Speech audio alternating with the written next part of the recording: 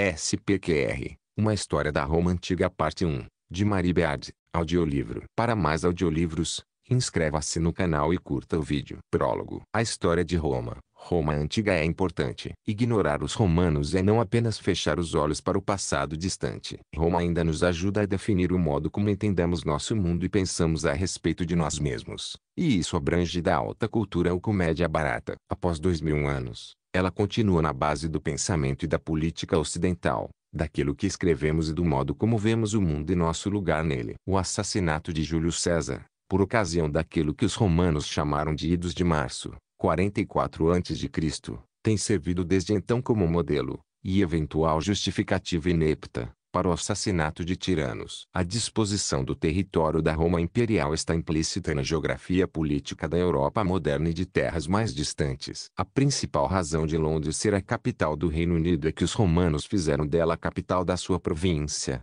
a Britânia, um lugar perigoso, situado, na visão deles, além do grande oceano que circundava o mundo civilizado. Roma nos legou ideias de liberdade e cidadania, assim como de exploração imperial, combinadas com o vocabulário de política moderna, desde senadores a ditadores. Emprestou-nos expressões como presente de grego, pão e circo em tocar violino enquanto Roma arde, até mesmo onde há vida, há esperança. E tem propiciado riso, espanto e horror, mais ou menos em proporções iguais. Os gladiadores são sucesso de bilheteria hoje como foram naquela época. O grande poema épico de Virgílio sobre a fundação de Roma, a Eneida, quase certamente teve mais leitores no século XX do que no primeiro século da nossa era. No entanto, a história da Roma antiga mudou radicalmente ao longo dos últimos 50 anos, e mais ainda nos quase 250 anos desde que Eduardo Gibbon escreveu Declínio e Queda do Império Romano seu idiosincrático experimento histórico que deu início ao estudo moderno da história de Roma no mundo de língua inglesa. Isso se deve em parte às novas maneiras de interpretar os dados antigos, e aos diferentes questionamentos que escolhemos fazer. É um mito perigoso achar que somos historiadores melhores do que aqueles que nos precederam. Não somos. Mas chegamos à história romana com outras prioridades, desde identidade de gênero a suprimento de comida, que fazem o passado antigo falar conosco num novo idioma. Também houve uma série extraordinária de novas descobertas, em terra, sob as águas, até perdidas em bibliotecas, e as novidades da antiguidade que elas nos trouxeram dizem mais sobre a Roma antiga do que qualquer historiador moderno poderia ter tido conhecimento antes. Temos agora um manuscrito de um comovente ensaio escrito por um médico romano, cujas queridas posses haviam acabado de arder em chamas e que reapareceu em um mosteiro grego apenas em 2005. Temos destroços de navios naufragados no Mediterrâneo que nunca conseguiram chegar a Roma, com esculturas, mobília e vidrara estrangeiras destinadas às casas dos ricos, e vinho e azeite de oliva que faziam parte da dieta básica de todos. Enquanto escrevo, arqueólogos examinam com atenção amostras extraídas da calota de gelo da Groenlândia para achar vestígios, até mesmo ali, da poluição produzida pela indústria romana. Outros estão observando através do microscópio o excremento humano encontrado em uma fossa em Herculano,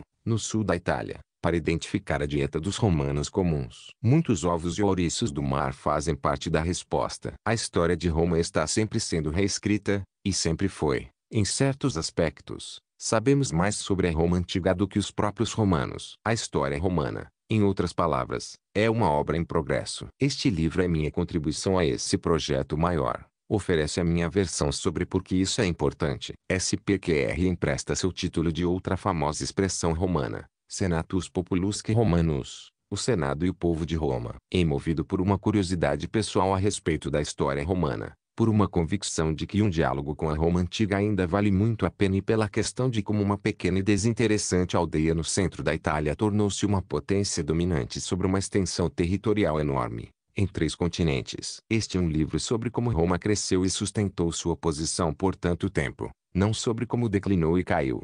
Se é que realmente fez isso no sentido que Gibbon imaginou. Existem várias maneiras pelas quais as histórias de Roma podem construir uma conclusão que faça sentido. Alguns escolheram a conversão do imperador Constantino ao cristianismo em seu leito de morte em 337 d.C.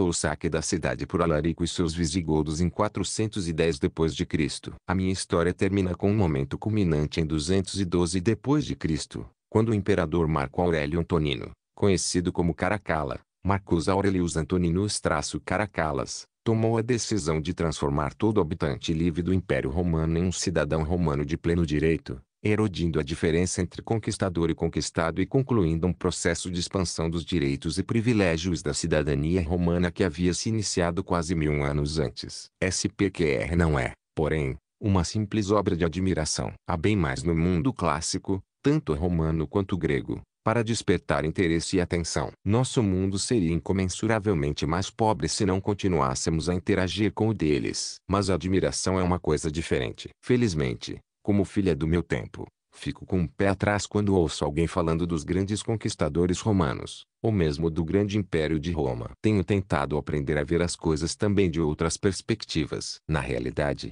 SPQR confronta alguns dos mitos e meias-verdades a respeito de Roma com os quais eu, como muitos, cresci. Os romanos não começaram com um grande plano de conquista mundial. Embora tenham chegado a fazer ostentação de seu império como se fosse algum destino manifesto, as motivações que estavam originalmente por trás de sua expansão militar pelo mundo mediterrâneo, e além dele, são ainda um dos grandes quebra-cabeças da história. Na aquisição de seu império, os romanos não esmagaram brutalmente povos inocentes que estavam cuidando de seus afazeres em uma harmonia pacífica até que as legiões apareceram no horizonte. A conquista romana foi sem dúvida cruel. A conquista da Gália por Júlio César foi comparada, com razão, a um genocídio e criticada pelos próprios romanos da época nesses mesmos termos. Mas Roma se expandiu por um mundo de violência endêmica, de focos rivais de poder apoiados por forças militares. Na realidade, não havia alternativa, e de mil impérios. A maioria dos inimigos de Roma era tão militarista quanto os romanos, mas, por razões que tentarei explicar, eles não venceram. Roma não era apenas o parente mais violento da Grécia clássica, comprometida com engenharia, eficiência militar e absolutismo, enquanto os gregos haviam preferido a especulação intelectual, o teatro e a democracia. Mostrava-se conveniente a alguns romanos fingir que as coisas eram assim, e foi conveniente a muitos historiadores modernos mostrar o mundo clássico como uma dicotomia simples entre duas culturas diferentes. Isso, como veremos, é enganoso. Em relação aos dois lados, as cidades-estado gregas desejavam vencer batalhas tão ardentemente quanto os romanos, e a maioria tinha pouco a ver com o breve experimento democrático ateniense. Longe de serem irrefletidos defensores do poder imperial, vários escritores romanos eram ferrenhos críticos ao imperialismo. Eles criam desolação e chamam isso de paz é um slogan que com frequência tem resumido as consequências da conquista militar. Foi escrito no século II Cristo pelo historiador romano Tácito referindo seu poder romano na Britânia. A história de Roma é um grande desafio. Não temos uma única história de Roma, especialmente se levarmos em conta o quanto o mundo romano se expandiu para longe da Itália. A história de Roma não é a mesma história da Britânia romana ou da África romana. A maior parte da minha atenção será sobre a cidade de Roma e a Itália romana, mas preciso também ter o cuidado de olhar para Roma de fora, do ponto de vista daqueles que viviam nos vastos territórios do Império, na condição de soldados rebeldes ou ambiciosos colaboradores. E é preciso escrever tipos muito diferentes de história para cada período. Com referência à história mais antiga de Roma e ao período em que ela se expandiu no século IV a.C., de uma pequena aldeia para um ator principal na Península Itálica, não há quaisquer relatos escritos por romanos desse período. A história teve que ser um corajoso trabalho de reconstrução, explorando ao máximo peças individuais de evidência, um fragmento único de cerâmica, ou algumas letras inscritas na pedra. Apenas três séculos mais tarde o problema é justamente o inverso. Como extrair sentido das massas de informações que competem entre si e ameaçam embaralhar qualquer narrativa. A história de Roma também requer um tipo particular de imaginação. Sob certos aspectos, explorar a Roma antiga a partir do século XX ia como andar na corda bamba, um ato de equilibrismo que exige muito cuidado. Se você olha para baixo para um dos lados, tudo parece familiar. Há debates em curso aos quais quase aderimos sobre a natureza da liberdade ou os problemas do sexo. Há edifícios e monumentos que reconhecemos e uma vida familiar que compreendemos, com todos os seus adolescentes problemáticos. E há piadas que captamos o sentido. Por outro lado, parece ser um território totalmente estranho. E não só em relação à escravidão, sujeira. Não havia algo próximo de uma coleta de lixo na Roma antiga carnificina de humanos na arena e morte por doenças cuja cura hoje é para nós corriqueira, mas também os recém-nascidos atirados em depósitos de lixo, as noivas crianças e os extravagantes sacerdotes eunucos. Esse é um mundo que começaremos a explorar através de um momento particular da história de Roma, que os romanos nunca pararam de quebrar a cabeça para tentar entender e que os escritores modernos, de historiadores a dramaturgos, nunca esgotaram o debate. Esse momento proporciona a melhor introdução a alguns dos personagens-chave da Roma antiga, a riqueza das discussões dos romanos a respeito de seu próprio passado e as maneiras pelas quais nós continuamos a retomá-lo para tentar entendê-lo, e as razões pelas quais a história de Roma, seu Senado e seu povo ainda são importantes. Capítulo 1 O melhor momento de Cícero SPQR 63 a.C. Nossa história da Roma antiga começa em meados do século e antes de Cristo, mais de 600 anos após a fundação da cidade. Começa com promessas de revolução, com uma conspiração terrorista para destruir a cidade, com operações secretas e arengas públicas, com uma batalha entre romanos e romanos, e com cidadãos, inocentes ou não, sendo rodeados e sumariamente executados em nome da segurança do país. O ano é 63 a.C. Num dos lados está Lúcio Sérgio Catilina, Lúcio Sergius Catilina, um aristocrata descontente, falido e mentor de uma conspiração, era o que se acreditava, para assassinar as autoridades eleitas de Roma e incendiar a cidade, cancelando com isso todas as dívidas, tanto dos ricos quanto dos pobres. Do outro lado está Marco Túlio Cícero, Marcus Tullius Cícero, apenas Cícero a partir de agora, o famoso orador, filósofo, sacerdote, poeta, político, inteligente piadista, um dos marcados para ser assassinado, e um homem que nunca parou de usar seu talento retórico para se gabar de como havia descoberto o terrível plano de Catilina e salvado o Estado. Esse foi seu melhor momento. Em 63 a.C., a cidade de Roma era uma grande metrópole com mais de um milhão de habitantes, maior do que qualquer outra da Europa antes do século XIX, e, embora até aquele momento não tivesse imperadores, governava um império que se estendia da Espanha à Síria, do sul da França ao Saara. Era uma vasta mistura de luxo e lixo, liberdade e exploração, orgulho cívico e guerra civil mortífera. Nos próximos capítulos vamos lançar nosso olhar mais para trás, para os primórdios do período romano e para as primeiras aventuras, beligerantes ou de outro tipo, do povo romano. Vamos pensar sobre o que está por trás de algumas daquelas histórias da Roma primordial que ainda causam impacto hoje de Rômulo e Remo Rápido de Lucrécia, e fazer perguntas que os historiadores têm feito desde a antiguidade. Afinal, como e por que uma cidadezinha comum no centro da Itália cresceu e ficou tão maior do que qualquer outra cidade no antigo Mediterrâneo e chegou a comandar um império tão vasto? O que os romanos tinham de especial, se é que tinham algo. Mas, tratando-se da história de Roma, faz pouco sentido começar do princípio de tudo. Só podemos começar a explorar Roma de perto e com detalhes eloquentes por meio do olhar contemporâneo, a partir do século e antes de Cristo. Sobrevive desse período uma extraordinária riqueza de palavras, cartas privadas, discursos públicos,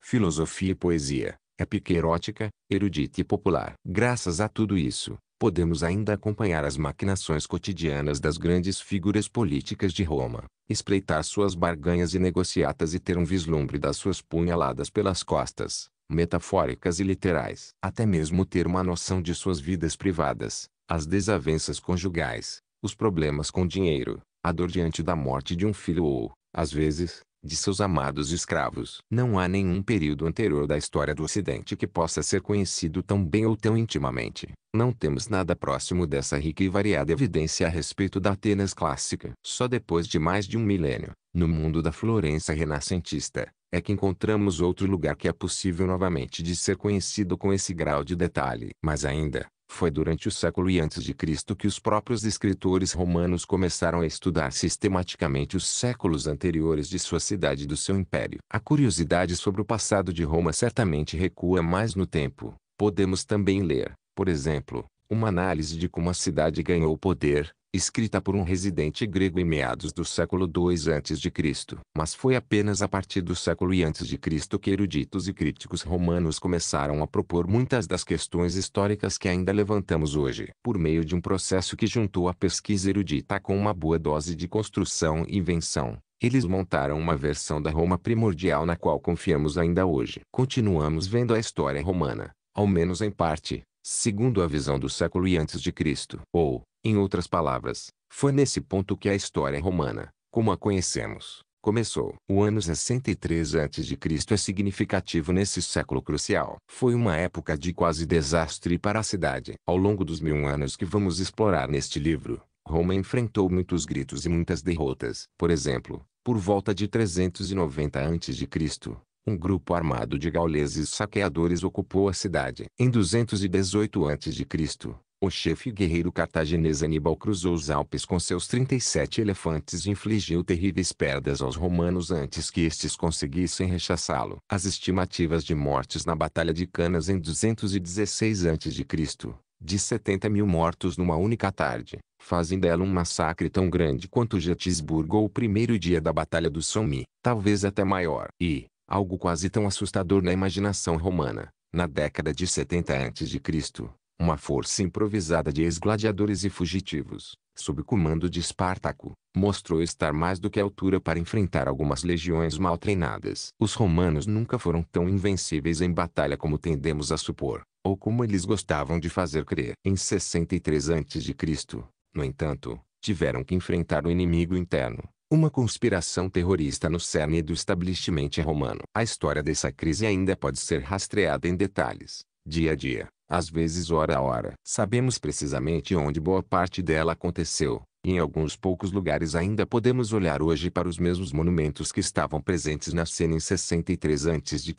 Temos como acompanhar as ações secretas que deram a Cícero informações sobre a conspiração e ver como Catilina foi expulso da cidade ao encontro de seu exército improvisado ao norte de Roma e levado à batalha contra as legiões romanas oficiais que lhe custou a vida. Podemos também vislumbrar algumas das discussões, controvérsias e questões mais amplas que a crise levantou e ainda levanta. A dura reação de Cícero, incluindo execuções sumárias, colocou de maneira cabal questões que nos preocupam ainda hoje. Será legítimo eliminar terroristas à margem dos devidos processos legais? O quanto os direitos civis devem ser sacrificados em nome dos interesses da segurança interna? Os romanos nunca pararam de debater a conspiração de Catilina, como ficou conhecida. Será que Catilina era totalmente perverso? Ou haveria algo a dizer a seu favor para atenuar o que fez? A que preço a revolução foi evitada? Os eventos de 63 a.C., e as expressões criadas na época, continuaram a ecoar por toda a história do Ocidente. Algumas das palavras ditas nos tensos debates que se seguiram à descoberta da conspiração ainda encontram lugar em nossa retórica política e ainda são,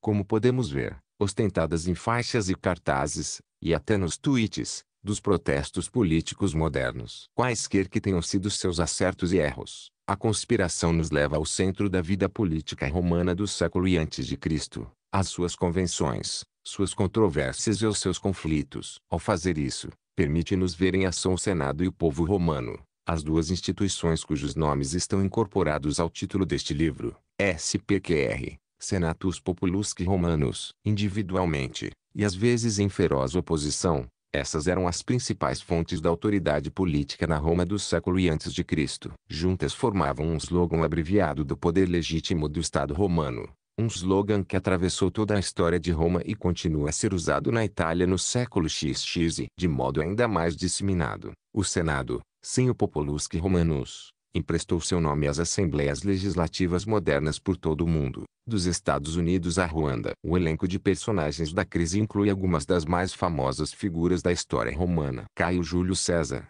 Gaius Julius Caesar, então com 30 anos, fez uma contribuição radical ao debate sobre como punir os conspiradores. Marco Licínio Crasso, Marcus Licinius Crassus, o plutocrata romano que fez a famosa observação de que você não pode julgar alguém como rico se ele não tiver dinheiro para montar o próprio exército particular, desempenhou algum papel misterioso nos bastidores. Mas no centro do palco, como principal adversário de Catilina, encontramos uma pessoa a quem é possível conhecer melhor do que os outros em todo o mundo antigo. Os discursos, ensaios, cartas, Piadas e poesias de Cícero ainda enchem hoje dezenas de volumes impressos. Não há ninguém mais na antiguidade, até chegarmos a Agostinho, 450 anos depois, santo cristão, teólogo prolífico e ávido auto-observador traço, cuja vida esteja documentada de forma pública e privada o suficiente para sermos capazes de reconstruir uma biografia plausível em termos modernos. E é em grande parte por meio dos escritos de Cícero, de seus pontos de vista e seus preconceitos, que vemos o mundo romano do século I a.C. e muito da história da cidade até a época dele. O ano 63 a.C. foi o ponto de virada na sua carreira, pois as coisas nunca mais foram tão boas para Cícero. Sua trajetória terminou 20 anos mais tarde em fracasso. Ainda confiava na própria importância, era ocasionalmente um nome lembrado, mas não ocupava mais a linha de frente e foi assassinado durante as guerras civis que eclodiram após o assassinato de Júlio César em 44 a.C. Com sua cabeça e a mão direita pregadas no centro de Roma à vista de todos, para serem desfiguradas e mutiladas. 1. Os robustos arcos e colunas do tabularium, encravado no palácio de Michelangelo acima dele, ainda são o principal marco de um dos extremos do Fórum Romano. Construído apenas duas décadas antes de Cícero ser nomeado cônsul em 63 a.C., deve ter parecido na época um dos mais esplêndidos avanços da arquitetura. Sua função é menos óbvia. Era sem dúvida algum tipo de edifício público, mas não necessariamente o escritório de registros tabularium, como se supõe muitas vezes. 2. SPQR ainda está inscrito pela cidade de Roma, em tudo, desde tampas de bueiros até latas de lixo. Ela remonta à época em que Cícero viveu, e é uma das siglas mais duradouras da história. Como seria de esperar, deu lugar a paródias. Sonopas e Casti Romani é uma das favoritas dos italianos. São malucos esses romanos.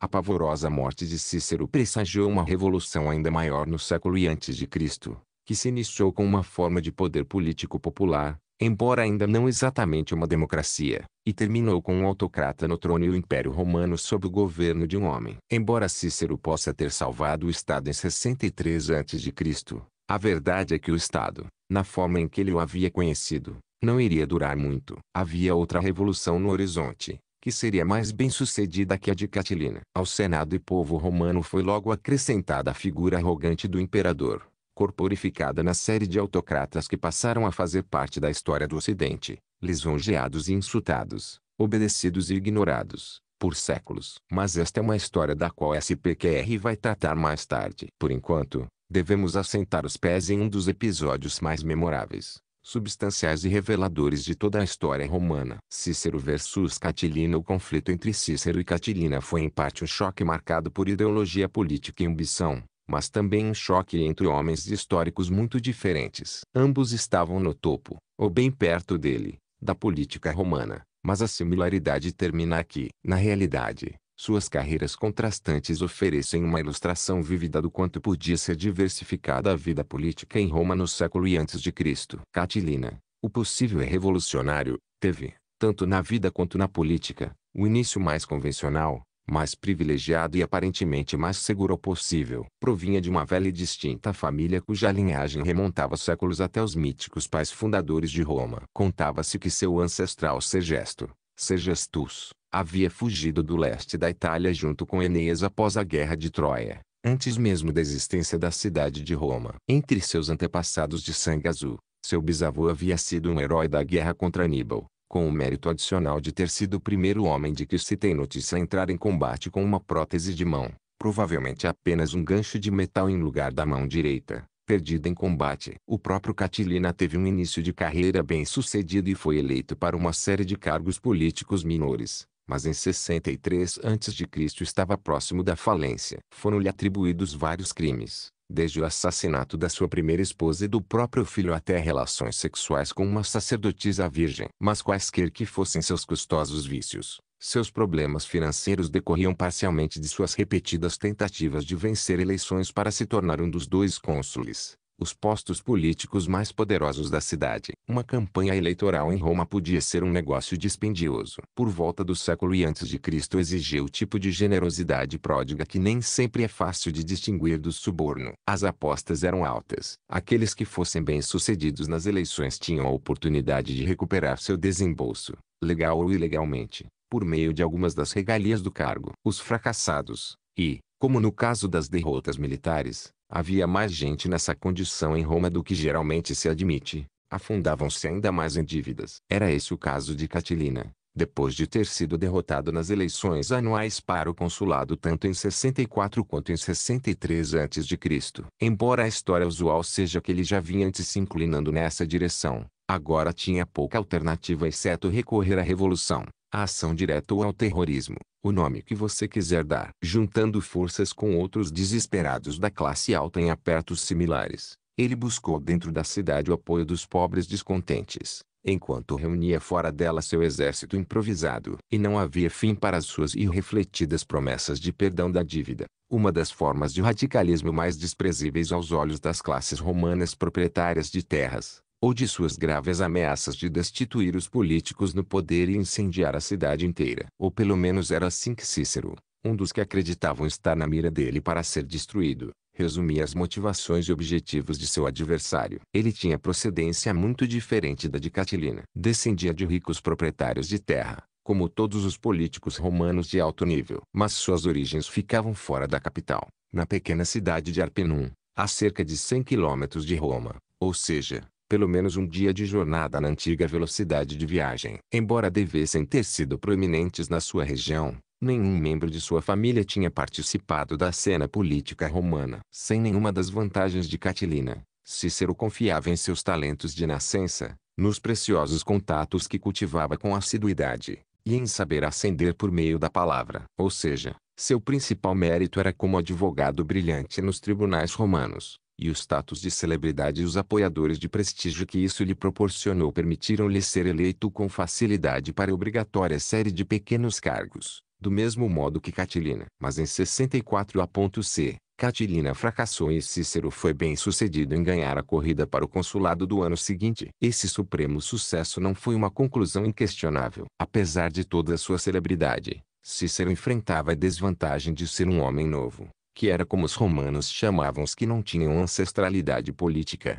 e a certa altura ele parece ter considerado a possibilidade de fazer um pacto eleitoral com Catilina, apesar da reputação duvidosa deste. Mas, no final, os eleitores influentes foram decisivos. O sistema eleitoral romano, abertamente sem o menor pejo, dava peso maior aos votos dos ricos, e muitos deles devem ter concluído que Cícero era uma opção melhor do que Catilina qualquer que fosse seu desdém snob pelo seu noviciado. Alguns de seus rivais diziam que era um mero inquilino de Roma, um cidadão em meio expediente, mas ele venceu o pleito. Catilina acabou no mal-sucedido terceiro lugar. Em segundo, eleito como outro cônsul, ficou Caio Antônio Híbrida, Gaius Antonius Híbrida, tio de um mais famoso Antônio Marco Antônio, cuja reputação revelou-se não muito melhor que a de Catilina. Por volta do verão de 63 a.C., Cícero parece ter se dado conta do nítido perigo representado por Catilina, que de novo tentava sorte como candidato. Usando sua autoridade de cônsul, Cícero adiou o turno seguinte de eleições, e quando finalmente deixou que elas prosseguissem, apareceu no dia da apuração com uma guarda armada e vestindo um colete de metal militar visível por baixo de sua toga. Foi um gesto estriônico, e a combinação de vestes civis e militares soou de uma incongruência alarmante como se hoje um político entrasse na Câmara vestindo um terno e com uma metralhadora dependurada no ombro. Mas funcionou. Essas táticas de intimidação, e o programa vociferadamente populista de Catilina, garantiram que ele fosse novamente derrotado. O fato de lhe se apresentar como um arruinado que defendia outros arruinados dificilmente despertaria apreço entre os eleitores da elite. Logo após as eleições, em algum ponto do início do outono, Cícero começou a receber informações mais precisas sobre uma conspiração violenta. Por longo tempo havia obtido alguns dados por meio da namorada de um dos cúmplices de Catilina, uma mulher de nome Fulvia, que de certo modo se tornara um agente duplo. Agora, graças a mais um ato de traição do outro lado,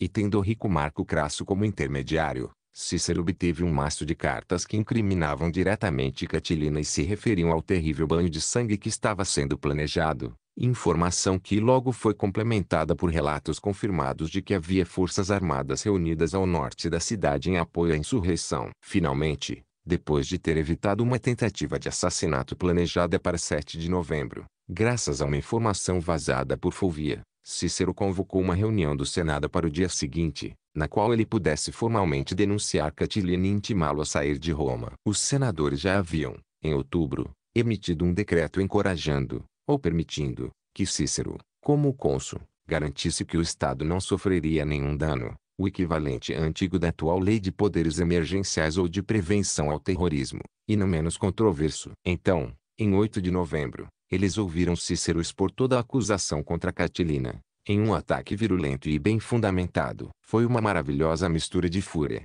indignação, autocrítica e fatos consistentes. Em um primeiro momento ele lembrou aos presentes o notório passado de Catilina. No instante seguinte, ardilosamente se dizia arrependido por não ter reagido ao perigo rapidamente. Mais adiante, revelava detalhes precisos sobre a conspiração, na casa de quem os conspiradores haviam se reunido, em que datas, quem estava envolvido e quais eram exatamente seus planos. Catilina comparecerá para enfrentar pessoalmente a denúncia. Ele pediu aos senadores que não acreditassem em tudo que lhes estava sendo dito e zombou algumas vezes da modesta origem de Cícero, comparada com os seus distintos ancestrais de esplêndidas realizações. Mas deve ter sentido que estava perdido. Naquela noite, abandonou a cidade. No Senado esse encontro diante do Senado entre Cícero e Catilina é o momento que define toda a história os dois adversários frente a frente em uma instituição central da política romana. Mas como devemos imaginá-lo? A mais famosa tentativa moderna de trazer para diante de nossos olhos o que aconteceu naquele 8 de novembro é um quadro do pintor italiano do século XIX Cesare Maccari. É uma imagem que confirma muitas das nossas ideias preconcebidas a respeito da Roma antiga e de sua vida pública majestosa,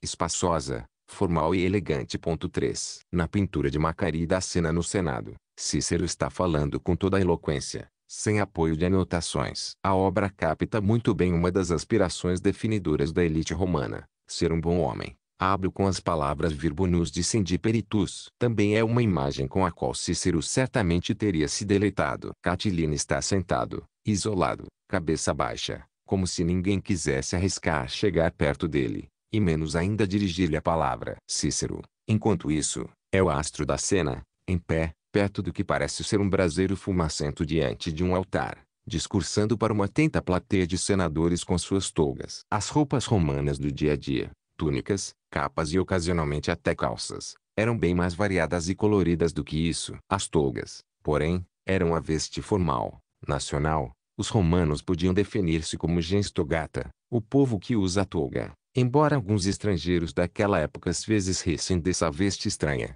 desajeitada. E as togas eram brancas, com o acréscimo de uma bainha roxa para aqueles que tivessem um cargo público. Na realidade, a palavra atual candidato deriva do latim candidatus, que significa branqueado, e se refere às togas especialmente branqueadas que os romanos usavam durante as campanhas eleitorais, para impressionar os eleitores. Num mundo em que o status precisava ficar à mostra, as sutilezas de vestimenta iam além. Havia também uma ampla faixa roxa nas túnicas dos senadores, usada por baixo da toga, e outra um pouco mais estreita se você fizesse parte da hierarquia imediatamente abaixo na sociedade romana, a de equestre ou cavaleiro, e sapatos especiais para ambas as hierarquias. Macari captou bem as belas togas dos senadores, embora pareça ter esquecido daquelas bainhas, carregadas de sentido. Mas em quase todos os outros aspectos, sua pintura não é mais do que uma sedutora fantasia sobre aquela ocasião e ambiente. Para começar, Cícero é mostrado como um estadista idoso de cabelos brancos,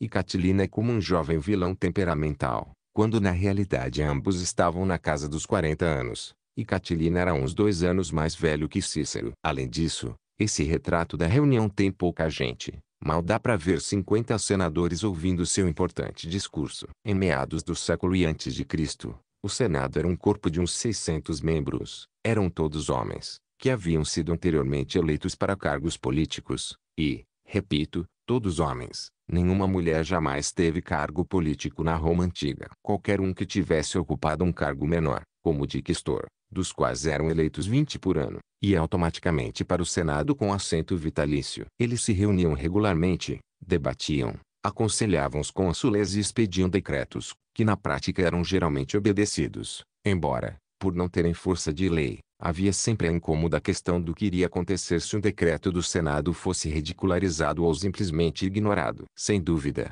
o comparecimento oscilava, mas nessa reunião em particular a casa certamente estava cheia. Quanto ao ambiente, parece suficientemente romano, mas, com aquela imensa coluna estendendo-se a perder de vista e o luxuoso mármore de cor clara revestindo as paredes, é majestoso demais em relação a praticamente qualquer coisa que houvesse em Roma naquele período. A imagem moderna que temos da antiga cidade como uma extravagância em larga escala de mármores reluzentes não é inteiramente equivocada. Mas isso é um desdobramento posterior da história de Roma, iniciado com o advento do governo de um só homem sob os imperadores e com a primeira exploração sistemática das pedreiras de mármore de Carrara, no norte da Itália mais de 30 anos após a crise de Catilina. A Roma da época de Cícero, com cerca de um milhão de habitantes, ainda era construída em sua maior parte com tijolo ou pedra local, um labirinto de ruas sinuosas e becos escuros. Um visitante que viesse de Atenas ou Alexandria no Egito, que de fato tinham muitos edifícios no estilo da pintura de Macari, acharia um lugar inexpressivo,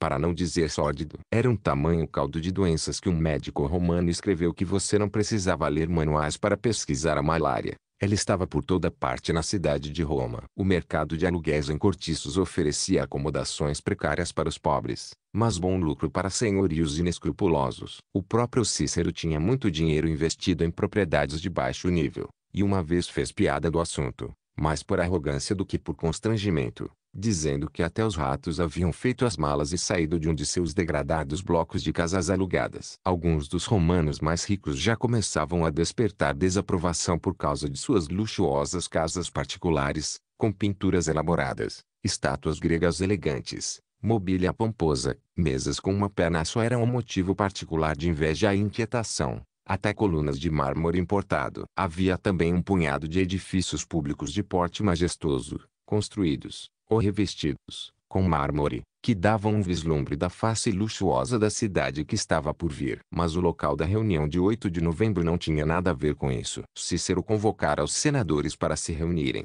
como faziam com frequência, num templo. Dessa vez, um edifício velho e modesto dedicado ao deus Júpiter, perto do fórum, no centro da cidade, construído segundo a planta retangular padrão, e não com a estrutura semicircular da fantasia de Macari. Provavelmente um local pequeno e pouco iluminado, com lâmpadas e tochas que mal compensavam a falta de janelas. Devemos imaginar algumas centenas de senadores apinhados num espaço abafado, apertado, alguns sentados em cadeiras ou bancos improvisados, outros em pé, acotovelando-se sob alguma venerável e antiga estátua de Júpiter. Foi seguramente uma ocasião marcante na história de Roma, mas com igual certeza, como ocorria com muitas coisas em Roma, bem menos elegante na realidade do que gostaríamos de imaginar. Triunfo e humilhação.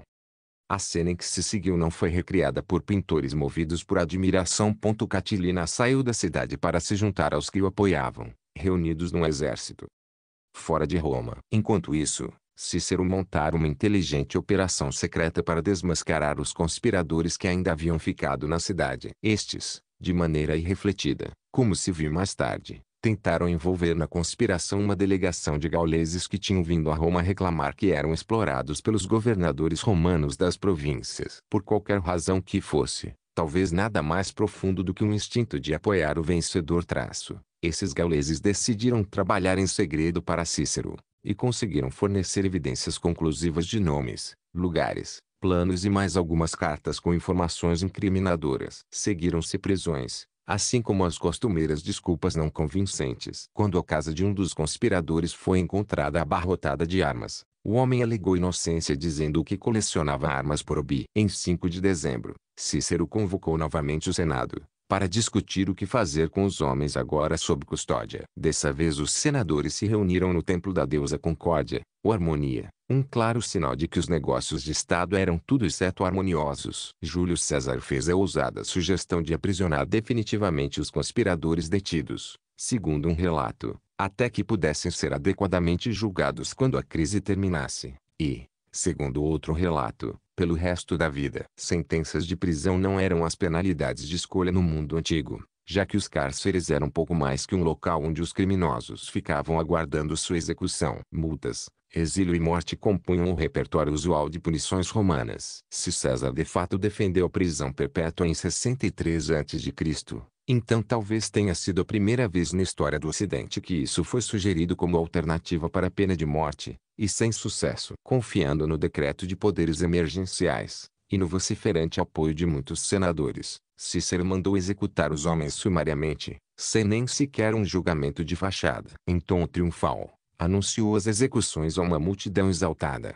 usando um famoso eufemismo de uma só palavra, vichere, eles viveram, isto é, eles estão mortos. Em poucas semanas, as legiões romanas derrotaram as forças do exército de descontentes de Catilina no norte da Itália. O próprio Catilina caiu lutando bravamente à frente de seus homens. O comandante romano Antônio Híbrida, colega cônsul de Cícero, disse estar com dores nos pés no dia da batalha final, e passou a liderança para o seu número 2, levantando suspeitas em alguns setores a respeito de suas reais simpatias. E não foi o único que teve suas motivações questionadas. Já foram feitas as especulações mais malucas, certamente inconclusivas, voltadas para o mundo antigo, sobre quais homens muito mais destacados teriam dado seu secreto apoio a Catilina. Teria sido ele na verdade o agente do sorrateiro Marco Crasso, e qual teria sido de fato a posição de César. De qualquer modo, a derrota de Catilina foi uma vitória notável para Cícero, e seus apoiadores o apelidaram de Pater Patriae, o pai da pátria, um dos títulos mais esplêndidos e lisonjeiros que você poderia ganhar em uma sociedade extremamente patriarcal como Roma. Mas seu sucesso logo se tornou amargo. Já no seu último dia como cônsul, dois de seus rivais políticos impediram-no de fazer o usual discurso de despedida em um encontro com o povo romano. Aqueles que puniram os outros sem uma audiência, insistiram eles, não têm direito de ser ouvidos. Poucos anos depois, em 58 a.C., o povo romano votou, em termos gerais, pela expulsão de qualquer pessoa que tivesse levado um cidadão à morte sem julgamento. Cícero saiu de Roma, pouco antes de ter sido aprovada outra lei que o condenava nominalmente ao exílio. Até aqui nesta história, o Populus Romanus, o PQR do SPQR, não desempenhou um papel de muito destaque. O povo era um corpo maior e mais amorfo do que o Senado. Este era composto em termos políticos por cidadãos romanos, todos homens. As mulheres não tinham direitos políticos formais. Em 63 a.C. havia cerca de um milhão de homens espalhados pela capital e pela Itália. Afora uns poucos além desses limites. Na prática, a noção de povo costumava abranger os poucos milhares ou centenas que, em qualquer ocasião particular, decidiam aparecer nas eleições, votações ou encontros na cidade de Roma. O quanto exatamente o povo exercia influência sempre foi, mesmo no mundo antigo, uma das grandes controvérsias da história romana. Mas duas coisas são certas. Naquela época, só eles podiam eleger as autoridades políticas do Estado romano, não importa o quanto você fosse de sangue azul, só poderia ocupar um cargo, digamos, de cônsul, se o povo romano elegesse. E apenas eles, e não o Senado, podiam fazer as leis. Em 58 a.C., os inimigos de Cícero argumentaram que, qualquer que fosse a autoridade que Cícero tivesse reivindicado por meio do decreto do Senado de prevenção ao terrorismo, suas execuções dos seguidores de Catilina haviam desconsiderado o direito fundamental de qualquer cidadão romano a um julgamento justo. Cabia ao povo exilá-lo. Aquele que havia sido pai da pátria passou um ano terrível no norte da Grécia. Sua abjeta autopiedade não desperta simpatia até que o povo votou por tê-lo de volta. Ele foi recebido e aclamado por seus apoiadores, mas sua casa na cidade havia sido demolida e, como para trazer a baila o aspecto político, um santuário a libertas havia sido erigido no local. Sua carreira nunca foi completamente reabilitada. Escrevendo a respeito as razões pelas quais podemos contar essa história com tantos detalhes são muito simples. Os próprios romanos escreveram muito sobre ela, e boa parte do que escreveram sobreviveu. Os historiadores modernos com frequência lamentam pouco que podemos saber sobre certos aspectos do mundo antigo. Basta pensar naquilo que não sabemos sobre a vida dos pobres, queixam-se, ou sobre os pontos de vista das mulheres. Mas além de anacrônico isso é enganoso. Os escritores da literatura romana eram quase exclusivamente homens, ou, ao menos, pouquíssimas obras escritas por mulheres chegaram até nós. A autobiografia da mãe do imperador Nero, Agripina, foi uma das perdas mais tristes da literatura clássica. Esses homens eram quase todos ricos, embora alguns poetas romanos gostassem de fingir, como os poetas ainda fazem às vezes, que passavam fome em sótãos. As queixas, no entanto, omitem um ponto bem mais importante. O fato isolado mais extraordinário sobre o mundo romano é que tenha sobrevivido tanta coisa daquilo que os romanos escreveram, e por mais de dois milênios. Temos poesia, cartas, ensaios, discursos e histórias, aos quais já me referi, mas também novelas, tratados, sátiras e resmas e resmas de escritos técnicos sobretudo, de engenharia hidráulica à medicina. A sobrevivência ocorreu em grande parte graças à diligência de monges medievais, que transcreveram à mão, várias e várias vezes, aquelas que acreditavam ser as obras mais importantes ou úteis da literatura clássica, e com uma contribuição significativa, mas com frequência esquecida, de sábios islâmicos medievais, que traduziram para o árabe um pouco da filosofia e do material científico. E graças a arqueólogos que têm escavado papiros das areias e dos depósitos de entulho do Egito, e encontrado tábuas de madeira com inscrições em bases militares romanas do norte da Inglaterra, e lápides fúnebres eloquentes de todo o império, podemos ter vislumbres da vida e das cartas de alguns habitantes comuns do mundo romano. Há bilhetes enviados para casa, listas de compras, livros contábeis e mensagens inscritas em túmulos. Mesmo que isso seja uma pequena proporção do que já existiu um dia, temos acesso a mais literatura romana, e mais escritos romanos em geral, do que qualquer pessoa poderia hoje dominar em profundidade no curso de uma vida inteira. Bem, mas de que modo, exatamente, Ficamos sabendo do conflito entre Catilina e Cícero. A história chegou até nós por vários caminhos, e em parte é essa variedade que a torna tão rica. Há relatos breves nas obras de diversos historiadores romanos antigos, incluindo uma biografia do próprio Cícero, todas escritas cem ou mais anos após os acontecimentos. Mais importante e revelador é um longo e detalhado ensaio da guerra contra Catilina, o Belum Catilinae, para usar o que deve ter sido seu título original. Foi escrito apenas 20 anos após a guerra, em 40 a.C., por Caius Salustio Crispo, Gaius Salustius Crispus, um homem novo, assim como Cícero, amigo e aliado de Júlio César, com uma reputação política controvertida. Seu período como governador romano no norte da África foi execrável, mesmo para os padrões romanos cheio de episódios de corrupção e extorsão. Mas apesar de sua carreira pouco palatável, ou talvez até por isso, o ensaio de Sallusti é uma das peças de análise política mais agudas que sobreviveram do mundo antigo. Sallusti não narra simplesmente o desdobramento da história da tentativa de levante, suas causas e seu desfecho. Ele usa a figura de Catilina como um emblema dos fracassos mais amplos da Roma do século e antes de Cristo. Na visão de Sallusti, a fibra moral da cultura romana havia sido destruída pelo sucesso da cidade, e também pela riqueza, ambição e ânsia de poder que romperam após a conquista do Mediterrâneo e o esmagamento de seus maiores rivais. O momento crucial ocorrerá 83 anos antes da guerra contra Catilina, quando, em 146 a.C., os exércitos romanos finalmente destruíram Cartago, a base de Aníbal no litoral norte da África. Depois disso, acreditava Salustio, não restaram ameaças importantes ao domínio romano. Catilina pode ter tido qualidades positivas, como Salustio admite, desde sua bravura em batalhas a seus extraordinários poderes de resistência. Era incrível sua capacidade de resistir à fome, ao frio ou à privação de sono. Mas ele simbolizou muito do que havia de errado na Roma de seu tempo. Além do ensaio de Salustio há outros documentos eloquentes, que nos levam ao próprio Cícero e oferecem sua versão sobre o que aconteceu. Algumas das cartas do que Cícero escreveu ao seu amigo mais íntimo, Tito Pompônio Ático Titus Pomponius Atticus, um homem rico que nunca entrou oficialmente para a política, mas que muitas vezes comandou as ações desde os bastidores traço, mencionam suas relações de início amistosas com Catilina. Em meio a notícias domésticas, sobre o nascimento de seu filho deixe-me contar,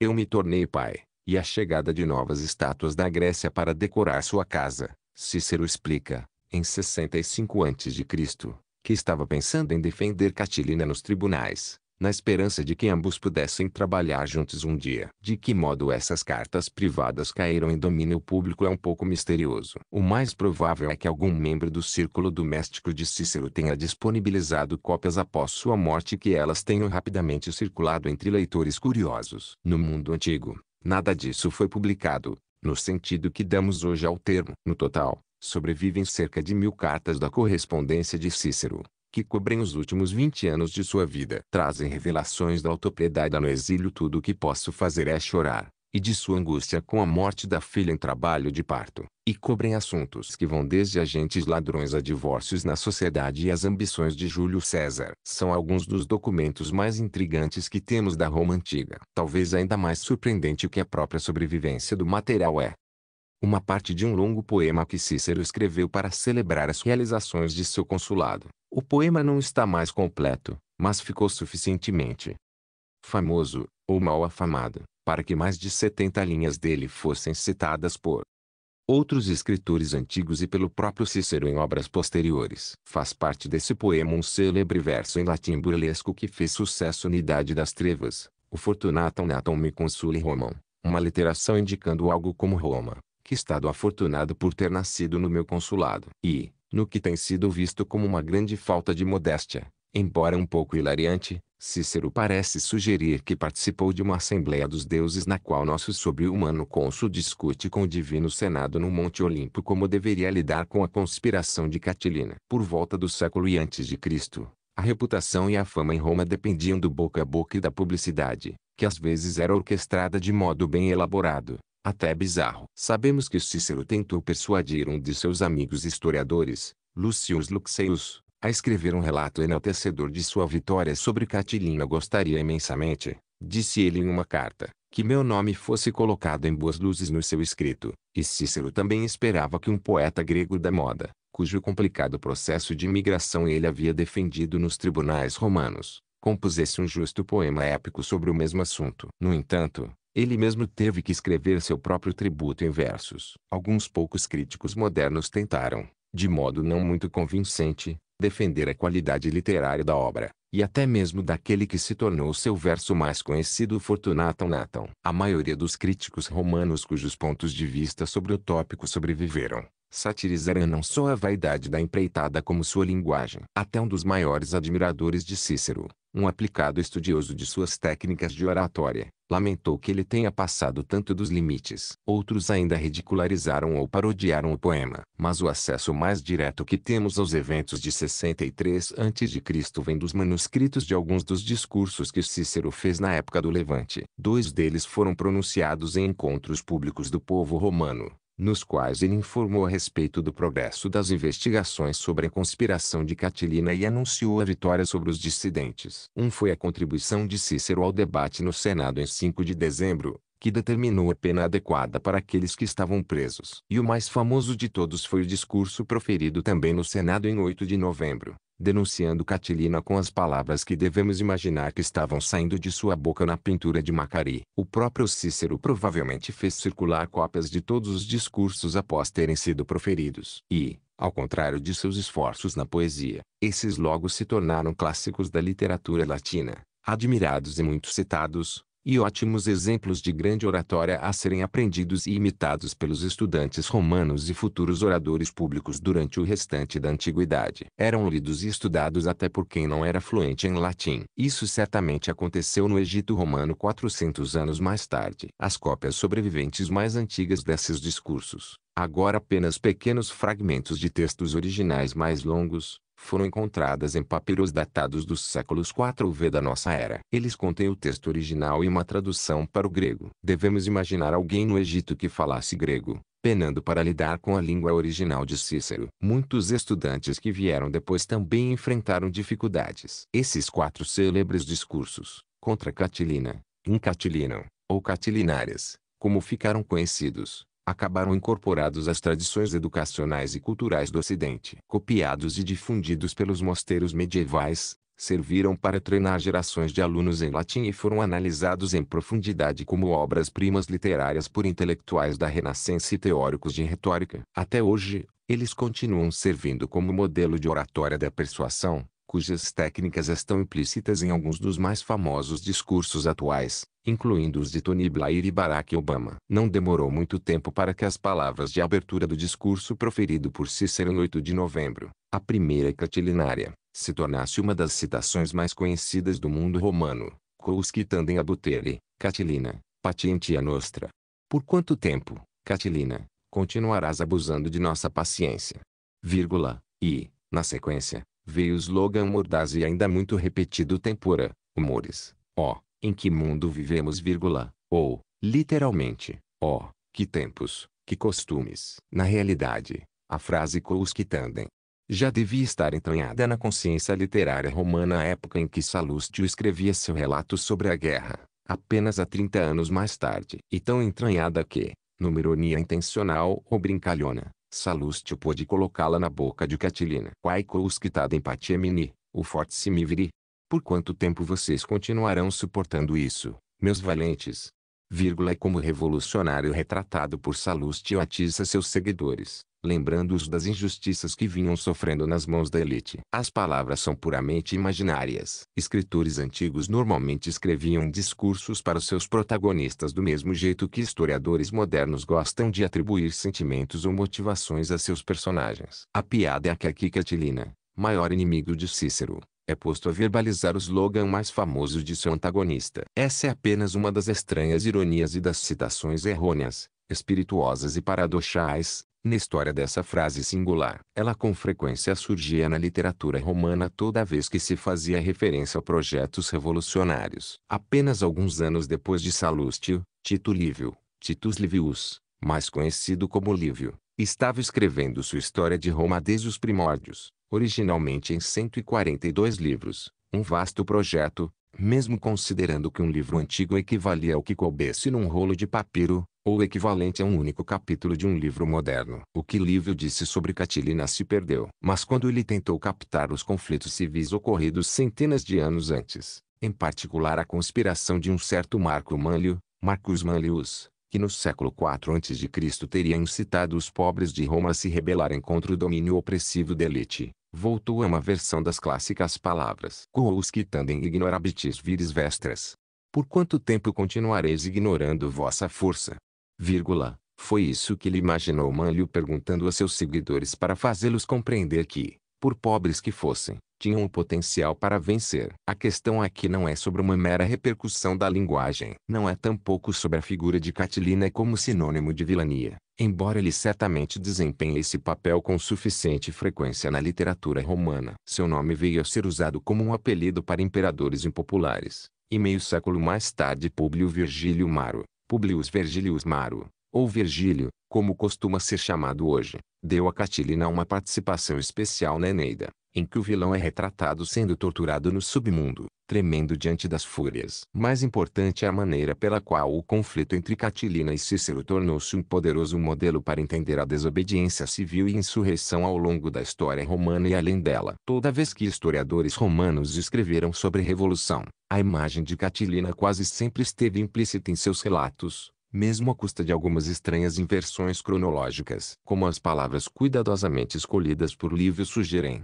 Marco Manlio, um nobre que aderiu a uma revolução fracassada, apoiado por uma turba empobrecida, foi retratado em grande medida como uma projeção de Catilina recuada para os primórdios de Roma. O outro lado da história será que não existe outro lado nessa história. As evidências detalhadas que temos a partir dos escritos de Cícero, do seu ponto de vista, significam que sua perspectiva será sempre dominante. Mas não significa necessariamente que seja verdadeira em qualquer sentido simples, ou que seja a única maneira de ver as coisas. As pessoas têm se impressionado há séculos com a riqueza do relato que Cícero nos oferece, e têm detectado pontos de vista e interpretações alternativas logo abaixo da superfície de sua versão dos fatos. O próprio Salustio faz alusões a isso. Porque, embora seu relato seja muito influenciado pelos escritos de Cícero, ao transferir o famoso quos tandem da boca de Cícero para a de Catilina, ele pode ter lembrado a seus leitores que os fatos e suas interpretações eram, no mínimo, fluidos. Uma questão óbvia é se o discurso que conhecemos como a primeira catilinária é realmente o que Cícero disse aos senadores reunidos no Templo de Júpiter em 8 de novembro. Difícil supor que se trate de algo totalmente inventado. Como Cícero poderia ter lidado com o fato de fazer circular uma versão que não tivesse relação com o que ele acabara de dizer? Mas provavelmente não é algo que corresponda palavra por palavra. Se ele falou a partir de anotações, então o texto que temos presumivelmente situa-se em algum ponto entre o que ele lembrou de ter dito e o que ele teria gostado de dizer. Mesmo que Cícero estivesse lendo um texto relativamente completo, ao fazê-lo circular entre amigos, associados e aqueles que queria impressionar, ele o teria melhorado de alguma forma, ajeitando as pontas soltas e inserindo alguns comentários curtos que pudessem ter sido esquecidos ou fugido de sua mente no dia do discurso. Também há muita indefinição sobre quando exatamente ele o fez circular e por quê. Sabemos por meio de uma de suas cartas a Ático que Cícero estava providenciando uma cópia da primeira catilinária em junho de 60 a.C.,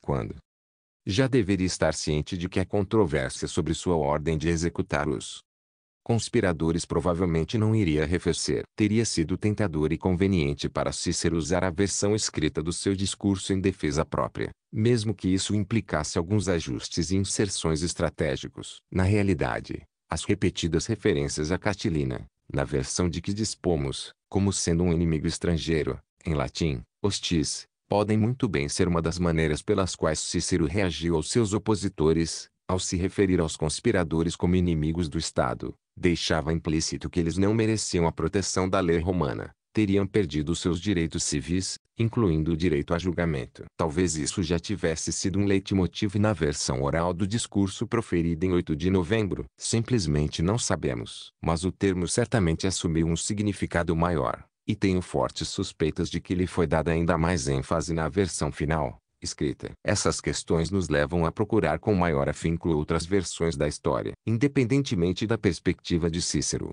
será que é possível ter alguma ideia de como a questão toda era vista por Catilina e seus apoiadores? A versão de Cícero hoje domina a evidência contemporânea a respeito de meados do século e antes de Cristo. Mas sempre vale a pena tentar ler essa versão, ou qualquer versão da história romana, a contrapelo, para abrir pequenas rachaduras na história usando fragmentos de alguma evidência independente que tivermos à disposição, e perguntar se outros observadores não teriam visto as coisas de modo diferente. Será que aqueles que Cícero descreve como vilões monstruosos eram de fato como ele os pintava? Em relação a isso, temos o suficiente para levantar algumas dúvidas sobre o que realmente estava acontecendo. Cícero coloca Catilina como um bandido com terríveis dívidas de jogo, decorrentes exclusivamente de suas imperfeições morais. Mas a situação não pode ter sido tão simples assim. Havia uma espécie de crise do crédito na Roma em 63 a.C., e mais problemas econômicos e sociais do que Cícero estava disposto a admitir. Uma das realizações do seu grande consulado foi barrar uma proposta de distribuir terras na Itália para alguns pobres da cidade. Em outras palavras, se Catilina se comportava como um bandido,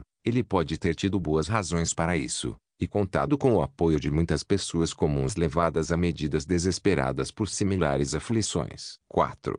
Esta moeda de prata foi cunhada em 63 a.C., e seu desenho mostra um romano do povo votando uma lei ao depositar uma tabuleta de votação numa urna para contagem. As diferenças nos detalhes entre as duas versões ilustram bem as diferenças nas cunhas de gravação. O nome do oficial encarregado da cunhagem naquele ano, Longinus, também aparece estampado na moeda. Como saber? É mais difícil reconstruir a economia do que a política de dois mil anos atrás, mas tivemos alguns vislumbres inesperados. A evidência fornecida pelas moedas que sobreviveram daquele período é bastante reveladora, tanto das condições da época como da capacidade dos modernos historiadores é arqueólogos de explorar o material que têm em mãos de maneiras engenhosas. Muitas moedas romanas podem ser datadas com precisão, porque nesse período eram refeitas a cada ano e assinadas pelas autoridades responsáveis por emiti-las. Eram produzidas à mão usando-se uma série de cunhas, ou estampas,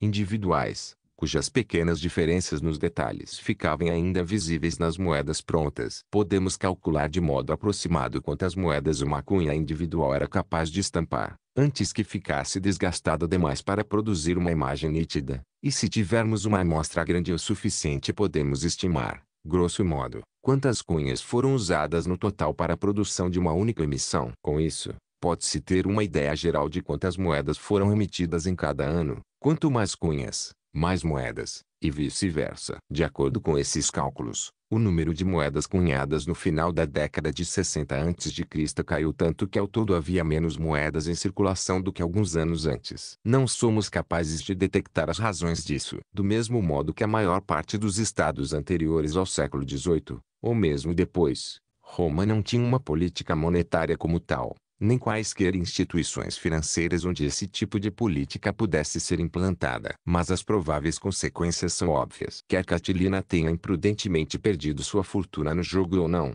ele, e muitos outros, pode ter ficado sem dinheiro, e aqueles já endividados tinham que enfrentar credores exigindo o pagamento de seus empréstimos. Tudo isso se somava aos outros fatores de longa data que poderiam ter dado aos humildes e os que nada tinham um incentivo para protestar ou se juntar àqueles que prometessem uma mudança radical. Havia enorme disparidade entre ricos e pobres. As condições de vida eram precárias para grande parte da população e, provavelmente, na maior parte do tempo, se não inanição, Havia no mínimo a questão da fome crônica. Apesar das descrições de Cícero depreciando os seguidores de Catilina como depravados, bandidos e destituídos, a lógica de parte de seu relato, e do de Salustio, sugere outra coisa. Pois as descrições deixam patente o implícito que o apoio a Catilina evaporou-se quando foi relatado que ele tensionava atear fogo à cidade. Nesse caso, não estamos lidando com bandidos e gente totalmente marginalizada que não teria nada a perder, e tudo a ganhar de uma total conflagração. Muito mais provável é que entre seus apoiadores estivessem os pobres e humildes que ainda tinham alguma chance de sobreviver na cidade. Cícero,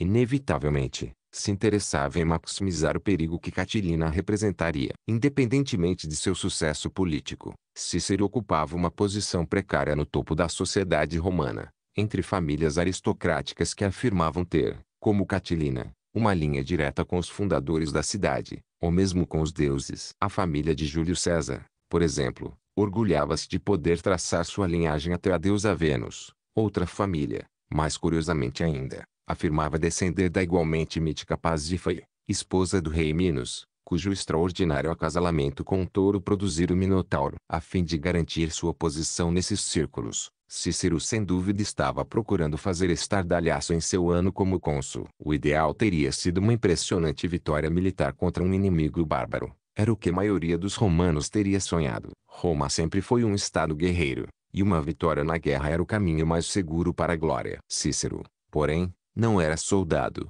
ganhara destaque nos tribunais, e não ao conduzir seu exército contra estrangeiros perigosos. Ele precisava salvar o Estado de alguma outra forma. Alguns comentaristas romanos observaram que a crise fez muito em favor de Cícero. Um panfleto anônimo, que atacava toda sua carreira, e foi conservado por se acreditar, erroneamente, que havia sido redigido por Salústio, declara explicitamente que ele conduziu os problemas do Estado em prol de sua própria glória chegando ao ponto de afirmar que seu mandato como cônsul era a causa da conspiração em vez da sua solução. Colocada em termos diretos, para nós uma questão básica deveria ser não se Cícero exagerou os perigos da conspiração, mas sim, o quanto ele os exagerou.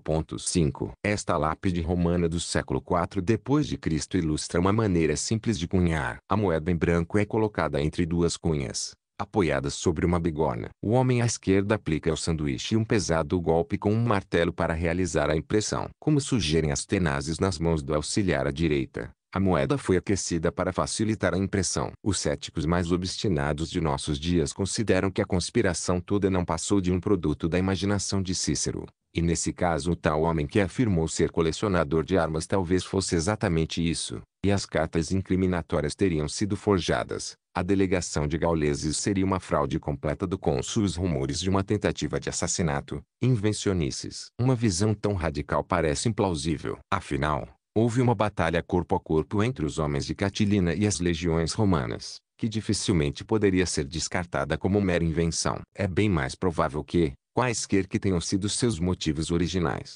Catilina, um radical visionário ou um terrorista sem princípios, foi em parte movido a tomar medidas extremas por causa de um cônsul obcecado por luta e glória. Cícero pode até ter convencido a si mesmo, quaisquer que fossem as evidências, de que Catilina representava uma séria ameaça à segurança de Roma. Como sabemos a partir de muitos exemplos atuais, é assim que a paranoia política e o autointeresse costumam operar. Nunca teremos certeza absoluta. A conspiração sempre será um ótimo exemplo do dilema de interpretação clássico. Será que havia de fato revolucionários escondidos debaixo da cama? Ou a crise, pelo menos em parte, foi uma invenção dos conservadores? E também deveria funcionar como um lembrete de que, na história romana, como em outros contextos, é sempre bom estar alerta para um outro lado da história, esse é em parte o argumento de todo este livro. O nosso Catilina. O confronto entre Cícero e Catilina tem servido desde então como modelo para conflitos políticos. Dificilmente poderíamos considerar coincidência o fato de a pintura de Macari dos eventos de 8 de novembro ter sido encomendada, junto com outras cenas da história romana, para o salão do Palazzo Madama, que acabava de se tornar a sede do moderno Senado italiano. Presume-se que a intenção era oferecer uma lição aos modernos senadores. E, ao longo dos séculos, os certos e errados da conspiração, os respectivos defeitos e qualidades de Catilina e Cícero, e os conflitos entre segurança interna e liberdades civis, têm originado ferozes debates, não só entre os historiadores. Em algumas ocasiões, essa história foi drasticamente reescrita. Uma tradição medieval da Toscana sustenta que Catilina sobreviveu à batalha contra as legiões romanas e virou um herói local, tendo um complicado envolvimento romântico com uma mulher chamada Belizé. Outra versão confere-lhe um filho, Huberto, e assim faz dele um ancestral da dinastia Uberti de Florença. Com mais imaginação ainda, a peça Catilina, de Prosper de Crebillon, que estreou em meados do século XVIII, invoca um caso amoroso entre Catilina e a filha de Cícero, Túlia, com direito à torre dos episódios em um templo romano. Sempre que a conspiração foi representada em ficção ou no palco, houve algum ajuste de acordo com o alinhamento ideológico do autor e o clima político da época. A primeira peça de Henrique Ibsen, escrita na esteira das revoluções europeias da década de 1840, tem como tema os eventos de 63 a.C. Aqui, um Catilina revolucionário é confrontado com a corrupção do mundo em que vive, enquanto Cícero, que não poderia ter imaginado nada pior, quase desaparece dos eventos. Nunca entra em cena e mal é mencionado. Para Ben Jonson, em contraste, que escreveu logo após a conspiração da pólvora, Catilina era um anti-herói sádico, tendo feito tal número de vítimas que, na fértil imaginação de Johnson, foi necessária uma frota inteira para transportá-las pelo rio Estige até o reino dos mortos. O seu Cícero tampouco desperta muita simpatia, mostrando-se um tagarela chatíssimo, na verdade, tão chato que na primeira apresentação da peça, em 1611, Muitas pessoas saíram durante as suas intermináveis acusações contra Catilina. Johnson estava sendo injusto com os poderes de persuasão da oratória de Cícero, pelo menos se levarmos em conta o uso continuado de suas palavras, sempre citadas e estrategicamente adaptadas. Isso porque o discurso de sua primeira catilinária,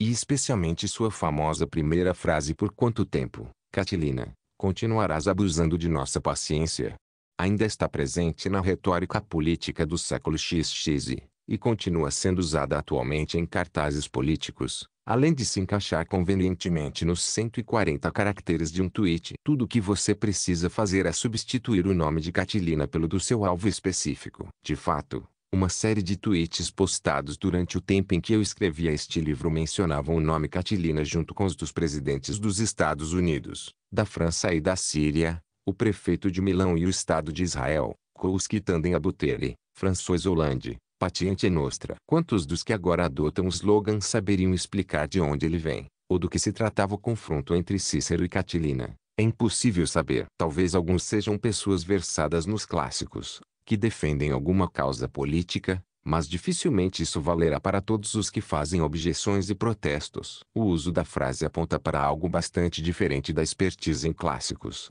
e provavelmente mais importante. Sem dúvida, é um forte indício de que, logo abaixo da superfície da política ocidental, o conflito, de lembrança vaga, entre Cícero e Catilina ainda age como modelo para as nossas lutas e discussões. A eloquência de Cícero, mesmo que só entendida parcialmente, ainda molda a linguagem da política contemporânea. 6. Em 2012, manifestantes húngaros contrários às tentativas do partido Fidesz de reescrever a Constituição ostentaram a famosa frase de Cícero, em latim. Mas ela foi usada não só no contexto político. Numa famosa discussão intelectual, Camille Paglia substituiu o nome de Catilina pelo do filósofo francês Michel Foucault. Por quanto tempo, ó Foucault, Cícero acharia isso o máximo? Quando escreveu ao amigo Luxeius, pedindo ao historiador que celebrasse as façanhas do seu consulado, esperava alcançar a fama eterna. A ideia de que falem a meu respeito na posteridade me inclina para uma espécie de fé na imortalidade, declarou com um toque de bem premeditada modéstia. Luxeius, como vimos, não aceitou. Deve ter sido dissuadido pelo descarado pedido de Cícero, propondo que desprezasse as regras da história e escrevesse os eventos de modo bem mais exagerado do que exato. Mas, no final, Cícero alcançou a imortalidade por seus feitos de 63 a.C. de forma mais eficiente do que aquilo que Seius poderia ter lhe dado, e continuou a ser citado repetidamente por mais de dois mil anos. Nos próximos capítulos, vamos encontrar mais conflitos políticos, interpretações controversas e às vezes também alguns ecos desconfortáveis dos nossos próprios tempos. Mas agora é hora de voltarmos as costas a esse terreno relativamente firme do século e antes de Cristo e penetrar na história mais profunda de Roma. Como foi que Cícero e seus contemporâneos reconstruíram os primórdios de sua cidade? Porque as suas origens foram tão importantes para eles. O que significa perguntar onde Roma começou? O quanto somos capazes, ou eram eles, de realmente conhecer a Roma primordial? Capítulo 2 Primórdios Cícero e Rômulo Segundo uma tradição romana, o Templo de Júpiter, onde Cícero fez seu discurso contra Catilina em 8 de novembro de 63 a.C., havia sido erguido sete séculos antes por Rômulo, um dos fundadores de Roma. Rômulo e os cidadãos de sua pequena comunidade estavam em luta com seus vizinhos, um povo conhecido como Sabinos, no local onde mais tarde se ergueria o Fórum, centro político da Roma de Cícero. As coisas estavam indo mal para os romanos, e eles foram forçados a bater em retirada. Como última tentativa de vencer, Rômulo orou ao deus Júpiter, não exatamente a Júpiter, mas a Júpiter Stator, o Júpiter que mantém os homens firmes. Construiria um templo em agradecimento. Prometeu Rômulo ao deus, caso os romanos resistissem à tentação de fugir e defendessem sua terra contra o inimigo. Fizeram isso, e o templo de Júpiter Stator foi erigido exatamente naquele lugar o primeiro de uma longa série de santuários e templos construídos na cidade em homenagem à divina ajuda para assegurar a vitória militar de Roma. Essa pelo menos foi a história contada por Livio e vários outros escritores romanos. Os arqueólogos nunca conseguiram identificar com segurança quaisquer vestígios desse templo, que em todo caso deve ter sido reconstruído à época de Cícero, especialmente se suas origens remontassem de fato aos primórdios de Roma. Mas não pode haver dúvida de que, quando escolhiam reunir o Senado ali, Cícero sabia exatamente o que estava fazendo. Tinha em mente o precedente de Rômulo e o destacava usar o local. Queria manter os romanos coesos mantê-los firmes, diante de seu novo inimigo, Catilina. Na realidade, ele disse quase exatamente isso ao final de seu discurso, quando, certamente apontando para a estátua do deus, apelou a Júpiter Stator e lembrou sua plateia a respeito da fundação do templo. Tu, Júpiter, que foste estabelecido por Rômulo no mesmo ano em que a cidade, como Deus que, dizemos com acerto, mantém firme a cidade e o império, irás manter esse homem e seu bando longe de teu templo e dos templos dos demais deuses, das casas da cidade e de seus muros, das vidas e do destino de todos os cidadãos de Roma. Essa sugestão de Cícero, ao se apresentar como o novo Rômulo, não passou despercebida aos romanos de seu tempo, e a conexão repercutiu. Algumas pessoas a usaram como pretexto adicional para zombar de sua procedência de cidade pequena chamando de Rômulo de Arpenum. Mas era um apelo clássico dos romanos aos pais fundadores, as histórias comoventes da Roma primordial e ao momento em que a cidade passou a existir. Mesmo hoje, a imagem de uma loba amamentando o bebê Rômulo e seu irmão gêmeo Remo simboliza as origens de Roma. A famosa estátua de bronze da Sena é uma das obras mais copiadas e instantaneamente reconhecíveis da arte romana, estampada em milhares de cartões postais e souvenirs, e presente por toda a cidade atual como emblema do time de futebol Roma. Com essa imagem tão familiar, é fácil aceitar sem quaisquer restrições a história de Remo e Rômulo, ordem usual entre os romanos, e esquecer que trata-se de uma das mais antigas lendas históricas da fundação de qualquer cidade em qualquer era em qualquer lugar do mundo. E, sem dúvida, trata-se de um mito ou de uma lenda. Mesmo que os romanos a vejam, em termos amplos, como história. Uma loba amamentando gêmeos já seria um episódio estranho dentro de um conto muito peculiar, e até mesmo os antigos escritores às vezes demonstravam um saudável ceticismo em relação ao oportuno aparecimento de um animal lactante para amamentar um par de gêmeos abandonados, e na hora certa. O restante da narrativa é uma mistura extraordinária de detalhes desconcertantes, não só a incomum ideia de haver dois fundadores, Rômulo e Remo, mas também uma série de elementos decididamente não heróicos, desde assassinato, estupro e abdução, até o fato de a maioria dos primeiros cidadãos romanos ser composta por criminosos e fugitivos. 7. Seja qual for a data exata da loba, os bebês gêmeos são acréscimos posteriores, feitos no século XV, explicitamente para representar o mito da fundação. As cópias dessa estátua circulam pelo mundo todo, em parte graças a Benito Mussolini, que as distribuiu amplamente como símbolo da romanidade. Esses aspectos pouco palatáveis produziram impacto nos historiadores modernos, e eles têm sugerido que a história toda deve ter sido elaborada como uma forma de antipropaganda pelos inimigos e vítimas de Roma, sentindo a ameaça de sua agressiva expansão. Essa é uma maneira excessivamente ingênua, para não dizer desesperada, de tentar explicar as singularidades da história, e deixa de lado o ponto mais importante. Não importa onde e quando essa história se originou, os escritores romanos nunca pararam de contá-la e debatê-la intensamente. Havia mais em jogo do que a simples fundação da cidade. Conforme lotavam o velho templo de Rômulo para ouvir o novo Rômulo de Arpinum, aqueles senadores deveriam estar cientes de que a história da fundação levantava questões ainda maiores, sobre o que significava ser romano.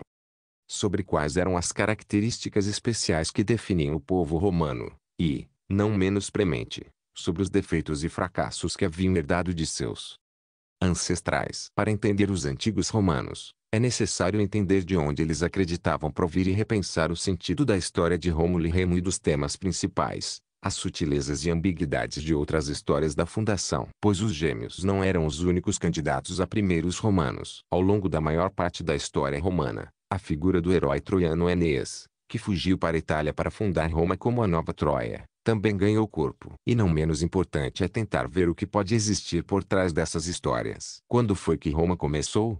É uma questão que tem se mostrado quase tão sedutora para os modernos estudiosos como foi para seus predecessores da antiguidade. A arqueologia oferece um esboço da Roma primordial que difere muito dos mitos romanos. Um esboço surpreendente, muitas vezes desconcertante e controverso. Até mesmo a famosa loba de bronze é tema de debates acirrados. Será que trata-se, como geralmente se tem pensado, de uma das primeiras obras de arte romanas que chegaram até nós? Ou será, como uma análise científica recente sugeriu, uma obra-prima da Idade Média. Seja como for, escavações feitas no subsolo da cidade atual ao longo dos últimos 100 anos descobriram alguns vestígios, que talvez remontem até o ano 1000 a.C., a uma pequena vila junto ao rio Tibre que pode ter se tornado a Roma de Cícero. Assassinato não existe apenas uma história de Rômulo. São dezenas de versões, muitas vezes incompatíveis. Cícero, uma década depois de seu confronto com Catilina, fez um relato em seu tratado sobre o Estado. Como fazia muitos políticos da época,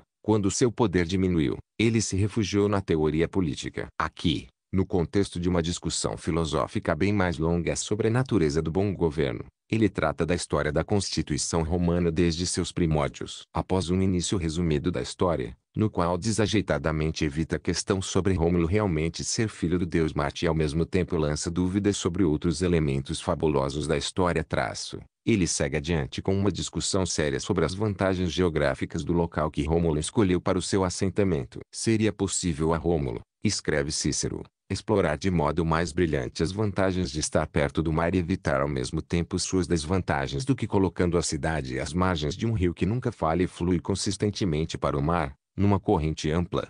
O Tibre, explica ele, facilitou a importação de suprimentos do exterior e exportação de sedentes, e as colinas nas quais a cidade foi construída proporcionaram não apenas uma defesa ideal contra ataques inimigos, mas também um ambiente de vida saudável cercada por uma região pestilenta. Foi como se Rômulo já soubesse que a cidade que fundava seria um dia o centro de um grande império. Cícero demonstra a boa noção de geografia, e muitos outros desde então destacaram essa posição estratégica do local, que deu a Roma boa vantagem em relação a seus rivais locais. Mas ele patrioticamente lança um véu sobre o fato de que ao longo da antiguidade. O rio que nunca falha também transformou Roma em vítima regular de enchentes devastadoras e que, apesar das colinas, a pestilência ou malária, foi uma das maiores causas de morte dos antigos habitantes da cidade prosseguindo assim até o final do século X. A versão de Cícero sobre a fundação da cidade não é a mais conhecida. Aqui em base a maior parte dos relatos modernos remonta no essencial a Lívio. Para um escritor cujo trabalho ainda é tão importante para nossa compreensão da Roma primordial,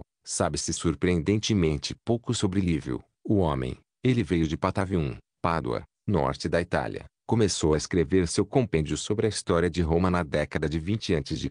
e tinha proximidade suficiente com a família imperial romana para incentivar o futuro imperador Cláudio a assumir o registro da história. A narrativa de Rômulo e Remo tem inevitável destaque no seu primeiro livro, e bem menos geografia e mais narrativa vívida do que na de Cícero. Lívio começa com os gêmeos, e depois rapidamente segue com a história até os últimos feitos de Rômulo já sozinho, como fundador de Roma e seu primeiro rei. Os meninos, explica Lívio, nasceram de uma sacerdotisa virgem chamada Reia Silvia, na cidade italiana de Alba Longa, nas colinas albanas, logo ao sul do local onde nasceria Roma. Ela não assumira esse encargo sacerdotal como virgem de livre vontade, mas foi obrigada a isso isso após uma luta fratricida pelo poder, que levou seu tio Amulius a assumir o reinado de Alba Longa depois de destronar o irmão, Numitor, pai de Silvia. Amulius então usou a proteção do sacerdócio, uma honraria ostensiva, para evitar a incômoda aparição de quaisquer herdeiros e rivais provenientes da linhagem do irmão. Essa precaução acabou se mostrando inútil, pois Reia Silvia logo ficou grávida. Segundo Lívio, ela alegou ter sido estuprada pelo deus Marte. Lívio parece hesitante em aceitar isso, tanto quanto Cícero. Marte, sugere ele, poderia ter sido um pretexto conveniente para encobrir um caso amoroso absolutamente humano. Mas outros escritores disseram-se convencidos da existência de um falo desencanado, que teria vindo das chamas do fogo sagrado sob os cuidados de Rhea Silvia. Assim que ela deu à luz os gêmeos, Amulius ordenou que seus servos atirassem os bebês no rio vizinho, o Tibre, para que se afogassem. Mas os dois sobreviveram. Pois, como costuma acontecer em histórias como assim em muitas culturas, os homens a quem foi dada essa desagradável tarefa não seguiram as instruções ao pé da letra. Puseram os gêmeos em uma cesta e, em vez de colocá-los diretamente na água do rio, que estava na cheia traço, deixaram-nos na água que invadia as margens. Antes que os bebês fossem levados pela correnteza à morte certa, a famosa loba protetora veio em seu auxílio. Lívio foi um daqueles romanos céticos que tentaram racionalizar esse aspecto particularmente implausível do conto. A palavra latina para loba-lupa também era usada coloquialmente para indicar uma prostituta. Lupanária era o termo padrão para bordel. Afinal, não seria plausível que uma prostituta local, em vez de uma besta selvagem, tivesse encontrado os gêmeos e cuidado deles. Qualquer que fosse a identidade da lupa, um bondoso pastor logo encontrou os meninos e os levou com ele. Seria sua esposa a prostituta. Ponderou Olívio. Rômulo e Remo viveram com a família do pastor, sem serem reconhecidos, exceto anos mais tarde, quando, já dois jovens, acabaram por acaso encontrando com o avô, e rei deposto, Numitor. Após restaurarem o seu reinado de Alba Longa, partiram para fundar sua própria cidade. Mas logo brigaram, com resultados desastrosos. Lívio sugere que a mesma rivalidade e ambição que haviam arruinado a relação entre Numitor e Amulius foram transmitidas às gerações seguintes até chegar a Rômulo e Remo. Os gêmeos divergiram quanto ao local onde deveria ocorrer a fundação da cidade, particularmente na escolha da colina. Entre as várias que mais tarde iriam compor a cidade, existem, na verdade, outras além das sete famosas, traço, que deveria ficar no centro do primeiro assentamento. Rômulo escolheu a colina conhecida como Palatino, onde foi erguida mais tarde a magnífica residência dos imperadores e que nos deu palavra palácio. Na briga que se seguiu, Remo, que escolhera Aventino, saltou assintosamente por cima das defesas que Rômulo havia construído em volta de seu ponto preferido. Havia várias versões sobre o que teria acontecido em seguida. A mais comum, segundo Lívio, Diz que Rômulo reagiu matando o irmão e com isso tornou-se o único chefe do local, ao qual deu seu nome. Ao desferir o terrível golpe fratricida, ele gritou, no relato de Lívio, assim morrerá quem mais tentar saltar sobre meus muros. Foi um slogan adequado para uma cidade que seguiu em frente para se firmar como um estado beligerante, mas cujas guerras foram sempre reações às agressões alheias. Portanto, guerras justas. Estupro Remo estava morto. E a cidade que ele ajudara a fundar consistia apenas em um punhado de amigos e companheiros de Rômulo. Precisava de mais cidadãos. Então Rômulo declarou Roma um asilo e incentivou o populacho e os despossuídos do resto da Itália a se juntarem a ele. Escravos fugidos, criminosos condenados, e livros e refugiados. Isso resultou em grande número de homens. Mas, a fim de arrumar mulheres, conforme relata Lívio, Rômulo precisou recorrer a um ardil, e ao estupro. Ele convidou os povos vizinhos, os sabinos e os latinos, da área em torno de Roma conhecida como Latium, para uma festa religiosa com diversões, com as famílias e tudo. No meio dos festejos, deu o sinal a seus homens para abduzirem as mulheres jovens que haviam vindo com os visitantes e levá-las embora como esposas. Nicolás Poussin, pintor famoso por suas recriações da Roma antiga, captou a cena no século XVII. Rômulo, em pé sobre uma plataforma, Observa sereno a violência que acontece embaixo, contra um fundo de arquitetura monumental ainda em construção. É uma cena da cidade primordial que os romanos do século e antes de Cristo teriam reconhecido. Embora eles às vezes pintassem a Roma de Rômulo como um lugar de carneiros, casebres de barro e brejos, com frequência também engrandeciam o lugar e o retratavam como uma cidade clássica esplêndida. Também é uma cena que tem sido reinterpretada das mais diversas maneiras e pelos mais diversos meios, ao longo da história. O musical de 1954, Sete Noivas para Sete Irmãos,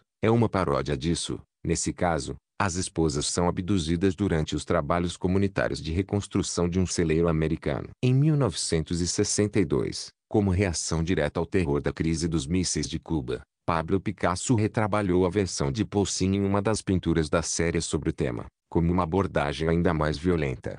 Vê lâmina 3. Os escritores romanos discutiram infindavelmente a respeito desse episódio da história. Um dramaturgo escreveu toda uma tragédia sobre o tema, que infelizmente não sobreviveu. Restou apenas uma única citação. Ficavam tentando decifrar detalhes, imaginando, por exemplo, Quantas jovens teriam sido raptadas? Lívio não se compromete nesse aspecto, mas as estimativas variam de apenas a 30 até uma cifra espuriamente precisa e implausivelmente grande de 683, que, ao que parece, era o palpite do príncipe africano Juba, levado a Roma por Júlio César e que passou muitos dos seus primeiros anos ali estudando todo tipo de tópicos eruditos, da história romana à gramática latina. Acima de tudo, porém, era a evidente criminalidade e violência do incidente que os preocupava. Afinal, essa ocasião foi o primeiro casamento romano de fato, e era onde os estudiosos romanos procuravam informações quando queriam explicar aspectos intricados ou as frases das cerimônias tradicionais de casamento.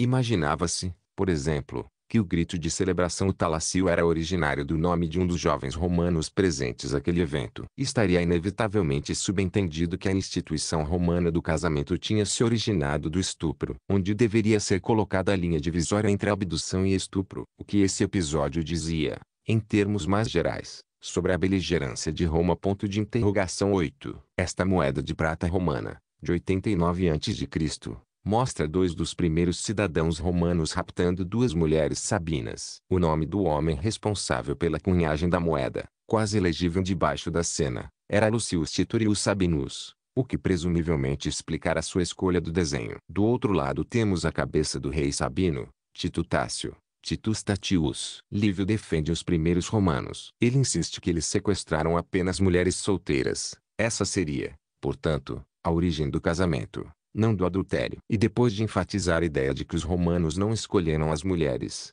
mas foram pegando-as ao acaso, Lívio argumenta que eles estavam recorrendo a um expediente necessário para o futuro de sua comunidade e que foi seguido por uma conversa amorosa e por promessas de afeto dos homens para com suas novas noivas. Ele também apresenta a ação romana como uma resposta a um comportamento pouco razoável dos vizinhos de sua cidade. Os romanos, explica ele, tinham feito primeiro a coisa certa, propondo aos povos dos arredores um tratado que daria a ambos o direito de casar com as respectivas filhas. Lívio, de forma explícita, e com um anacronismo espantoso traço, refere-se aqui ao direito legal de conubium, ou intercasamento, que mais tarde seria parte regular das alianças de Roma com outros estados. Os romanos teriam recorrido à violência somente depois que esse pedido foi rejeitado de maneira pouco razoável. Ou seja, tratou-se de mais um caso de guerra justa. Outros apresentaram a questão de modo diverso. Alguns detectaram já na origem da cidade todos os sinais reveladores da posterior beligerância romana. O conflito,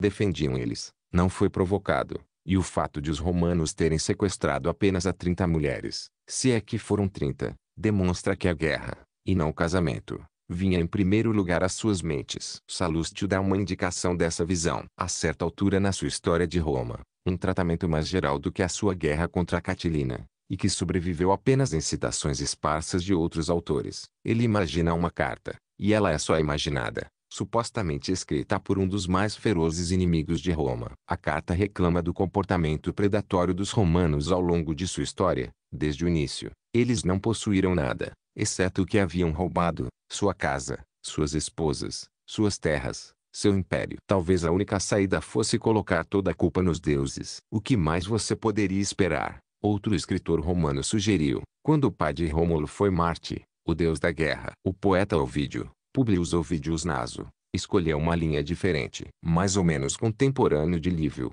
Foi subversivo onde Lívio era convencional acabou sendo banido em 8 depois de Cristo, em parte pela ofensa causada por seu espirituoso poema, Lições de Amor, sobre como arrumar um parceiro. Nele, Ovídio inverte a história de Lívio sobre abdução e apresenta como um modelo primitivo do flerte, erótico, em vez de conveniente. Segundo Ovídio, os romanos começam tentando descobrir a garota da qual cada um deles mais gosta e vão atrás dela com mãos desejosas assim que o sinal é dado. Logo estão cochichando bobagens doces aos ouvidos de suas presas, cujo óbvio terror apenas intensifica o apelo sexual neles. Festas de diversões, como o poeta reflete de modo perverso, sempre foram bons lugares para arrumar uma moça, desde os primeiros dias de Roma. Ou, dito de outro modo, que grande ideia teve Rômulo para recompensar seus leais soldados. Quero me alistar já, brinca o vídeo, se você me prometer esse tipo de pagamento. Os pais das moças, assim reza a história usual, Não acharam a abdução engraçada nem viram nada de flerte nela. Foram à guerra contra os romanos para resgatar as filhas. Os romanos derrotaram os latinos com facilidade, mas não os sabinos, e o conflito se prolongou. Foi nesse momento que os homens de Rômulo sofreram um pesado ataque em sua nova cidade e ele foi obrigado a pedir a Júpiter Stator que fizesse os romanos pararem de simplesmente fugir para salvar suas vidas. Como Cícero lembrou sua plateia, sem lembrá-los, porém, de que a guerra toda se deu por causa do roubo das mulheres. As hostilidades só cessaram graças às próprias mulheres, que agora já estavam contentes com seu destino de esposas e mães romanas. Elas entraram corajosamente no campo de batalha e imploraram para que seus maridos, de um lado, e seus pais, de outro, parassem de lutar. Preferimos morrer, explicaram, do que viver sem vocês, como viúvas ou órfãs. A intervenção deu resultado. Não só houve paz, como se passou a considerar que Roma se transformara numa cidade conjunta, romano-sabina, uma única comunidade, sob o governo compartilhado de Rômulo e do rei Sabino Tito Tácio. Bem, compartilhado apenas por alguns anos, quando, com o tipo de morte violenta que se tornou uma das marcas da política de poder romana, Tácio foi assassinado numa cidade vizinha durante um tumulto que em parte ele mesmo provocara. Rômulo virou novamente o único governante, primeiro rei de Roma, com um reinado de mais de 30 anos. Irmão contra irmão, locais contra forasteiros não muito abaixo da superfície dessas tramas, jazem alguns dos temas mais importantes da história romana posterior, assim como algumas das maiores ansiedades culturais romanas. Eles nos dizem muito sobre os valores e preocupações dos romanos, ou pelo menos sobre as preocupações que aqueles romanos tinham a respeito do tempo, do dinheiro e da liberdade de que dispunham. Ansiedades culturais muitas vezes são privilégio dos ricos. Um desses temas, como acabamos de ver, era a natureza do casamento romano. Quão brutal ele estava destinado a ser, dadas as suas origens. Outro, já vislumbrado nas palavras das mulheres sabinas que tentavam a reconciliação entre seus pais e maridos, era a guerra civil. Um dos grandes enigmas a respeito da lenda da fundação é sua afirmação de que havia dois fundadores envolvidos, Rômulo e Remo. Os historiadores modernos conceberam várias soluções para explicar o gêmeo redundante. Talvez ele aponte para alguma dualidade básica na cultura romana, entre diferentes classes de cidadãos ou diferentes grupos étnicos. Ou quem sabe reflita o fato de que mais tarde Roma teria dois cônsules. Ou, ainda, estejam envolvidas estruturas míticas mais profundas, e Rômulo e Remo sejam alguma versão dos gêmeos divinos que encontramos em várias manifestações da mitologia mundial, da Alemanha à Índia Védica, incluindo a história bíblica de Caim e Abel. Mas seja qual for a solução escolhida, e a maior parte da especulação moderna não tem sido muito convincente, resta um enigma ainda maior no fato de um dos gêmeos fundadores ser realmente redundante, já que Remo foi morto por Rômulo ou, em outras versões, por um de seus homens no primeiríssimo dia da cidade. Para muitos romanos, que não fizeram uma higienização da história encoberta pelo rótulo de mito ou lenda, esse era o aspecto mais impalatável da fundação. Parece que ele causou tal desconforto em Cícero que, no seu relato da origem de Roma sobre o Estado, ele não o menciona. Remo aparece no início, apresentado junto com Rômulo, para em seguida desaparecer da história. Outro escritor, o historiador Dionísio de Alicanasso, residente de Roma no século I a.C., mas identificado pelo nome de sua cidade natal na costa da atual Turquia, escolheu retratar um Rômulo inconsolável diante da morte de Remo perdeu a vontade de viver. Outro ainda, conhecido para nós apenas como Ignatius, optou por uma maneira mais ousada de driblar o problema. A única coisa que sabemos sobre esse Ignatius é que inverteu completamente a história do assassinato, afirmando que Remo viveu mais que seu irmão gêmeo. Era uma tentativa desesperada, e obviamente não convincente, de fugir à triste mensagem contida no relato, a de que o fratricídio estava entranhando na política romana e que os apavorantes surtos de conflito civil que repetidamente assolaram a história de Roma a partir do século V a.C. O assassinato de Júlio César em 44 a.C. é apenas um exemplo. Estavam de algum modo predestinados. Afinal de contas, que cidade, fundada sobre o assassinato de um irmão por outro, poderia escapar do assassinato de um cidadão por outro. O poeta Horácio Quintus Horatius Flaccus, foi um dos vários escritores que responderam essa questão de maneira óbvia. Escrevendo por volta de 30 a.C., na esteira da década de lutas que se seguiram à morte de César, ele lamentava, amargo destino persegue os romanos, e o crime do assassinato de um irmão, desde que o sangue do inocente Remo foi derramado no chão para se tornar uma maldição para os seus descendentes. A guerra civil, poderíamos dizer, estava nos genes dos romanos. Sem dúvida, Rômulo poderia ser mostrado, e com frequência era, como um heróico pai fundador. Seu embaraço pelo destino de Remo não impediu Cícero de tentar vestir o manto protetor de Rômulo em seu confronto com Catilina. E, apesar da sombra do assassinato, imagens dos gêmeos bebês eram encontradas por todo o mundo romano antigo, tanto na própria capital, onde chegou a haver um grupo de estátuas deles no Fórum e outro no Capitólio, ou Monte Capitolino, como nas partes mais distantes do império. Na realidade, quando o povo da ilha grega de Quios quis demonstrar sua sujeição a Roma no século II a.C., uma das coisas que decidiram fazer foi erguer um monumento retratando, como eles mesmos disseram, o nascimento de Rômulo, o fundador de Roma, e seu irmão Remo. O monumento não existe mais, mas sabemos dele porque os habitantes de Quios registraram sua decisão em uma placa de mármore, que sobreviveu. De qualquer modo, ali persistiu certo desconforto moral e político em relação ao caráter de Rômulo. Também desconfortável, mas de maneira diferente, foi a ideia do asilo, e acolhida que Rômulo deu a todos os que vieram, estrangeiros, criminosos e desgarrados traço, ao procurar cidadãos para sua nova cidade. Houve aspectos positivos em relação a isso. Em particular, refletiu a extraordinária abertura e boa vontade da cultura política romana em incorporar estrangeiros, o que a diferenciou de todas as outras sociedades ocidentais que conhecemos. Nenhuma cidade grega antiga foi remotamente tão acolhedora. Atenas, em particular, restringia com rigor o acesso à cidadania. Isso não é um tributo a nenhum suposto temperamento liberal dos romanos no moderno sentido da palavra. Eles conquistaram vastas extensões de território na Europa e além, às vezes com terrível brutalidade, e foram muitas vezes xenófobos e desdenhosos com povos que chamavam de bárbaros. No entanto, num processo único em qualquer império pré-industrial, os habitantes desses territórios conquistados, províncias, como os romanos os chamavam, foram aos poucos obtendo cidadania romana, e os respectivos direitos e proteções legais. Isso culminou em 212 d.C. Quando este livro termina, quando o imperador Caracalla transformou todo habitante livre do império em cidadão romano. 9. Rômulo e Remo alcançaram os locais mais afastados do império romano. Este mosaico do século IV d.C. foi encontrado em Aldeborog, no norte da Inglaterra. O lobo é uma criatura de simpatia encantadora. Os gêmeos, que parecem flutuar arriscadamente no ar, sugerem algo posterior, assim como os acréscimos renascentistas ao grupo capitolino. Mesmo antes disso, a elite das províncias já ingressara em grande número na hierarquia política da capital. O Senado romano aos poucos se tornou o que podemos descrever hoje como um organismo multicultural. E a lista completa de imperadores romanos inclui vários cujas origens estão fora da Itália. O pai de Caracalla, Septímio Severo, Septimio Severus, foi o primeiro imperador oriundo de território romano na África. Trajano e Adriano, que reinaram meio século antes, provinham da província romana da Espanha. Quando em 48 d.C. o imperador Cláudio, cuja imagem afável deve mais à novela Eu, Cláudio, de Robert Graves, do que à vida real,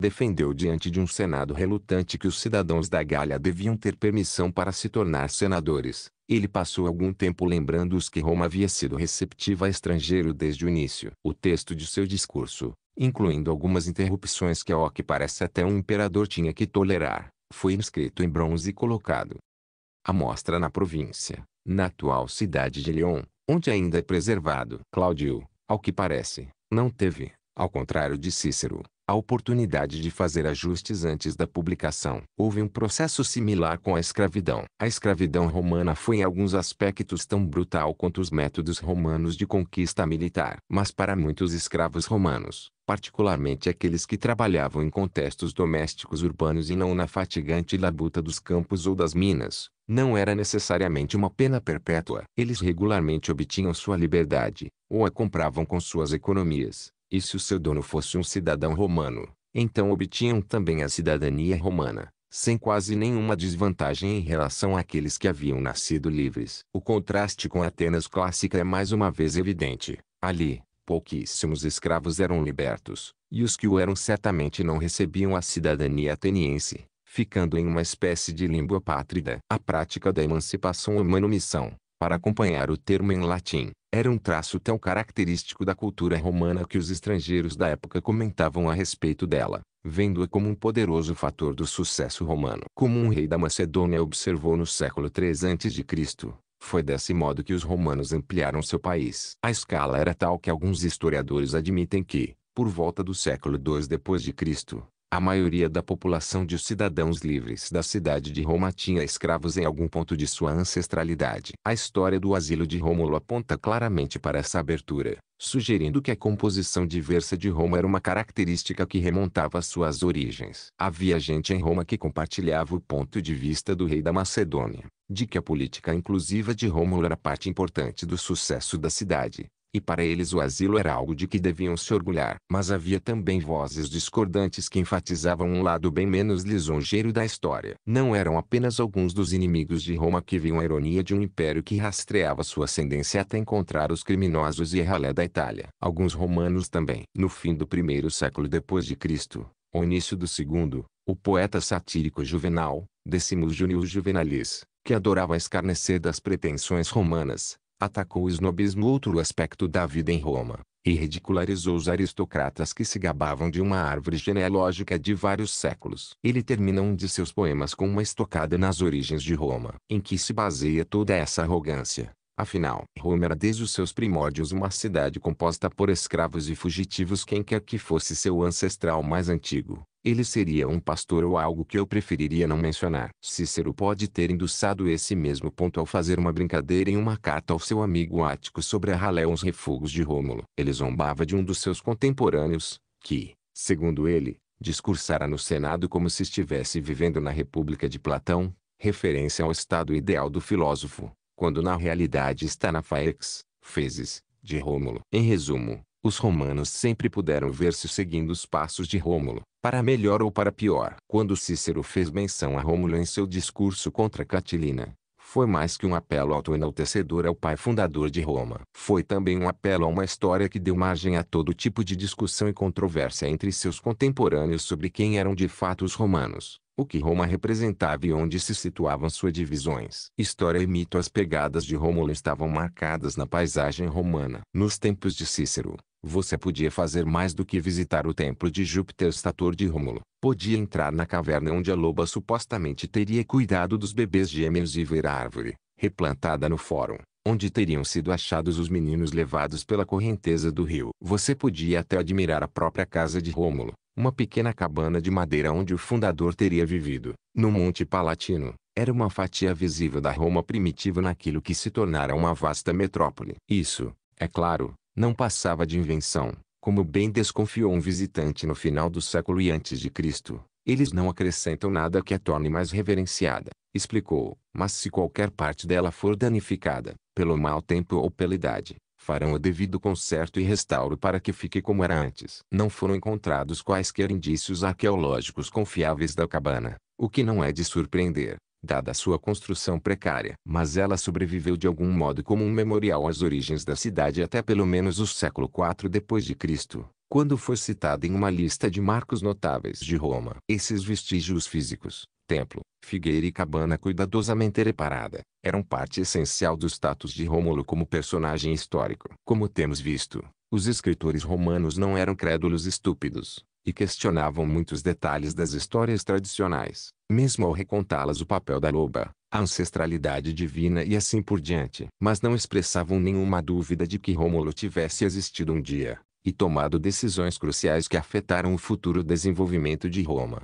como a escolha do local da cidade, inventado, mais ou menos sem ajuda alguma, as instituições que a definiam. O próprio Senado, segundo alguns relatos, foi criação de Rômulo assim como a cerimônia do triunfo, o desfile romano da vitória, que regularmente acontecia após os maiores, e mais sangrentos, sucessos na guerra. Quando, no final do século e antes de Cristo, uma lista monumental de todos os generais romanos que já haviam celebrado um triunfo foi inscrita em uma série de painéis de mármore no fórum.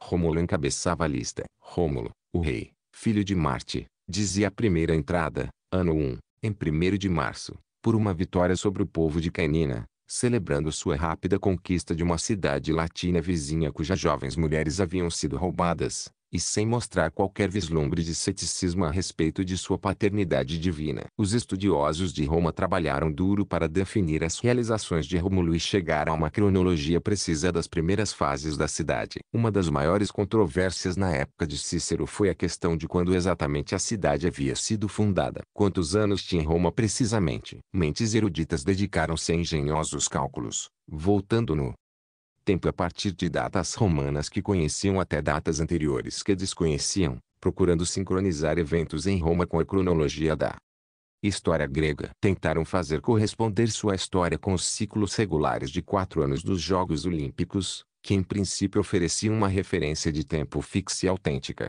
embora, como se reconhece hoje, isso por si só já fosse em parte o produto de engenhosas especulações anteriores. Tratava-se de um debate complexo e altamente especializado. Mas aos poucos as diferentes visões convergiram em torno de meados daquilo que chamamos hoje de século VIII a.C., já que os eruditos concluíram que as histórias grega e romana começaram mais ou menos ao mesmo tempo. O que se tornou a data canônica, ainda citada em muitas obras de referência atuais, remonta parcialmente a uma obra especializada, o livro da cronologia, de ninguém menos que Ático, o amigo e correspondente de Cícero. A obra não sobreviveu, mas supõe-se que tenha elegido como data da fundação da cidade por Rômulo terceiro ano do sexto ciclo das Olimpíadas, ou seja, 753 a.C. Outros cálculos foram ainda mais específicos, chegando a 21 de abril, data na qual os modernos romanos ainda hoje celebram o aniversário da cidade, com desfiles de relativo mau gosto e espetáculos que simulam lutas de gladiadores. É comum o limite entre mito e história mostrar-se vago, pense no rei Arthur e em Pocahontas, e, como veremos,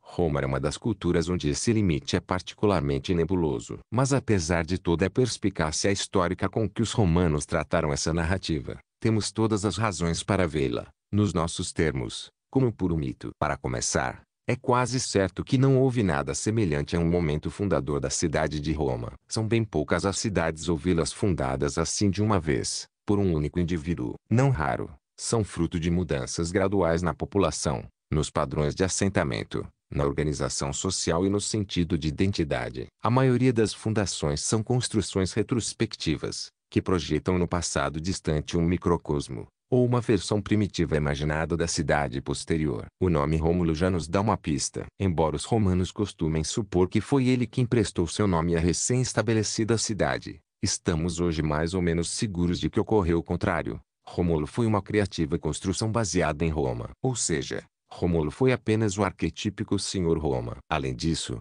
os escritores e estudiosos do século e antes de Cristo, que nos legaram sua versão das origens de Roma, não tinham muito mais evidências diretas das primeiras fases da história de Roma do que os modernos escritores têm hoje, e sob alguns aspectos talvez tivessem até menos. Não haviam sobrevivido documentos nem arquivos. As poucas inscrições antigas em pedra, embora valiosas, não eram tão antigas quanto os estudiosos romanos com frequência imaginavam, e, como iremos descobrir no final deste capítulo, algumas vezes pecavam por uma má compreensão irremediável do latim antigo. Certo, eles tiveram acesso a alguns poucos relatos históricos anteriores que não sobreviveram até nós. Mas os relatos mais antigos haviam sido compostos em cerca de 200 a.C., ou seja, ainda existia um grande abismo entre essa data e as origens da cidade, que só podia ser superado com a ajuda de uma série muito variada de histórias, canções, performances teatrais populares e o amalgama mutável e às vezes autocontraditório que compõe a tradição oral. Constantemente ajustando o ato de contar e recontar as circunstâncias e plateias variáveis. Existem alguns vislumbres fugazes da história de Rômulo até remontarmos ao século IV a.C., mas depois, a não ser que se traga a loba de bronze de volta à cena, a trilha termina. No entanto, colocada em outros termos, é justamente por ser a história de Rômulo mítica e não histórica no sentido estrito que ela concentra tão agudamente algumas das questões centrais da Roma antiga e é tão importante para a compreensão da história romana. Os romanos não haviam simplesmente herdado as prioridades e preocupações de seu fundador, como supunham. É exatamente o oposto. Ao longo de séculos recontando e depois reescrevendo a história, eles mesmos haviam construído e reconstruído a figura fundadora de Rômulo como um poderoso símbolo de suas preferências, debates, ideologias e ansiedades. Em outras palavras, voltando a Horácio, Não é que a guerra civil fosse o destino de Roma desde o seu nascimento. Roma é que havia projetado suas obsessões com o aparentemente infindável conflito civil e o fazia remontar ao seu fundador. 10. Encontrado em território etrusco, esse espelho entalhado, a face refletor está do outro lado, parece mostrar uma versão da loba amamentando os gêmeos Rômulo e Remo. Nesse caso, com sua datação do século IV a.C., ele seria uma das mais antigas evidências dessa história. Mas alguns estudiosos, talvez excessivamente céticos, têm preferido ver aqui uma cena do mito etrusco, ou um par de misteriosas divindades romanas infinitamente mais obscuras e misteriosas, os gêmeos Lares Praestites. Também havia sempre a possibilidade de ajustar ou reconfigurar a narrativa, mesmo depois de ela ter alcançado uma forma literária relativamente fixa. Já identificamos, por exemplo, como Cícero escolheu lançar um véu sobre o assassinato de Remo, e como Ignatius o negou inteiramente. Mas o relato de Lívio sobre a morte de Rômulo dá um bom vislumbre de como a história das origens de Roma podia ser usada para soar em sintonia direta com eventos recentes. O rei, explica ele, havia governado por 30 anos quando de repente, numa violenta tempestade, foi envolvido por uma nuvem e desapareceu. Os pesarosos romanos logo concluíram que havia sido arrancado deles para si, tornar um Deus, cruzando o limite entre humano e divino de uma maneira que o sistema religioso politeísta de Roma às vezes permitia, mesmo que nos pareça um pouco tolo. Mas algumas pessoas da época, com sede Lívio, contaram uma história diferente, que o rei havia sido assassinado, decepado pelos senadores. Lívio não inventou totalmente nenhuma das partes desse complô. Cícero, por exemplo, já havia relatado antes a apoteose de Rômulo, embora com uma dose de ceticismo, e um político ambicioso na década de 60 a.C. foi uma vez ameaçado com o destino de Rômulo, e, e isso, presume-se, não significava tornar-se um deus. Mas, escrevendo apenas poucas décadas após o assassinato de Júlio César, que foi apunhalado até a morte pelos senadores e depois recebeu o status de deus, terminando com seu próprio templo no fórum, Livre oferece um relato particularmente rico e empático. Não ver os ecos de César nesse caso seria não captar o sentido. Enéas e mais história de Rômulo e Remo é algumas vezes intrigante, outras, desconcertante e, por vez, imensamente reveladora das grandes preocupações romanas, pelo menos da sua elite. E, a julgar pelos desenhos ou moedas, ou pelos temas da arte popular, o conhecimento dessas histórias era amplamente disseminado mesmo que camponeses famintos não passassem muito tempo pensando no rapto das Sabinas. Mas a complicação adicional, a ser acrescentada a esse quadro já complexo da lenda das origens de Roma,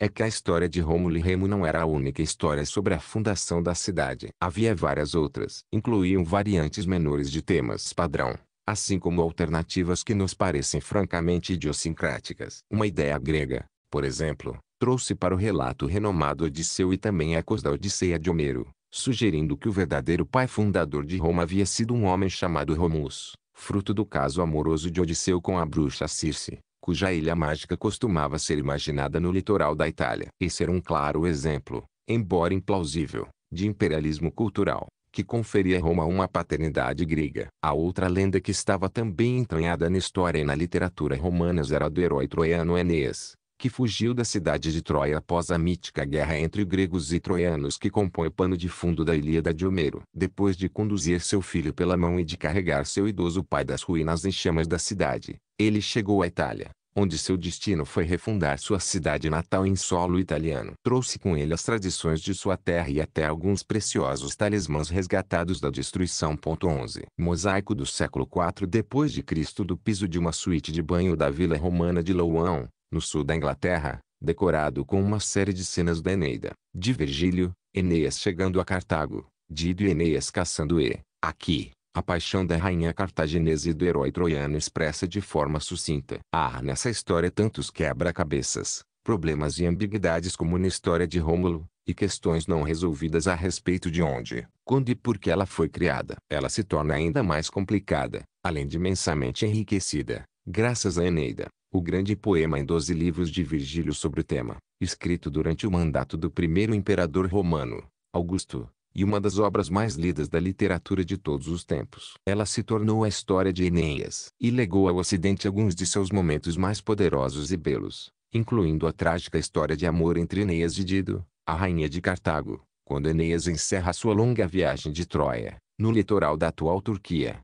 a Itália. Na sequência da história, Enéas resolve seguir seu destino e deixar a Itália, abandonando Dido, que comete suicídio, atirando-se de uma pira ardente. Lembre-se de mim, lembre-se de mim, diz a letra da pungente área dessa personagem na versão operística do século XVII composta por Henri Purcell sobre o tema. O problema é que costuma ser difícil saber quais elementos da história devem-se a Virgílio, o que inclui, provavelmente, a maior parte do encontro com Dido, e quais são parte de um relato mais tradicional. Não há dúvida de que a figura de Enéas como fundador de Roma apareceu na literatura, e deixou sua marca na paisagem, bem antes do século e antes de Cristo. Há referências a ele nesse papel em escritores gregos no século V antes de Cristo e no século II antes de Cristo. Embaixadores da ilha grega de Delos foram pedir uma aliança com Roma e, ao que parece, tiveram o cuidado de lembrar aos romanos, como parte de sua argumentação, que Enéas havia feito escala em Delos em sua viagem rumo ao ocidente. Na Itália,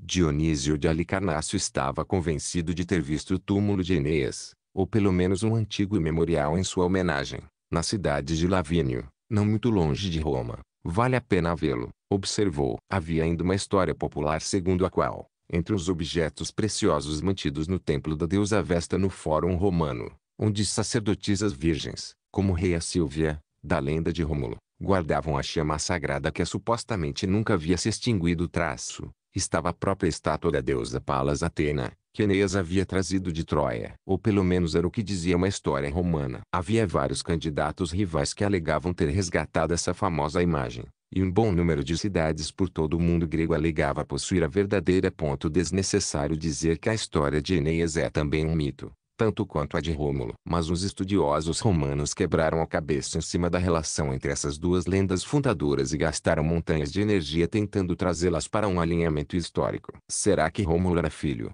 ou talvez neto, de Enéas? E se Rômulo fundara Roma, como poderia Enéas também ter feito isso? A maior dificuldade é que havia um desconfortável intervalo entre o século 8 a.C., data que os romanos atribuíam à origem de sua cidade, e o século 12 a.C., data atribuída para a queda de Troia, também considerado um evento histórico. Por volta do século e antes de Cristo, alcançou-se alguma espécie de coerência com a construção de uma complexa árvore genealógica, que ligou Enéas a Rômulo, e com a definição das datas exatas, Enéas passou a ser visto como fundador não de Roma, mas de Lavínio. Seu filho Ascênio foi posto como fundador de Alba Longa, a cidade de onde Rômulo e Remo foram expulsos antes de fundarem Roma e construiu-se uma dinastia obscura e, mesmo para os padrões romanos, flagrantemente ficcional de reis albanos, para cobrir o intervalo entre Ascânio e a data mágica de 753 a.C.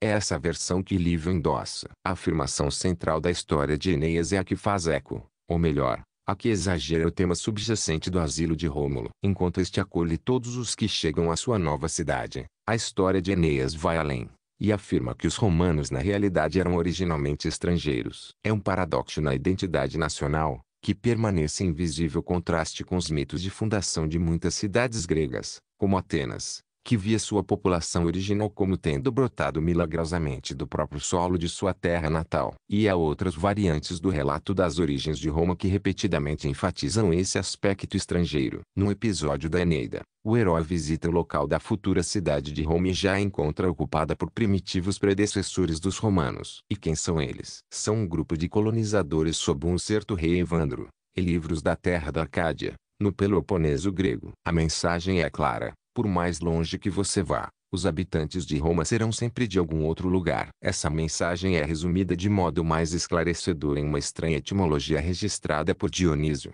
entre outros. Os intelectuais gregos e romanos eram fascinados por derivações de palavras, e tinham a convicção de que isso dava a chave, não só da origem da palavra, mas também do seu significado essencial. Às vezes estavam corretos em suas análises, mas também cometiam erros extravagantes, e com frequência reveladores, como neste caso. Dionísio, num ponto inicial de sua história, reflete sobre outro grupo de habitantes, ainda mais primitivos, do local que veio a se tornar Roma, os aborígenes. A derivação dessa palavra deveria ter sido de uma obviedade gritante. Seria o povo que estivera ali desde o início aborigine. Dionísio, para sermos justos, chega a levantar essa explicação como possibilidade, mas dá igual ou maior peso à noção improvável de que a palavra deriva não de origo, mas do latim errar e vagar, e que originalmente teria sido grafada como aborigines. Conclui ele então que esse povo seria composto, em outras palavras, por vagabundos sem moradia fixa. A ideia de que estudiosos antigos pudessem ficar cegos diante da etimologia obviamente correta que tinham bem à frente de seus olhos, em favor de uma ideia estapafúrdia de que aborígenes derivava de vagar, lançando mão de uma tendenciosa ortografia alternativa, não reflete uma suposta obtusidade. Mostra apenas o quanto estava entranhada a ideia de que Roma sempre havia sido um conceito etnicamente fluido, e que os romanos sempre haviam estado em movimento. Escavações da Roma primordial As várias histórias sobre Rômulo e os outros fundadores nos dizem muito sobre como os romanos viam sua cidade, seus valores e suas deficiências. Mostram também como os estudiosos romanos debatiam sobre o passado e estudavam sua história. Mas não nos dizem nada, ou na realidade muito pouco, sobre aquilo que eles defendem, ou seja, como era Roma primordial, que processos a levaram a se tornar uma comunidade urbana e quando isso aconteceu. Um fato é óbvio. Roma já era uma cidade muito velha quando Cícero foi cônsul em 63 a.C. Mas se não sobreviveu literatura do período da fundação e não é possível confiar nas lendas, como iremos acessar qualquer informação sobre as origens de Roma. Existe alguma maneira de lançar luz sobre os primeiros anos da pequena cidade junto a Tibre que se tornou um império mundial? Por mais que tentemos, é impossível construir uma narrativa coerente que substitua as lendas de Rômulo e Enéas. E também é muito difícil fixar datas precisas para as primeiras fases da história romana. Mas é possível começar a ter uma ideia melhor do contexto geral em que a cidade se desenvolveu, e desfrutar de alguns vislumbres surpreendentemente nítidos desse mundo, e alguns deles ainda bastante esquivos. Uma maneira de fazer isso é desviarmos-nos das histórias da fundação e procurarmos pistas na língua latina ou nas posteriores instituições romanas, que possam remeter a Roma primordial. A chave aqui é aquilo muitas vezes chamado, de modo simplista e equivocado, de conservadorismo da cultura romana. Roma não era mais conservadora do que a Grã-Bretanha do século XIX. Em ambos os lugares, inovações radicais floresciam em diálogo com todo tipo de tradições e retóricas ostensivamente conservadoras. No entanto, a cultura romana de fato estava marcada por uma relutância radical em descartar suas práticas passadas, tendendo a preservar todo tipo de fósseis, nos rituais religiosos ou na política, ou onde quer que fosse mesmo quando seu sentido original já havia se perdido. Como um escritor moderno colocou muito bem, os romanos eram como aquelas pessoas que compram todo tipo de novidades em equipamento de cozinha, mas não conseguem se desfazer de seus utensílios antigos, que continuam a atravancar o lugar embora nunca sejam usados. Estudiosos, modernos e antigos, com frequência têm suspeitado de que alguns desses fósseis, ou utensílios antigos, seja uma importante evidência das condições da Roma primordial. Um bom exemplo é um ritual que tinha lugar na cidade todo ano em dezembro, conhecido como Septimontium, Sete Colinas. O que acontecia nessa celebração não é muito claro, mas um erudito romano observou que Septimontium era o nome de Roma antes de se tornar Roma, e outro deu uma lista das colinas envolvidas nesse festival, Palatium, Velia, Fagutal, Subura, Sermalus, Opius, Caelus e Cispius, Mapa 2. O fato de serem oito nomes sugere que houve alguma confusão. Mas, voltando ao cerne da questão, a excentricidade dessa lista, Palatium e Sermalus são partes da colina que geralmente se conhece como Palatino, aliada ao fato de que Septimontium foi a predecessora de Roma, levantou a possibilidade de que esses nomes pudessem refletir locais de vilas separadas que precederam a cidade já totalmente formada. E a ausência na lista de duas colinas óbvias, Quirinal e Viminal, fez com que alguns historiadores fossem além. Escritores romanos regularmente se referiam a essas duas colinas como coles em vez do termo latino usual montes. O sentido das duas palavras é mais ou menos o mesmo. Será que essa distinção aponta para duas comunidades linguísticas separadas em algum momento da história inicial de Roma? Estaríamos lidando, para forçar o argumento um pouco mais, com alguma versão dos dois grupos que estão expressos na história de Rômulo, os sabinos associados aos coles, os romanos aos montes. É bem provável que sim. Resta pouca dúvida de que o Septimontium esteja de algum modo relacionado com o passado distante de Roma. Mas exatamente de que modo, e quão distante seria esse passado, é muito difícil saber. Os argumentos não são mais consistentes do que os fiz parecer, talvez até menos. Por que deveríamos, Afinal de contas, acreditar na afirmação de um erudito romano de que Septimontium era o antigo nome da cidade podia muito bem ser também um palpite qualquer para explicar uma cerimônia arcaica que ele viu com quase a mesma perplexidade que nós. E a insistência em duas comunidades parece também suspeita, movida pelo desejo de trazer pelo menos alguma parte da lenda de Rômulo para o lado da história. Muito mais tangível é a evidência da arqueologia. Se você escavar bem fundo na cidade de Roma, abaixo dos monumentos antigos visíveis, verá que restaram poucos vestígios de algum assentamento primitivo. Debaixo do próprio fórum há restos de um velho cemitério, que causaram furor ao serem descobertos. No início do século XX, alguns dos mortos haviam sido cremados, com suas cinzas guardadas em urnas simples, junto com canecas e vasos que originalmente continham comida e bebida. A um dos homens haviam sido dadas pequenas porções de peixe, carneiro e carne de porco, e possivelmente um pouco de mingau. Outros estavam enterrados em caixões de carvalho feitos de um tronco escavado. Uma menina, de uns dois anos de idade, havia sido colocada em seu túmulo usando um vestidinho de contas e um bracelete de marfim. Achados similares foram feitos em outros locais por toda a cidade antiga. Bem abaixo de uma das grandes mansões posteriores do Monte Palatino, estão as cinzas de um jovem, enterrado com uma lança em miniatura, talvez um símbolo de sua ocupação. Os mortos e enterrados são, com frequência, mais proeminentes do que os vivos no registro arqueológico. Cemitérios implicam a existência de uma comunidade, e presume-se que serão encontrados vestígios dela nos grupos de cabanas, cujos tênues contornos têm sido detectados debaixo de várias partes da cidade posterior, incluindo Palatino. Temos pouca noção de qual seria a feição dessas cabanas, além do fato de serem feitas de madeira, barro e palha e menos ainda do estilo de vida que elas abrigavam. Mas podemos preencher certas lacunas examinando os arredores imediatos de Roma. Uma dessas estruturas antigas mais bem preservadas, e escavada com grande cuidado, foi achada em Fidenai, alguns quilômetros ao norte da cidade, na década de 1980. É uma construção retangular, com cerca de 6 metros vezes 5 metros, feita de madeira, carvalho e olmo, e terra batida, a chamada construção pisé de terre, ainda em uso até hoje traço, com um pórtico tosco em volta, formado pelo telhado sobressalente. Dentro havia um forno central, alguns jarros de cerâmica para armazenamento, e outro menor, que parece ter sido um recipiente para terra de vaso, e vestígios de alguns gêneros alimentícios bastante previsíveis, cereais e favas, e de animais domésticos, carneiros,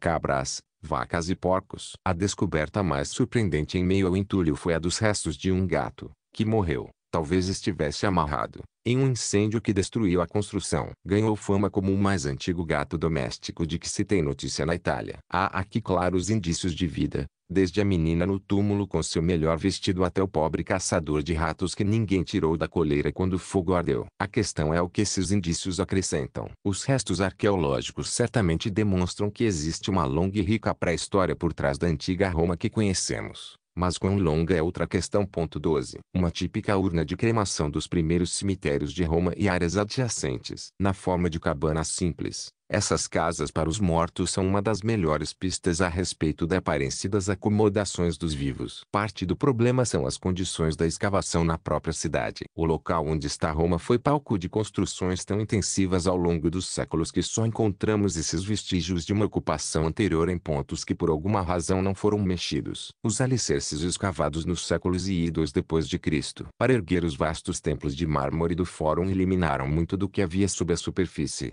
Os porões e adegas dos palácios renascentistas obliteraram ainda mais outras partes de Roma. Portanto, temos apenas clarões, nunca um quadro completo. Isso é arqueologia em seu grau mais difícil e, embora novos fragmentos de evidências surjam o tempo todo, sua interpretação e sua reinterpretação são quase sempre contestadas e muitas vezes controversas. Por exemplo, Debate-se atualmente se os fragmentos de pau a pique encontrados em escavações no Fórum em meados do século XX indicam que havia ali também um antigo assentamento de cabanas, ou se eles foram inadvertidamente introduzidos naquele espaço como parte do entulho usado alguns séculos mais tarde para prover uma nova superfície elevada para a área. Ressalte-se que, embora adequado para um cemitério, este teria sido um lugar úmido e pantanoso demais para uma vila. A datação precisa é ainda mais controversa, Daí meu uso intencionalmente vago da palavra antigo nas últimas páginas. É sempre bom enfatizar que não há uma data independente certa para os materiais arqueológicos da Roma primordial ou para a área em torno dela,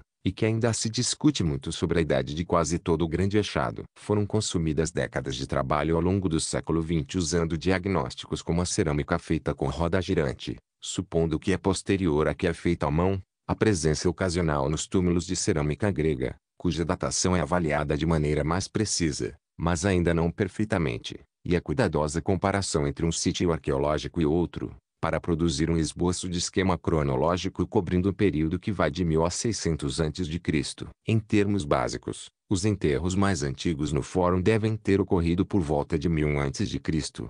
As cabanas no Palatino são de cerca de 750 a 700 a.C., um número que tem o fascínio de estar bem próximo a 753 a.C., como muitos observaram. Mas mesmo essas datas estão longe de serem seguras. Métodos científicos recentes, como a datação por radiocarbono, que calcula a idade de qualquer material orgânico medindo a quantidade residual de seus isótopos de carbono radiativo, tem sugerido que são todas jovens demais, em até 100 anos. Para a cabana de Fidenai, por exemplo, definiu-se uma datação por volta de meados do século 8 a.C., segundo critérios arqueológicos tradicionais. Mas isso é jogado para até o final do século 9 a.C., quando nos baseamos no radiocarbono. Atualmente, as datações estão se deslocando, mais ainda que usual. Com isso Roma parece estar ficando cada vez mais velha. Incontestavelmente, por volta do século V a.C., Roma era uma comunidade urbana, com um centro e alguns edifícios públicos. Antes disso, para as fases mais antigas, temos suficientes achados esparsos relativos ao período central da Idade do Bronze, entre cerca de 1700 e 1300 a.C., para sugerir que algumas pessoas moravam no local em vez de simplesmente passarem por ali. Quanto ao período intermediário, podemos ter relativa certeza de que vilas maiores se desenvolveram, provavelmente, a julgar pelo que ficou nos túmulos, com um grupo cada vez mais rico de famílias da elite, e que em algum momento estas se uniram em uma única comunidade cujo caráter urbano ficou claro por volta do século V a.C. Não temos como saber ao certo quando os habitantes desses assentamentos esparsos passaram a se ver como uma única cidade. E não temos a menor ideia de quando foi que começaram a chamar essa cidade de Roma. Mas a arqueologia não trata apenas de datas e origens. O material escavado na cidade, na área em torno dela e até mais para o interior, tem o que nos dizer sobre o caráter do antigo assentamento de Roma. Primeiro, ele tinha extensivos contatos com o mundo exterior. Já mencionei de passagem o bracelete de marfim da menina no cemitério e a cerâmica grega, feita em Corinto ou Atenas, que foram achados nas escavações romanas. Há também sinais de ligações com o norte, na forma de umas poucas joias e ornamentos em âmbar importado. Não há pistas de como eles chegaram ao centro da Itália, mas indicam contatos, diretos ou indiretos, com o Báltico, Roma antiga, o quanto podemos remontar no tempo, tinha boas conexões, como Cícero intuiu ao enfatizar sua localização estratégica. Em segundo lugar, havia similaridades, e algumas diferenças importantes, entre Roma e seus vizinhos. A Península Itálica, entre 1600 a.C., era extremamente variada. Havia muitos povos independentes, com tradições culturais, origens e línguas diferentes. Os mais bem documentados são os assentamentos gregos no sul, cidades como Cumae, Taranto e Nápoles. Néapolis, fundadas a partir do século 8 a.C. por imigrantes de algumas das maiores cidades da Grécia, convencionalmente conhecidas como colônias mas que não eram coloniais no sentido moderno da palavra. Em todos os sentidos e propósitos,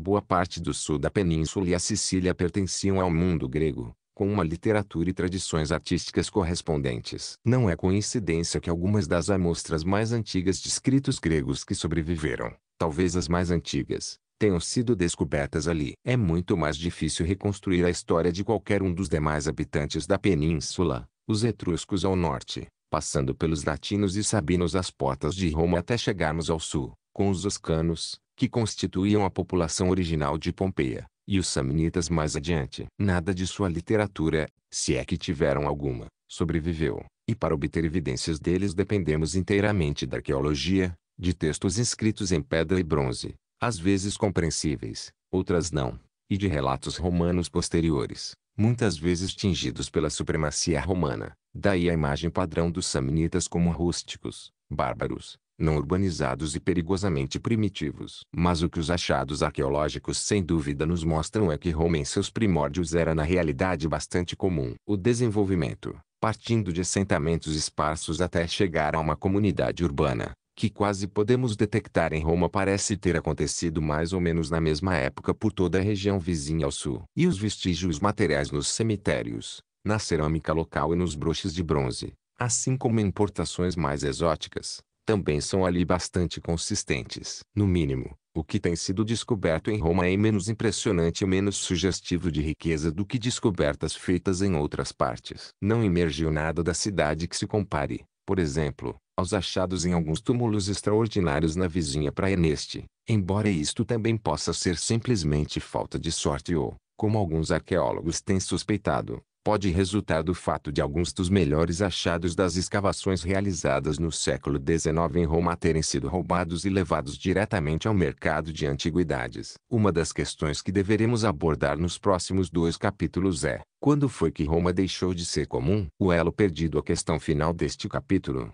no entanto, é se o material arqueológico deve ficar separado das tradições míticas de Rômulo e Remo, da forma como as apresentei aqui. Seria possível unir nossas investigações sobre a história mais antiga de Roma às histórias que os próprios romanos contaram, ou às suas elaboradas especulações a respeito das origens da cidade. Será que podemos encontrar talvez um pouco mais de história no mito? Essa é uma tentação sedutora que tem influenciado boa parte do trabalho moderno sobre a Roma antiga tanto de historiadores como de arqueólogos. Já falamos de uma tentativa de fazer com que o relato do Septimontium refletisse a natureza dual da cidade, romana e sabina traço, enfatizada pelo mito de Rômulo. Recentemente, a descoberta de algumas antigas defesas de terra ao pé do Monte Palatino desencadeou todo tipo de especulação desvairada para averiguar se seriam as mesmas defesas que Remo teria saltado, o que o levou à morte no dia da fundação da cidade. Isso é fantasia arqueológica. Sem dúvida, algumas obras de terra foram descobertas, por si só importantes,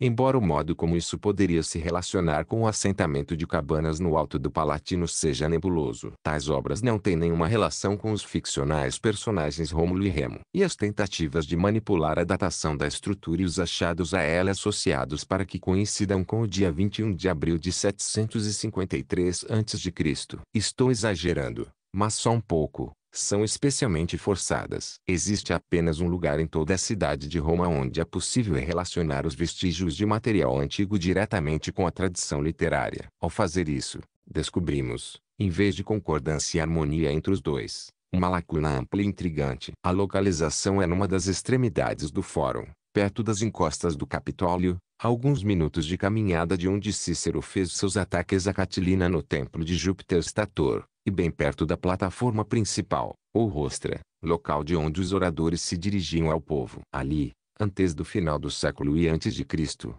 no pavimento do fórum, foi colocada uma série de placas de pedra preta bem visível, formando um retângulo com cerca de 4 metros vezes 3,5 metros, delimitado por uma borda de pedra rebaixada. Na virada do século XIX para o XX, o arqueólogo Giacomo Buni, à época, uma celebridade à altura de Henri Schliemann, o descobridor de Troia, mas sem sua dúbia reputação por fraude, escavou por baixo da pedra preta, e encontrou vestígios de algumas estruturas bem mais antigas. Entre elas, um altar, uma parte de uma grande coluna única e um pilar curto de pedra, coberto por inscrições, a maior parte ininteligíveis, em latim arcaico, provavelmente um dos textos mais antigos já encontrados dessa língua. O lugar havia sido intencionalmente incendiado, e estava repleto de achados, tanto extraordinários como corriqueiros, desde taças em miniatura, contas e pedras de jogar até algumas finas peças atenienses de cerâmica decorada do século V a.C. A explicação mais óbvia que se poderia dar, a julgar pelo que se encontrou, que parecia incluir oferendas religiosas, é que se tratava de um antigo santuário, possivelmente do deus Vulcano. Ele foi coberto quando se repavimentou o fórum em algum momento do século e antes de Cristo. Mas a pedra preta foi colocada em cima para preservar a memória do local sagrado embaixo. Escritores romanos posteriores conheciam bem a pedra preta e tinham várias ideias a respeito do que significava. A pedra preta, escreveu um deles, marca um lugar desafortunado. E sabiam que havia algo muito antigo embaixo dela, não um santuário religioso, como os arqueólogos estão relativamente seguros que era, mas um monumento ligado a Rômulo e sua família. Vários achavam que era o túmulo de Rômulo. Outros, talvez considerando que se Rômulo se tornar um deus não deveria na realidade ter nenhum túmulo, achavam que deveria ser o túmulo de Faustulo, pai adotivo de Rômulo e Remo. Outros ainda diziam ser o túmulo de um dos companheiros de Rômulo, Hostilius, o avô de um dos posteriores reis de Roma. Sabiam também, seja porque o tivessem visto antes de ser coberto ou então por ouvir dizer, que havia lá embaixo uma inscrição. Dionísio registra duas versões a respeito. O epitáfio de Hostilius, documentando sua bravura, ou uma inscrição registrando seus feitos, colocada após uma das vitórias de Rômulo. Mas certamente não é nenhuma das duas. Nem era, como Dionísio afirma, escrita em letras gregas. Trata-se de latim arcaico autêntico, mas constitui um exemplo maravilhoso do quanto e também no quão poucos historiadores romanos conheciam a respeito do próprio passado enterrado, e do muito que desejavam imaginar vestígios de Rômulo ainda presentes na superfície de sua cidade, ou logo abaixo dela. 13. Um diagrama dos restos do antigo santuário escavado por Giacomo Boni sob a pedra preta do fórum. À esquerda, um altar, uma estrutura em forma de U, encontrada também em outras partes da Itália nesse período. Logo à direita, o que restou da coluna, e pouco visível atrás dela o pilar com as inscrições. O que esse texto diz na realidade, pelo menos o que podemos captar do seu sentido, nos leva à próxima fase da história romana e a série de reis quase que igualmente míticos que se supõe terem sucedido Rômulo. Capítulo 3 Os reis de Roma escrito na pedra A inscrição descoberta em 1899 sob a pedra preta do fórum contém a palavra rei, ou em latim rex, recei, como aparece na forma arcaica da língua usada lá. Essa única palavra é responsável pela fama da inscrição e mudou a maneira pela qual a história da Roma antiga vem sendo entendida desde então. O texto é em muitos aspectos extremamente frustrante. É incompleto, já que o terço superior do pilar não sobreviveu. É quase incompreensível. O latim já é por si só difícil bastante mas a parte faltante torna quase impossível entender completamente o sentido. Mesmo que possamos ter certeza de que ele não marca o túmulo de Rômulo, ou de outro qualquer traço, as interpretações geralmente não são muito mais do que louváveis tentativas de alinhar em algum sentido vago as palavras que podem ser reconhecidas na pedra. Uma teoria moderna e digna de menção diz que se tratava de uma advertência para que não se deixasse animais soltarem excrementos perto do santuário, o que deveria representar um mau presságio. Também é muito difícil descobrir sua idade. A única maneira de datar o texto é comparando sua língua escrita com o um punhado de outros exemplos sobreviventes do latim arcaico, a maior parte também de datação incerta. As sugestões de data têm variação de 300 anos, de cerca de 700 a 400 a.C. O frágil consenso atual diz que a inscrição é da segunda metade do século V a.C. 14. Seria fácil interpretar erradamente a inscrição arcaica no pilar escavado sob a pedra preta como se fosse grego, e foi isso que fizeram alguns observadores. Na verdade está em latim arcaico, com letras muito similares às do alfabeto grego, e dispostas no estilo chamado bostropedon arado de boi, ou seja, as linhas são lidas alternadamente da esquerda para a direita e vice-versa. Apesar de todas essas incógnitas, os arqueólogos instantaneamente compreenderam que o identificável recém declinação do dativo, cujo significado é para o rei, em favor do rei, confirmava o que os próprios escritores romanos haviam dito, que por dois séculos e meio, até o fim do século V a.C., a cidade de Roma esteve sob o controle de reis. Lívio, entre outros, fala de uma sequência padrão de seis monarcas que sucederam Rômulo, cada um com um pacote diferente de realizações ligado ao seu nome. Suas brilhantes histórias, com um elenco de apoio de heróicos guerreiros romanos, rivais assassinos e rainhas maquinadoras, ocupam a segunda parte do primeiro livro da história, de Lívio. Depois de Rômulo, governou numa Pompílio, numa Pompilius, de temperamento pacífico, que criou a maior parte das instituições religiosas de Roma seguido por Túlio Hostílio, Tullus Hostilius, um renomado instigador de guerras. Depois veio Anco Márcio, Ancus Marcius, fundador do porto marítimo romano em Ostia, Foz do Rio, na sequência Tarquínio Prisco, Tarquinius Priscus, ou Tarquínio, o Velho, que criou o Fórum Romano e os Jogos Circenses, foi seguido por Sérvio Túlio Servius Tullius, reformador político e inventor do censo romano, e, finalmente, Tarquínio Soberbo, Tarquínio Superbus, ou Tarquínio, o orgulhoso, ou, talvez melhor, o arrogante. Foi o comportamento tirânico desse segundo Tarquínio, e de sua família, que causou a Revolução, com o fim da monarquia e o estabelecimento da liberdade da República Livre de Roma. Era um autocrata paranoico que eliminava seus rivais sem piedade e explorava o povo romano de forma cruel, obrigando-o a trabalhar em seus fanáticos projetos de construção. E o terrível ponto de ruptura se fez presente, como em várias outras oportunidades na história romana, com o estupro, o da virtuosa Lucrécia por um dos filhos do rei. 15. Nesta pintura, o julgamento dos Horácios 1784, Jacques Louis Davi retrata uma lenda do reinado de Túlio Hostílio, quando Roma entrou em guerra com a vizinha Alba Longa. Dois grupos de três homens, um trio de cada lado, concordaram em se enfrentar em nome de suas comunidades. Aqui Davi imagina os Horácios de Roma recebendo suas espadas do pai. Um deles voltaria para casa vitorioso, mas acabaria matando a irmã, aqui vista aos prantos, noiva de um dos três inimigos. Era uma história que para os romanos, tanto quanto para os franceses do século XVIII, celebrava o patriotismo e também questionava o preço a se pagar por ele. Pesquisadores cautelosos no século XIX nutriam sérias dúvidas a respeito do valor histórico desses relatos sobre os reis romanos. Argumentavam que dificilmente haveria mais evidências seguras a respeito desses governantes do que sobre o lendário Rômulo.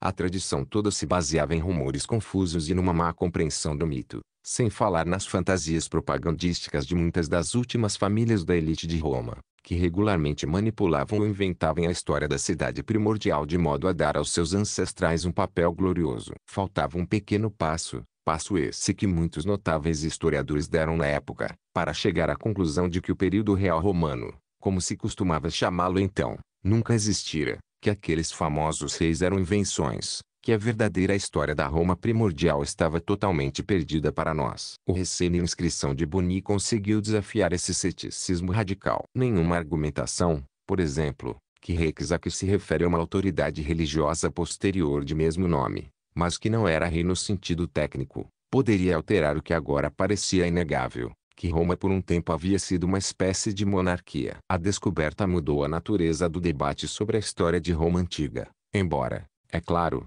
tenha levantado outras questões. Mesmo agora, essa inscrição coloca a ideia dos reis romanos no centro das atenções e levanta a questão do sentido que uma monarquia poderia ter tido no contexto de uma pequena comunidade arcaica de poucos milhares de habitantes, vivendo em cabanas de taipa em um grupo de colinas perto do rio Tibre. A palavra rei quase certamente implica algo muito mais formal e grandioso do que aquilo que talvez estejamos contemplando. Mas havia muitas maneiras pelas quais os romanos posteriores viam ou imaginavam seus primeiros governantes. De um lado, após a dramática queda de Tarquínio Soberbo, os reis foram objeto de ódio pelo restante da história romana. A acusação de querer ser rei era uma sentença de morte política para qualquer romano e nenhum imperador jamais permitiria ser chamado de rei, embora muitos observadores cínicos se perguntassem qual seria a diferença. Por outro lado, os escritores romanos vinculavam as origens de muitas de suas instituições políticas e religiosas mais significativas ao período real. Se, na narrativa lendária, a cidade havia sido concebida sob Rômulo, a sua gestação ocorrera sob os reis, de Numa II. Tarquínio. Mesmo sendo abominados, os reis eram creditados como criadores de Roma. Esse período real se insere nessa intrigante fronteira entre mito e história. Os reis sucessores parecem mais reais do que o fundador. No mínimo, têm nomes que soam reais, como numa Pompílio, ao contrário do ficcional Rômulo ou Senhor Roma. No entanto, em suas histórias encontramos todo tipo de elementos flagrantemente míticos. Alguns dizem que serve o Túlio, assim como Rômulo, foi concebido de um falho que emergiu do fogo. Costuma ser difícil identificar que fatos podem estar contidos na narrativa ficcional que chegou a nós. Descartar os elementos obviamente fantásticos e supor que aquilo que sobrou representa um cerne histórico é justamente o tipo de abordagem simplista que os céticos do século XIX evitaram adotar. E com razão. Mito e história mostram-se muito mais inextricavelmente vinculados do que isso. Há todo um espectro de possibilidades incógnitas entre os dois polos. Será que existiu alguém chamado Anco Márcio, mas que não fez nada do que lhe foi atribuído? Ou essas coisas não foram obra de Anco, mas de alguma outra pessoa? Ou pessoas, cujo nome se desconhece? E assim por diante. No entanto, é claro que por volta do final do período real, digamos, no século V a.C., Embora a datação precisa continue sempre difícil, começamos a adentrar um terreno um pouco mais firme. Como sugerem as importantes descobertas de Buni, torna-se então plausível, pela primeira vez, estabelecer certas ligações entre as histórias que os romanos contaram sobre seu passado, os vestígios arqueológicos obtidos em campo e uma narrativa histórica, no sentido contemporâneo do termo. Além disso, conseguimos até mesmo ter um vislumbre de partes dessa história do ponto de vista dos vizinhos e inimigos de Roma. São as façanhas de Sérvio Túlio, quase com certeza, o que aparece numa série de pinturas descobertas num túmulo da cidade etrusca de Vulci, 110 quilômetros ao norte de Roma. Datadas de meados do século IV a.C., elas são evidência mais antiga, em várias centenas de anos, de que dispomos. Entender a história de Roma nesse período depende em parte de explorar os poucos e preciosos fragmentos de evidência que temos, como faremos em breve. Reis ou chefes. Os céticos do século XIX têm boas razões para duvidar dos relatos romanos que sobreviveram sobre o período dos reis. Há todo tipo de informação sobre os reis que não faz muito sentido, e o mais óbvio é a sua cronologia. Mesmo imaginando que esses reis tivessem vidas saudáveis com durações incomuns, é impossível fazer com que sete reis, Rômulo incluído, cubram mais de 250 anos de meados do século 8 ao final do século V a.C. Traço, que é o que os escritores romanos fazem. Isso significaria que cada um deles teria reinado, em média, por mais de três décadas. Nenhuma monarquia moderna igualou esse nível consistente de longevidade. A solução mais rápida para esse problema é, ou supor que o período dos reis foi realmente mais curto do que os romanos calcularam, ou propor que houve mais reis do que os que aparecem no registro. Como iremos descobrir, há um par de candidatos potenciais a monarcas perdidos. Mas também é possível que a tradição escrita que temos para esse período seja fundamentalmente mais enganosa do que essas soluções simples sugerem e que, seja qual for a cronologia, o caráter dessa monarquia romana fosse na realidade diferente do que Livro e outros escritores romanos deixam implícito. O maior problema é que os antigos historiadores de Roma tendiam de modo sistemático a modernizar o período dos reis e engrandecer suas realizações, como se vissem tais reis sob alguma lente de aumento patriótica. Segundo seus relatos, os primeiros romanos já confiavam em instituições como o Senado e as Assembleias do Povo, que eram parte da mobília institucional política da cidade meio milênio mais tarde, e ao fazerem o arranjo da sucessão de reis, que não era hereditária, seguiam complexos procedimentos legais que envolviam a indicação de um interrex, um interrei, voto popular para o novo monarca e a ratificação pelo Senado. Além disso, as lutas de poder e as rivalidades que imaginava ocorrer naqueles momentos de transição não teriam parecido fora de lugar na corte do imperador romano no primeiro século depois de Cristo. Na realidade, o relato de Lívio sobre os conluios e manobras após o assassinato de Tarquínio Prisco, quando sua maquinadora mulher Tanaquil escondeu cuidadosamente a morte dele até ter certeza de que o trono estaria assegurado para o seu amante, Sérvio Túlio, encontra paralelo nos conluios e manobras de Lívia após a morte do imperador Augusto, em 14 d.C. É tão similar que alguns críticos suspeitaram que Lívio, que escrevia na década de 20 a.C., talvez só pudesse ter concluído esse trecho de sua história depois de 14 d.C., e que teria baseado sua descrição nos acontecimentos daquele ano. As relações romanas com povos vizinhos são descritas em uma escala similarmente grandiosa, incluindo tratados, embaixadores e declarações formais de guerra. Suas lutas também são apresentadas como se envolvessem confrontos em larga escala entre poderosas legiões romanas e igualmente poderosos inimigos. Lemos sobre a cavalaria desferindo cargas contra os flancos do oponente, a infantaria sendo forçada a recuar, o adversário sendo levado à confusão. E vários outros clichês, ou verdades, das batalhas antigas. Na realidade, esse tipo de linguagem se ensinou em relatos modernos do período, muitos dos quais se referem sem hesitar a questões como a política externa de Roma no século VII a.C. Neste ponto, é fundamental checar a realidade. Por mais que se escolha descrever de outra forma a comunidade urbana dos primeiros romanos, ela permanece em algum lugar do espectro entre minúscula e pequena. Sabe-se que é difícil avaliar as dimensões da população quando se trata de pré-história, mas o melhor palpite é que a população original de Roma, seja qual for o momento a partir do qual o pequeno agregado de assentamentos começou a se enxergar como Roma, chegava no máximo a alguns milhares. Na época em que o último rei foi destronado, por volta do fim do século V a.C., segundo os cálculos modernos padrão, estamos provavelmente lidando com algo em torno de 20 mil ou 30 mil habitantes. Isso é apenas uma estimativa aceitável baseada no tamanho do lugar,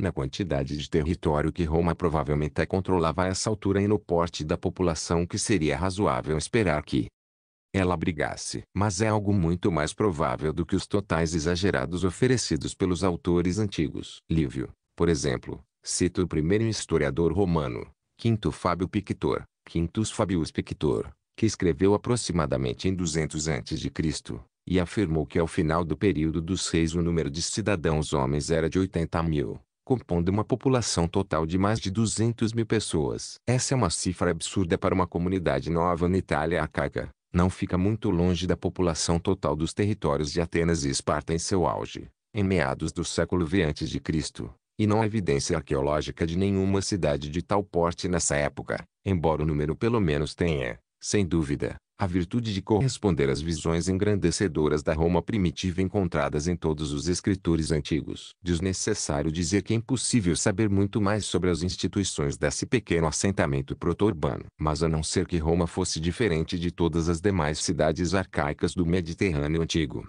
ou cidades antigas de qualquer outra parte, ela deve ter sido muito menos estruturada formalmente do que os relatos sugerem. Procedimentos complexos envolvendo interrex, voto popular e ratificação pelo Senado são totalmente implausíveis nesse contexto, na melhor das hipóteses, são uma radical reescrita da história antiga em um idioma posterior. A atividade militar é outro aspecto importante. Aqui a geografia já será suficiente para nos ajudar. Basta olhar para o local dessas heroicas batalhas. Foram todas travadas dentro de um raio de cerca de 12 quilômetros da cidade de Roma. Apesar do estilo em que são narradas, como se fossem mini-versões de Roma contra Aníbal, eram provavelmente algo mais próximo, em nossos termos, de incursões para roubo de gado. Talvez nem tenham sido conflitos romanos no sentido estrito da palavra. Na maioria das comunidades primitivas, demorou muito tempo até que as várias formas de violência privada, desde a simples justiça e a vingança até a guerrilha, passassem de vez para o controle público. Conflitos de toda sorte costumavam ficar nas mãos de indivíduos e seus seguidores, equivalentes antigos do que poderíamos chamar de chefes guerreiros particulares, e havia uma distinção nebulosa entre o que era levado a efeito em nome do Estado e o que se fazia em nome de um líder poderoso qualquer. Esse era quase com certeza o caso de Roma em seus primórdios. 16. Esta inscrição do final do século viu o início do século V a.C., descoberta em 1977 em local cerca de 65 quilômetros ao sul de Roma. É uma das melhores evidências de que havia uma milícia privada na cidade. É uma dedicatória ao deus Marte, aqui, no latim da época, indicado pela última palavra, Mamarte, dos Sodales de Publius Valerius, aqui, Publiosio Valigiosio, na primeira linha, talvez um dos semilendários cônsules no primeiro ano da República, Publio Valério Publicola, Publius Valerius Publicola. Seus sodales, sodales em latim clássico, poderiam equivaler a seus companheiros, numa referência polida, de modo mais realista, talvez pudéssemos dizer que eram membros de seu bando. Portanto, como ficam os reis e a palavra rex na inscrição do fórum? Rex pode certamente significar rei no sentido moderno, um sentido que em termos gerais compartilhamos com os romanos do século e antes de Cristo. Assim como nós, eles teriam em mente não só uma imagem do poder autocrático e de seus símbolos,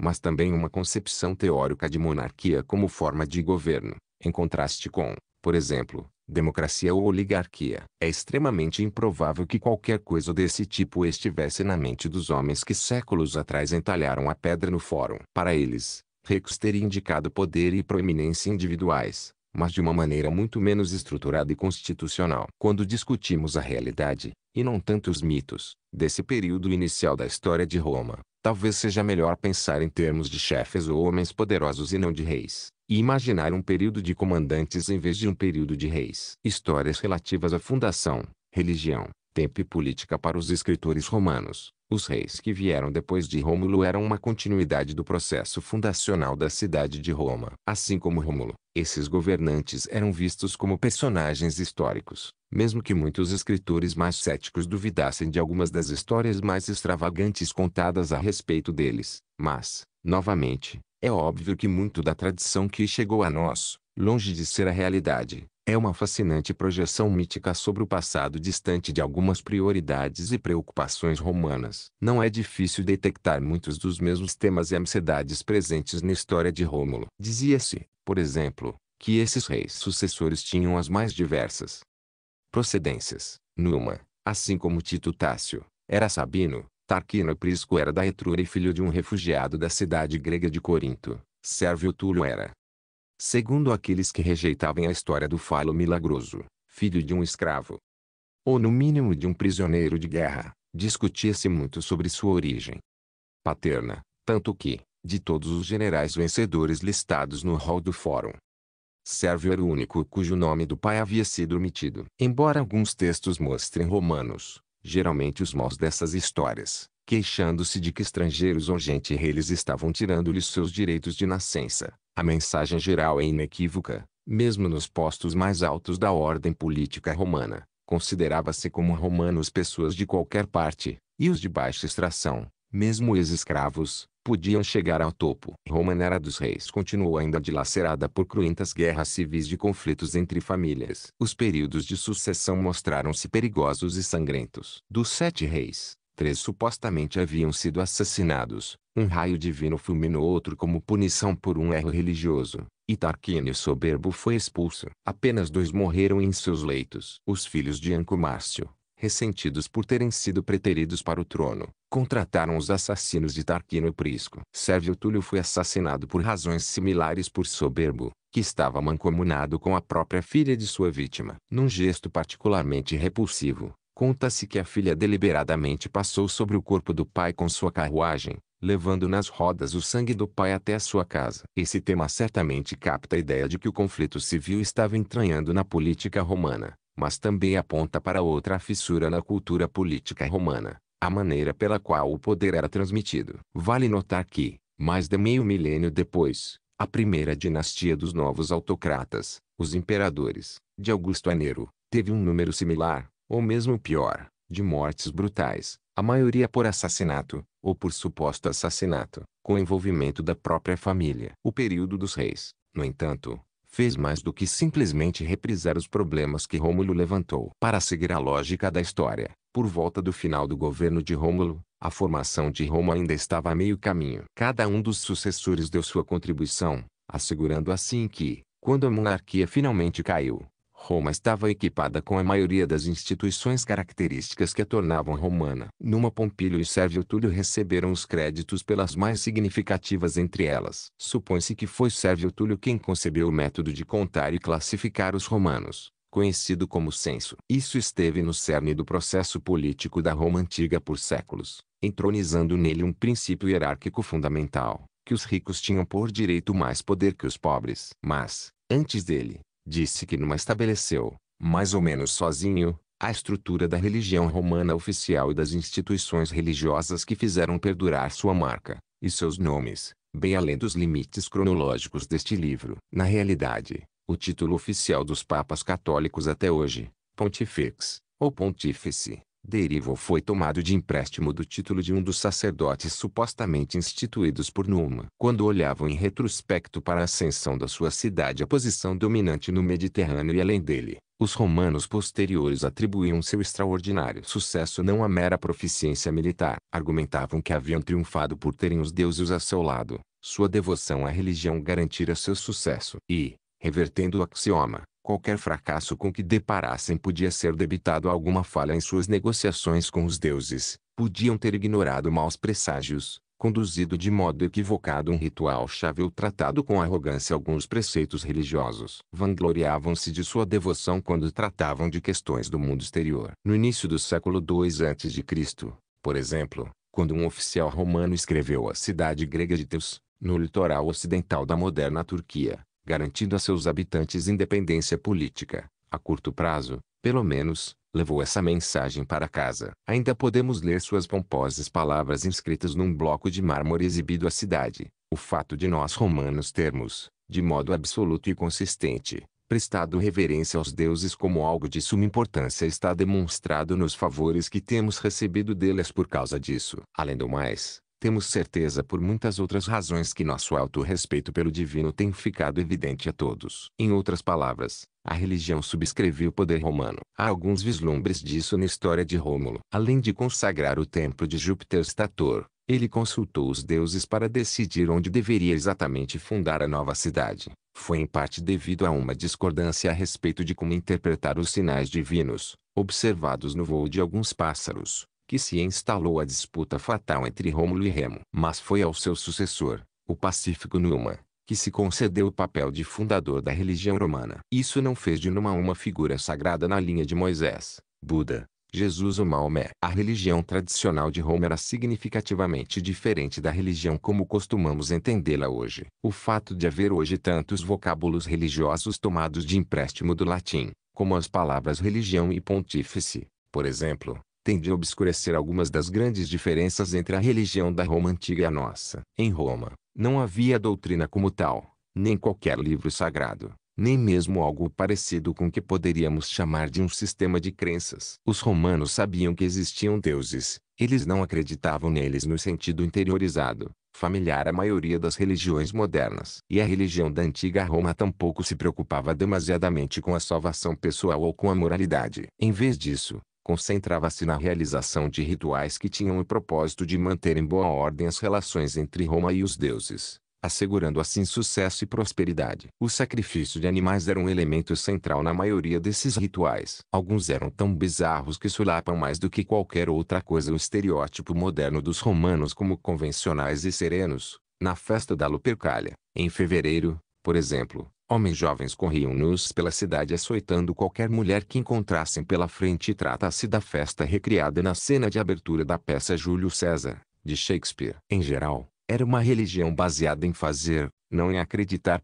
17. Cabeça de uma estátua de Virgem Vestal, do século II d.C., reconhecível por seu característico adereço na cabeça. As Vestais eram um dos poucos grupos de sacerdotisas da religião pública romana. Eram também um dos pouquíssimos grupos de oficiantes religiosas em tempo integral, que moravam no emprego em uma casa anexa ao templo da deusa Vesta, com sua lareira sagrada, no fórum. Deviam manter o voto de castidade, sob pena de morte. Em consonância com isso, a fundação de Numa teve dois aspectos diferentes mas relacionados. Por um lado, ele estabeleceu uma série de sacerdócios para desempenhar ou supervisionar os principais rituais, que incluíam, entre um elenco esmagadoramente masculino, as virgens vistais, com seu dever de manter acesa a chama da lareira sagrada da cidade no fórum. Por outro lado, ele concebeu um calendário de 12 meses, que servia como referência para o rol de festas anuais, dias santos e feriados. Um aspecto crucial de qualquer comunidade organizada é a sua capacidade de estruturar o tempo, e em Roma foi numa que recebeu os créditos pela invenção dessa estrutura. Além do mais, apesar de todo tipo de inovação e aprimoramento posterior, o calendário ocidental atual continua como descendente direto dessa versão dos antigos romanos, como mostram os nomes que damos aos meses. Todos eles são romanos. De tudo que imaginamos ter herdado da Roma antiga, dos esgotos aos nomes de logradouros, ou aos ofícios da Igreja Católica, o calendário é provavelmente o mais importante e o que mais passa despercebido. É um nexo surpreendente entre aquele antigo período dos reis e o mundo atual. Se existiu ou não alguém de nome numa Pompília é impossível saber, menos ainda se ele fez alguma das coisas que lhe são atribuídas. Os que estudam Roma discutiram sua carreira intensamente, aceitando alguns aspectos da tradição a respeito dele, mas rejeitando com firmeza outros. Ele não poderia ter sido, por exemplo, discípulo do filósofo grego Pitágoras, como afirmava uma história bastante popular e persistente, pois, argumentavam eles, em qualquer cronologia plausível, Pitágoras viveu mais de um século depois de Numa, ou, como reconhecemos hoje, no século V e não no século VII a.C. Mas, não importa o quanto numa seja lendário ou no mínimo obscuro, uma coisa parece certa, alguma parte do calendário que se atribui a ele é fruto de um período arcaico da história de Roma. Na realidade, a versão escrita de um calendário romano mais antiga de que dispomos, apesar de não ser anterior ao século e antes de Cristo, aponta para aquela direção. É um sobrevivente extraordinário, que foi encontrado pintado em uma parede na cidade de Anzio, Antium, 55 quilômetros ao sul de Roma, e que oferece um vislumbre vívido, embora um pouco desconcertante, de como os romanos da época de Cícero configuravam seu ano. Nada na Roma antiga séria é tão complexo quanto isso. Há sinais de todo tipo de desenvolvimentos ao longo dos séculos, incluindo algumas mudanças radicais na ordenação dos meses e no ponto de início do ano, se não, de que outro modo novembro e dezembro, significando literalmente nono mês e décimo mês, poderiam ter virado nesse calendário, e no nosso, o décimo primeiro e o décimo segundo meses. Mas há também algumas dicas de uma antiga genealogia nessa versão do século e antes de Cristo. Seu sistema é basicamente o dos 12 meses lunares, com um mês adicional o distante precursor do nosso dia adicional no ano bissexto inserido de tempos em tempos para manter esse calendário adequadamente alinhado com o ano solar. O maior desafio encarado pelos calendários primitivos em toda parte está no fato de que os dois sistemas naturais mais óbvios para a marcação do tempo são incompatíveis, ou seja, 12 meses lunares, de lua nova a lua nova, somam apenas 354 dias, e não há como fazer isso corresponder de qualquer maneira prática aos 3.651-4 dias do ano solar, que é o tempo que a Terra leva para dar uma volta completa em torno do Sol. A saudável inserção de um mês adicional a cada poucos anos é apenas um método grosseiro, típico das primeiras tentativas para resolver o problema. 18. O mês de abril do calendário mais antigo que sobreviveu de Roma, encontrado pintado em uma parede de Anzio, ao sul de Roma. É um documento altamente codificado, arranjado em 29 dias de cima para baixo. No coluna da esquerda, uma sequência de letras, H, designa um padrão regular de dias de feira. Na segunda coluna, mais símbolos de letras, C, F, N etc. definem o status público do respectivo dia. Por exemplo, C de comitialis indica que será realizada uma reunião nesse dia. As palavras à direita marcam as festas individuais, a maioria tendo a ver de algum modo com a agricultura. A rubigalia, por exemplo, dizia respeito a proteger os cultivos em crescimento da praga de cereais a vinal e é uma nova vindima. Embora essa versão date apenas do século e antes de Cristo, seus princípios básicos são mais antigos. Não menos revelador é o ciclo de festas religiosas que está registrado no calendário. O núcleo delas pode muito bem ter se originado no distante período dos reis. Certamente o foco de muitas delas,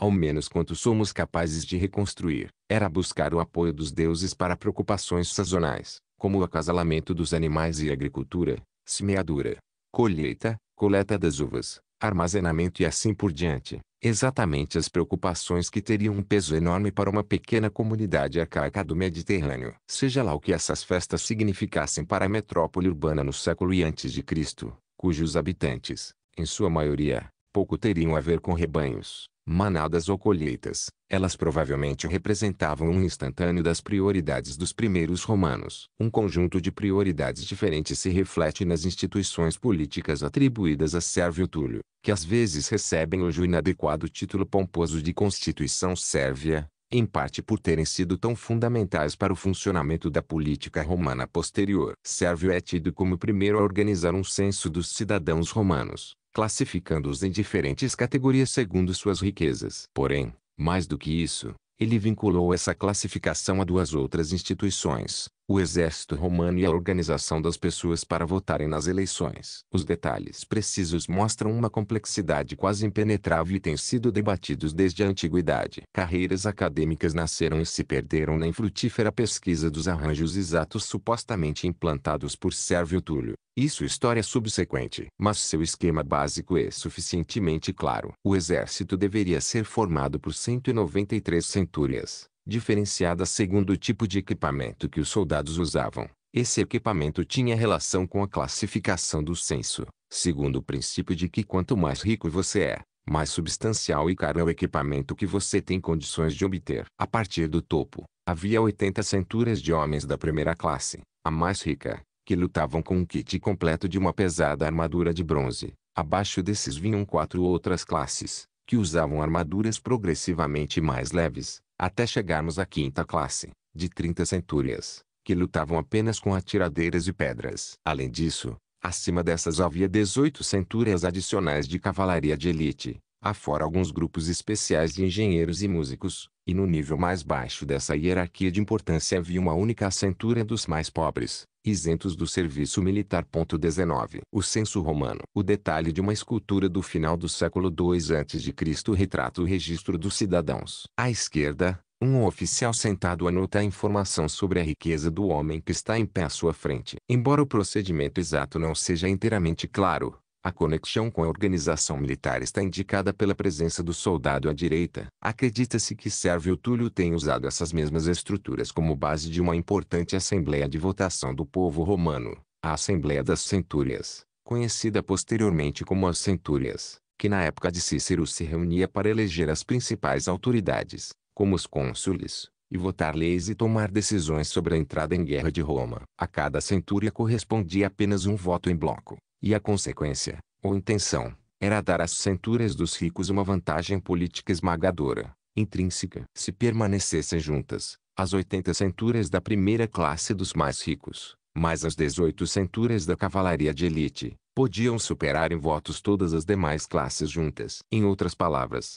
um votante rico individualmente tinha muito mais poder de voto do que seus concidadãos mais pobres. Isso porque, apesar do nome, que faz crer que Cadmo era composta por 100 homens centum, traço. As centúrias na realidade não tinham todas o mesmo tamanho. Os cidadãos ricos eram em número bem menor do que os pobres, mas ficavam distribuídos em 80 centúrias, contra as 20 ou 30 das classes baixas, mais populosas, ou contra a única centúria do grupo dos muito pobres. O poder era conferido aos ricos, tanto em termos comunitários, como individualmente. Examinando os detalhes, vemos que isso, além de terrivelmente complicado, é também anacrônico. Embora algumas das inovações atribuídas a Numa sejam plausíveis na Roma antiga, essa questão do voto consiste de modo flagrante numa projeção para o passado de práticas e instituições romanas muito posteriores, o que inclui até a colocação de Sérvio Túlio como pai fundador. O complexo sistema de avaliação de propriedades ensejado pelo censo é inconcebível na cidade primordial,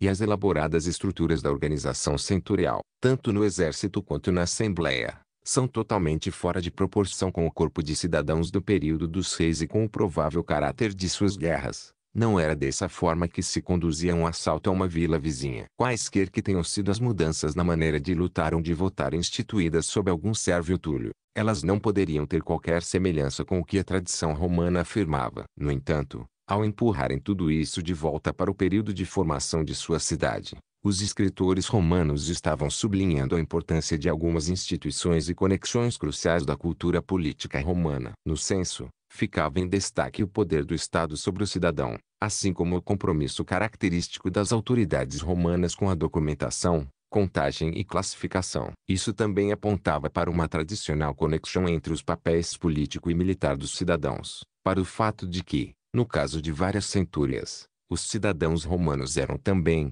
por definição, soldados romanos, e para uma das suposições caras a muitos membros da elite romana, a de que a riqueza trazia não só responsabilidade política, mas também privilégios políticos. Cícero reflete exatamente isso quando resume os objetivos políticos de Sérvio Túlio em tom de aprovação. Ele dividiu o povo desse modo para assegurar que o poder político ficasse sob o controle não da ralé, mas dos ricos e achou uma maneira de fazer com que o maior número não detivesse o maior poder, um princípio ao qual devemos sempre aderir em política. Na realidade, esse princípio veio ser vigorosamente contestado na política de Roma. Reis etruscos. Sérvio Túlio foi um dos três últimos reis de Roma, entre Tarquínio Prisco e Tarquínio Soberbo. Os estudiosos de Roma acreditavam que esses reis haviam governado a cidade no século V a.C., até Soberbo ser finalmente deposto segundo a maioria dos relatos, em 509 a.C. Como acabamos de ver, partes da narrativa desse período são tão mitológicas quanto a história de Rômulo. E há nos relatos tradicionais algumas impossibilidades cronológicas, ou,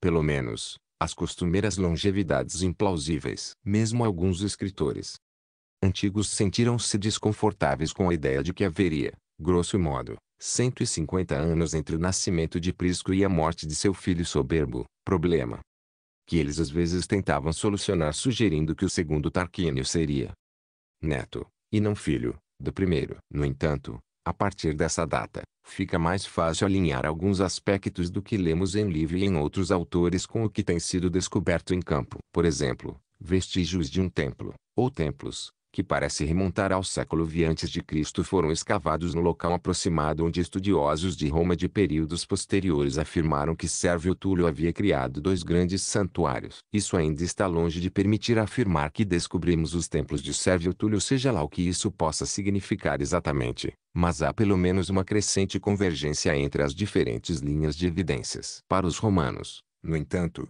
Duas coisas distinguiam esse grupo de reis de seus predecessores. Em primeiro lugar, a sua história particularmente sangrenta. Prisco foi assassinado pelos filhos de seu predecessor. Sérvio Túlio teve sua subida ao trono facilitada por um golpe palaciano arquitetado por Tanaquil e acabou assassinado por Soberbo. Em segundo lugar, havia conexão etrusca. Para os dois Tarquínios, tratava-se de ancestralidade direta. Supõe-se que Prisco migrou para Roma vindo da cidade etrusca de Tarquínia, junto com a esposa etrusca, Tanaquil, para tentar a sorte, porque temia, segundo diz a história, que seu sangue estrangeiro, de pai grego, atrapalhasse sua carreira na cidade natal. Para Sérvio Túlio, a questão era mais o fato de lhe ser o protegido dos etruscos Prisco e Tanaquil. Cícero diverge dos demais quando insinua que ele era filho ilegítimo de Prisco. A questão que com frequência tem desconcertado os historiadores modernos é como explicar essa conexão etrusca. Por que foi dada a esses reis de Roma uma linhagem etrusca? Será que houve de fato um período em que a cidade foi controlada por reis etruscos? Até aqui nos concentramos nos vizinhos de Roma ao sul, Aqueles que desempenharam um papel nas histórias fundacionais de Rômulo e Os Sabinos, por exemplo, ou a pequena cidade de Alba Longa, fundada pelo filho de Eneas e local de nascimento de Rômulo e Remo. Mas logo ao norte de Roma, estendendo-se para a atual Toscana, ficavam as terras centrais dos etruscos, os povos mais ricos e poderosos da Itália no período em que a primeira comunidade urbana de Roma ganhava forma. O plural, etruscos, é importante, pois esses povos não formavam um único estado, e sim um grupo de vilas e cidades independentes que partilhavam uma língua e uma cultura artística peculiar. A extensão de seu poder variou ao longo do tempo, mas em seu auge os assentamentos etruscos e sua influência eram encontrados até em Pompeia e além. Os visitantes modernos dos sítios arqueológicos da Etrúria se encantam com a beleza do lugar. Os misteriosos cemitérios das cidades etruscas, com seus túmulos ricamente adornados, alimentaram a imaginação de gerações de escritores, pintores e turistas, de D.H. Lawrence ao escultor Alberto Giacometti. De fato, os estudiosos de Roma de períodos posteriores também souberam ver a Etrúria, depois que as cidades etruscas caíram uma por uma sob o domínio romano, não só como assunto de estudo intrigantemente exótico, mas também como fonte de partes de seu próprio cerimonial, vestes e práticas religiosas. Mas certamente, no período da história mais antiga de Roma, esses lugares etruscos, para tomar emprestado o título de um livro de Laurence, eram influentes, ricos e bem interconectados, de uma maneira que superava Roma de longe. Tinham laços comerciais fortes pelo Mediterrâneo e além dele, como podemos ver pelos achados arqueológicos de âmbar, marfim e até de ovos de avetruz em um dos sítios, Assim como em todos os vasos atenienses clássicos ricamente decorados desencavados de túmulos etruscos, foram encontrados mais vasos desse tipo na Etrúria do que na própria Grécia. A base dessa riqueza e influência eram seus recursos minerais naturais. Havia tantos trabalhos em bronze nas cidades etruscas que em 1546 foram descobertas, só no sítio de Tarquínia, 3 toneladas de peças arqueológicas, depois fundidas para decorar a igreja de São João de Latrão em Roma. Em escala menor, mas não menos significativa, análises recentes mostraram que uma peça de minério de ferro descoberta na ilha de Petecusa, Ischia, na Baía de Nápoles, era originária da ilha etrusca de Elba. Para usar uma terminologia moderna, talvez fizesse parte de seu comércio de exportação. 20. Fragmentos de estátuas de terracota em tamanho natural do templo do século V a.C., com frequência associado a Sérvio Túlio, mostram Minerva com seu protegido Hércules, reconhecido pela pele de leão em volta dos ombros. Os etruscos eram famosos por sua habilidade com estatuária de terracota. Aqui, a influência da arte grega também é clara, sugerindo os contatos de Roma com o mundo mais amplo. 21. Uma habilidade particular dos etruscos era a leitura de sinais enviados pelos deuses nas entranhas de animais sacrificados. Esse fígado de bronze, séculos 2 para 3 a.C., era um guia para interpretar os órgãos das vítimas. O fígado está cuidadosamente mapeado, com os deuses correspondentes a cada parte claramente identificados, para ajudar a decifrar as marcas ou manchas particulares que pudessem ser encontradas ali. A posição de Roma, na porta dos fundos da Etrúria, ajudou a conquistar riquezas e proeminência. Mas será que não havia algo mais sinistro a respeito desses reis etruscos? Um ponto de vista suspeito que a história das conexões etruscas dos dois Tarquínios e de Sérvio Túlio talvez encubra, é uma invasão e tomada de Roma pelos etruscos, provavelmente em seu caminho ao sul, conforme se expandiram pela Campânia. Ou seja, A tradição patriótica de Roma teria reescrito esse período ignominioso da história romana como se ele tratasse não da conquista, mas da migração individual de Tarquínio Prisco e sua subsequente ascensão à condição de rei. A verdade incômoda seria que Roma havia se tornado uma possessão etrusca. Essa é uma ideia engenhosa, mas muito improvável. Para começar, embora haja claros vestígios de arte etrusca e outros produtos em Roma, e um punhado de inscrições na língua etrusca, não há nada nos registros arqueológicos que sugira uma grande tomada de poder, vínculos estreitos entre as duas culturas, sim, conquista, não. Mas, e talvez isso venha mais ao caso, esse modelo de tomada de poder por um Estado é inadequado para o tipo de relações que deveríamos vislumbrar entre essas comunidades vizinhas. Como já sugeri, tratava-se de um mundo de homens poderosos e chefes guerreiros,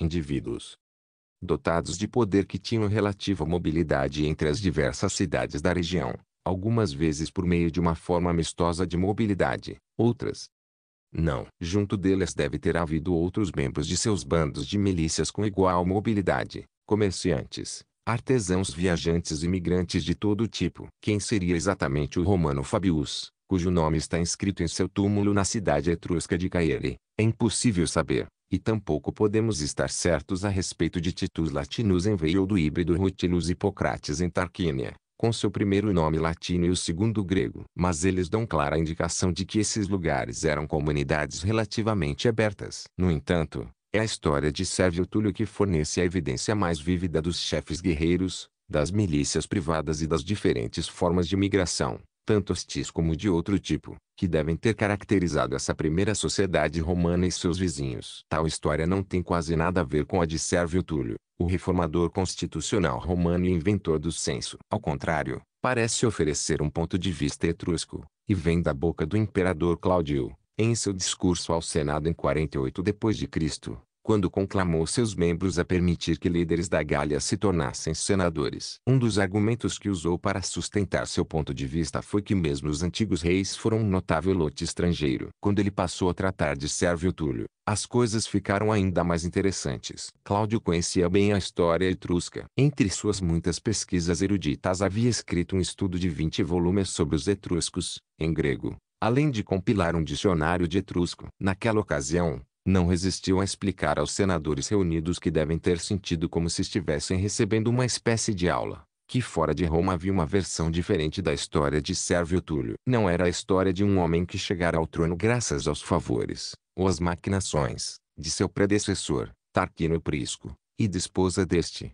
Tanaquil. Para Cláudio, Sérvio Túlio era um aventureiro armado. Se aceitarmos a versão etrusca, ele foi fiel seguidor de Caelius e seu companheiro de aventuras, e mais tarde, depois de ser expulso por uma mudança na sua sorte, saiu da Etrúria com tudo o que restara da milícia de Caelius e tomou a colina Celiana, em Roma, que depois passou a ser chamada pelo nome de seu líder, Célio. Quando já havia mudado de nome, pois seu nome etrusco era Mastarna, recebeu o nome que já mencionei, Sérvio Túlio, e assumiu o reino para enorme vantagem do Estado. Os detalhes que Cláudio fornece levantam todo tipo de dúvida. Um deles é o nome Mastarna. É um nome próprio ou é o equivalente etrusco do latino magister, que nesse contexto significaria algo como chefe. É quem esse Célio, Caelius Vivena, que supostamente teria dado seu nome ao Monte Célio de Roma. Ele e seu irmão Aulo, Aulus Vivena, que, como geralmente se diz, veio da cidade etrusca de Vulci, surgem algumas vezes em relatos antigos da história romana primordial,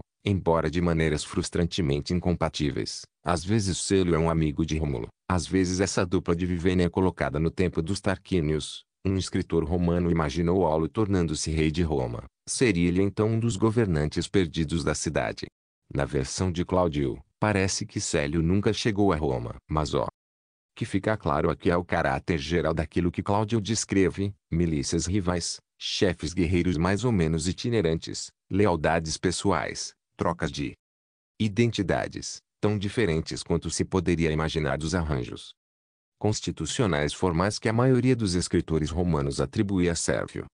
Túlio. Obtemos uma impressão similar do conjunto de pinturas que uma vez decoraram um grande túmulo nos arredores de Vulci. Hoje conhecido como túmulo François, nome de seu escavador francês do século XIX Verlamina VII, Deve ter sido a cripta de uma rica família local, a julgar pela dimensão, com dez câmaras funerárias subsidiárias que se abrem para uma passagem de acesso e um saguão central, e pela substancial quantidade de ouro encontrado ali. Mas para os que se interessam pela Roma primordial, é o ciclo de pinturas do corredor central, provavelmente de meados do século IV a.C., que o torna tão especial. O destaque são as cenas extraídas das guerras da mitologia grega, em grande parte da Guerra de Troia. Há também cenas de lutas bem mais locais. Cada personagem é nomeado, e metade dos combatentes é identificada pelo nome de sua cidade natal. A outra metade não, o que indica, presume-se, que eram homens de Vulci, e que por isso não precisavam de uma identificação adicional. Entre eles estão os irmãos Vivena, Mastarna, a outra única referência segura sobre ele que sobrevive, e um Gnaeus Trachinius de Roma. Ninguém conseguiu chegar a alguma conclusão exata sobre o que acontece nessas cenas, mas não é difícil captar o sentido geral. Há cinco pares de lutadores envolvidos. Em quatro deles, um membro local está atravessando com sua espada um forasteiro. Um desses membros locais é Aulo Vivena. Ponto e vírgula entre as vítimas estão Lares Papatinas, de Volsilii, e aquele Tarquínio de Roma. Este homem provavelmente tem algo a ver com os reais Tarquínios, embora na tradição literária romana o primeiro nome desses dois reis seja citado como Lucius, e não como Gnaeus. No último par, Mastarna corta com sua espada as cordas que amarram os pulsos de Célio Vivena. Um detalhe estranho, e talvez uma chave para a história toda, é que todos, exceto um dos homens locais vitoriosos, estão nus, e seus inimigos, vestidos. A explicação mais difundida é que as pinturas retratam uma famosa aventura local na qual os irmãos Vivene e seus amigos foram feitos prisioneiros, desnudados e amarrados por seus inimigos, mas conseguiram escapar e voltaram suas espadas contra seus captores. Essa é de longe a evidência direta mais antiga que sobreviveu sobre qualquer um dos personagens na história da Roma primordial e suas façanhas. Além disso, ela vem de fora, ou pelo menos está à margem da corrente principal da tradição literária romana. Claro, isso não a torna necessariamente verdadeira. A tradição mítica de Vulci pode ter sido tão mítica quanto a de Roma. Não obstante, o que vemos aqui dá uma visão mais plausível do mundo guerreiro daquelas comunidades urbanas antigas do que as versões enaltecedoras oferecidas pelos escritores romanos, e por alguns de seus seguidores modernos. Era um mundo de chefes e bandos guerreiros, não de exércitos organizados e de política externa. Arqueologia, tirania, isto propor volta do século V a.C. Roma certamente era uma comunidade urbana pequena. Não é fácil determinar quando um mero aglomerado de cabanas e casas se torna uma cidade que vê a si mesma como uma comunidade, dotada de identidade e aspirações compartilhadas. Mas a ideia de um calendário romano estruturado, e com ele uma cultura religiosa compartilhada, e um ritmo de vida comum, com a maior probabilidade remonta ao período dos reis. Vestígios arqueológicos também deixam pouca dúvida de que no século V a.C., Roma tinha edifícios públicos, templos e um centro da cidade, que são claras indicações de vida urbana, mesmo que em pequena escala para os nossos padrões. A cronologia desses vestígios continua controversa. Não há uma única peça cuja datação seja consensual entre todos os arqueólogos, e novas descobertas estão sempre alterando o quadro, embora muitas vezes não de maneira tão significativa quanto esperam seus descobridores. Mesmo assim, hoje em dia somente os céticos mais empedernidos poderiam negar o caráter urbano de Roma naquele período. Os vestígios em questão são encontrados em diversos locais sob a cidade posterior,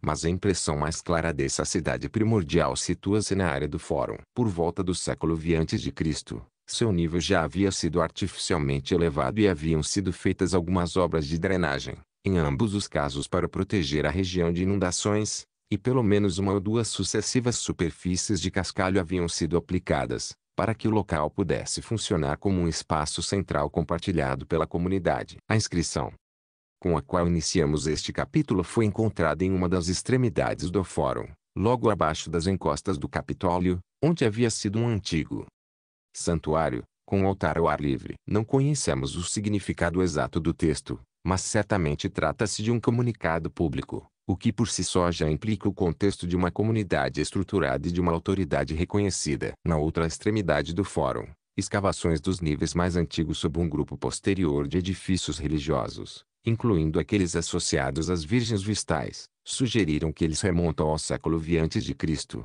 ou mesmo mais antigos. Não longe dali, foram descobertos uns poucos vestígios de uma série de casas privadas de relativo porte, aproximadamente da mesma data. Os sinais são muito escassos, mas podem fornecer um pálido vislumbre de alguns homens ricos vivendo bem e próximos ao centro cívico. É difícil saber o quanto se pode aproximar esses vestígios arqueológicos à tradição literária sobre os últimos reis de Roma. Provavelmente é longe demais sugerir, como os escavadores gostariam de nos fazer crer, que uma dessas casas do século V a.C., perto do Fórum, era na realidade a casa dos Tarquínios, supondo que tal coisa tenha alguma vez existido. Mas tampouco é provável que seja uma completa coincidência que as narrativas romanas da última parte do período dos reis enfatizem as construções patrocinadas pelos reis. Ambos os Tarquínios já foram apontados como responsáveis pela inauguração do grande templo de Júpiter no Capitólio, Escritores romanos posteriores com frequência confundiam esses dois reis, e a ambos foi também atribuída a construção do Circus Maximus e a encomenda de lojas e pórticos em volta do Fórum. Sérvio Túlio também ganhou os créditos pela fundação de vários templos, e também por ter murado a cidade. Esse seria outro sinal importante de um sentido de comunidade compartilhada,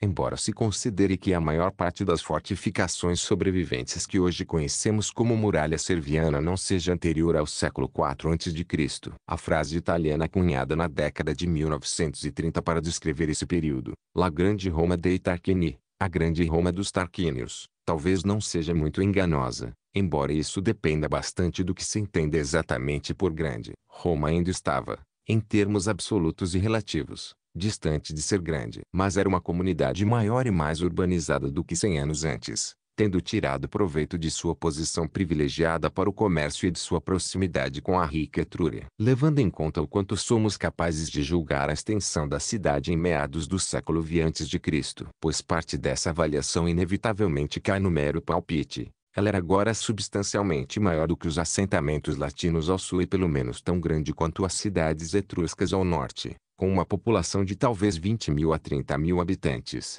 embora bem distante da grandiosidade de alguns assentamentos gregos contemporâneos na Sicília e no sul da Itália. Ou seja, Roma seria então uma cidade importante na região, mas nada de extraordinário. Nem todas as construções urbanas que os romanos atribuíram aos Tarquínios poderiam ser consideradas esplêndidas. Havia uma preocupação caracteristicamente romana pela infraestrutura da vida urbana, que fez escritores posteriores elogiarem suas realizações na construção de um sistema de esgoto, a cloaca maxima, ou grande dreno. O quanto do que restou dessa famosa estrutura remonta ao século V a.C. está longe de ser claro, as robustas seções de alvenaria que ainda é possível explorar, e que ainda carregam parte do fluxo excedente da moderna cidade e os detritos de banheiro atuais, são de vários séculos mais tarde, e agora parece provável que as primeiras tentativas de algum tipo de sistema de esgoto remontem a uma época anterior, ao século 7 a.C. Mas, na imaginação romana, a cloaca sempre foi uma maravilha que Roma devia aos seus últimos reis.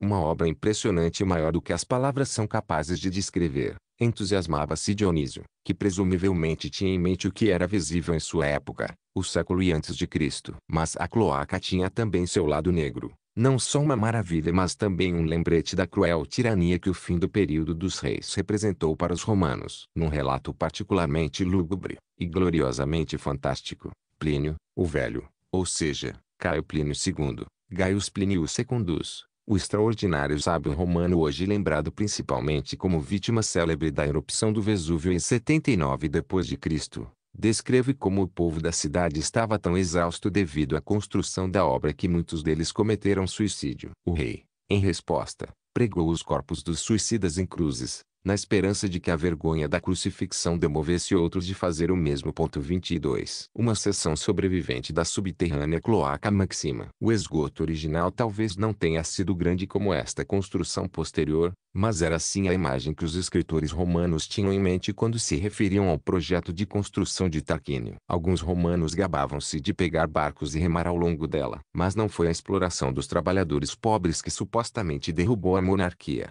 e sim, a violência sexual, o estupro de Lucrécia por um dos filhos do rei. Esse estupro é provavelmente tão mítico quanto o estupro das Sabinas, ataques a mulheres marcando simbolicamente o início e o fim do período dos reis. Além disso, os escritores romanos que narraram mais tarde a história talvez estivessem influenciados pelas tradições gregas, que com frequência vincularam o auge, e a queda, das tiranias a crimes sexuais. Conta-se que na Atenas do século V a.C., por exemplo, As agressões sexuais cometidas pelo irmão mais novo do governante contra o parceiro de outro homem haviam levado à queda da dinastia dos Pisístratos. Mas, mítico ou não, pelo resto do período romano o estupro de Lucrécia marcou um ponto de virada na política, e sua moralidade foi assunto de debate. O tema tem sido retomado e reinterpretado na cultura ocidental, de Botticelli, passando por Tiziano e Shakespeare, até Benjamin Britten. Lucrécia teve até um pequeno papel na instalação feminista de Judy Chicago Dinner Party, entre outras mil heroínas da história mundial. Livro narra uma passagem muito vívida dos últimos momentos da monarquia. Ela começa com um grupo de jovens romanos buscando formas de matar o tempo enquanto sitiavam a cidade vizinha de Arder. Uma noite, bêbados, estavam competindo para ver quem tinha a melhor mulher, quando um deles, Lúcio Tarquínio Colatino, Lucius Tarquinius Colatinus, sugeriu que deveriam simplesmente voltar para casa, ficava a poucos quilômetros, e inspecionar as mulheres. Isso iria demonstrar, afirmou ele, a superioridade de sua Lucrécia. O que de fato ficou provado, enquanto todas as demais esposas foram descobertas divertindo-se em festas na ausência de seus maridos. Lucrécia fazia exatamente o que se esperava de uma mulher romana virtuosa, trabalhava em seu tear, na companhia de suas criadas. Ela então, de modo submisso, ofereceu um jantar ao marido e a seus convidados. Mas a consequência foi terrível, pois, durante essa visita, diz a história, Sisto Tarquínio, Sextus Tarquinius, sentiu uma paixão violenta por Lucrécia, e poucas noites depois voltou à casa dela. Após ter sido gentilmente recebido, foi até o quarto de Lucrécia e exigiu-lhe que fizesse sexo com ele, ameaçando-a com uma faca. Quando viu que a simples ameaça de morte não a convencia a ceder, Tarquínio passou a explorar o medo dela de uma desonra. Ameaçou matá-la e assassinar também um escravo, visível na pintura de Ticiano, vê lâmina 4, para que ficasse a impressão de que havia sido flagrada na mais infame forma de adultério. Diante disso, Lucrécia cedeu, mas, depois que Tarquínio voltou para Ardea, mandou chamar o marido e o pai e contou-lhes o sucedido. Em seguida se matou. 23.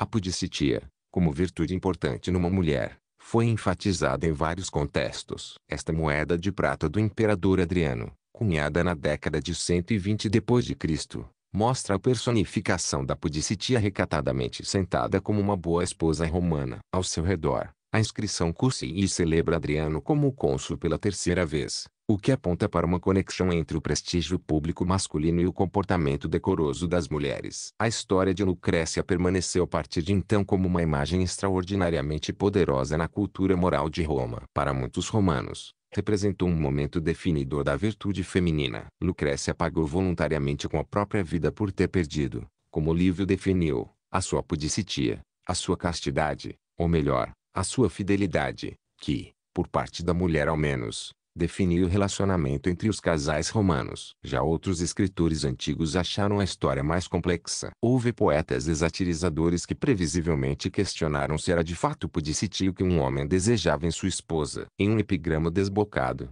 Marco Valério Marcial, Marcus Valerius Martialis, conhecido como Marcial, que escreveu uma série de versos engenhosos, espirituosos e rudes no final do primeiro século depois de Cristo, brinca que sua mulher poderia ser uma Lucrécia durante o dia, se quisesse, desde que se mostrasse uma puta à noite. Em outro gracejo, diz ficar imaginando se as Lucrécias são sempre o que parecem. Mesmo a célebre Lucrécia, fantasia ele, apreciava ler poemas indecentes quando o marido não estava por perto. Mais séria era a questão da culpabilidade de Lucrécia e das razões que a levaram ao suicídio. Para alguns romanos, parecia que ela estava mais preocupada com sua reputação do que com a verdadeira pudicitia que certamente residia na culpa ou inocência em sua mente, não em seu corpo, e jamais teria sido afetada por falsas acusações a respeito de relações sexuais com um escravo. No início do século V depois de Cristo, Santo Agostinho, que era versado nos clássicos pagãos, ficou ponderando se Lucrécia havia sido estuprada de fato.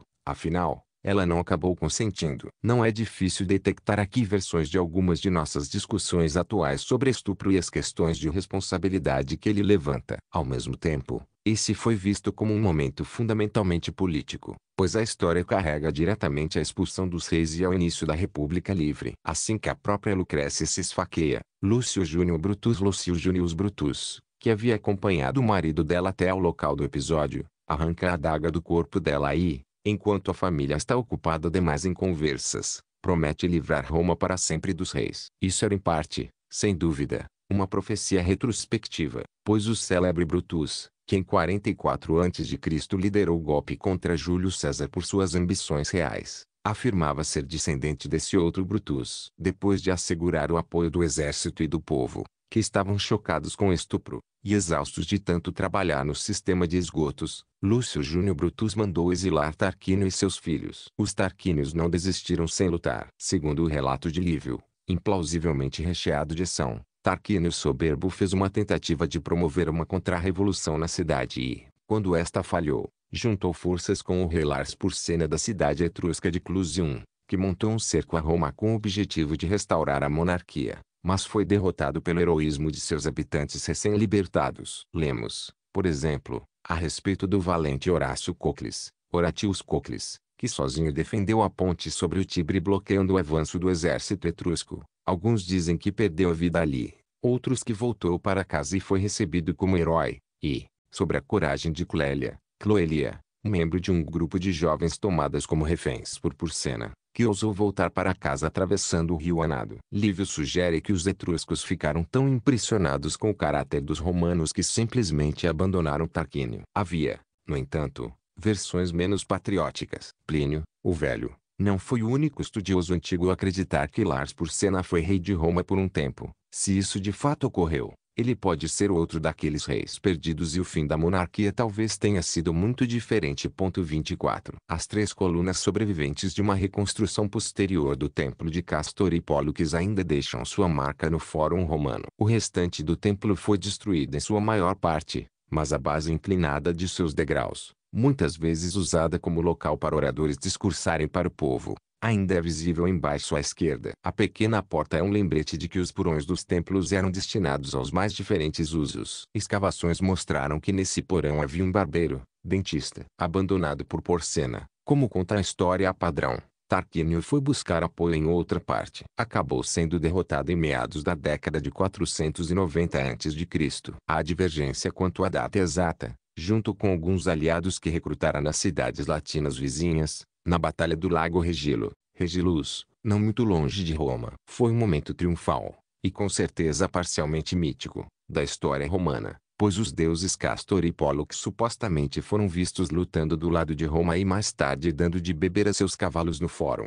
Um templo em homenagem a eles foi erguido ali como gratidão pela ajuda. Embora reconstruído várias vezes, esse templo ainda é um dos marcos do fórum, um duradouro monumento de Roma pelo fato de ter se livrado de seus reis. O nascimento da liberdade O final da monarquia marcou também o nascimento da liberdade da República Livre de Roma. Pelo resto da história romana, rei, ou rex, foi um termo depreciativo, apesar de várias das instituições definidoras de Roma supostamente terem se originado no período dos reis. Houve vários casos nos séculos que se seguiram em que a carreira política de um homem terminou rapidamente a partir do momento em que foi acusado de querer tornar-se rei. Ter um nome de rei foi também desastroso para o infeliz viúvo de Lucrécia, que, por ser parente dos Tarquínios, foi livros em conflitos externos reis eram os mais desejáveis como inimigos. Ao longo dos 100 anos seguintes, havia sempre um frisson especial quando um desfile triunfal pelas ruas da cidade exibia algum rei inimigo vencido, para que a plebe romana o apedrejasse. Desnecessário dizer,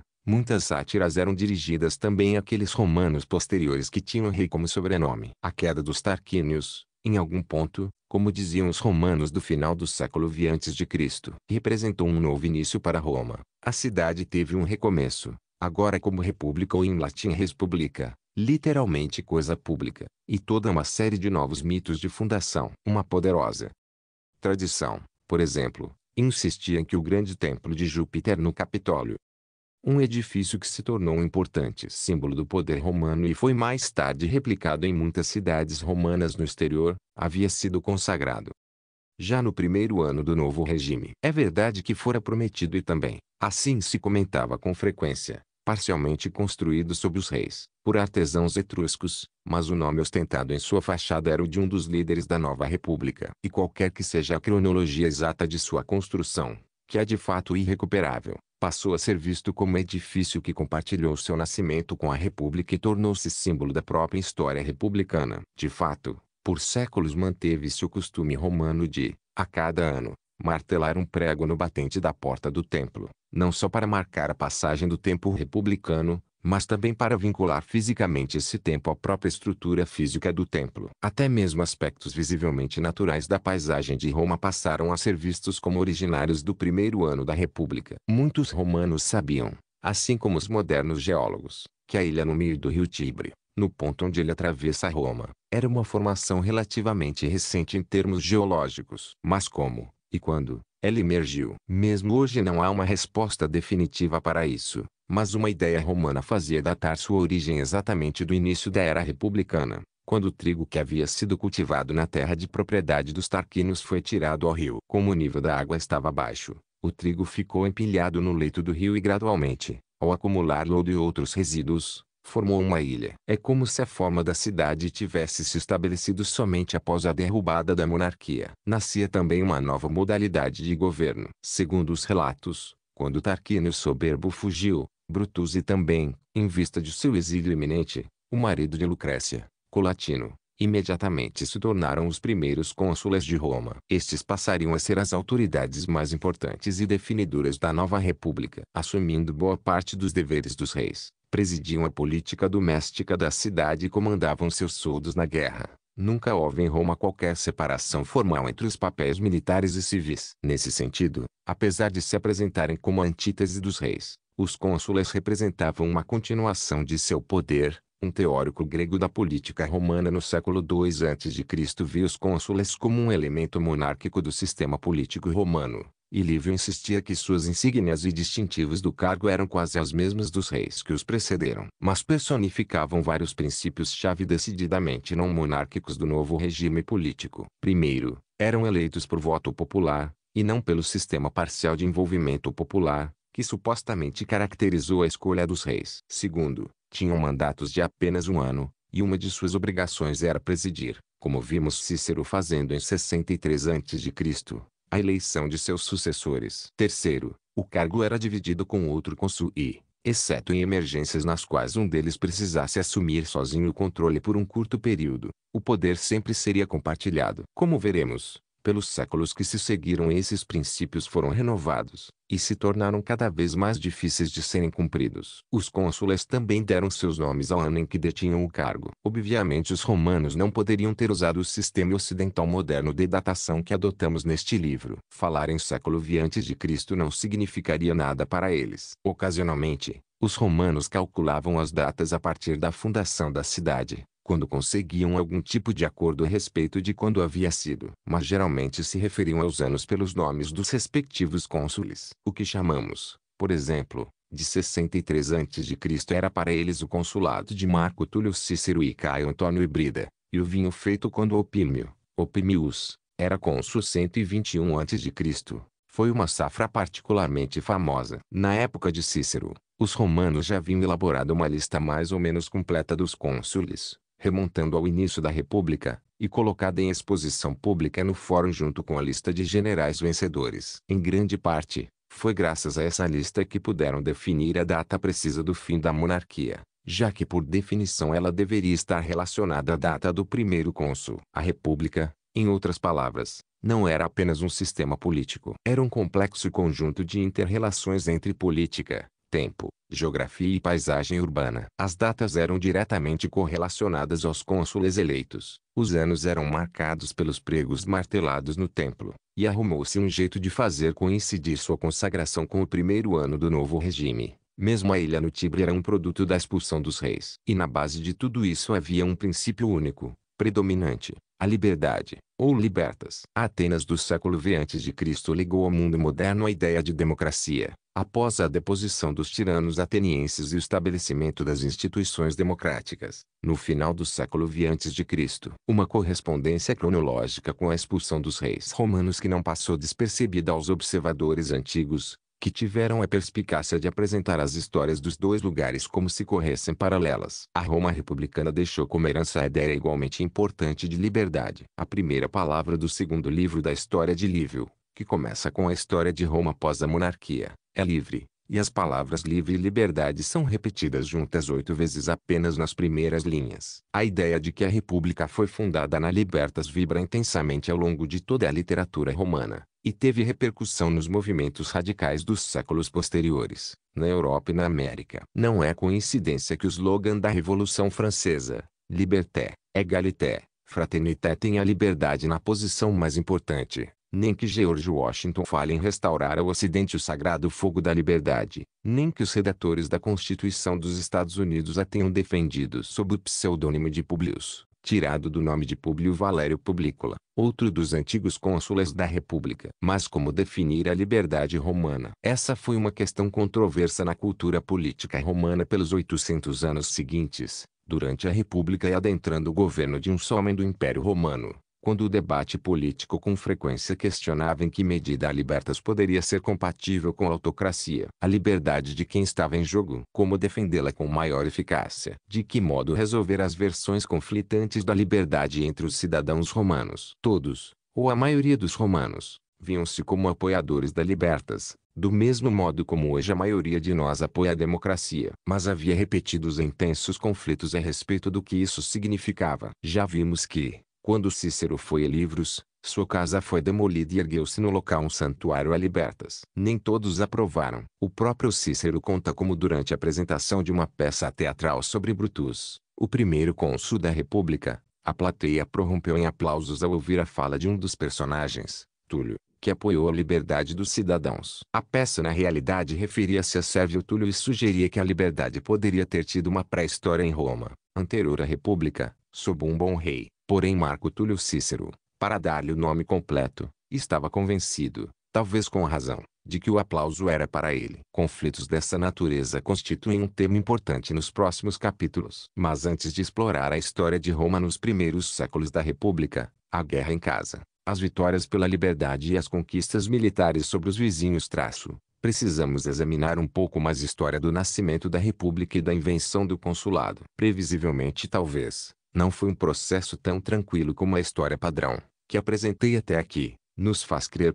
Capítulo 4 O grande salto adiante de Roma Dois séculos de mudanças, dos Tarquínios a Cipião Barbato Como foi que a República começou de fato? Os historiadores da Roma Antiga eram especialistas em transformar o caos histórico em uma narrativa bem ordenada e costumavam imaginar que as instituições que lhes eram familiares se estendiam muito mais para o passado do que era o caso. Para eles, a transição da monarquia para a república foi tranquila, os tarquinos fugiram, a nova forma de governo já emergiu plenamente formada, o consulado foi instituído imediatamente, provendo a nova ordem com sua cronologia a partir do ano 1. Na realidade, todo o processo deve ter sido mais gradual do que esse relato sugere, e mais confuso. A república nasceu lentamente, ao longo de um período de décadas, se não de séculos. E foi reinventada várias vezes. Mesmo os cônsules não remontam ao início do novo regime. Lívio sugere que a maior autoridade do Estado, e aqui tinha a tarefa de pregar um prego no templo de Júpiter a cada ano, era originalmente chamada de pretor principal, embora o termo pretor tenha sido usado mais tarde para designar um oficial menor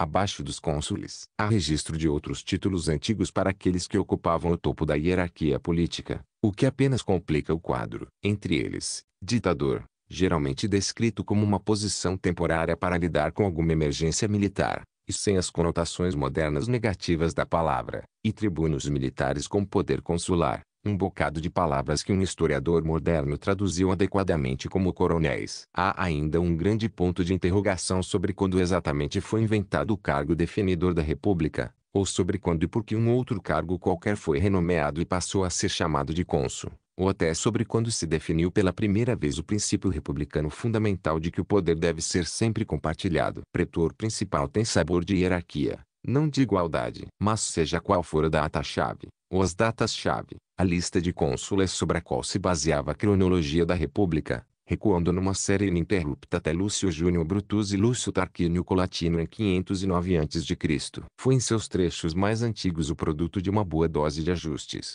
inferências imaginativas, suposições engenhosas e muito provavelmente pura invenção. Livio admitiu, em seu exame retrospectivo a partir do século e antes de Cristo, que era praticamente impossível destrinçar com muita certeza a cronologia dos detentores de cargos nesse período inicial. Como escreveu, era algo simplesmente recuado demais no tempo. Também há um ponto de interrogação a respeito do grau de violência que levou à queda da monarquia. Os romanos vislumbravam uma mudança de regime com relativamente pouco sangue derramado. Lucrécia foi a baixa mais destacada e trágica, mas, embora a expectativa fosse de um conflito armado, permitiu-se que Tarquínio fugisse são e salvo. A evidência arqueológica sugere que o processo de mudança dentro da cidade não foi tão pacífico assim. No mínimo, foram escavadas camadas de escombros queimados no fórum e em outras partes da cidade plausíveis de datar por volta de 500 a.C. Elas poderiam ser mais do que meros vestígios de uma infeliz série de incêndios acidentais, mas são suficientes como pistas de que a derrubada de Tarquínio pode ter sido sangrenta,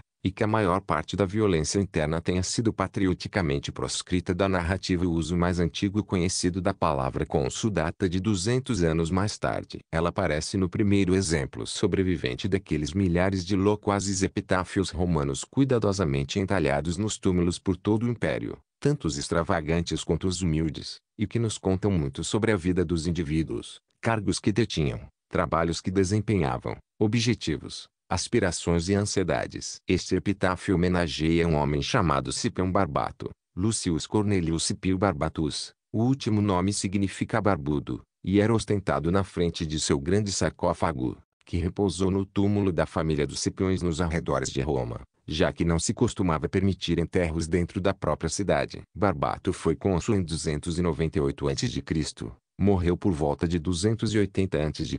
e provavelmente fundou este aparatoso mausoléu, uma despudorada promoção do poder e prestígio de sua família, uma das mais destacadas da República. Seu enterro, ao que parece, foi o primeiro de mais de 30 que ocorreram no mausoléu, e sua caixa mortuária foi colocada na posição mais proeminente, oposta à porta. O epitáfio foi composto logo após sua morte. Tem quatro linhas de extensão e deve ser considerado a mais antiga narrativa histórica e biográfica que sobreviveu da Roma Antiga. Mesmo curto, é um dos grandes pontos de virada na nossa compreensão da história romana. Fornece informação consistente sobre a carreira de Barbato, de modo bem diferente das imaginativas reconstruções, das vagas pistas enterradas no solo ou das modernas deduções sobre o que deve ter sido que cercam a queda da monarquia. Fala de modo eloquente da ideologia e da visão de mundo da elite romana nesse período. Cornelius Lucius Scipio Barbatus, progênie de seu pai Gnaeus, homem corajoso e sábio, de aparência par com sua virtus. Foi cônsul e censor edil entre vocês. Tomou Taurazia e Cisalna de Sânio. Submeteu toda a Lucene e fez reféns. 25. O imponente sarcófago de Barbato dominado pelo grande túmulo dos Cipiões. A rústica pedra local, ou tufa, com seu aspecto simples, contrasta com os sarcófagos dos ricos das centúrias romanas posteriores, de mármore elaboradamente esculpidos. Mas no século III a.C., isso era o melhor e mais sofisticado que o dinheiro podia comprar. Seja lá quem tenha sido autor, presume-se que um de seus herdeiros vírgula, extraiu o que pareceu ser o mais destacado da carreira de Barbato. Em casa entre vocês, havia sido eleito cônsul e censor, um dos dois oficiais responsáveis por registrar os cidadãos e estimar suas riquezas, e também ocupou o cargo menor de edil, que por volta do século e antes de Cristo, e provavelmente antes, cuidava principalmente da manutenção e dos suprimentos da cidade e ainda de organizar espetáculos e jogos públicos. Mais adiante, faz-se ostentação de seus sucessos militares no sul da Itália, a uns 300 quilômetros de Roma. Havia capturado duas cidades dos Samnitas, povo com o qual os romanos tiveram repetidos confrontos durante o tempo de vida de Barbato, e submeter a região da Lucânia, tomando reféns do inimigo, um método padrão dos romanos para garantir bom comportamento. Essas façanhas sublinham a importância da guerra para a imagem pública dos romanos ilustres, mas também apontam para a expansão militar de Roma no início do século III a.C., que agora já se estendia por um longo trecho a partir da porta dos fundos da cidade. Em uma batalha em 295 a.C., na qual Barbato serviu por três anos depois que se tornou cônsul, as forças romanas derrotaram um exército italiano em Centino, Sentinum, não muito distante da moderna Ancona. Essa foi a maior e mais sangrenta batalha travada na península até aquela data e estava tão longe de ser uma mera questão local que as notícias a seu respeito se difundiram rapidamente até bem longe, mesmo com os métodos rudimentares de comunicação, mensageiros, boca a boca e, em raras ocasiões, um sistema de faróis. Sentado em sua escrivaninha na ilha grega de Samos, a centenas de quilômetros dali, O historiador Duris, do século III a.C., concluiu que se tratava de evento que valia a pena registrar. Um breve trecho de seu relato chegou até nós. Igualmente reveladoras são as outras características que o epitáfio escolhe para enaltecer. A coragem e a sabedoria de Barbato e o fato de sua aparência exterior estar à altura de sua virtus. Esse termo pode significar virtude no sentido moderno, mas era com frequência usado de modo mais literal, para se referir ao conjunto de qualidades que definiam um homem. Vir, e virtude em termos romanos era equivalente à hombridade. Seja como for, Barbato era um homem que ostentava suas qualidades no rosto. Embora a imagem popular do homem romano seja dificilmente a de alguém muito preocupado com a própria aparência, numa sociedade aberta, competitiva, cara a cara, esperava-se que a figura pública se parecesse com o papel que desempenhava. Conforme ele caminhava pelo fórum ou parava para se dirigir ao povo, suas qualidades interiores eram claramente reveladas pela sua aparência. No caso de Barbato, a não ser que ele simplesmente tivesse herdado o nome de seu pai, ele exibia uma esplêndida barba, o que pode ter sido algo cada vez mais incomum em sua época. Segundo um relato, os barbeiros começaram a trabalhar em Roma em 300 a.C., e por vários séculos depois disso a maioria dos romanos sempre manteve a barba feita. A Roma de Barbata era muito diferente da Roma do início da República, 200 anos antes, e tinha deixado de ser comum. Grande para os padrões da época, a cidade abrigava, numa estimativa razoável, algo entre 60 mil e 90 mil pessoas. Isso a colocava mais ou menos no mesmo patamar dos maiores centros urbanos do mundo mediterrâneo. Atenas a essa altura tinha uma população de menos da metade dessa cifra, e nunca em sua história abrigou mais de 40 mil habitantes. Além disso, Roma controlava diretamente uma grande extensão de terra que ia de costa a costa, com uma população total de bem mais de meio milhão de pessoas. Indiretamente, por meio de uma série de acordos e alianças,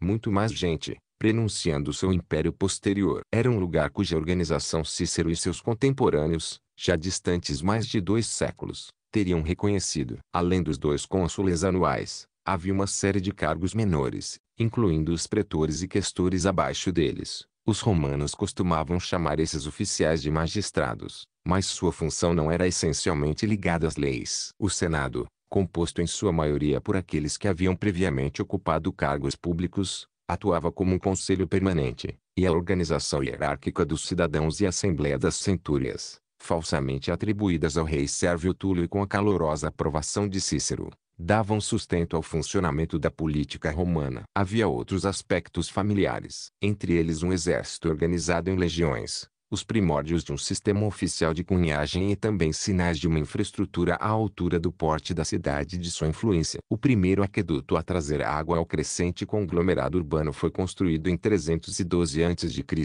um curso de água que corria principalmente sob a terra por cerca de 16 quilômetros desde as colinas próximas, e não uma daquelas extraordinárias construções aéreas que costumamos hoje chamar de aquedutos. Foi ideia de um contemporâneo de Barbato, o dinâmico Apio Cláudio Cego, Apius Claudius Quecus, que no mesmo ano deu início à primeira grande estrada romana, a Via Pia, assim nomeada em sua homenagem, que seguia para o sul, de Roma a Capua. A maior parte de sua extensão era de cascalho, e não das impressionantes placas de pavimento que ainda hoje podemos pisar. Mas era um caminho útil para os exércitos romanos, um meio prático de promover uma comunicação mais pacífica e, em termos simbólicos, uma marca do poder e do controle de Roma sobre a paisagem italiana. Não foi por acaso, portanto, que para o seu grande túmulo familiar Barbato escolheu uma posição privilegiada bem ao lado dessa via, no limite da cidade, para que pudesse ser admirado pelos viajantes que entravam e saíam de Roma. Foi em algum ponto desse período crucial entre 500 a.C.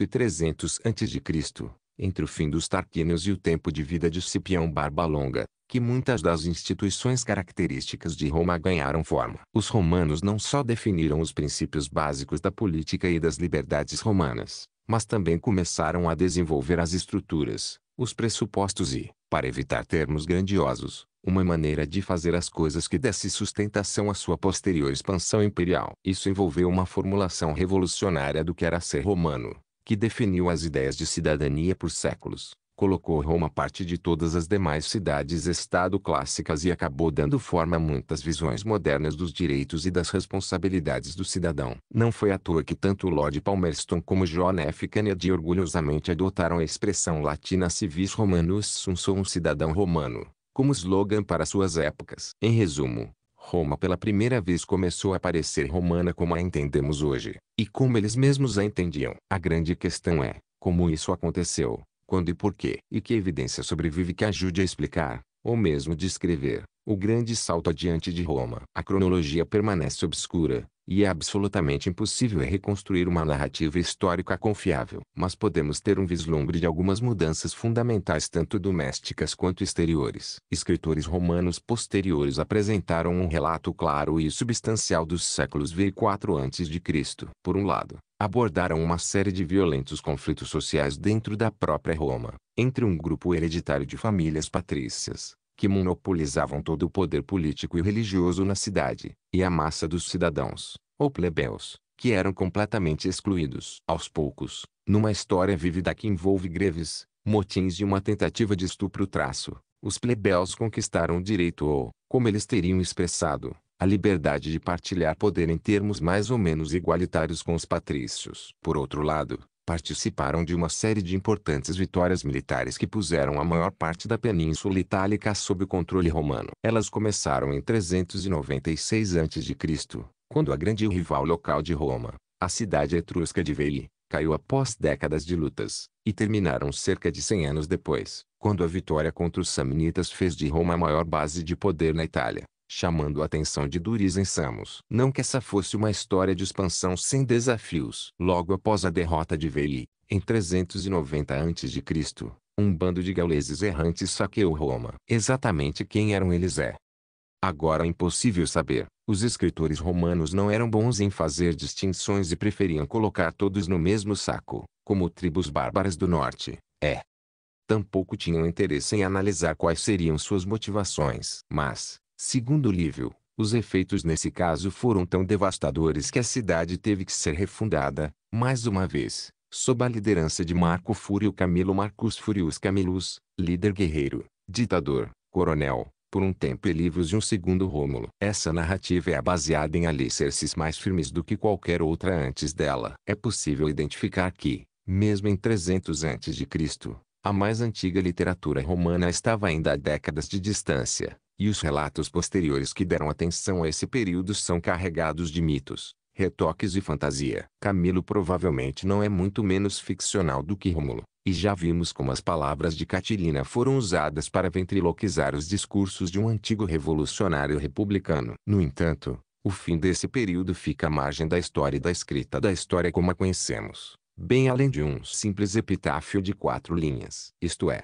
quando o bem relacionado senador Fábio Pictor, nascido por volta de 270 a.C., sentou para compor o primeiro relato escrito extenso sobre o passado de Roma. Ele deve ter lembrado de conversas de sua juventude com pessoas que estavam presentes nos eventos no final do século IV a.C., ou que haviam tido contato com homens da geração de Barbato que os haviam testemunhado. A história de Pictor não sobreviveu, a não ser por umas poucas citações em escritores posteriores, mas era famosa no mundo antigo. Seu nome e uma breve sinopse de seu trabalho foram encontrados pintados nas paredes de uma das poucas bibliotecas antigas já desenterradas, em Tomina, na Sicília. Dois mil anos depois, podemos ler Lívio, que havia lido Pictor, que havia conversado com pessoas que lembravam de como era o mundo em 300 a.C. Uma frágil cadeia de conexões que mergulha na antiguidade. Também há cada vez mais fragmentos sobreviventes a serem confrontados com relatos históricos romanos posteriores ou que apontam para uma narrativa alternativa. O resumo da carreira no epitáfio de Barbato é um deles. Quando Lívio cobre esses anos em sua história,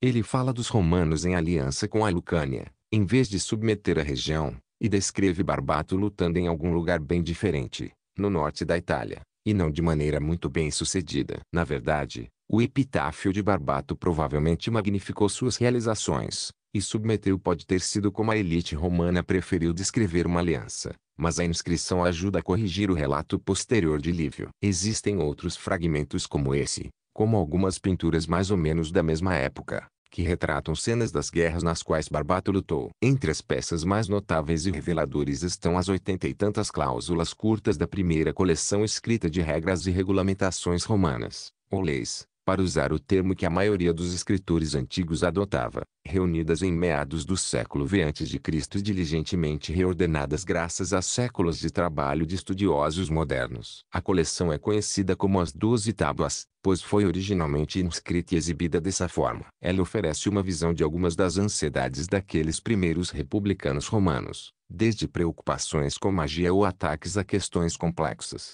Entre elas, se era permitido enterrar um cadáver sem remover-lhe os dentes de ouro, o que constitui um vislumbre incidental da capacidade da antiga dentística, que a arqueologia confirma. Portanto, é o mundo das doze tábuas para o qual iremos nos voltar, antes de seguir adiante e explorar as mudanças radicais, tanto internas quanto externas, que vieram depois. Reconstruir a história desse período é um processo intrigante e às vezes torturante, e parte da diversão está em tentar imaginar como algumas das peças desse quebra-cabeça incompleto se encaixam, e saber discernir o que é fato e o que é fantasia. Mas há peças suficientes para confiar que a mudança decisiva em Roma ocorreu no século IV a.C., na geração de Barbato e Apio Cláudio Cego, e na de seus imediatos predecessores, e que aquilo que aconteceu então, por difícil que seja especificar em detalhes, estabeleceu um padrão de política romana, doméstica e exterior, que perdurou por séculos. 26.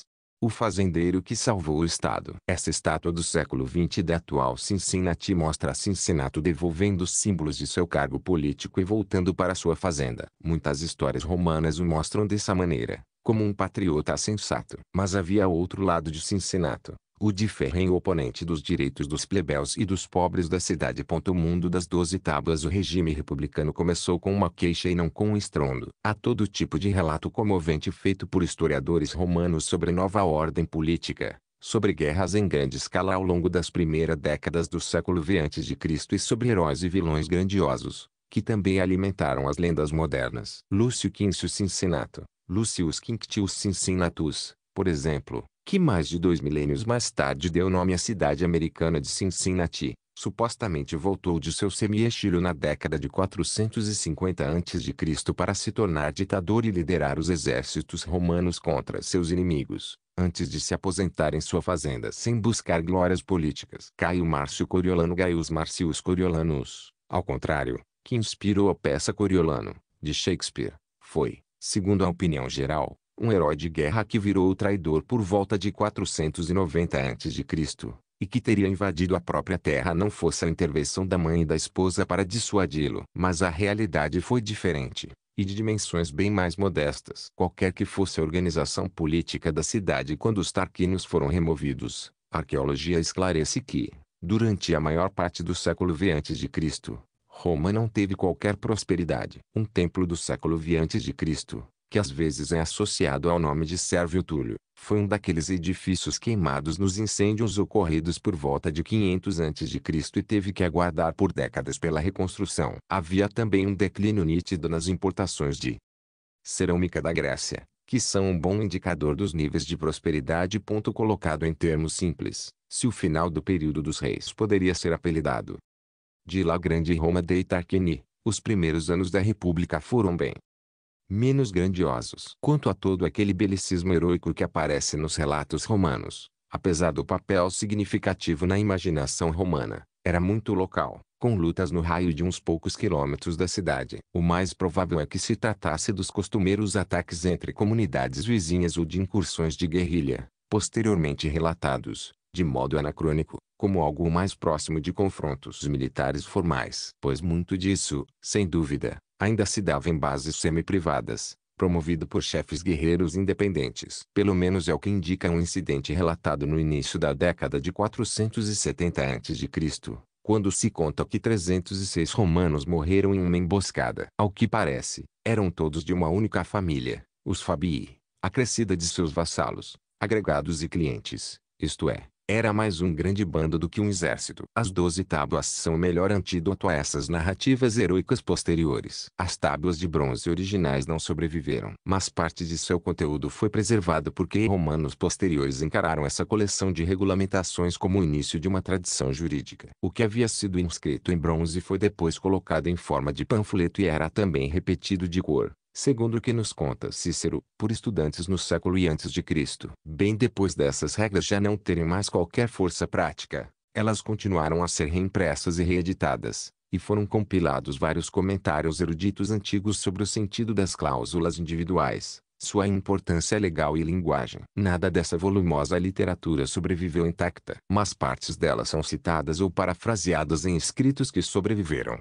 e, Vasculhando esse material, estudiosos resgataram as oitenta e tantas cláusulas das tábuas originais. O processo todo tem sido ferozmente técnico, e ainda há debates calorosos e intrincados sobre o sentido exato do texto das cláusulas, sobre a abrangência e representatividade dessa seleção em relação às originais e sobre a acurácia dos estudiosos romanos posteriores que as citam. Alguma modernização ocorreu, sem dúvida. O latim parece arcaico, mas não arcaico o suficiente para o século V a.C., e às vezes as paráfrases tentaram aproximar o sentido original dos procedimentos posteriores da lei romana. Em alguns casos, mesmo advogados romanos cultos compreenderam mal o que leram nas doze tábuas, a ideia de que um devedor insolvente, que tivesse vários credores, poderia ser morto e seu corpo dividido entre eles, em pedaços de dimensões proporcionais às quantias devidas, parece ser uma dessas interpretações equivocadas. Seja como for, essas citações oferecem o acesso mais direto à sociedade de meados do século V a.C.,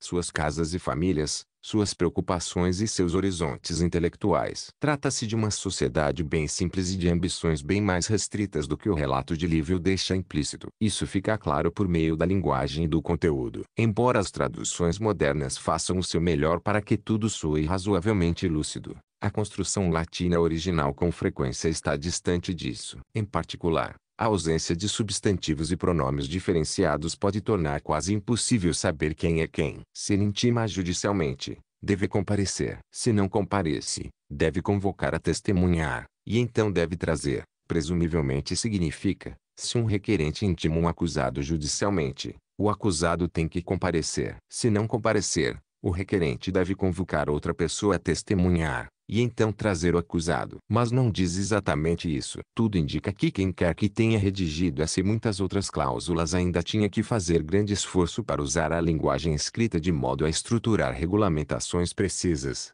e que as convenções da argumentação lógica e da expressão racional ainda estavam em sua primeira infância. No entanto, a mera tentativa de criar um registro formal dessa espécie marca um estágio importante naquilo que hoje com frequência é chamado de formação do Estado. Um dos aspectos decisivos em muitas sociedades primitivas é a rudimentar, e geralmente muito parcial, codificação da lei. Na antiga Atenas, por exemplo, a obra de Draco no século 7 a.C., embora hoje seja sinônimo de severidade draconiano, foi notável como primeira tentativa de escrever o que eram regras orais. Mil anos antes na Babilônia, o Código de Hammurabi fez algo similar. As doze tábuas seguem esse padrão. Estão longe de constituir um código de leis abrangente e podem muito bem nunca ter tido essa intenção. A não ser que o âmbito das citações sobreviventes seja muito enganoso, elas praticamente não incluem nada de lei pública, constitucional. O que fica implícito é um compromisso com procedimentos acordados, compartilhados e publicamente reconhecidos de resolver disputas,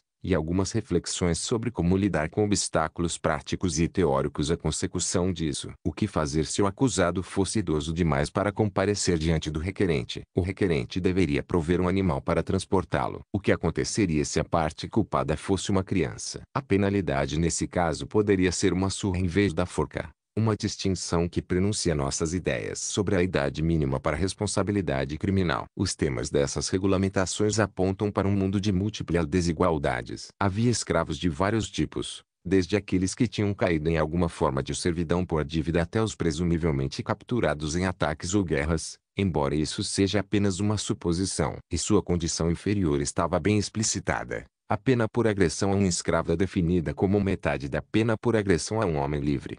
Ao passo que um escravo podia ser punido com a morte por uma mesma ofensa que, se cometida por um cidadão livre, acarretaria apenas uma surra. Mas alguns escravos acabavam sendo libertos, como fica claro em uma referência a um ex-escravo, ou libertus. Também havia hierarquias entre os cidadãos livres. Uma cláusula estabelece distinção entre patrícios e plebeus, outra entre assidui, homens com propriedades, e proletarii, sem propriedades, cuja contribuição para a cidade era a produção de descendência proles. Outra refere-se a patrões e clientes e a uma relação de dependência e obrigações mútuas entre os cidadãos mais ricos e os mais pobres, que permaneceu importante ao longo da história romana. O princípio básico era que o cliente dependia do seu patrão para proteção e assistência, financeira e de outro tipo, como retribuição por uma variedade de serviços prestados, incluindo voto em eleições. Os escritos romanos posteriores são cheios de retórica bombástica da classe patronal a respeito das virtudes do relacionamento,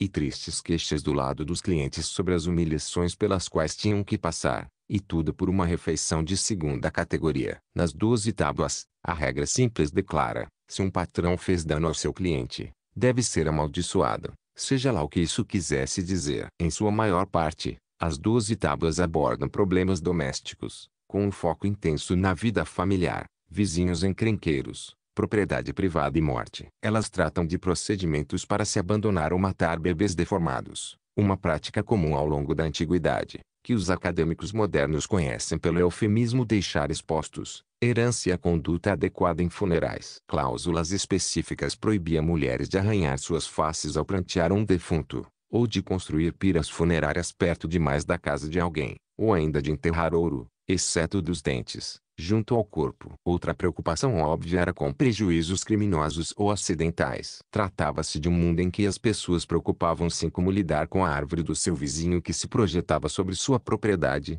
A solução tinha que ser cortada em uma determinada altura, ou com os animais do vizinho que corriam descontrolados. Solução o dano tinha que ser reparado ou animal sacrificado. Preocupavam-se com ladrões irrompendo durante a noite, o que devia ser punido mais severamente do que os roubos de eunos traço, com vândalos destruindo seus cultivos ou com armas extraviadas ferindo um inocente. Mas, caso tudo isso soe um pouco familiar demais, era também um mundo em que as pessoas se preocupavam com a magia. O que você deveria fazer se algum inimigo enfeitiçasse seus cultivos ou lançasse uma maldição contra você? Infelizmente, perdeu-se o que seria a providência adequada nesse caso. A julgar pelas doze tábuas, Roma em meados do século V a.C.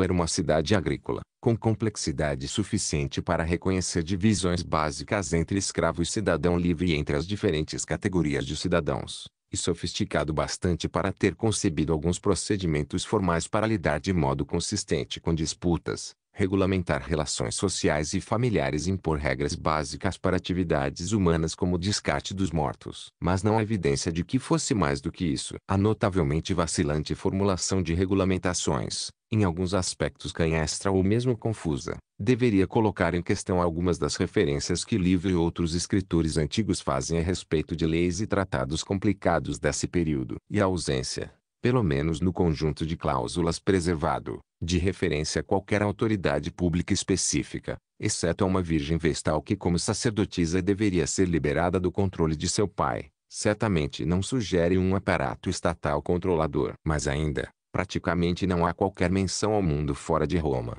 além de um par de referências sobre como determinadas regras se aplicavam a um hostis, um estrangeiro ou um inimigo. A mesma palavra em latim, significativamente, pode significar as duas coisas, e uma referência a ser vendido como escravo em país estrangeiro cruzando o Tibre, como uma forma de punição e último recurso por dívida. Talvez esse conjunto de cláusulas tenha um foco intencionalmente interno em vez de externo. De qualquer modo, não há indicação nas doze tábuas de que fosse uma comunidade que desse grande prioridade às relações, seja de dominação, exploração ou amizade, para além de sua localidade. Tudo parece estar a um mundo de distância da era de Cícero, e mesmo da era de Barbato e Apio Cláudio Cego, pouco mais de cem anos depois, com seu desfile de cargos públicos, estradas se abrindo ao sul até Capu e ostentação da tomada de reféns da Lucânia, vê lâmina 5. Então, o que foi que mudou, e quando? O conflito das ordens primeiro, o que aconteceu na política interna. As doze tábuas foram um dos resultados do que se costuma chamar agora de conflito das ordens. O termo latino ordo significa,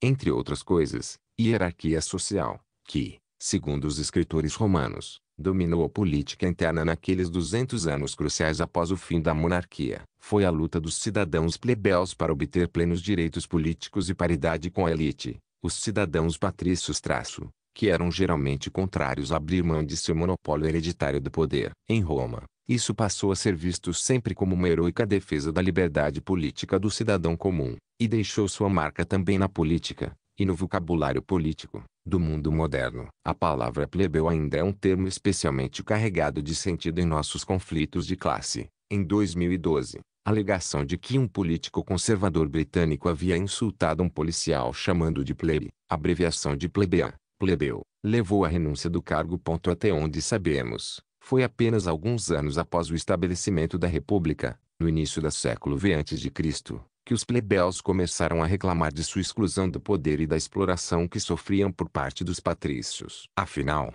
perguntavam-se eles repetidas vezes, por que lutar nas guerras de Roma se todo o lucro gerado por nós serve apenas para encher os bolsos dos patrícios? Como poderiam considerar-se cidadãos plenos, quando estavam sujeitos a punições aleatórias e arbitrárias, até mesmo a serem escravizados se caíssem na condição de devedores. Que direito tinham os patrícios de manter os plebeus como uma subclasse? Ou, como nas palavras irônicas de um reformador plebeu, registradas por livro e expressas em termos que lembram de modo impressionante a oposição ao partir no século XX. Por que vocês não aprovam uma lei para impedir um plebeu de morar vizinho a um patrício, ou de andar na mesma rua, ou de frequentar a mesma festa, ou de ficar em pé, lado a lado, no mesmo fórum. Em 494 a.C., atormentados por dívidas, os plebeus fizeram a primeira de várias passeatas pela cidade, uma combinação de motim e greve, para forçar os patrícios a aceitarem as reformas. Funcionou. Desencadeou uma longa série de concessões que aos poucos erodiram todas as diferenças significativas entre patrícios e plebeus e efetivamente reformularam a estrutura do poder político da cidade. Duzentos anos mais tarde, Havia poucos privilégios dos patrícios além do direito de exercer alguns cargos antigos de sacerdócio e de usar uma forma particular de calçado adornado. A primeira reforma em 494 a.C. foi a nomeação de representantes oficiais, conhecidos como tribunos do povo, tribuni plebis, para defender os interesses dos plebeus. Depois, criou-se uma assembleia especial, exclusivamente para plebeus, assim como a Assembleia das Centúrias ela foi organizada em um sistema de votação por bloco, mas os detalhes técnicos eram radicalmente diferentes. Não se baseava em uma hierarquia de riqueza. Em vez disso, os grupos votantes eram definidos geograficamente, sendo divididos em tribos-tribus, ou subdivisões regionais do território romano, sem nenhuma relação com qualquer agrupamento étnico que o sentido moderno de tribo possa implicar. Por fim, após uma última passeata, em uma reforma que Cipião Barbato teria testemunhado em 287 a.C., as decisões dessa Assembleia passaram a ter automaticamente obrigatoriedade legal sobre todos os cidadãos romanos. Em outras palavras, foi dada a uma instituição plebeia a força de legislar sobre em nome do Estado como um todo. Entre 494 e 287 a.C., em meio a mais retórica de agitação, greves e ameaças de violência, todos os altos cargos e postos de sacerdócio foram aos poucos sendo abertos aos plebeus e seu status de segunda classe foi desmantelado. Uma das vitórias plebeias mais célebres ocorreu em 326 a.C., quando o sistema de escravização por dívidas foi abolido, estabelecendo-se o princípio de que a liberdade de um cidadão romano era um direito inalienável. Um marco igualmente significativo, mas de menor dimensão política, havia sido aprovado 40 anos antes, em 367 a.C. Após décadas de reclamações de patrícios de que constituiria um crime contra os deuses deixar um plebeu ser cônsul, foi decidido abrir um dos consulados a plebeus. E, a partir de 342 a.C., aceitou-se que ambos os cônsules poderiam ser plebeus, caso eleitos. 27. Um dos cargos do que sempre fora restrito aos patrícios era o flaminato, cargo sacerdotal antigo relacionado a alguns dos principais deuses. Sacerdotes desse grupo são vistos aqui no altar da paz do século e antes de Cristo. Vfig. 65. Reconhecíveis por seu estranho adereço cobrindo a cabeça. De longe, os eventos mais dramáticos no conflito foram os que cercaram a elaboração das doze tábuas, em meados do século V a.C. As cláusulas que foram preservadas podem ser breves, alusivas e até um pouco secas, mas, segundo a história que os romanos contam, foram compiladas em uma atmosfera que envolvia uma mistura trágica e altamente emocional de enganos, acusações de tirania, tentativa de estupro e assassinato. Segundo a história, durante vários anos os plebeus haviam pedido que as leis da cidade fossem tornadas públicas. Em vez de constituírem um mero recurso secreto dos patrícios, e, como concessão, os cargos políticos normais foram suspensos em 451 a.C. e 10 homens, decemviri, foram nomeados para coletar, redigir e publicar essas leis. No primeiro ano, os decemviri foram bem-sucedidos em elaborar dez tábuas de leis, mas a tarefa não estava concluída. Assim, para o ano seguinte outro conselho foi nomeado, mas se mostrou de caráter bem mais conservador. Esse segundo conselho produziu as duas tábuas restantes, introduzindo uma notável cláusula proibindo o casamento entre patrícios e plebeus. Embora a iniciativa da elaboração dessas leis tivesse sido originalmente reformista, ela se transformou na mais extrema tentativa de manter os dois grupos separados, a lei mais desumana, assim chamou a Cícero, contrária ao espírito romano de abertura. Coisa pior estava por vir. Esse segundo conselho de Decemviri, os Dez como eram conhecidos, começou a imitar o comportamento de tiranos, descendo ao nível da violência sexual. Naquilo que foi quase uma reencenação do estupro de Lucrécia que levou à fundação da República, um de seus membros, o patrício Apio Claudio, trisavô do construtor de estradas, exigiu fazer sexo com uma jovem plebeia, adequadamente nomeada como Virgínia, solteira mas comprometida. Seguiram-se fraude e corrupção. Apio subornou um dos seus agregados para que declarasse que ela era sua escrava, e que havia sido roubada por alguém que ela chamava de pai. O juiz do caso foi o próprio Apio, que, é claro, julgou em favor de seu cúmplice e atravessou o fórum para ir tomar Virgínia. Nas discussões que se seguiram, o pai dela, Lucius Virginius, pegou uma faca da banca de um açougueiro e apunhalou sua filha até a morte. Estou libertando você, minha filha, do único jeito que posso, gritou. A história de Virgínia sempre foi ainda mais perturbadora que a de Lucrécia. Ela não só combina assassinato familiar com a brutalidade do conflito de classes, como ainda levanta de modo inevitável a questão do preço a ser pago pela castidade. Que tipo de modelo de paternidade é esse? Quem incidiu mais em erro? Será que altos princípios precisam ter custos terríveis? É, uma vez mais, ou a tentativa de Estupro veio a ser o catalisador de uma mudança política. A exibição do corpo de Virginia e o discurso veemente que Virginius fez ao exército geraram tumultos, motins, a abolição do tirânico Conselho dos Decemviri e, nas palavras de Lívio, o restabelecimento da liberdade. Apesar da mácula da tirania, as doze tábuas continuaram. Logo passaram a ser vistas como honoráveis ancestrais da lei romana, exceto a proibição de casamento entre as classes, que foi rejeitada. Essa história do conflito desordens constitui uma das mais radicais e coerentes manifestações de poder popular e liberdade que sobreviveram do mundo antigo, bem mais radical do que qualquer coisa que tenha sobrevivido da democrática Atenas clássica, cuja maioria de seus escritores, quando tinha algo explícito a dizer sobre o assunto, se opunha ao poder popular. Em seu conjunto, as exigências colocadas nas bocas dos plebeus eram um programa sistemático de reforma política, baseado em diferentes aspectos da liberdade do cidadão, desde a de participar do governo do Estado à liberdade contra a exploração e de informação. Não surpreende que os movimentos da classe trabalhadora em muitos países no século XIX e início do século XX tenham descoberto um precedente memorável, e um pouco da sua retórica vencedora, nessa história antiga sobre como a ação concertada do povo romano arrancou concessões da aristocracia patrícia hereditária e garantiu plenos direitos políticos aos plebeus. E tampouco surpreende que os primeiros sindicatos tenham olhado para as passeatas daqueles plebeus como modelo a seguir para uma greve bem-sucedida. Mas o quanto é acurada essa história que os romanos contaram desse conflito e que luz ela lança sobre o grande salto adiante de Roma. Aqui as peças do quebra-cabeça se mostram difíceis de compor. Mas, sem dúvida,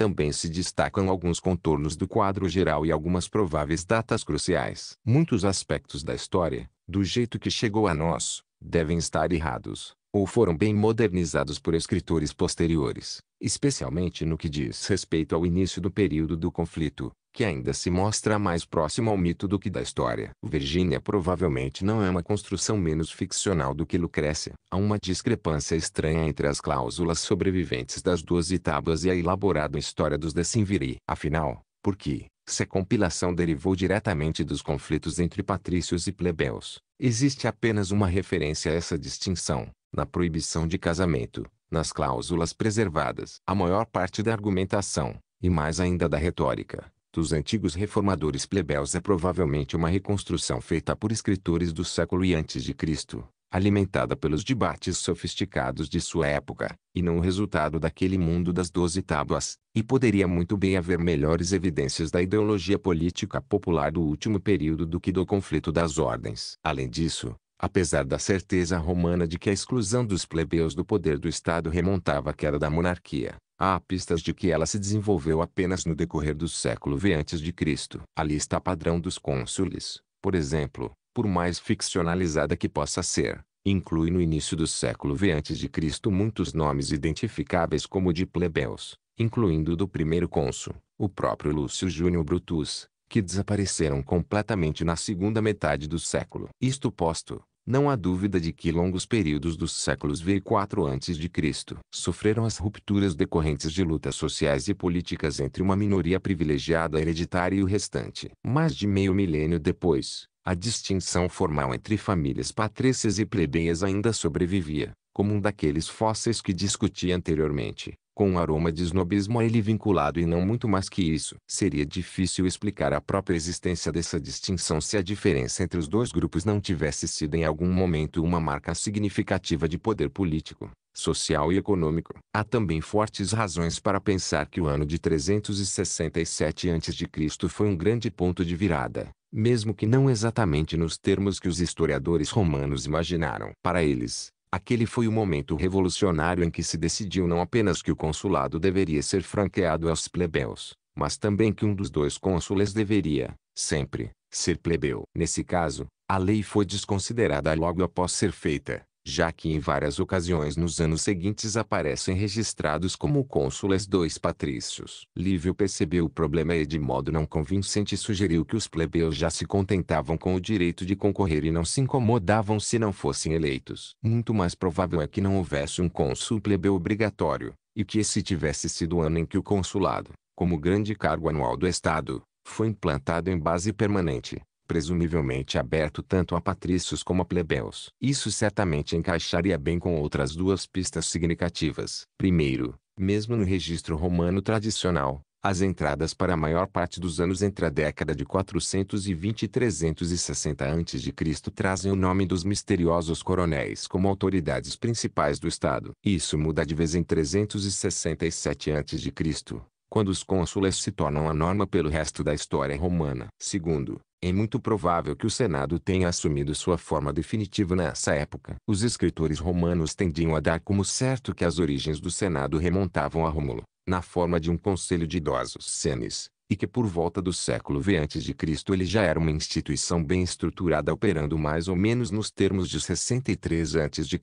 Um verbete altamente técnico de um antigo dicionário romano implica uma versão diferente, sugerindo que foi apenas por volta do século IV a.C. que o Senado se estabeleceu como corpo permanente com membros vitalícios, e não como um mero grupo de amigos e conselheiros ad atendendo às autoridades que estivessem no poder, quaisquer que fossem, sem qualquer tipo de continuidade. Se isso for certo, e, é claro, nem todas as peças arcanas de informação técnica são necessariamente corretas, então sustenta a ideia de que o sistema político romano assumiu sua forma característica em meados do século IV a.C. Sejam quais forem os precursores, ou os elementos, como assembleias ou censos, que já estivessem instituídos, Roma não pareceu caracteristicamente romana mais do que por um século depois de 509 a.C. Isso significa que o que vimos delineado no túmulo de Barbato não é uma carreira tradicional de um membro da elite romana, embora ele tenha sido visto assim mais tarde. Enterrado em algum momento do início do século III a.C.,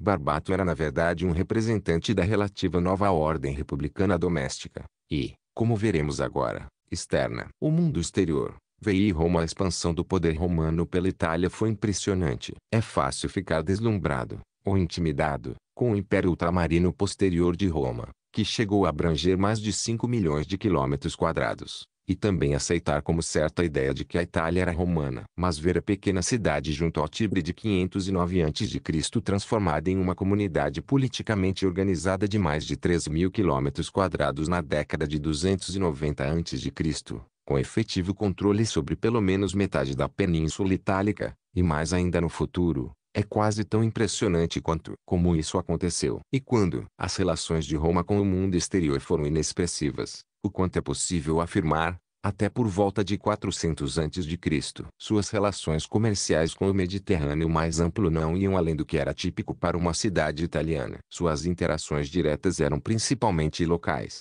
acima de tudo como as comunidades latinas do sul, que partilhavam com Roma uma língua, um sentido de ancestralidade comum e várias festas sagradas. O máximo que se pode dizer é que, por volta do final do século V a.C., os romanos provavelmente tinham algum tipo de controle sobre alguns dos outros latinos. Tanto Cícero quanto o historiador Políbio, um arguto observador grego de Roma, que aparecerá com destaque no próximo capítulo, afirmam ter visto documentos, ou tratados, desse período, sugerindo que Roma era então o principal ator daquele pequeno mundo latino local. E, como temos visto, a história do século V a.C. sugere que havia surtos mais ou menos anuais de lutas, mas em escala limitada. Não importa os termos grandiosos com que tenham sido mais tarde enaltecidas. Em termos bem simples, se tivessem ocorrido grandes baixas a cada ano durante décadas, a pequena cidade de Roma não teria sobrevivido. O momento da mudança veio perto do início do século IV a.C.,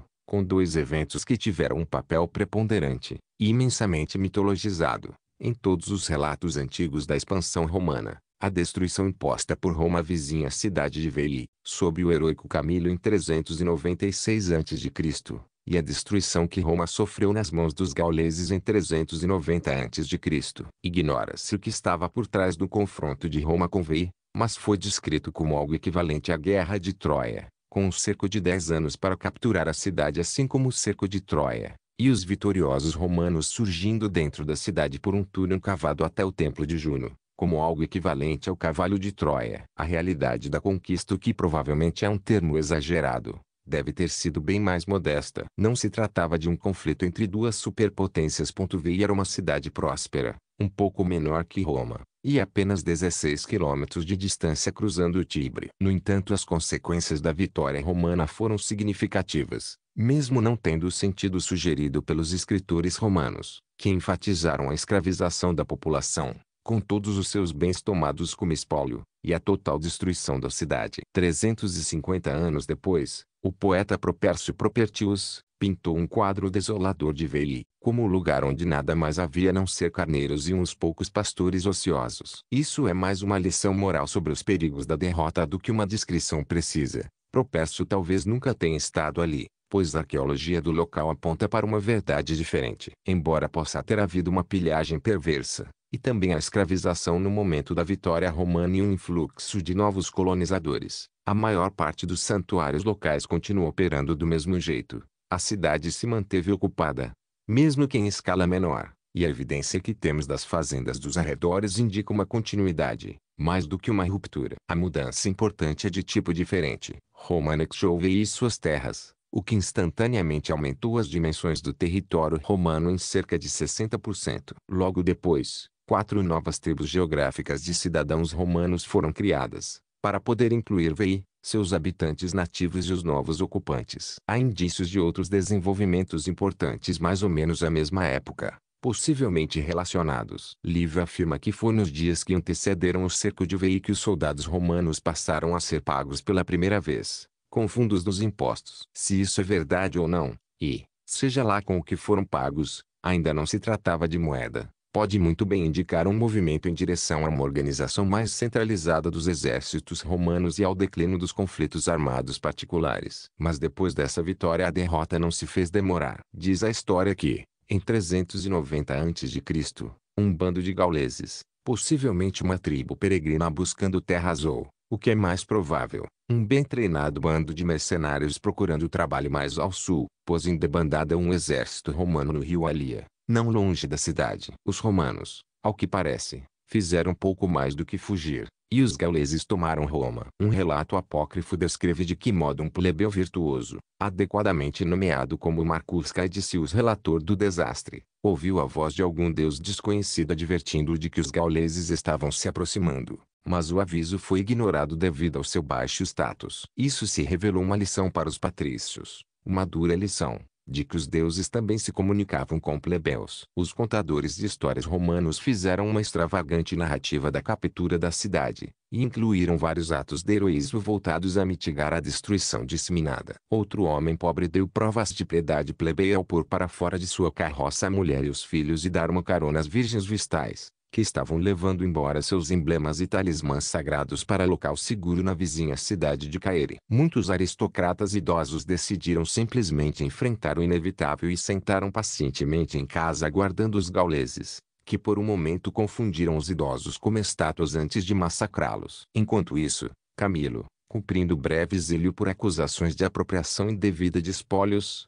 voltou a tempo de impedir os romanos de pagarem um elevado resgate aos gauleses e dissuadiu seus compatriotas de simplesmente abandonarem a cidade e se mudarem para Veii, fazendo-os assumir a responsabilidade de refundar a cidade. Essa é uma das versões. Outra, menos honrosa, sustenta que os gauleses triunfalmente partiram levando com eles o resgate. Trata-se de mais um exemplo do exagero romano. As várias histórias, que se tornaram lugar comum na memória social romana, oferecem importantes lições patrióticas, a respeito de colocar os interesses do país acima dos interesses familiares, de coragem diante da derrota inevitável e dos riscos de se medir o valor da cidade em termos de ouro. Essa catástrofe tornou-se a tal ponto parte do imaginário popular romano, que alguns obstinados a usaram em 48 d.C. como argumento, ou como artimanha desesperada, contra as propostas do imperador Cláudio de admitir gauleses no Senado. No entanto, não há evidência arqueológica para o tipo de destruição massiva que os romanos posteriores imaginaram, a não ser que aqueles vestígios de incêndio hoje datados por volta de 500 a.C. sejam na realidade, como os arqueólogos já pensaram, vestígios de uma violência gálica ocorrida 100 anos depois. 28. Desenho do início do século XX feito a partir de uma foto, das ruínas da muralha serviana perto da estação central de trens de Roma. Trechos dessa fortificação ainda saúdam os viajantes que saem hoje da estação Roma Termini, embora estejam agora encerradas, de modo bastante deprimente, atrás de grades. A única marca clara que sobreviveu do saque na paisagem romana é o vasto muro de defesa da cidade, do qual ainda podemos ver alguns trechos impressionantes construído após a partida dos gauleses e feito com um tipo de pedra particularmente durável um dos produtos do novo território de Roma em torno de Veii. Mas havia fortes razões pelas quais essa derrota se mostrou um episódio propício para os historiadores romanos decidirem enfatizá-lo. Ela colocou em foco os temores romanos de invasores provindo dos Alpes, entre os quais Aníbal era o mais perigoso, mas não único. E ajudou a explicar por que sobreviveu tão pouca informação consistente sobre a Roma primordial desapareceu no meio das chamas, e portanto marcou o início, em termos antigos, da história moderna. A derrota respondeu ainda à questão de por que no ulterior república cidade de Roma, apesar de seu renome mundial, era aquele labirinto de toca de coelho mal planejado. Os romanos tiveram que reconstruir tudo às pressas depois que os gauleses foram embora. E ainda abriu novo capítulo nas relações de Roma com o mundo exterior. Os romanos contra Alexandre, o grande o que se seguiu foi uma revolução nos conflitos romanos, em seu porte, sua escala, sua localização e suas consequências. Sem dúvida, aquele padrão básico de um conflito bélico mais ou menos anual prosseguiu. Escritores antigos ficaram excitados com a longa lista de batalhas romanas travadas no século IV a.C.,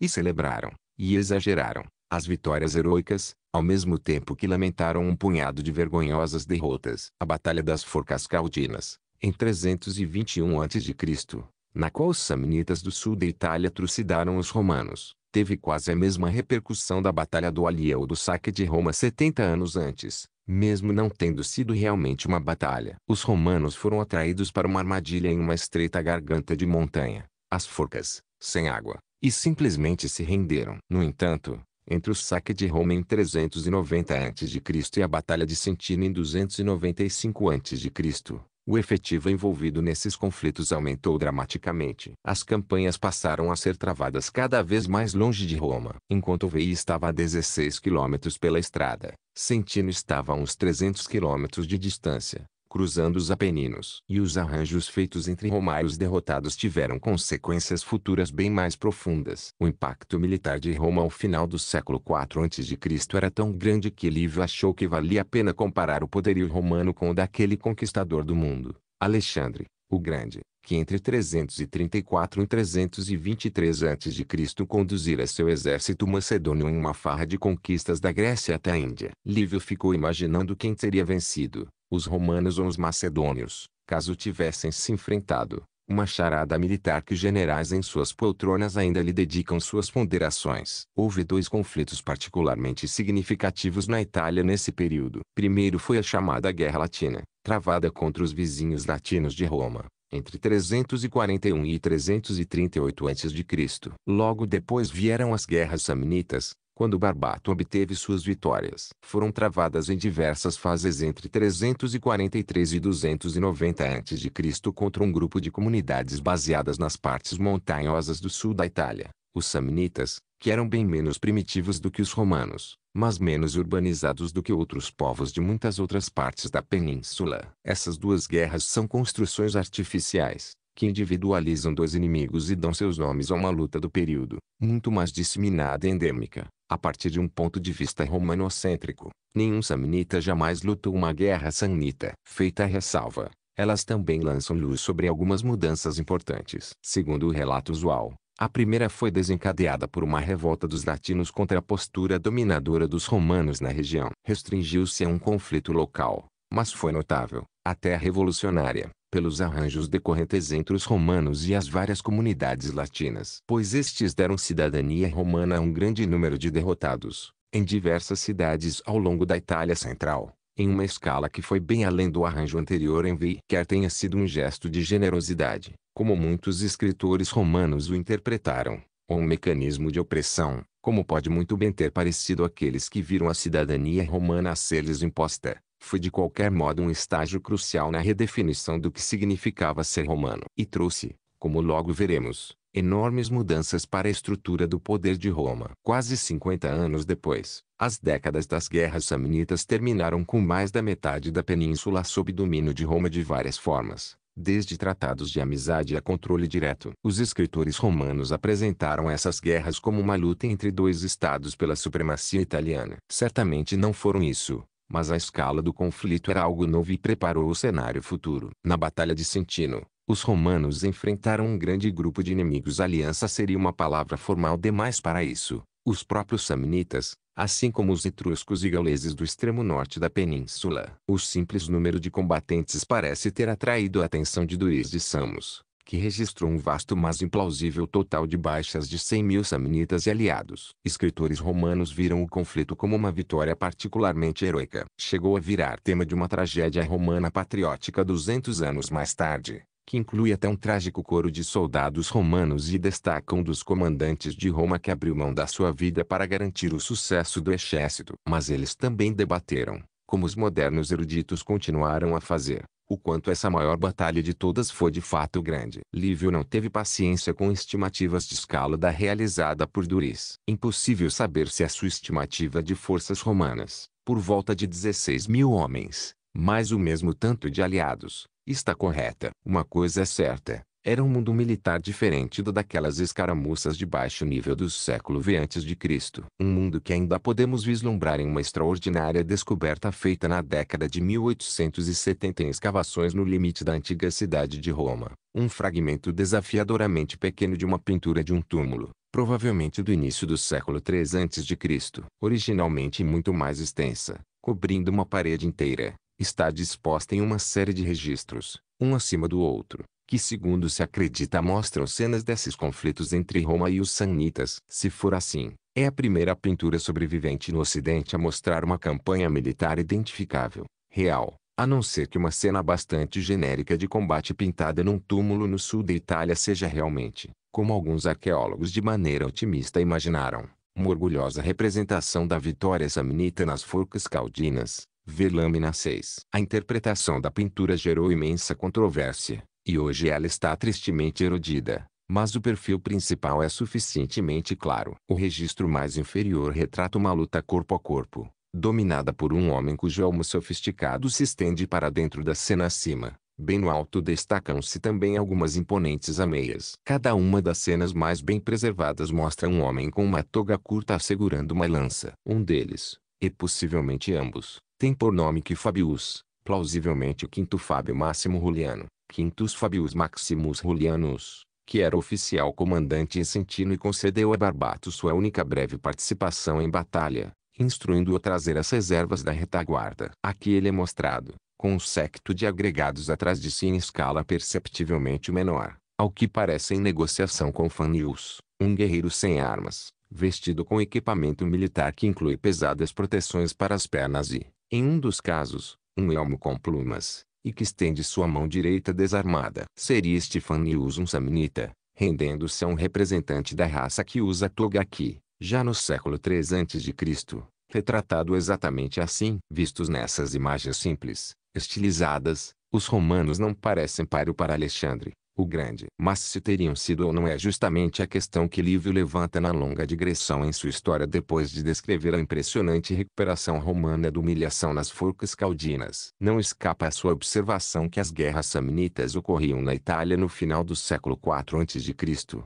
mais ou menos quando o rei macedônio devastava o Oriente. Na época de Lívio, os generais romanos já estavam havia muito tempo ansiosos para emular Alexandre. Tinham imitado seu estilo de penteado, Autodenominavam-se o grande e tanto Júlio César quanto o primeiro imperador, Augusto, haviam feito uma peregrinação ao túmulo de Alexandre no Egito, e Augusto, assim se dizia, havia por acidente arrancado o nariz do cadáver enquanto prestava-lhe homenagem. Portanto, talvez não surpreenda que Livio tenha levantado uma clássica questão hipotética, quem teria vencido se Alexandre tivesse voltado seus exércitos para o ocidente e enfrentado os romanos em vez dos persas? Alexandre, reconhece ele, era um grande general, apesar de ter seus defeitos, entre eles o de embriagar-se. Mas os romanos contavam com a vantagem de não depender de um único líder carismático. Tinham extraordinária disciplina militar. Também podiam, insistia Lívio, convocar um número bem maior de soldados bem treinados e, graças às alianças romanas por toda a Itália,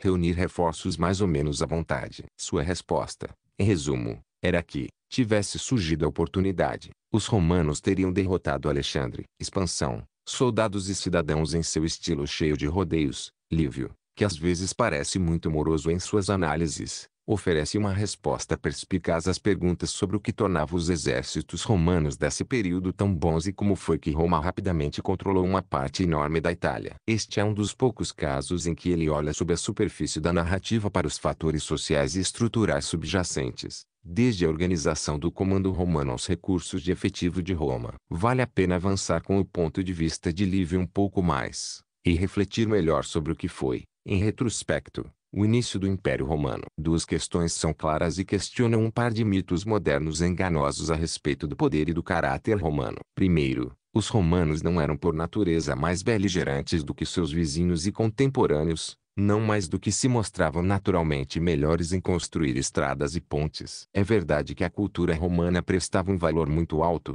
para nós, incomodamente alto, ao sucesso num combate. Perícia, bravura e violência mortal em batalha eram celebradas repetidamente, não só as do general vitorioso desfilando pelas ruas sob aclamação da multidão em sua triunfal procissão, mas as dos soldados rasos mostrando suas cicatrizes de batalha no meio de discussões políticas, na expectativa de com isso acrescentar peso aos argumentos. Em meados do século IV a.C., a base da plataforma principal dos oradores no fórum era decorada com aretes de bronze de navios de guerra inimigos capturados da cidade de Ancio durante a Guerra Latina, simbolizando a base militar do poder político romano. A palavra latina para ariete, rostra, tornou-se o nome da plataforma e resultou na palavra do português moderno rostro. No entanto, Seria ingênuo imaginar que os outros povos na Itália fossem diferentes. Tratava-se de grupos muito disparatados, e muito mais variados, na língua, cultura e organização política, do que o vocábulo italiano implica. Mas julgando a partir do pouco,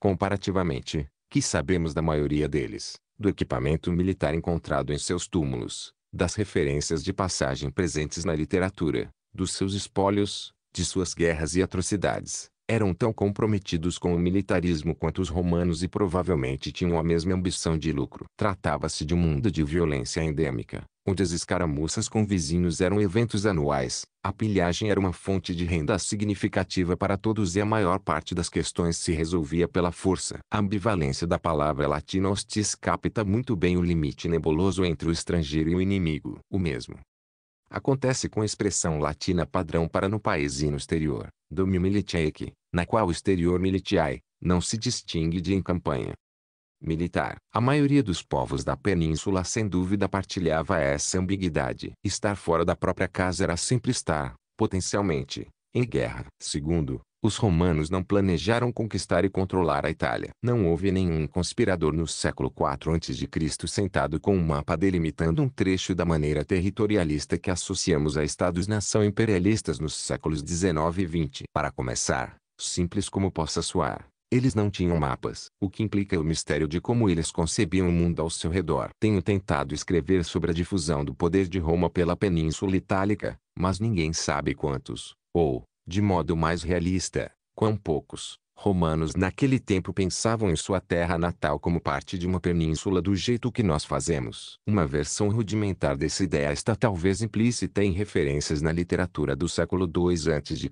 ao Adriático como mar superior e ao Tirreno como mar inferior, mas é notável que isso esteja na orientação norte-sul. Enquanto a nossa é leste-oeste, os romanos viam sua expansão mais em termos de relações mutáveis com outros povos do que em termos de controle de território. É claro, o crescente poder de Roma de fato transformou radicalmente a paisagem da Itália. Pouca coisa havia que fosse mais transformadora do que uma nova estrada romana atravessando campos ermos, ou terras sendo anexadas e divididas entre novos colonos. Continua a ser adequado medir o poder romano na Itália em termos de espaço geográfico. No entanto, o domínio romano era primariamente sobre povos e não sobre lugares. Como Lívio bem observou, as relações que os romanos formaram com aqueles povos foram a chave para a dinâmica da expansão romana em seus primórdios. Os romanos impunham uma obrigação a todos que ficavam sob seu controle, fornecer soldados para seus exércitos. De fato, para a maioria daqueles que foram derrotados por Roma e forçados ou acolhidos em alguma forma de aliança, a única obrigação de longo prazo parece ter sido o fornecimento e manutenção de soldados. Esses povos não foram tomados por Roma sob nenhuma outra maneira, não havia forças de ocupação romanas ou qualquer tipo de governo imposto por eles. Por que essa forma de controle foi a escolhida é impossível saber. Mas é improvável que estivesse em jogo algum cálculo estratégico particularmente sofisticado. Era uma imposição que demonstrava de modo conveniente o domínio romano e ao mesmo tempo exigia poucas estruturas administrativas ou efetivo adicional para gerenciar. Os soldados com os quais os aliados contribuíam eram recrutados, equipados e em parte comandados por gente local. A taxação sob qualquer outra forma teria sido muito mais trabalhosa. O controle direto daqueles que haviam sido derrotados. Mais ainda, os resultados podem não ter sido intencionais, mas foram inovadores, pois esse sistema de aliança se tornou um mecanismo efetivo para converter os inimigos derrotados de Roma em parte de sua crescente máquina militar, e ao mesmo tempo deu àqueles aliados uma participação no empreendimento romano, graças ao botim e à glória que eram partilhados em caso de vitória. Depois que o sucesso militar dos romanos teve início, eles conseguiram torná-lo autossustentável de uma maneira que nenhuma outra cidade antiga jamais conseguiu de modo sistemático. Pois o fator mais significativo por trás da vitória nesse período não era a tática, o equipamento, o talento ou a motivação. Era quantos homens você podia colocar em combate. Por volta do século IV a.C., os romanos tinham provavelmente não muito menos do que meio milhão de soldados disponíveis. Compare com os 50 mil soldados ou perto disso sob Alexandre em suas campanhas no Oriente, ou talvez 100 mil quando os persas invadiram a Grécia em 481 a.C.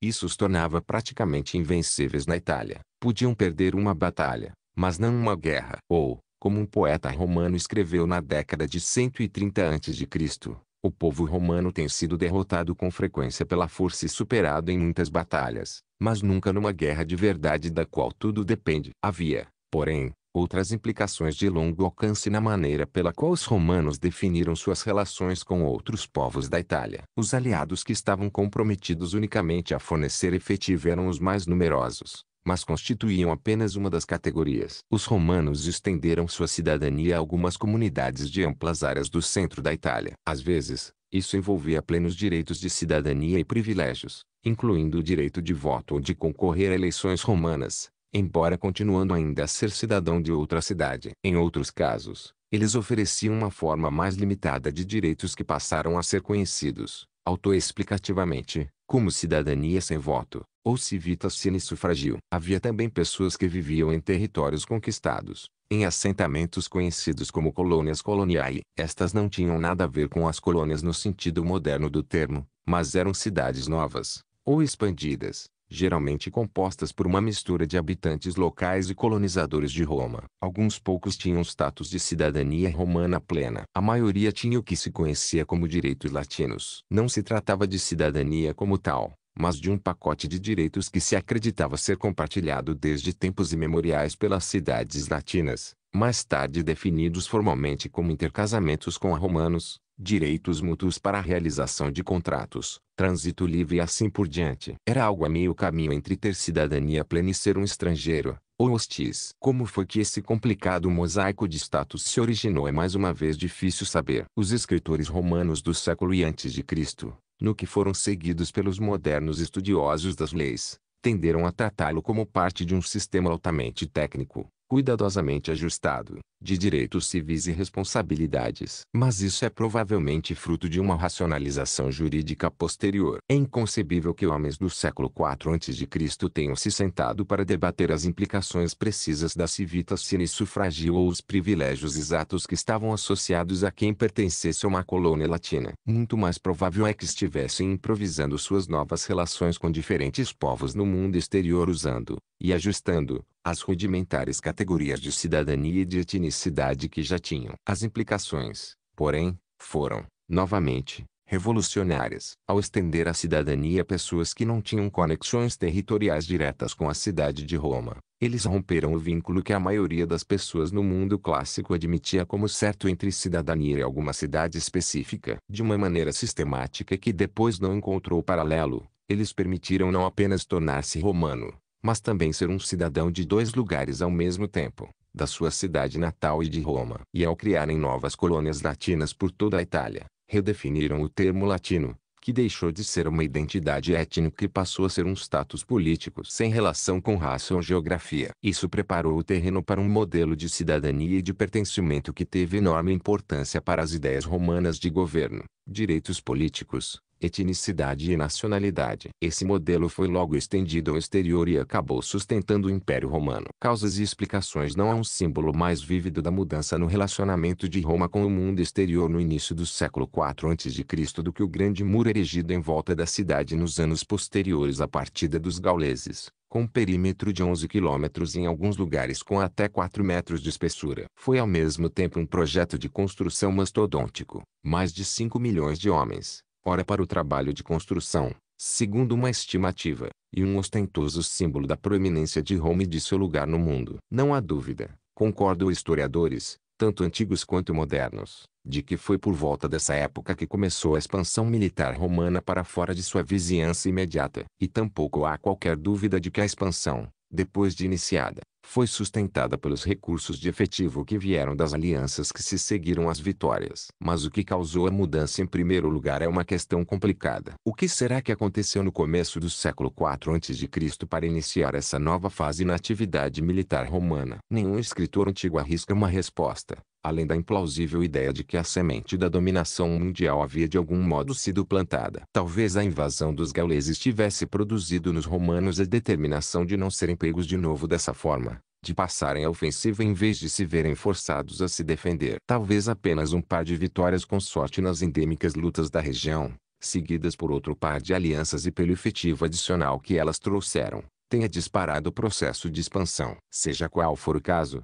parece provável que as radicais mudanças na política doméstica desempenharam seu papel. Até aqui, na exploração desse período, mantive em grande parte a história interna de Roma separada da história de sua expansão. Isso contribuiu para obter uma narrativa mais clara, mas tende a obscurecer o impacto da política interna nas relações externas, e vice-versa. Por volta de 367 a.C., O conflito das ordens tinha feito algo mais significativo e de maior alcance do que simplesmente acabar com a discriminação política contra os plebeus. Havia efetivamente substituído uma classe governante definida por nascimento por outra definida por riqueza e realizações. É esse em parte o foco do epitáfio de Barbato. Embora a família de Cipião fosse patrícia, o que conta aqui são os cargos que ele deteve, as qualidades pessoais que demonstrou e as batalhas que venceu. Nenhuma realização era mais demonstrável ou mais celebrada do que a vitória em batalha. E o desejo de vitória em meio à nova elite era quase certamente um fator importante para a intensificação da atividade militar e o incentivo à guerra. Do mesmo modo,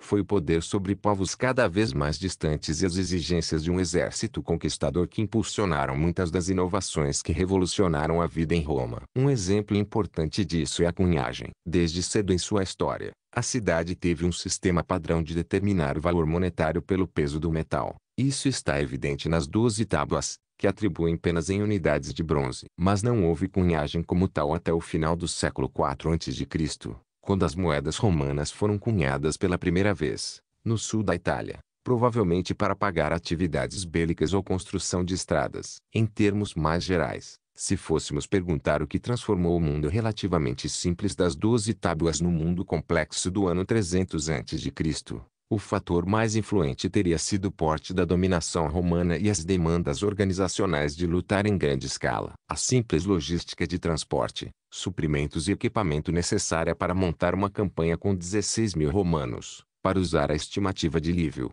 mais os aliados, demandava uma infraestrutura impensável em meados do século V a.C. Embora eu tenha tentado evitar termos modernizantes como aliança e tratado a me referir à atividade romana no século V a.C., a rede de conexões romanas ao longo da península e as diferentes definições das relações de Roma com as diversas comunidades por volta do final do século seguinte tornam esses termos bem menos inadequados. A expansão militar impulsionou a sofisticação romana. O túmulo da família de Cipião Barbato parece agora grandiosamente arcaico, e, com sua rústica pedra local, decoração entalhada de modo tosco e ortografia levemente antiquada, com sol em vez de com su, por exemplo, pode muito bem ter parecido curiosamente antiquado para muitos romanos que o visitaram no século e antes de Cristo. Porém, na sua época, Barbata era parte de uma geração que definiu uma nova maneira de ser romano e um novo lugar para Roma no mundo. Seus descendentes levaram isso ainda mais longe, e é para eles que vamos nos voltar agora. Capítulo 5 Um mundo maior Os descendentes de Barbato Cipião Barbato construiu seu túmulo em grande escala, e nos 150 anos seguintes cerca de 30 de seus descendentes o acompanharam ali. A família Cipião compreendia alguns dos nomes mais famosos da história romana, além de sua justa cota de fracassados e medíocres. Oito de seus epitáfios sobrevivem mais ou menos completos, e vários deles celebram o tipo de romano que geralmente não consta da história, os que não alcançaram muito sucesso morreram jovens e as mulheres. Este que aqui está enterrado nunca foi ultrapassado em virtus. Com apenas 20 anos de idade, confiaram-no ao túmulo. Isso caso você pergunte por que razão nenhum cargo político lhe foi confiado, explica o texto de um sarcófago de meados do século II a.C., em tom defensivo. Outro recorre às realizações do pai do jovem. Seu pai esmagou o rei Antíoco. Mas outros tinham mais para se vangloriar. O epitáfio do filho de Barbato proclama, capturou a Córcega e a cidade de Aleria, e como gratidão dedicou um templo aos deuses das tormentas. Uma tempestade quase aniquilou sua frota, e essa foi sua agradecida oferenda pelo feliz desfecho. Outros membros da família teriam ainda mais para se vangloriar. Públio Cornélio Cipião Africano, Publius Cornelius Scipio Africanus, bisneto de Barbato, foi o homem que em 202 a.C. garantiu a derrota final de Aníbal, invadiu o território nacional cartaginês no norte da África e, na Batalha de Zama, perto de Cartago, pôs o exército deles em debandada, com alguma ajuda dos elefantes de Aníbal, que correram em pânico e atropelaram seu próprio lado. O túmulo de Cipião africano fica em sua propriedade no sul da Itália e virou uma espécie de local de peregrinação para os romanos posteriores. Mas é quase certo que, entre os memoriais no túmulo da família, esteve o do seu irmão Lúcio Cornélio Cipião Asiático, Lucius Cornelius Scipio Asiaticus, o homem que esmagou o rei Antíoco da Síria em 190 a.C., o de seu primo Cneu Cornélio Cipião Espalo, Gnaeus Cornelius Scipio Espalus, cônsul em 176 a.C., e o de seu neto Públio Cornélio Cipião Emiliano, Publius Cornelius Scipio Aemilianus, membro adotivo da família, Emiliano invadiu o norte da África e concluiu o trabalho de africano. Em 146 a.C., reduziu a antiga cidade de Cartago a entulho e vendeu como escravos a maioria de seus habitantes sobreviventes. As carreiras desses homens apontam para um novo mundo na política e na expansão romanas dos séculos 3 e 2 a.C. Foram alguns dos atores-chave na série de campanhas militares que deram à República Romana controle sobre todo o Mediterrâneo e além dele. Seus nomes relativamente canhestros resumem bem esse novo mundo. Barbato presumivelmente aponta para a aparência de seu portador, e Emiliano é uma referência ao seu pai natural, Lucius Emilius Paulus, mas africanos, asiáticos e espalus, do serviço de seu pai na Espanha, Hispania, refletem os novos horizontes do poder romano. Uma maneira razoável de traduzir Scipio africanus seria Scipião martelo da África. Esses eram militares. Mas havia mais do que isso a respeito dos Scipiões. Como teria compreendido qualquer um que visse a estátua do poeta romano Quinto Enio, Quintus Ennius, orgulhosamente exposta junto com as de africano e asiático na elegante fachada do túmulo familiar. Os Cipiões estavam também no âmago da Revolução Literária Romana, como patrocinadores e patronos da primeira geração de autores. Não por acaso, a origem da literatura em Roma estava intimamente ligada à expansão ultramarina. A musa se impôs de maneira guerreira aos impetuosos habitantes de Roma, descreveu um escritor do século II a.C. O início do império e o da literatura foram dois lados da mesma moeda. Há séculos, os romanos escreviam por diversas razões, informes, regras e regulamentações públicas, alegações de propriedade rabiscadas em um pote. Mas foi o crescente contato com as tradições do mundo grego, a partir de meados do século III a.C., o catalisador da produção e da preservação da literatura como tal, ela nasceu de imitação dos predecessores gregos, e do diálogo, da competição e da rivalidade, em um momento que fala por si. Em 241 a.C., exatamente quando os soldados e marinheiros romanos conseguiam a primeira vitória de Roma no exterior, na ilha predominantemente grega da Sicília, em algum lugar de Roma um homem chamado Livio Andrônico, Livius Andronicus, ocupava assim adaptar para o latim, a partir de um original grego. A primeira tragédia a ser exibida em Roma foi encenada já no ano seguinte, em 240 a.C. Os antecedentes e a formação de Livio Andrônico são típicos da mistura cultural desses primeiros escritos e seus autores. Produziu versões latinas não apenas das tragédias gregas mas também da Odisseia de Homero. Havia sido escravizado como prisioneiro de guerra, provavelmente da cidade grega de Tarento, sul da Itália e mais tarde libertado. Uma composição diferente à de Fábio Pictor, senador romano que escreveu a primeira história de Roma, nascido e criado na cidade, não obstante redigiu seu trabalho em grego, só depois foi traduzido para o latim. A literatura mais antiga que sobreviveu com alguma extensão, escrita por volta da virada do século III a.C. para o século II a.C. As 26 comédias de Tito Márcio Plauto,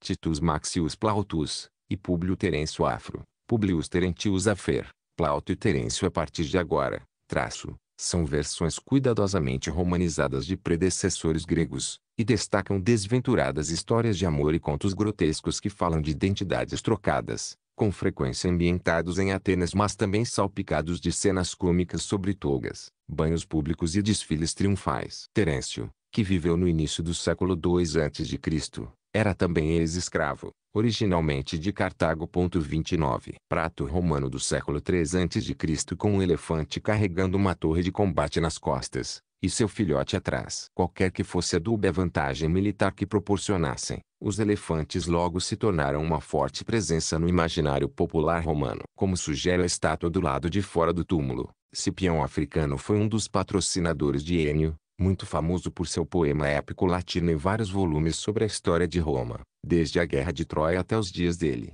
no início do século II a.C., e também de outro italiano do sul, fluente em latim, grego e em sua língua latina, o oscano, um lembrete da variedade linguística da península. Emiliano demonstrou interesses literários ainda maiores, tanto em latim quanto em grego. Tinha conexões tão próximas com Terêncio que fofocas romanas sugeriam que talvez fosse ele o autor de algumas das peças deste último. O latim não seria então suficientemente elegante para alguém com os antecedentes de Terêncio. Emiliano era conhecido por saber os clássicos literários gregos na ponta da língua. Quando Cartago ardeu em chamas em 146 a.C., uma testemunha ocular viu derramando lágrimas e citando de memória um verso oportuno da queda de Troia, da Ilíada de Homero. Ele refletia naquele momento que talvez um dia o mesmo destino se abatesse sobre Roma. Lágrimas de crocodilo ou não, elas tiveram um sabor premonitório. Essa testemunha era o mais próximo dos amigos e conhecidos do círculo literário de Emiliano, um historiador grego, residente em Roma, chamado Políbio, Polibius, agudo observador da política romana interna e externa, com uma perspectiva única de Roma a partir de dentro e de fora. Ele paira sobre a maior parte do restante deste capítulo, como primeiro escritor a propor algumas das grandes questões que iremos tentar responder. Por que como os romanos vieram a dominar tamanha extensão do Mediterrâneo em tempo tão curto? O que distinguia o sistema político romano? Ou, como Políbio observou com severidade, quem poderia ser tão indiferente ou negligente a ponto de não querer descobrir como, e sob que tipo de organização política, quase a totalidade do mundo habitado foi conquistado e caiu sob o único poder dos romanos em menos de 53 anos, algo sem precedentes. Quem, de fato, 30. Esse retrato de Pirro feito mais de 200 anos após a sua morte, encontrado em uma luxuosa mansão nos arredores de Herculano, muito provavelmente se inspirou em uma imagem feita enquanto era vivo. Há vários retratos anteriores de romanos, ou de seus inimigos, mas nenhum deles pode ser associado de modo confiável a um indivíduo histórico. Neste, pela primeira vez, vemos a face real de um personagem da história de Roma. Conquista e consequências Os 53 anos de Políbio cobriam o final do século 3 a.C. e o início do 2 a.C., mas foi cerca de 60 anos antes que os romanos enfrentaram pela primeira vez um inimigo de ultramar. Tratava-se de Pirro, Pirus, governador de um reino no norte da Grécia, que em 280 a.C. navegou até a Itália para dar apoio à cidade de Taranto contra os romanos. Seu xiste autodepreciativo, que suas vitórias contra Roma haviam lhe custado tantos homens que ele não teria como marcar com outra vitória, está por trás da famosa expressão moderna vitória de Pirro, indicando um tipo de vitória com um preço tão alto que equivale a uma derrota. A expressão é até generosa com o lado romano da história, pois Pirro era um oponente à altura. Supõe-se que Aníbal o teria avaliado como o maior líder militar depois de Alexandre, o Grande, e, segundo várias anedotas afetuosas era uma espécie de showman encantador. Foi o primeiro a realizar a façanha de trazer elefantes para a Itália, e dizem que em certa ocasião tentou, sem sucesso, desconcertar um romano visitante ao fazer sair de trás de uma cortina uma de suas feras escondida. É também o primeiro personagem da história de Roma ao quem podemos atribuir um rosto de maneira plausível.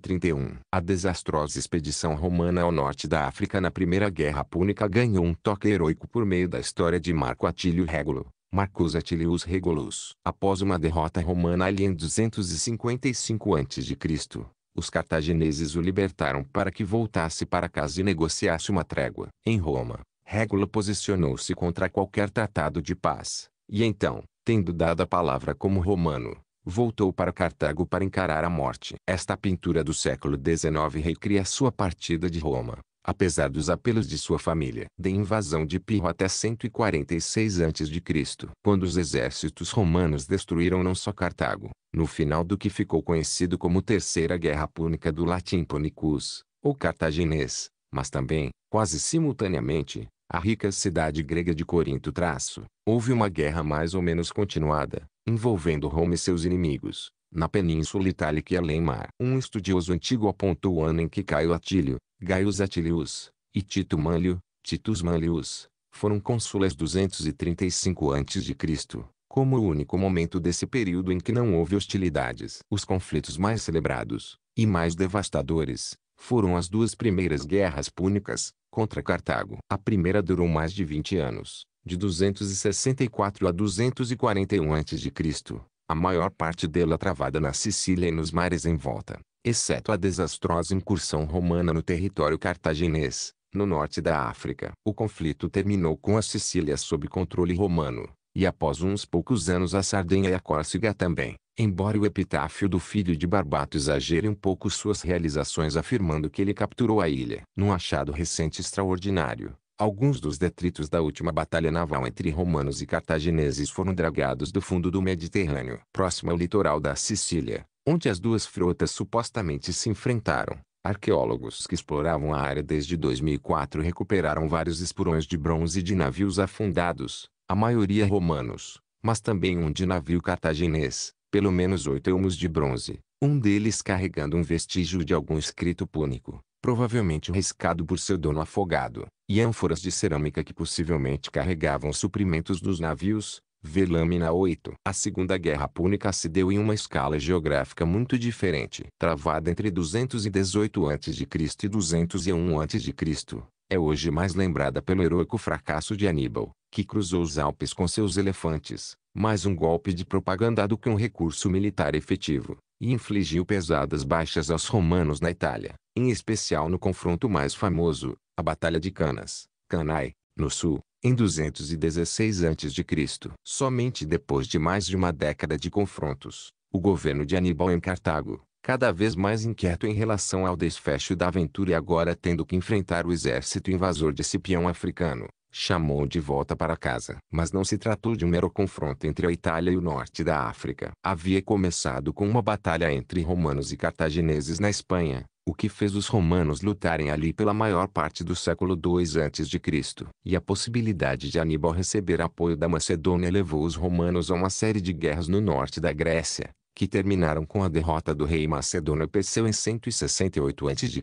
por Emílio Paulo, a Emilius Paulus, pai natural de Cipião Emiliano, e logo depois com o controle de toda a região que chamamos de Grécia continental. Além disso, os romanos estavam também envolvidos em grandes conflitos com os gauleses no extremo norte da Itália na década de 220 a.C. e fizeram também intervenções periódicas cruzando o Adriático, em parte para lidar com aqueles que chamavam de piratas, um termo genérico para inimigos em navios, que eram apoiados pelas tribos e reinos do litoral oposto, pelo menos era o que se dizia. E em 190 a.C., sob comando de Cipião Asiático, impuseram derrota decisiva a Antíoco, o Grande, da Síria. Este não só estava ocupado em seguir o modelo de Alexandre, o Grande, e estender sua base de poder, mas também havia abrigado Aníbal, agora no exílio de Cartago, que segundo se dizia oferecia ao rei aulas sobre como enfrentar os romanos. As campanhas militares eram um aspecto definidor da vida romana, e os escritores organizaram a história desse período, como acabei de fazer também, em torno da sucessão de guerras, dando-lhes títulos caligráficos, muitos deles mantidos até hoje. Quando Salustio chamou seu ensaio sobre o complô de Catilina de guerra contra Catilina, o Belum Catilinae, estava refletindo, e talvez sutilmente parodiando, a tradição romana de encarar a guerra como o princípio estruturante da história. Era uma tradição bem antiga. Há um trecho sobrevivente do poema épico de Rênius sobre a história de Roma que se refere explicitamente à Segunda Guerra Púnica, na qual ele lutou como aliado romano, foi escrito antes de a terceira ter acontecido. Em termos práticos, os romanos direcionavam enormes recursos para a guerra e, mesmo como vencedores, pagaram um preço imenso em vidas humanas. Ao longo desse período, algo em torno de 10% a 25% da população adulta masculina havia servido em legiões todos os anos, uma proporção maior do que em qualquer outro estado pré-industrial e, na estimativa mais alta, comparável à taxa de convocação da Primeira Guerra Mundial. Em Canas, combateram duas vezes mais legiões do que em Centino 80 anos antes, o que é uma boa indicação do crescente porte desses conflitos e da logística cada vez mais complexa. Um exército do porte daquele que os romanos e seus aliados posicionaram em Canas exigiria, por exemplo, cerca de 100 toneladas só de trigo, por dia. As tratativas com comunidades locais que isso implicava, a organização de centenas de animais, que por sua vez avolumavam as exigências ao consumirem necessariamente parte do que carregavam, e as redes de coleta e distribuição. Tudo isso teria sido inconcebível no início daquele século. É mais difícil estipular uma cifra para as baixas. Não havia uma contagem sistemática das mortes num campo de batalha naquela época, e todos os números dos textos antigos têm que ser tratados com reservas, vitimados por exageros, equívocos e, ao longo dos anos, por alguns terríveis erros de cópia por parte de monges medievais. Mesmo assim, o total das cifras de baixas romanas que Livio fornece para todas as batalhas que ele registra nos primeiros a 30 anos do século II a.C., ou seja, sem incluir as grandes perdas enfrentadas contra Aníbal chega a pouco mais de 55 mil mortes. É uma cifra extremamente baixa. Havia provavelmente uma tendência patriótica de reduzir o número das perdas romanas. Não fica claro se os aliados eram somados aos cidadãos romanos nessa conta. Algumas batalhas e escaramuças podem não ter sido incluídas na lista de Lívio, e muitos morreram subsequentemente devido a ferimentos. Na maioria das circunstâncias, as armas antigas eram muito melhores para ferir do que para matar, a morte sobrevinha mais tarde, por infecção. Mas isso dá uma indicação do custo humano dessa atividade bélica somente no lado romano. O preço pago pelos derrotados é ainda mais difícil de estimar, mas presume-se que tenha sido bem mais alto. É necessário, no entanto, ver além dessa carnificina, por mais terrível que tenha sido, para examinar melhor a realidade e a organização do combate e investigar a política doméstica que sustentou a expansão romana, assim como as ambições romanas e a geopolítica mais ampla do antigo Mediterrâneo que podem ter incentivado. Políbio é o guia mais importante,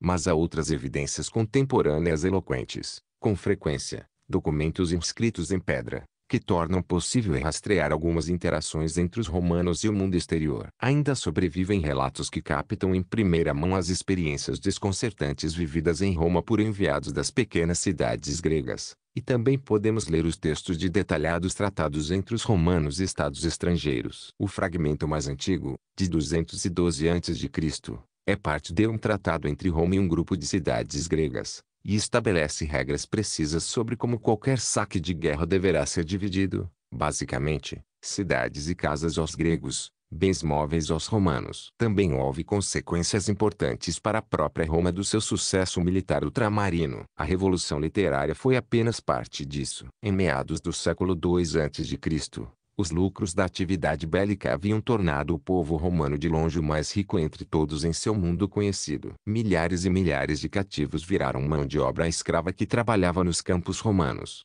em suas minas e fábricas, explorando recursos em uma escala muito mais intensiva do que já ocorrera antes e alimentando a produção romana e o crescimento de sua economia. Lingotes de ouro e prata eram transportados em carrinhos de mão, trazidos, ou roubados, das ricas cidades e reinos do Oriente, despejados no bem guardado porão do templo de Saturno no Fórum, que funcionava como tesouro do Estado. E as sobras eram suficientes para encher os bolsos dos soldados, de um general ao mais reles recruta. Os romanos tinham muito o que celebrar. Parte da riqueza foi para deleites urbanos, das novas instalações do porto e amplos armazéns no Tibre a novos templos que se enfileiravam pelas ruas, agradecendo o auxílio dos deuses em assegurar as vitórias que haviam gerado toda aquela riqueza. E é fácil imaginar o prazer generalizado quando em 167 a.C., Roma se tornou um estado livre de impostos. O tesouro estava tão abarrotado, graças, particularmente, aos espólios da recente vitória sobre a Macedônia, que a taxação direta dos cidadãos romanos foi suspensa, exceto em emergências, embora eles continuassem sujeitos a uma série de outras cobranças como tributos alfandegários ou uma taxa especial sobre a libertação de escravos. Essas mudanças, porém, também foram desestabilizadoras. O problema não se restringia a alguns moralistas romanos mal-humorados, preocupados com os perigosos efeitos de toda aquela riqueza e luxo nas palavras deles. A expansão do poder romano suscitou grandes debates e paradoxos sobre o lugar de Roma no mundo a respeito do que podia ser considerado romano quando uma área enorme do Mediterrâneo estava sob controle de Roma e onde se poderia colocar agora o limite entre barbárie e civilização, e de que lado dessa divisão estaria Roma. Quando, por exemplo, no final do século III a.C. as autoridades romanas deram as boas-vindas a Deus à grande mãe dos planaltos da atual Turquia e solenemente instalaram-na no templo no Palatino, com tudo o que tinha direito, incluindo seu séquito de sacerdotes de longos cabelos, autocastrados e autoflagelantes, o quanto isso tinha de romano. A vitória, em outras palavras, trouxe também problemas e paradoxos. Mas até mesmo as noções de vitória e derrota podem ser imprecisas. Essas incertezas ficaram agudamente reveladas na história da Batalha de Canas, na segunda das Guerras Púnicas. Ela oferece um vislumbre da estratégia, das táticas e da verdadeira face do combate antigo mas para Políbio, e talvez para Aníbal também, levantava a questão de se essa que fora a mais notória derrota de Roma não teria sido também em alguns aspectos a mais forte indicação de seu poder. Canas e o aspecto enganoso da batalha em 216 a.C. As autoridades de Roma fizeram o que Livio chama de um ritual muito pouco romano. Enterraram vivos no centro da cidade dois gauleses e dois gregos. Foi o mais próximo do sacrifício humano a que os romanos chegaram. E o embaraço de Lívia ao contar a história é evidente. No entanto, não foi de fato a única vez que fizeram isso. O mesmo ritual já havia sido realizado em 228 a.C., diante de uma invasão gálica do norte, e de novo em 113 a.C., quando houve ameaça de outras dessas invasões. Em 216 a.C., o sacrifício foi desencadeado pela vitória de Aníbal Macedo naquele ano, em Canas, 350 quilômetros a sudeste, que resultou num grande número de romanos mortos após uma única tarde de combates. As estimativas variam entre 40 mil e 70 mil. Em outras palavras, algo no ritmo de 100 mortes por minuto. Há todo tipo de quebra-cabeça relacionado a esse cruel ritual. Por que essa escolha de nacionalidades? Que relação poderia ter com um enterro similar de virgens vistas vivas, condenadas por terem quebrado o voto de castidade? O que aconteceu também em 216 a.C. e 113 a.C. certamente aponta para o medo e pânico que atingiram Roma depois da impressionante vitória de Aníbal. Vendo o fato, agora, nos termos dele. A Batalha de Canas e a história toda da Segunda Guerra Púnica tem desde então fascinado generais, especialistas e historiadores. Nenhuma guerra deve ter sido reencenada com tanta frequência em tantas salas de estudo e palestras, nem investigada tão atentamente por militares do mundo moderno de Napoleão Bonaparte ao Marechal de Campo Montgomery e a Norman Schwarzkopf. Suas causas continuam envoltas em nuvens de especulações e explicações alternativas. Para os romanos, ela se tornou retrospectivamente outro confronto de superpotências, além de tema de poesia épica. A Eneida, de Virgílio, confere-lhe uma origem mítica na pré-história romana, quando a rainha cartaginesa Dido, abandonada por seu amante Eneas, em seu caminho para fundar Roma, se mata atirando-se numa pira funerária, e amaldiçoando toda a raça dele. Na realidade, é difícil entender os objetivos dos romanos e dos cartagineses. Cartago, com sua privilegiada posição no norte da costa africana, seus portos impressionantes e sua paisagem urbana mais grandiosa que a de Roma na mesma época, tinha grandes interesses comerciais no Mediterrâneo Ocidental e poderia ter tido boas razões para não aprovar o crescente poder do seu rival italiano. Escritores antigos e modernos têm apontado, em graus variáveis, a provocação que Roma fez a Aníbal na Espanha e o rancor deste contra Roma pela vitória dos romanos na Primeira Guerra Púnica. No cômputo mais recente, Existem mais de 30 versões sobre o que realmente estaria por trás do conflito. Para muitos analistas, as escolhas estratégicas que romanos e cartagineses fizeram têm sido particularmente intrigantes e reveladoras. Do lado de Aníbal, elas vão bem além dos quebra-cabeças favoritos sobre qual rota de elefantes ele poderia ter escolhido para cruzar os Alpes ou se o recurso relatado de abrir rochas alpinas despejando vinagre nelas poderia mesmo ter funcionado provavelmente não. Mas a questão principal sempre foi a seguinte, por quê? Razão. Depois da formidável vitória em Canas, ele não foi adiante e tomou Roma enquanto tinha chance de fazê-lo, e, em vez disso, deu aos romanos a oportunidade de se recuperarem. Livio imagina um dos oficiais de Aníbal, de nome Marbal, dizendo ao general, você sabe conquistar uma vitória, Aníbal, mas não sabe como tirar proveito dela. Montgomery foi um dos muitos generais que mais tarde concordaram com Marbal. Aníbal era um soldado brilhante e um arrojado aventureiro, que teve o prêmio final ao alcance da mão, mas por alguma razão inescrutável não conseguiu agarrá-lo. Daí seu fascínio trágico. A vitória final conquistada pelos romanos põe em evidência um confronto bem mais concreto entre estratégias e estilos militares, tendo de um lado Fábio Máximo, Quintus Fabius Maximus Verrucosus Cunctator, os últimos três nomes, o maior, verrugoso, protelador, uma combinação tipicamente romana de presunção e realismo, e de outro lado Cipião africano. Fábio assumiu o comando pouco antes de Canas, evitou batalhas campais com Aníbal e fez um jogo de adiamentos, combinando táticas de guerrilha com uma política de terra arrasada, para desgastar o inimigo, daí o protelador. Para alguns observadores, essa estratégia perspicaz foi a razão do sucesso. Apesar de sua íntima associação com Cipião africano, Eno creditou a sobrevivência de Roma ao Fábio. Um único homem nos trouxe de volta o estado ao protelar conquistando, escreveu George Washington, o Fábio americano, como por vezes foi chamado, decidiu adotar táticas similares no início da Guerra de Independência Americana, preferindo assediar o inimigo, mais do que atacá-lo diretamente, e até a Associação Esquerdista Britânica Fabian Society adotou seu nome e exemplo, e sua mensagem era, se você quer que a revolução triunfe, deve, como Fábio, saber esperar. Mas sempre óbvios que viram Fábio como hesitante e não como um estrategista hábil, em comparação com o mais arrojado Cipião africano, que acabou assumindo o comando e convenceu o Senado a deixá-lo levar a guerra para a África para acabar com Aníbal por lá. Ao descrever essa reunião do Senado, Lívio cria um debate em grande parte imaginário entre Fábio, prudente e mais velho, e africano, a dinâmica estrela em ascensão. Produz então uma oposição não só entre diferentes abordagens da guerra, mas também entre diferentes maneiras de compreender a virtude romana. Será que virilidade significa necessariamente rapidez e vigor? É possível ser heróico sendo lento, mas esse tipo de generalização retrospectiva pode ser enganosa especialmente quando se trata de recriar o que aconteceu numa batalha específica. Falar em táticas, e em todos os esplêndidos diagramas militares que geralmente as acompanham, fornece uma versão altamente higienizada da atividade bélica romana e sugere que sabemos mais sobre a aparência de uma batalha romana do que sabemos na realidade, mesmo tratando-se de um conflito tão significativo como Canas. Sem dúvida, há relatos extensos em Políbio, que pode ter consultado testemunhas oculares, em Livre e em outros historiadores, mas eles são incongruentes nos detalhes, difíceis de acompanhar e às vezes quase sem sentido. Sequer sabemos onde a batalha ocorreu exatamente,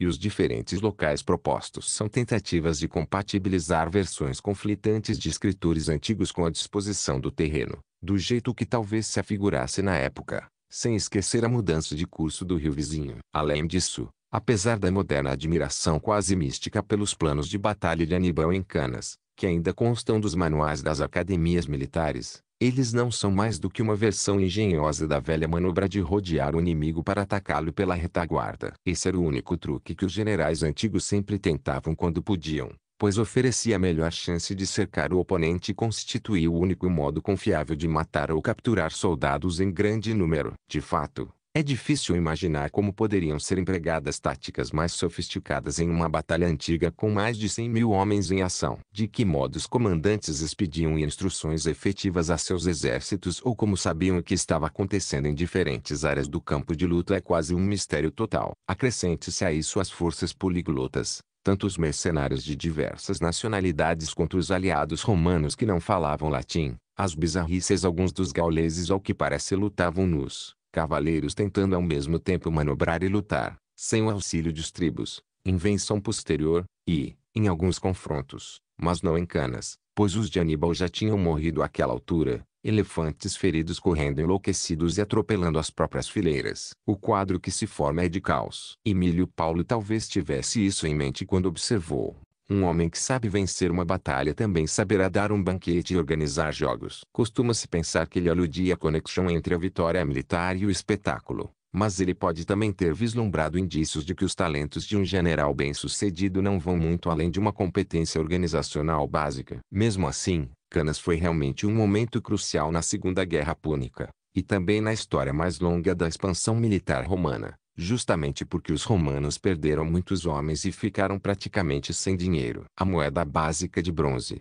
o as, teve seu peso reduzido ao longo da guerra, de quase 300 gramas para pouco mais de 50. E Lívio conta que em 214 a.C. os romanos, como indivíduos, foram solicitados a pagar diretamente para equipar a frota de guerra, uma boa indicação do patriotismo que envolvia o esforço de guerra da precariedade do tesouro público, e também dos fundos que estavam ainda em mãos privadas. Apesar da crise, quase qualquer outro Estado antigo nessa situação teria sido forçado a se render. Nada ressalta melhor a importância das enormes reservas romanas de cidadãos e aliados do que o simples fato de Roma ter continuado a lutar. A julgar pelas ações de Aníbal depois de Canas, ele talvez tenha percebido também esse aspecto. Quem sabe não foi o desânimo que o dissuadiu de marchar sobre Roma. Vendo que o efetivo aliado sustentava a força de Roma, optou pelo processo lento de vencer os aliados romanos, com algum sucesso mas nunca em número suficiente para minar a resistência romana. Isso também deve ter passado pela mente de Políbio quando ele decidiu inserir em seu Histórias uma longa digressão sobre a força do sistema político romano na época de Canas. Seu objetivo mais amplo era explicar por que os romanos haviam conquistado o mundo, e parte dessa explicação residia na força e estabilidade das estruturas políticas internas de Roma. Seu relato é a primeira descrição mais ou menos contemporânea da vida política romana em que sobreviveu Políbio olhava em retrospecto para fatos ocorridos 50 anos antes, mas também introduziu observações relativas à sua época, e ao mesmo tempo é a primeira tentativa de análise teórica sobre o funcionamento da política romana, válida até hoje. Políbio sobre a política de Roma Políbio, que conheceu Roma como inimigo e como amigo, estava em posição privilegiada para refletir sobre a ascensão da cidade e sobre suas instituições. Filho da aristocracia política de uma cidade do Peloponeso, tinha 30 anos em 168 a.C. quando Emílio Paulo derrotou o rei Perseu, e viu-se então como um dos mil gregos detidos e levados a Roma como parte do expurgo político ou das medidas de precaução que se seguiram. A maioria foi colocada sob um regime leve de prisão domiciliar, espalhados por várias cidades da Itália. Políbio, já conhecido como escritor, teve melhor sorte. Logo conheceu Emiliano, ao que parece o encontro se deu pretexto do empréstimo de alguns livros, e a família dele, e teve permissão de ficar em Roma, onde se tornou tutor de facto do jovem, com o qual tinha uma proximidade paternal. Trechos de conselhos de Políbio Emiliano ainda eram citados, ou mal citados, mais de 200 anos depois. Nunca volte do fórum, supõe-se que tenha dito, a não ser que tenha feito pelo menos um novo amigo. Os reféns que haviam sobrevivido foram libertados por volta de 150 a.C. Apenas 300 deles estavam vivos ainda, e conta-se que um romano mais desbocado teria se queixado de ver o Senado desperdiçar tempo debatendo se alguns gregos idosos deveriam ser enterrados por coveiros aqui ou na Grécia. Mas Políbio logo estaria com seus amigos romanos, viajando com o exército para Cartago e atuando como intermediário nas negociações que se seguiram à destruição de Corinto, em 146 a.C.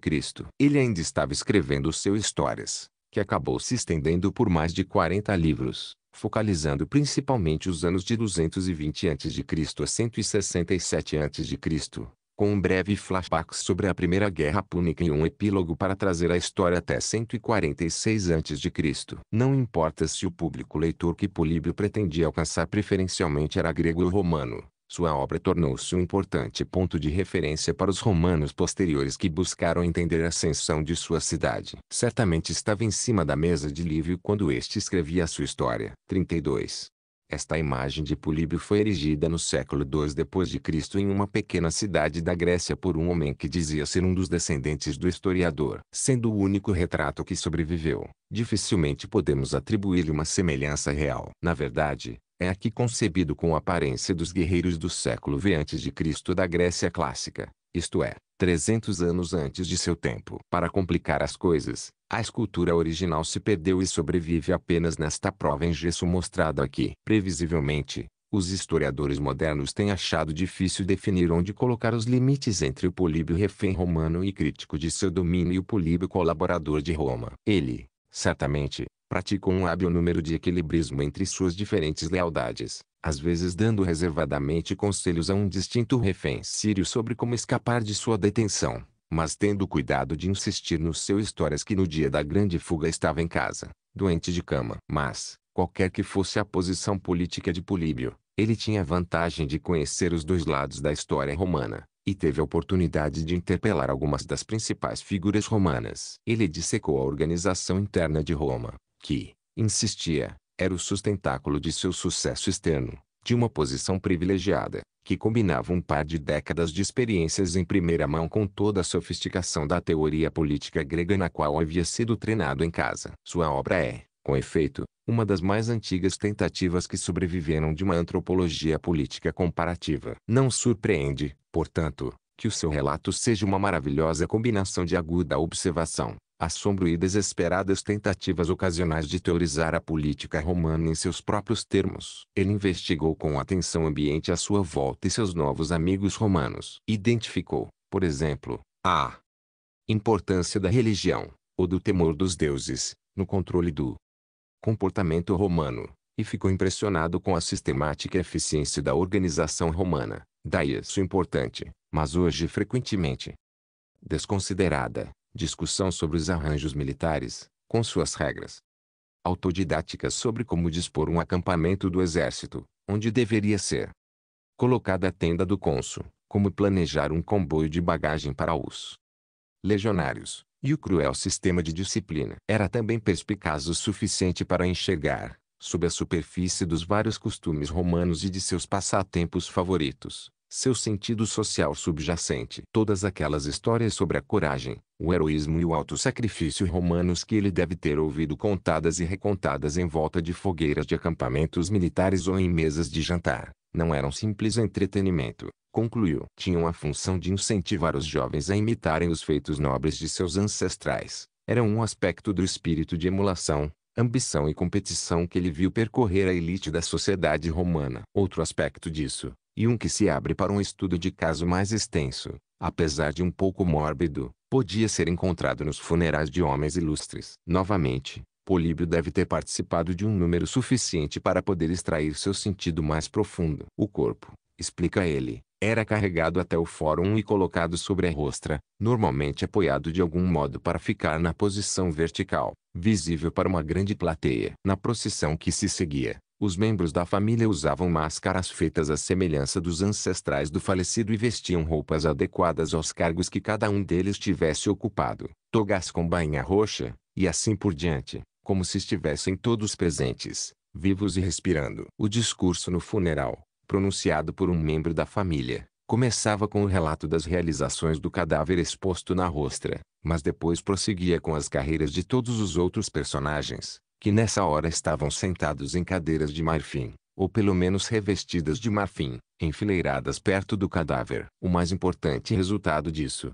conclui Políbio, é que a geração mais jovem se inspira a suportar todo o sofrimento em nome do bem comum, na esperança de alcançar a glória que pertence aos valentes. Essa talvez seja uma visão muito cor-de-rosa do lado competitivo da cultura romana. A competição desenfreada acabou sendo mais destrutiva do que construtiva para a república. Mesmo antes, vale supor que para cada jovem romano inspirado a ficar à altura das realizações de seus ancestrais, Havia outro oprimido pelo peso da tradição e pelas expectativas alimentadas a seu respeito como Políbio poderia ter compreendido se tivesse escolhido refletir sobre todas as histórias da cultura romana que falavam de filhos que mataram seus pais. Mas essa é uma visão muito bem condensada em outro epitáfio no túmulo dos Cipiões, que é tentador achar que Políbio possa ter visto. Tive descendentes. Procurei igualar os feitos de meu pai. Obtive elogios de meus ancestrais que portanto ficaram felizes por eu ter nascido deles. Minha carreira enobreceu a linhagem da minha família. No cerne da discussão de Políbio, porém, residia uma questão maior. Como seria possível caracterizar o sistema político romano como um todo? Como funcionava? Nunca houve uma constituição romana escrita, mas Políbio viu em Roma um exemplo perfeito, na prática, de um velho ideal filosófico grego, a constituição mista, que combinava os melhores aspectos de monarquia. Aristocracia e democracia. Os cônsules, que tinham total controle militar, podiam convocar assembleias populares e dar ordens a todas as demais autoridades, exceto aos tribunos plebeus, representavam o elemento monárquico. O Senado, que naquela época tinha seu encargo as finanças de Roma, a responsabilidade por delegações para e de outras cidades e supervisionava de fato a lei e a segurança por todo o território romano e de seus aliados. Representava o elemento aristocrático. O povo representava o elemento democrático. Não era democracia o povo no sentido moderno.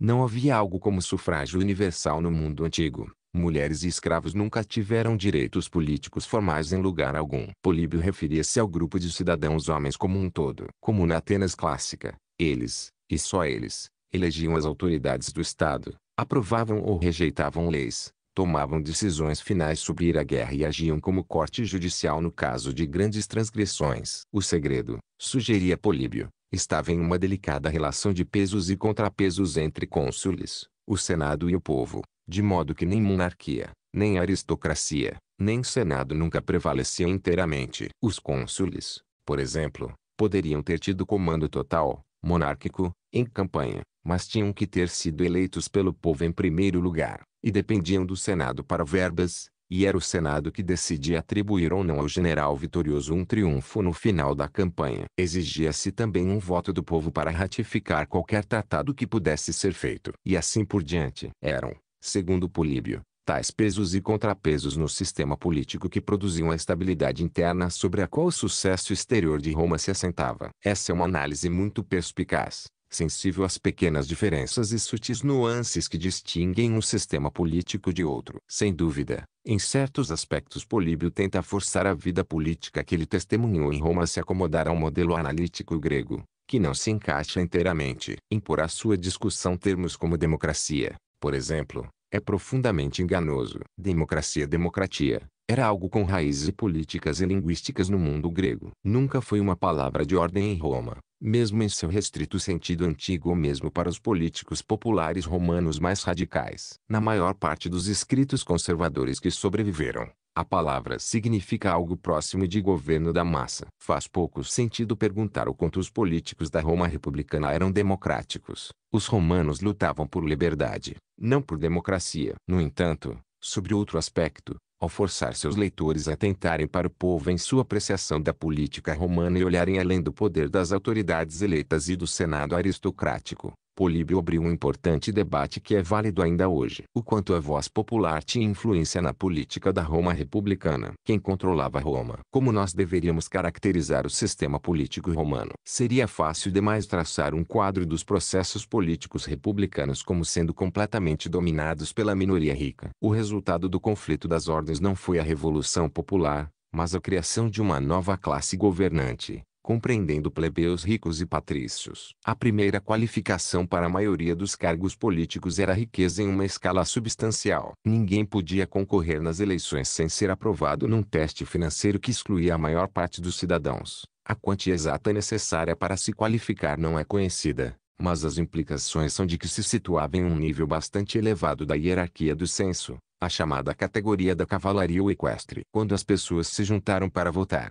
o sistema de votação foi arranjado em favor dos ricos. Já vimos como isso funcionava na Assembleia das Centúrias, que elegia altos oficiais. Se as centúrias ricas se unissem, podiam determinar o resultado sem que as centúrias pobres tivessem chance de votar. A outra assembleia importante baseada nas divisões tribais geográficas era mais equitativa em tese, mas, conforme o tempo foi passando, deixou de ser assim na prática. Das 35 divisões geográficas finalmente definidas em 241 a.C., até esse momento, o número de tribos foi aumentando conforme a cidadania era estendida por toda a Itália. Apenas quatro cobriam a própria cidade. As 31 restantes abrangiam então distante território rural de Roma. Como os votos só podiam ser dados pessoalmente na cidade, a influência daqueles que tinham condições de tempo e transporte para fazer a viagem era esmagadora. Os votos da população urbana residente tinham impacto apenas sobre essa pequena minoria de tribos urbanas. Além disso,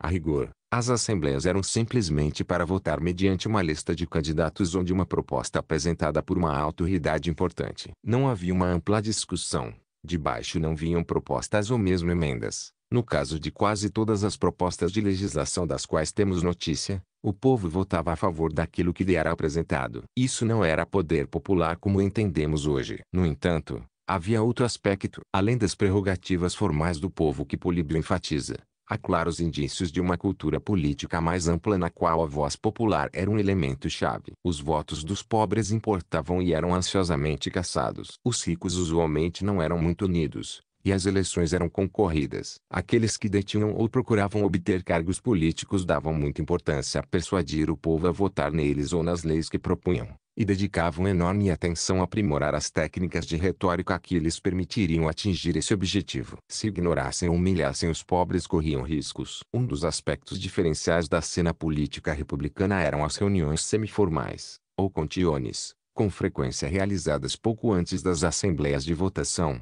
nas quais autoridades rivais tentavam convencer as pessoas sobre seu ponto de vista. Cícero fez seu segundo e quarto discursos contra Catilina, por exemplo, em Contiones. Não sabemos ao certo quanto costumavam ser frequentes ou atrair comparecimento, mas há várias indicações de que envolviam fervor político, entusiasmo vociferante e muito barulho. Certa ocasião, no século e antes de Cristo, conta-se que a gritaria era tão estrondosa que um corvo, que desafortunadamente passara por ali, caiu estatelado no chão, atordoado. Há também todo tipo de anedotas sobre a importância e a intensidade da caça de votos, e sobre como o voto do povo podia ser conquistado ou perdido. Políbio conta uma história curiosa sobre o rei sírio Antíoco IV, Epifânio, famoso ou mesmo Deus manifestado, filho de Antíoco, o Grande, que havia sido esmagado por Cipião Asiático. Quando jovem ele viveu mais de uma década como refém de Roma antes de ser trocado por um parente mais jovem,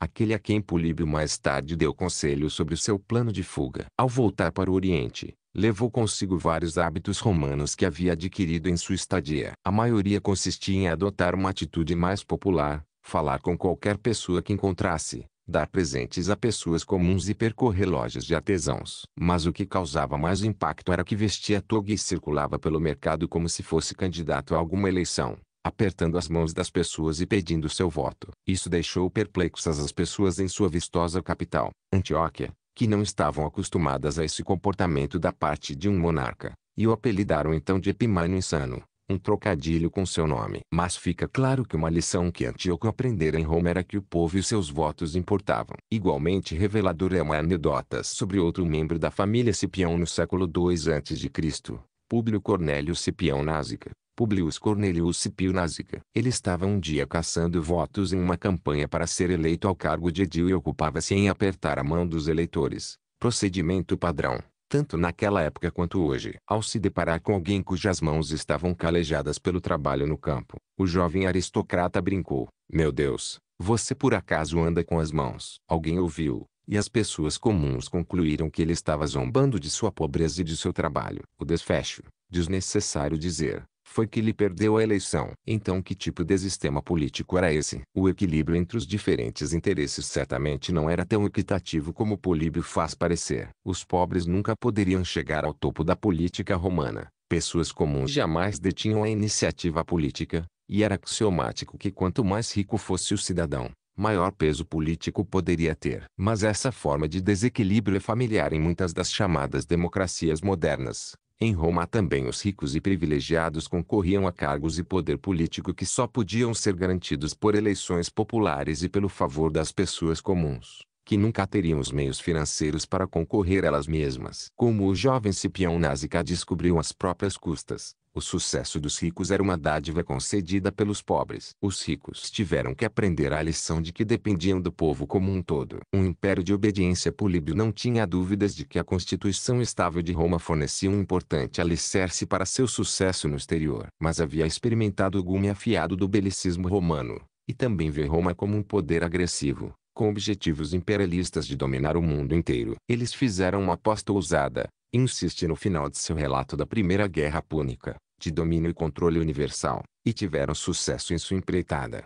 Nem todos concordaram. Houve até alguns gregos, ele reconheceu, que sugeriram que as conquistas de Roma ocorreram por acaso ou de modo não intencional. Muitos romanos insistiam que sua expansão ultramarina resultou de uma série de guerras justas, no sentido de guerras empreendidas com o necessário apoio dos deuses, em autodefesa ou em defesa de aliados, que, solicitavam a ajuda de Roma com frequência. Não se tratava de modo algum de agressão. Se Políbio tivesse vivido para ver, menos de 100 anos após sua morte, as estátuas de generais romanos em escala maior que a natural sustentando um globo nas mãos, sem dúvida teria se sentido vingado. Certamente havia uma visão de domínio do mundo por trás de muitas expressões do poder romano no século e antes de Cristo e mais tarde um império sem limites, como Júpiter profetiza na Eneida de Virgílio. Mas Políbio estava equivocado como sua própria narrativa dos eventos mostra claramente, quando imaginou que nesse período inicial os romanos eram movidos por esse tipo de ideologia aquisitiva imperialista ou por algum sentido de destino manifesto. Havia sede de glória, desejo de conquista e pura ambição pelos ganhos econômicos da vitória em todos os níveis da sociedade romana. Não era à toa que a perspectiva de um rico butim foi brandida diante do povo quando solicitado a votar pela entrada de Roma na Primeira Guerra Púnica. Mas não importa quais fossem as fantasias que as pessoas expunham nas festas dos Cipiões, Nada disso fala em favor de um plano para uma dominação mundial. De modo bem similar à extensão do controle romano na Itália, essa expansão ultramarina nos séculos 3 e 2 a.C.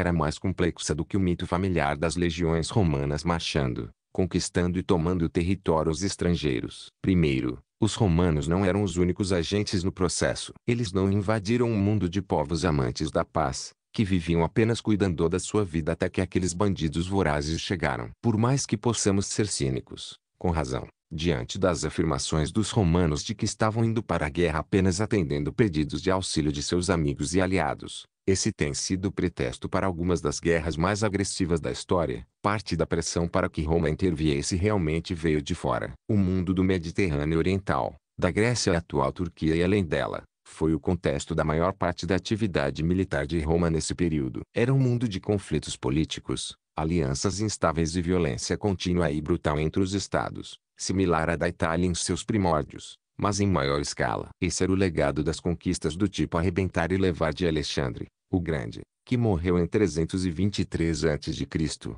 antes que precisasse encarar o que fazer com aqueles que havia derrotado. Seus sucessores formaram dinastias rivais, que se envolveram em séries mais ou menos ininterruptas de guerras e disputas, entre eles e com estados menores e coalizões em suas vizinhanças. Pirro foi um desses soberanos. Antíoco Epifânio foi outro. Após sua detenção em Roma e tentativas de política populista em casa, conseguiu em seu reinado de 10 anos, entre 175 a.C.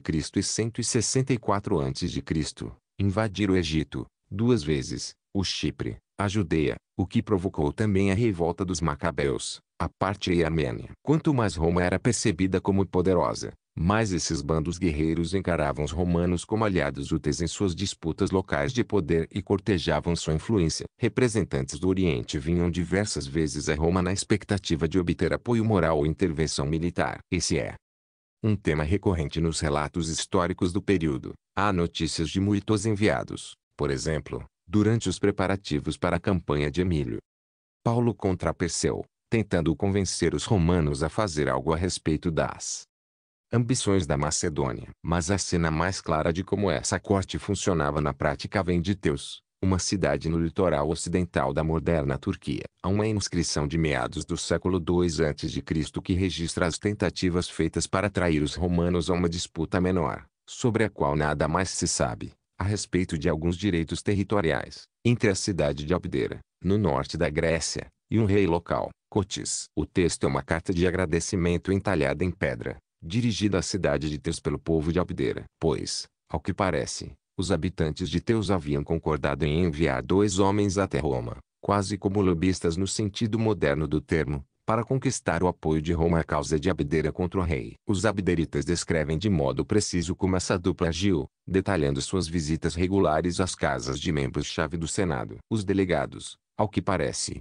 trabalharam tanto que ficaram esgotados física e mentalmente, e encontraram gente importante de Roma e conseguiram convencê-los fazendo-lhes obsequios diariamente. E quando algumas das pessoas que visitavam pareciam favoráveis a Cotis, pois este também mandara enviados a Roma, eles conquistaram sua amizade expondo-lhes os fatos e fazendo visitas diárias aos seus átrios, isto é, aos sagões centrais de suas casas romanas. O silêncio de nosso texto sobre o resultado dessas abordagens sugere que as coisas não foram bem para o lado dos abderitas. Mas esse instantâneo de representantes rivais, não só abrindo caminho no Senado, mas pressionando senadores individualmente todos os dias em favor de sua tese, dá uma ideia de como o auxílio de Roma podia ser requisitado de maneira ativa e persistente. E as centenas, literalmente, de estátuas de indivíduos romanos, como salvadores e benfeitores, colocadas nas cidades do mundo grego mostram como essa intervenção, caso viesse a ocorrer e fosse bem sucedida, era comemorada. Não temos como identificar cada um dos aspectos da duplicidade por trás de tais palavras. Sem dúvida havia não só medo e lisonja envolvidos, mas também gratidão sincera. Mas trata-se de um lembrete útil de que a simples expressão conquista romana pode encobrir uma ampla gama de pontos de vista, motivações e aspirações de cada um dos lados. Além disso, os romanos não tentavam sistematicamente anexar território ultramarino ou impor mecanismos padronizados de controle. O que explica em parte porque o processo de expansão foi tão rápido. Eles não estavam implantando nenhuma infraestrutura de governo. Certamente, extraíam recompensas materiais daqueles que derrotavam, mas de maneiras diferentes. Ad Eles impuseram grandes indenizações em dinheiro a alguns estados, um total de mais de 600 toneladas de lingotes de prata só na primeira metade do século II a.C. Em outras partes, assumiram os regimes regulares de taxação já estabelecidos por governantes anteriores. Algumas vezes conceberam novas maneiras de extorquir ricas receitas. As minas de prata da Espanha, por exemplo, antes parte do domínio de Aníbal, logo passaram a produzir tanto minério que a poluição ambiental de seu processamento ainda pode ser detectada em amostras datáveis extraídas das profundas camadas de gelo da Groenlândia. E Políbio, que visitou a Espanha em meados do século II a.C., escreveu a respeito de 40 mil mineiros, a maior parte escravos, trabalhando em apenas uma região do território de mineração. Talvez não seja literal, 40 mil era uma expressão comum para se referir a um número muito grande, como nosso milhares. As formas de controle político dos romanos eram igualmente variadas, indo de tratados de amizade que asseguravam a não interferência à tomada de reféns como garantia de bom comportamento, ou a presença mais ou menos permanente de soldados ou autoridades romanas. O que aconteceu depois que Emílio Paulo derrotou o rei Perseu é apenas um exemplo da aparência de tal pacote de arranjos. A Macedônia foi dividida em quatro estados autogovernados independentes. Eles pagavam impostos a Roma, pela metade do valor que Perseu cobrava, e, neste caso, as minas macedônias foram fechadas, para evitar que seus recursos fossem usados para construir uma nova base de poder na região. Era de fato um império coercitivo no sentido de que os romanos levavam embora os ganhos e tentavam assegurar que poderiam impor sua vontade quando quisessem com a ameaça da força sempre no ar. Não era um império de anexação no sentido que romanos posteriores iriam entendê-lo. Não havia nenhuma estrutura legal detalhada de controle, nem regras ou regulamentações. Nesse período, até mesmo a palavra latina imperium, que por volta do final do século e antes de Cristo podia significar império como uma área inteira sob governo romano direto, tinha um sentido mais próximo de poder de ordens que são obedecidas. E província, que se tornou o termo padrão para uma subdivisão bem definida do império sob o controle de um governador, não era um termo geográfico, e sim uma responsabilidade atribuída a uma autoridade romana. Podia ser, e com frequência era, uma atribuição de atividade militar ou administrativa em um lugar determinado. A partir do final do século III a.C., a Sicília e a Sardenha passaram a ser designadas como provinciae, e a partir do início do século II a.C., duas provinciais militares na Espanha tornaram-se um padrão, embora suas fronteiras fossem fluídas. Mas podia muito bem ser uma responsabilidade em relação a algo, digamos, o tesouro romano, e, por volta da passagem para o século II a.C., Plato em suas comédias usa o termo província como uma brincadeira para se referir aos deveres dos escravos. Nessa época, nenhum romano era enviado para ser o governador de uma província como ocorreria mais tarde. O que estava em jogo para os romanos era se poderiam vencer em batalha e depois se, por meio de persuasão, ameaça ou força, poderiam impor sua vontade onde, quando e conforme decidissem. O estilo desse império é claramente resumido na história do último encontro entre Antíoco Epifânio e os romanos. O rei estava invadindo o Egito pela segunda vez,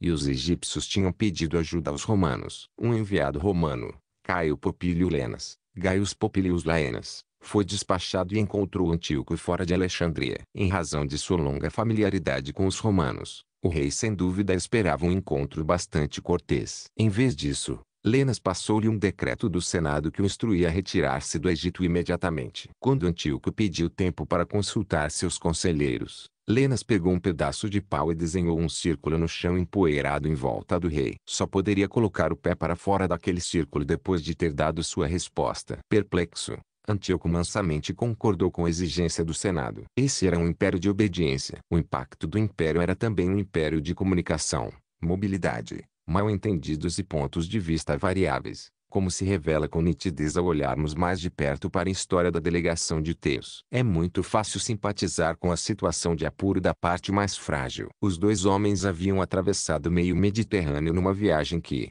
em geral, durava de duas a cinco semanas conforme a estação do ano, a qualidade do navio e as condições de navegação durante a noite. Ao chegarem a Roma, devem ter visto uma cidade maior, mas bem menos elegante que algumas pelas quais teriam passado em sua jornada. Conta-se a história de um infeliz embaixador grego que mais ou menos nessa época caiu em um esgoto aberto de Roma e quebrou a perna, e fez o melhor que pôde de sua convalescência dando palestras introdutórias sobre teoria literária a uma curiosa plateia. Roma também tinha costumes estranhos, estrangeiros. Fato interessante é que quem quer que tenha escrito o texto sobre a pedra em Abdera não se deu ao trabalho de traduzir alguns termos caracteristicamente romanos, como atri patronus, patrono, optando pela sua mera transcrição em caracteres gregos. E quando arriscou uma tradução, ficou um tanto esquisita. O texto diz, por exemplo, que os enviados diariamente obsequiaram os romanos. O termo grego aqui, proskinesis, quer dizer literalmente bajular ou beijar os pés. Isso, presume-se, é uma referência prática romana da salutatio, quando os clientes e subordinados faziam uma visita matinal a seus patronos, mas sem nada dessa história de beijar-lhes os pés. Embora talvez esses visitantes estrangeiros vissem a prática pelo seu caráter humilhante. De que modo fizeram essas visitas e expuseram suas razões é algo que só podemos conjeturar. Muitos dos ricos em Roma falavam um pouco de grego, melhor do que os teuzinos falariam latim, mas nem sempre eram fluentes. Sabia-se que os gregos se divertiam muito com o terrível sotaque dos romanos. Assim, quando esses dois teuzinos apareceram na cidade, alguns romanos podem ter se sentido pouco à vontade também. Porque embora suas atenções e seu reconhecimento do poder de Roma fossem lisonjeiros, aquele era um novo mundo, que talvez gerasse tanta perplexidade nos romanos quanto em seus visitantes. Qual seria a sensação de se deparar com uma série de estrangeiros vindo de tão longe quanto seria possível imaginar, falando rápido demais uma língua que você mal entendia, visivelmente muito preocupados por causa de um pequeno pedaço de terra sobre o qual você nada sabia, e que ameaçavam perigosamente fazer uma grande reverência e beijar-lhe os pés. Se, como coloca Políbio, os romanos haviam conquistado quase a totalidade do mundo conhecido nos 53 anos até 168 a.C. Então ao longo desse mesmo período Roma e a cultura romana haviam também sido transformadas por aqueles horizontes expandidos. Essa transformação envolveu deslocamentos de pessoas, para Roma e para fora dela, em uma escala nunca antes vista no mundo antigo. Quando escravos de todo o Mediterrâneo foram despejados na Itália e na própria Roma, Tratava-se de uma história de exploração, mas era também uma grande migração forçada. Os números que os escritores antigos dão para os cativos tomados pelos romanos em determinadas guerras podem muito bem ser exagerados. 100 mil na Primeira Guerra Púnica, por exemplo, ou 150 mil tomados por Emílio Paulo apenas de uma parte do território de Perseu. E além disso muitos deles não teriam sido transportados diretamente para Roma e sim vendidos a intermediários localizados mais próximos do ponto de captura. Mas é uma estimativa razoável supor que, no início do século II a.C., o número de novos escravos que chegavam à península como resultado direto das vitórias ultramarinas superava 8 mil por ano em média, numa época em que o número total de homens adultos, cidadãos romanos, dentro e fora da cidade, era da ordem de 300 mil. No devido tempo, uma proporção significativa deve ter sido libertada e adotou a cidadania romana. O impacto disso, não só na economia de Roma, mas também na diversidade cultural e étnica do corpo de cidadãos, foi enorme. A divisão entre romanos e estrangeiros diluía-se cada vez mais. Ao mesmo tempo, romanos eram lançados no exterior. Viajantes romanos, comerciantes e aventureiros exploravam havia séculos o Mediterrâneo. Lúcio, filho de Caio, o mercenário que deixou seu nome em uma inscrição em Creta no final do século III a.C., não deve ter sido o primeiro a ganhar a vida em uma das mais antigas profissões do mundo. Mas, a partir do século II a.C., milhares de romanos passavam longos períodos fora da Península Itálica. Havia um enxame de comerciantes romanos no Mediterrâneo Oriental, aproveitando as oportunidades de negócios que surgiam após as conquistas, no comércio de escravos e de especiarias, ou no mais mundano negócio de fornecer suprimentos.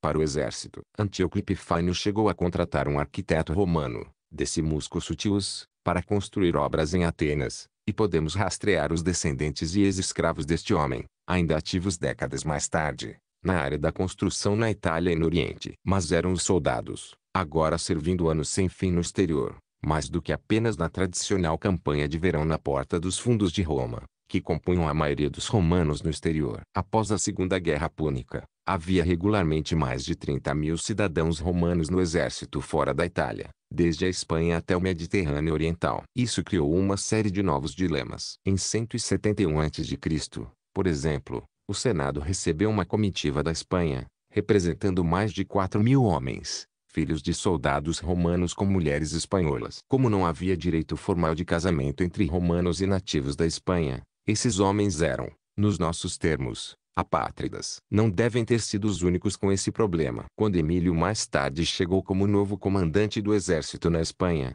dizem que expulsou dois mil prostitutas do acampamento romano. Mas em sua argumentação diante do Senado, esses descendentes tiveram a coragem de pedir aos romanos uma cidade que pudessem chamar de sua e presumivelmente algum esclarecimento sobre sua condição legal. Estavam assentados na cidade de Carteia, na ponta sul da Espanha, que, com a usual tendência dos romanos para improvisação, ganhou a condição de colônia latina e foi definida como colônia de ex-escravos. Não temos ideia de quantas horas de discussão foram necessárias para que os senadores decidissem que a bizarra junção de ex-escravo e latino seria a melhor combinação disponível para a condição civil desses filhos tecnicamente legítimos de soldados. Mas isso sem dúvida mostra que tiveram que lidar com problemas decorrentes de ser romano pelo menos parcialmente, fora da Itália. Por volta de meados do século II a.C., mais da metade dos cidadãos adultos homens de Roma já havia visto algo do mundo exterior, e deixado um número desconhecido de filhos por onde havia passado. Dito de outro modo,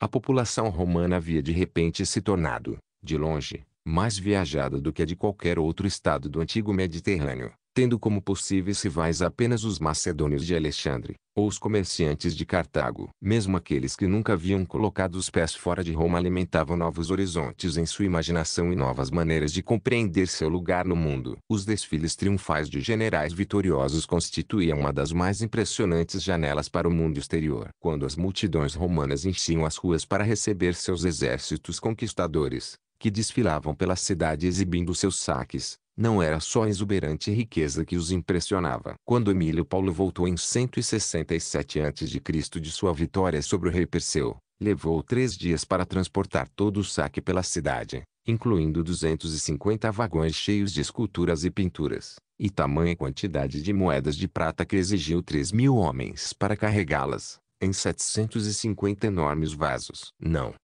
Admira que Roma tenha se dado ao luxo de suspender todos os impostos diretos. Mas isso era também a deslumbrante mostra da existência de outras terras é.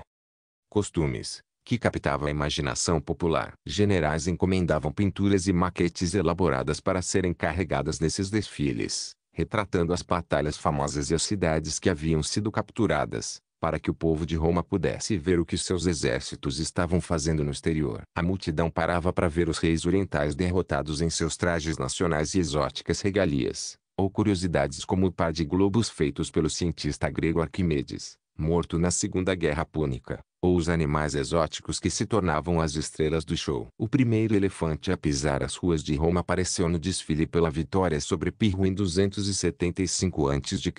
Era tudo muito diferente como observou mais tarde um escritor, do gado dos Volscos e dos rebanhos das Sabinas, que haviam sido os únicos espólios um século antes, ou perto disso. As comédias de Plauto e Terêncio ofereciam uma janela de outro tipo, com algumas reflexões sutis e talvez embaraçosas. É verdade que os enredos do tipo rapaz pega a moça de quase todas essas apresentações, adaptadas de peças gregas anteriores, não são hoje em dia apreciados por sua sutileza. O final feliz de algumas de suas histórias de estupro pode estar a leitores modernos. Boa notícia, o estuprador era o noivo dela. Era como se resumia o desfecho de uma dessas peças. Também fica claro que as apresentações originais, feitas em celebrações públicas de todo tipo, desde festas religiosas a encerramento de triunfos, eram ocasiões bagunçadas, turbulentas, atraindo uma ampla amostra da população da cidade, incluindo mulheres e escravos. Isso contrasta muito com Atenas clássica, onde a plateia, embora maior que a de Roma, provavelmente se restringia a cidadãos do sexo masculino, turbulentos ou não. Mesmo assim, havia uma coisa que todas essas peças romanas exigiam daqueles que as assistiam, que encarassem a complexidade cultural do mundo no qual viviam. Isso se devia em parte ao fato de as peças serem ambientadas na Grécia. O pressuposto era que a plateia tinha alguma noção dos lugares fora da Itália, ou pelo menos que sabia reconhecê-los minimamente pelos nomes. Os enredos com frequência tratam de temas decididamente diversos. Uma comédia de Ploto traz um cartaginês para o palco, que balbucia alguma coisa em púnico, talvez com sentido, mas mesmo assim incompreensível. Outra mostra um par de personagens disfarçados de persas, e de atores que estão propositadamente mal disfarçados de persas é uma reação muito mais esclarecida do que rir atores que simplesmente são persas devido ao seu papel na peça. Mas, com uma sofisticação que é impressionante neste estágio tão inicial da história da literatura romana, Plot explora ainda mais profundamente o caráter híbrido de sua obra, e do seu mundo. Uma de suas tiradas favoritas, repetida no prólogo de várias de suas peças, é alguma versão de Demófilo escreveu isto. Ploto barbarizou, referindo-se à sua tradução bárbara, para o latim de uma comédia do dramaturgo grego Demófilo. Essa fala aparentemente descartável era, na realidade, um desafio capcioso para a plateia. Para aqueles de origem grega, sem dúvida era uma oportunidade de dar uma risadinha silenciosa à custa dos novos e bárbaros líderes do mundo. Para os outros, exigir malabarismo conceitual de imaginar como eles, romanos, poderiam se afigurar aos olhos de quem os via de fora. Para curtir a graça, precisavam entender, mesmo que fosse apenas como piada, que aos olhos dos gregos eram vistos como bárbaros. Em outras palavras, a expansão dos horizontes do império perturbava a hierarquia simples do tipo nós acima deles, ou dos civilizados acima dos bárbaros, que sustentara a cultura grega clássica. Os romanos eram capazes de desprezar e zombar dos bárbaros conquistados, de exaltar a própria condição civilizada e sofisticada diante daqueles gauleses toscos,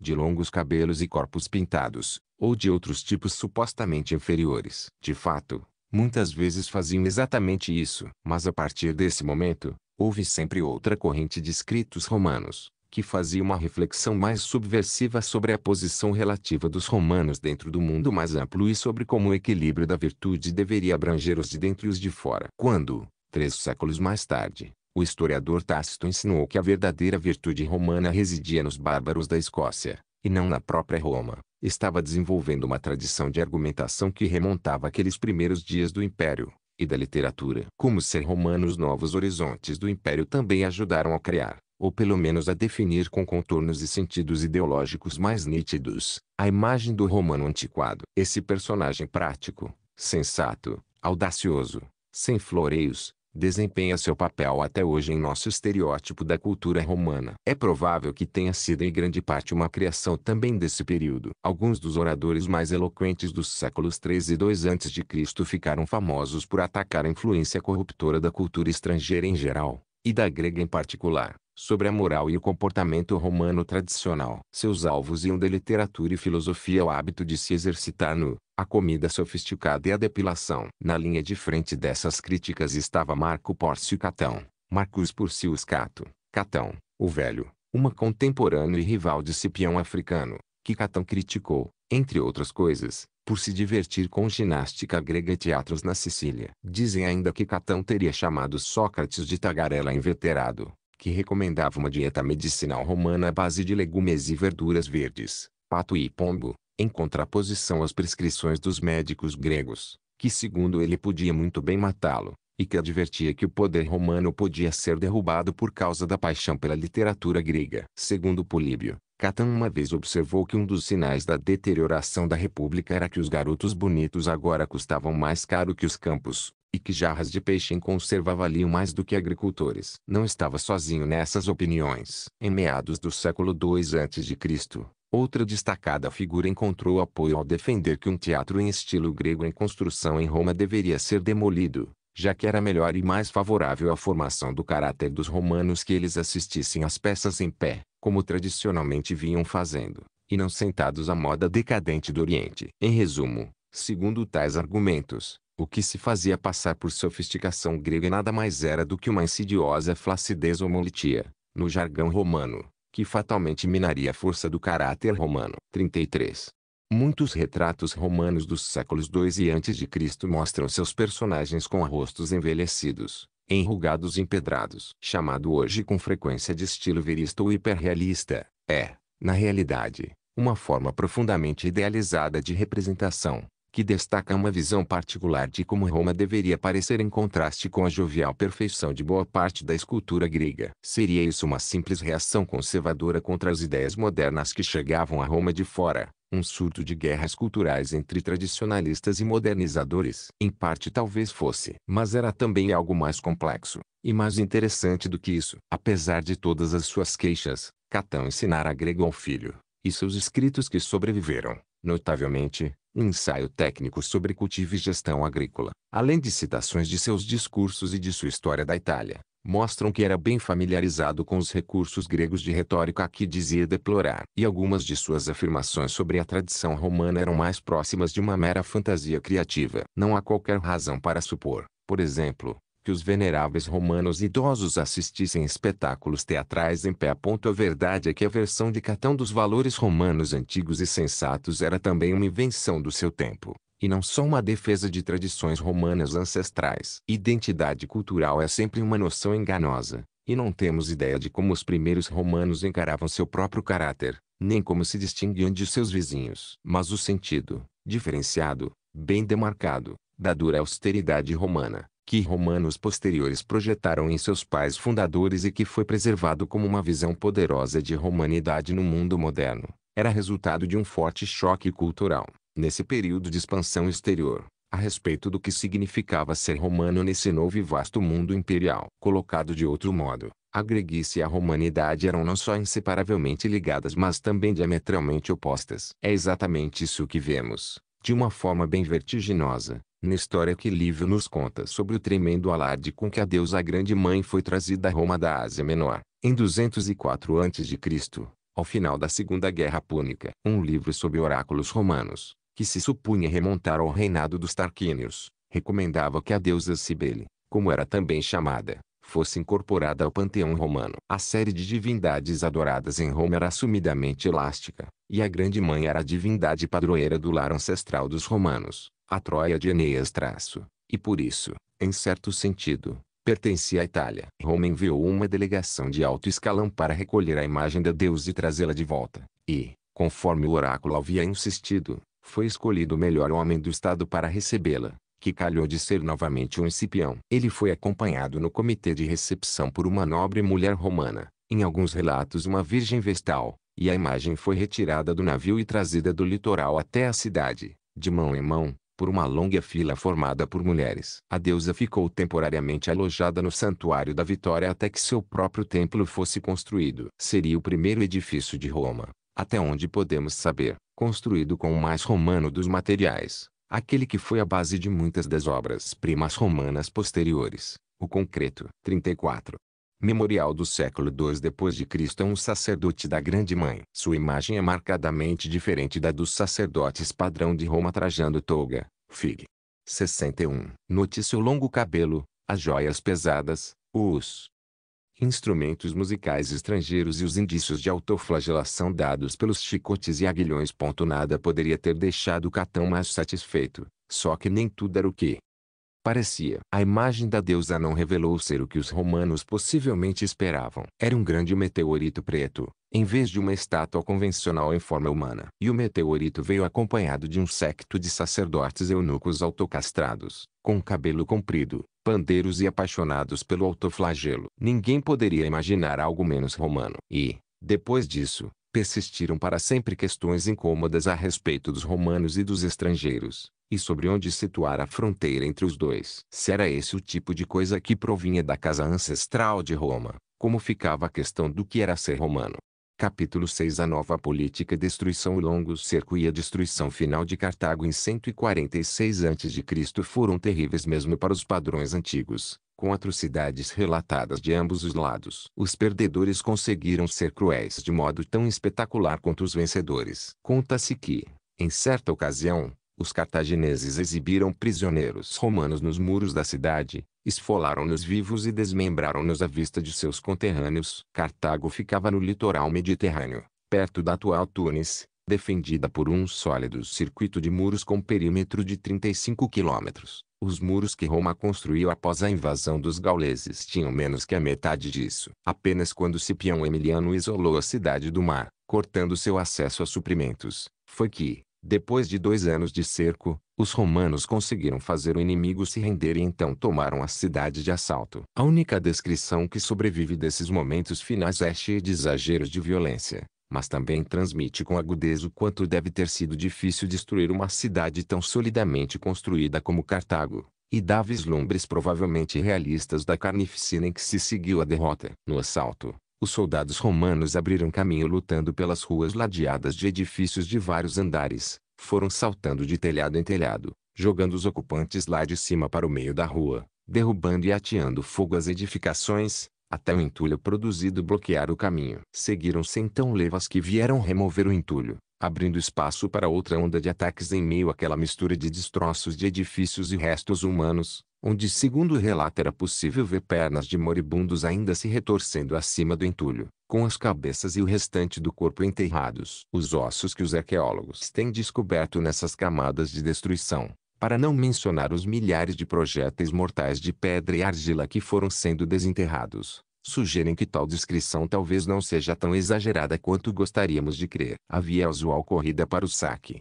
e não só dos preciosos ouro e prata. Emiliano cuidou para que a famosa enciclopédia agrícola do cartaginês mago fosse resgatada das chamas. De volta a Roma, o Senado entregou uma comissão de linguistas romanos a pouco invejável tarefa de traduzir para o latim seus 28 volumes, que versavam sobre tudo, desde como conservar romãs à escolha de gado de corte. Havia também ecos míticos. A citação de Homero, que Emiliano fizera expressando seu pesar ao ver a destruição, tinha seu lado pungente, mas foi também presunçosa. Roma agora reclamava seu lugar no ciclo de grandes potências e conflitos iniciado com a Guerra de Troia. Cartago, enquanto isso, supostamente terminava onde havia começado, com um homem abandonando sua amante em favor de Roma. Segundo uma história, do mesmo modo que Eneas, o herói de Virgílio, abandonara Dida enquanto a cidade era construída, agora, também, em meio à sua destruição, Asdrubal, o comandante cartaginês, finalmente partia para atacar os romanos, abandonando a esposa. Assim como Dido, ela também se atirou numa pira funerária, dizem que para denunciar o marido. Quase tão devastador, poucos meses depois, foi o saque de Corinto, a cidade mais rica da Grécia, a 1.600 quilômetros de Cartago, que havia feito fortuna graças à sua posição comercial privilegiada, com portos em ambos os lados de uma estreita faixa de terra separando Peloponeso do restante da Grécia. Sob o comando de Lúcio Múmio Lucius Mummius Achaicus, como ficou mais tarde conhecido devido à sua vitória sobre esses acaios, as legiões romanas tomaram o lugar, saquearam suas fabulosas obras de arte, escravizaram o povo e atearam fogo à cidade. Foi um incêndio tão grande que, dizia uma versão, a mistura de metal derretido que produziu deu origem a um material muito valorizado, extremamente caro, chamado bronze coríntio. Estudiosos da antiguidade não acreditam em nenhuma palavra dessa história, mas a imagem do intenso calor da destruição, derretendo primeiro o precioso bronze, depois a prata e finalmente o ouro, é bem poderosa e um exemplo vivo da íntima proximidade na imaginação romana entre arte e conquista. Múmio era um tipo bem diferente de Emiliano, o apreciador de Homero, e passou a história quase como uma caricatura do romano inculto e filistino. Políbio, que chegou a Corinto logo após a derrota grega, ficou chocado ao ver soldados romanos usando o verso de preciosas pinturas como tabuleiros de jogos, ao que parece com a anuência de seu oficial comandante. E quase sete séculos depois disso, Ainda se fazia piada sobre uma observação de Múmio, feita enquanto supervisionava o despacho de antiguidades valiosas para Roma, dizendo aos capitães que se danificasse qualquer peça teriam que repô-la por outra nova. Mas essa história, como muitas outras, tinha dois lados. Pelo menos um severo comentarista romano assumiu uma postura que lembrava de Catão, sugerindo que teria sido melhor para Roma se mais pessoas tivessem seguido o exemplo de Múmio e mantido distância do luxo grego. Talvez pela família de Múmio corresse uma tradição de austeridade, pois seu trisneto foi o parcimonioso e sensato imperador Galba, que governou alguns meses em 68 a 69 depois de Cristo após a queda do extravagante Nero. Mas quaisquer que fossem seus reais pontos de vista, Múmio dispôs do espólio coríntio com cuidado. Algumas peças foram dedicadas a templos da Grécia, o que combinava demonstração de compaixão com sutil advertência aos demais gregos. Muitas foram expostas em Roma ou presenteadas às cidades da Itália. Evidências disso ainda estão emergindo. Em Pompeia, próximo ao templo de Apolo, junto ao fórum, um plinto de estátua foi limpado em 2002, e sob uma camada de gesso descobriu-se uma inscrição em oscano, a língua local, proclamando que o que quer que estivesse acima do plinto tinha sido presente de Ilimum Mesilicusu, ou Lúcio Múmio, filho de Lúcio, cônsul. Provavelmente, então, algum dos objetos provenientes de Corinto. Por que razão? No espaço de poucos meses, os romanos adotaram medidas tão brutais contra essas duas cidades magníficas e famosas é algo que vem sendo debatido desde então. Após a vitória de Africano na Batalha de Zama em 202 a.C., ao final da guerra contra Aníbal, Cartago concordara com as exigências de Roma. 50 anos mais tarde, acabara de pagar a última parcela da grande indenização em dinheiro que os romanos haviam imposto. Seria essa campanha final de destruição simplesmente um ato de vingança de Roma, perpetrado com algum pretexto forjado? Ou será que os romanos tinham algum medo legítimo de que o poder cartaginense surgisse? Catão era o mais eloquente inimigo de Cartago, e sabidamente, de modo tedioso mas em última instância persuasivo, terminava cada discurso seu com a frase Cartago deve ser destruída Cartago delenda este, frase latina ainda familiar. Uma das cenas que gostava de fazer no Senado era deixar cair de sua turga um punhado de figos de Cartago deliciosamente maduros. Explicava, então, que tinham chegado de lá havia apenas três dias. Era uma redução intencional da distância entre Cartago e Roma mais rápida das viagens duraria pouco menos de cinco dias mas pretendia ser um poderoso símbolo da perigosa proximidade, e da riqueza agrícola, de um rival em potencial, expresso com o intuito de alimentar suspeitas em relação ao antigo inimigo. Corinto deve ter tido um papel muito diferente nos cálculos romanos. Foi uma das várias cidades gregas que ignoraram as instruções bastante tíbias e não muito claras dadas por Roma na década de 140 a.C., tentando restringir alianças no mundo grego, e seguiu a própria agenda em política regional. Pior ainda, os coríntios haviam expulsado rudemente uma delegação romana. Nenhum outro lugar na Grécia recebeu o mesmo tratamento. Estava Corinto sendo punida exemplarmente por um ato de desobediência pública, mesmo tendo sido algo trivial. Ou havia uma suspeita real de que ela viesse a se tornar uma potência alternativa no Mediterrâneo Ocidental. Ou ainda, como Políbio insinua no final do seu Histórias, estavam os romanos começando a recorrer ao extermínio em benefício próprio. Quaisquer que fossem as motivações por trás da violência de 146 a.C.,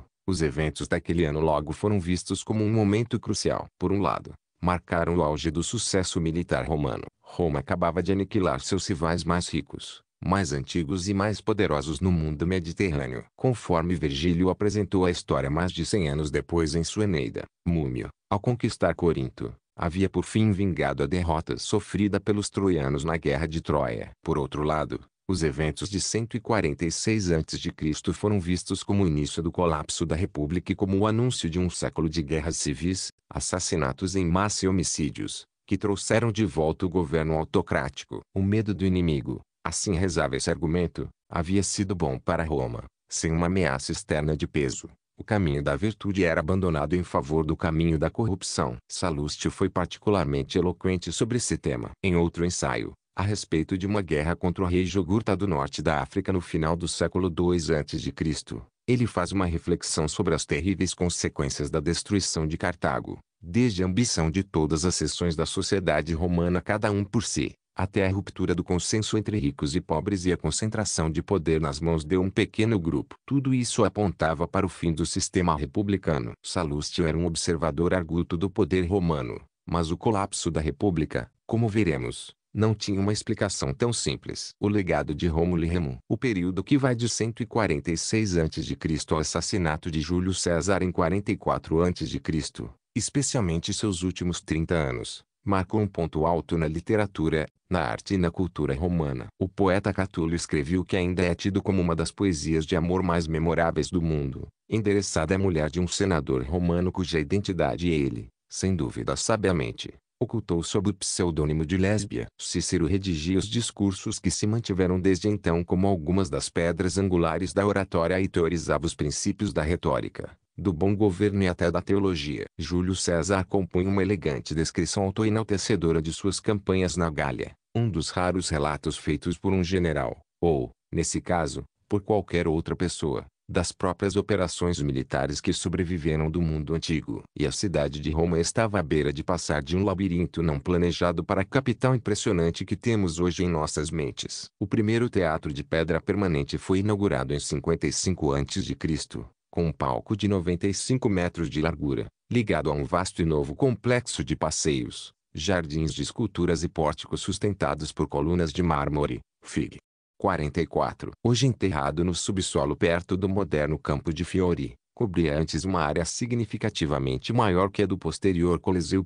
Mesmo assim, Comentaristas romanos não puseram o foco nessas realizações deslumbrantes mas no progressivo declínio político e moral. Os exércitos romanos ainda conseguiam vitórias externas muito lucrativas, e algumas vezes muito sangrentas. Em 61 a.C., Cneo Pompeu Magno, Gnaeus Pompeius Magnus, Pompeu, o Grande, como ele se autodenominava, imitando Alexandre, celebrou um triunfo por sua vitória sobre Mitridates V, rei do Ponto, que antes ocupara extensos territórios em torno do litoral do Mar Negro. Esta foi uma ocasião ainda mais espetacular que a do triunfo de Emílio Paulo um século antes. As 75 milhões e 100 mil dracmas em moedas de prata carregadas em procissão eram o equivalente a toda a receita anual de impostos do Império. Teriam sido suficientes para alimentar 2 milhões de pessoas durante um ano, e uma boa parte disso foi para a construção daquele primeiro e suntuoso teatro. Na década de 50 a.C., as campanhas na Gália, ao norte, que eram comandadas e também narradas em textos por César,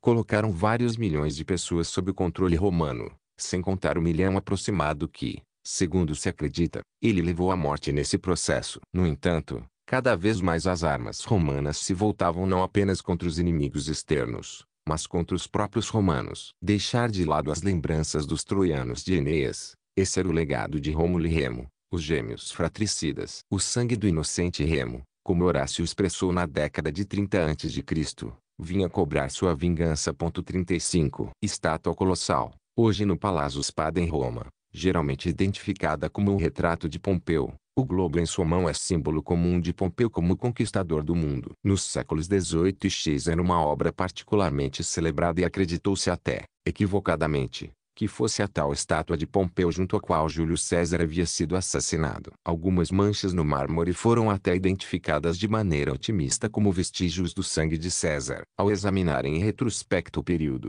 os historiadores romanos lamentaram a destruição gradual da política pacifista. A violência passou cada vez mais a ser aceita como instrumento político. As restrições e convenções tradicionais sofreram rupturas, uma a uma, até que espadas, porretes e tumultos praticamente tomassem o lugar das urnas de votação. Ao mesmo tempo, para acompanhar Salústio, alguns poucos indivíduos de enorme poder, riqueza e histórico militar passaram a dominar o Estado, até que Júlio César foi oficialmente estabelecido como ditador vitalício e depois, no prazo de semanas, assassinado em nome da liberdade. Quando despojamos a história, reduzindo-a a seus elementos mais crus e essenciais, vemos uma série de momentos e conflitos cruciais que levaram à dissolução do Estado Livre, a uma sequência de pontos culminantes que marcaram os estágios da progressiva degeneração do processo político, e a uma sucessão de atrocidades que perduraram na imaginação romana por séculos. O primeiro ponto culminante foi em 133 a.C., quando Tibério Graco Tiberius Sempronius Gracchus, um tribuno do povo com planos radicais de distribuir terras aos pobres romanos, decidiu pleitear um segundo ano no cargo. Para que isso não ocorresse, um grupo não oficial de senadores e seus agregados interromperam as eleições, mataram Graco e centenas de seus apoiadores a pauladas e atiraram seus corpos no Tibre. Esquecendo convenientemente a violência que havia acompanhado o conflito das ordens, muitos romanos sustentaram que essa havia sido a primeira disputa política desde a queda da monarquia a ser resolvida com derramamento de sangue e morte de cidadãos. Logo houve outra. Apenas uma década mais tarde, Caio, o irmão de Tibério Graco, teve o mesmo destino. Apresentou um programa de reformas mais radical ainda, que incluía uma cota de trigo subsidiada para os cidadãos romanos, e conseguiu se eleger tribuno uma segunda vez. Mas em 121 a.C., quando tentava evitar que sua legislação fosse desmantelada, tornou-se vítima de outro bando, mais oficial, de senadores. Dessa vez, os corpos de milhares de seus apoiadores obstruíram o rio. E aconteceu de novo em 100 a.C., quando outros reformadores foram espancados até a morte no próprio Senado, com os agressores usando telhas do edifício como armas. Três outras guerras civis prolongadas, ou levantes revolucionários, muitas vezes há um limite nebuloso entre as duas, seguiram sem rápida sucessão e, em certo sentido, vieram somar-se a um único conflito intermitente que durou mais de 20 anos. Primeiro, foi declarada a guerra em Roma em 91 a.C. por uma coalizão de aliados italianos, os Socii. Daí o curioso e enganosamente adequado título moderno de guerra social. Em dois anos os romanos mais ou menos derrotaram os aliados, e no processo deram à maioria deles cidadania romana plena. Mesmo assim, o número de mortos, de homens que haviam antes servido lado a lado em guerras romanas de expansão, foi, segundo uma estimativa romana, de cerca de 300 mil. Por exagerada que a cifra possa ser, ela ainda aponta para baixas em uma escala não muito distante daquela da guerra contra Aníbal. Antes do fim da guerra social, um de seus comandantes, Lúcio Cornélio Sulla, Lucius Cornelius Sulla, cônsul em 88 a.C., tornou-se o primeiro romano desde o mítico Coriolano a liderar seu exército contra a cidade de Roma. Sulla pressionara o Senado para obter o comando em uma guerra no Oriente, e quando voltou de quatro anos vitoriosos marchou até a sua cidade natal outra vez e foi designado ditador. Antes de renunciar em 79 a.C. introduziu um amplo programa de reformas conservadoras e presidiu um reino do terror e o primeiro expurgo organizado de inimigos políticos da história romana. Nessas proscrições isto é, notificações, como eram conhecidas, em um eufemismo aterrador, os nomes de milhares de homens, incluindo cerca de um terço de todos os senadores, foram divulgados por toda a Itália, com um generoso prêmio por suas cabeças. Finalmente, o resultado desses dois conflitos alimentou a famosa Guerra de Escravos de Espartaco, que teve início em 73 a.C., e continua sendo um dos conflitos mais glamorizados de toda a história romana. Por mais bravos que fossem, esses escravos gladiadores desgarrados devem ter contado com o reforço de muitos dos cidadãos romanos descontentes da Itália. De outro modo, dificilmente teriam resistido às legiões por quase dois anos. Essa foi uma combinação de rebelião escrava com guerra civil. Por volta da década de 60 a.C., a própria ordem política em Roma sofria rupturas a todo instante superada por violência de rua, que se tornou parte da vida cotidiana. A conspiração de Catilina foi apenas um incidente entre muitos. Houve muitas ocasiões em que os tumultos evitaram a realização de eleições, ou em que uma distribuição massiva de propinas definiu a decisão do eleitorado ou dos júris dos tribunais, ou em que um assassinato foi a arma escolhida contra um adversário político. Públio Clódio Pulcro, Publius Clodius Pucher, o irmão da Lésbia de Catulo, e o homem que arquitetou o exílio de Cícero em 58 a.C., foi mais tarde assassinado por um bando paramilitar de escravos de propriedade de um dos amigos de Cícero, em uma estúpida briga num subúrbio da cidade, a Batalha de Bovila, como foi majestosa e ironicamente nomeada. Nunca ficou claro a quem se deveria atribuir a responsabilidade por sua morte, mas foi-lhe oferecida uma cremação de improviso no Senado, que pegou fogo junto com o corpo. Um cônsul controvertido foi removido de maneira comparativamente menos drástica em 59 a.C. Recebeu uma mera saraivada de excrementos e passou o resto do seu ano de mandato entrincheirado em casa. Num cenário desses, três homens, Pompeu, Júlio César e Marco Licínio Crasso, fizeram um acordo informal para lançar mão de sua influência combinada, seus contatos e seu dinheiro para ajustar o processo político aos seus próprios interesses. O bando dos três, o monstro de três cabeças, como definiu um satirista contemporâneo, pela primeira vez passou a tomada de decisões públicas para mãos privadas. Por meio de uma série de arranjos de bastidores, subornos e ameaças, os três asseguraram que os consulados e os comandos militares fossem parar onde eles escolhessem e que as decisões importantes seguissem sua orientação. Esse arranjo durou cerca de uma década, começando por volta de 60 a.C. Negociações em privados são difíceis de datar com precisão. Mas depois, procurando assegurar sua posição pessoal, Júlio César decidiu seguir o precedente de Sula e tomou Roma à força. O essencial do que aconteceu em seguida é bastante claro.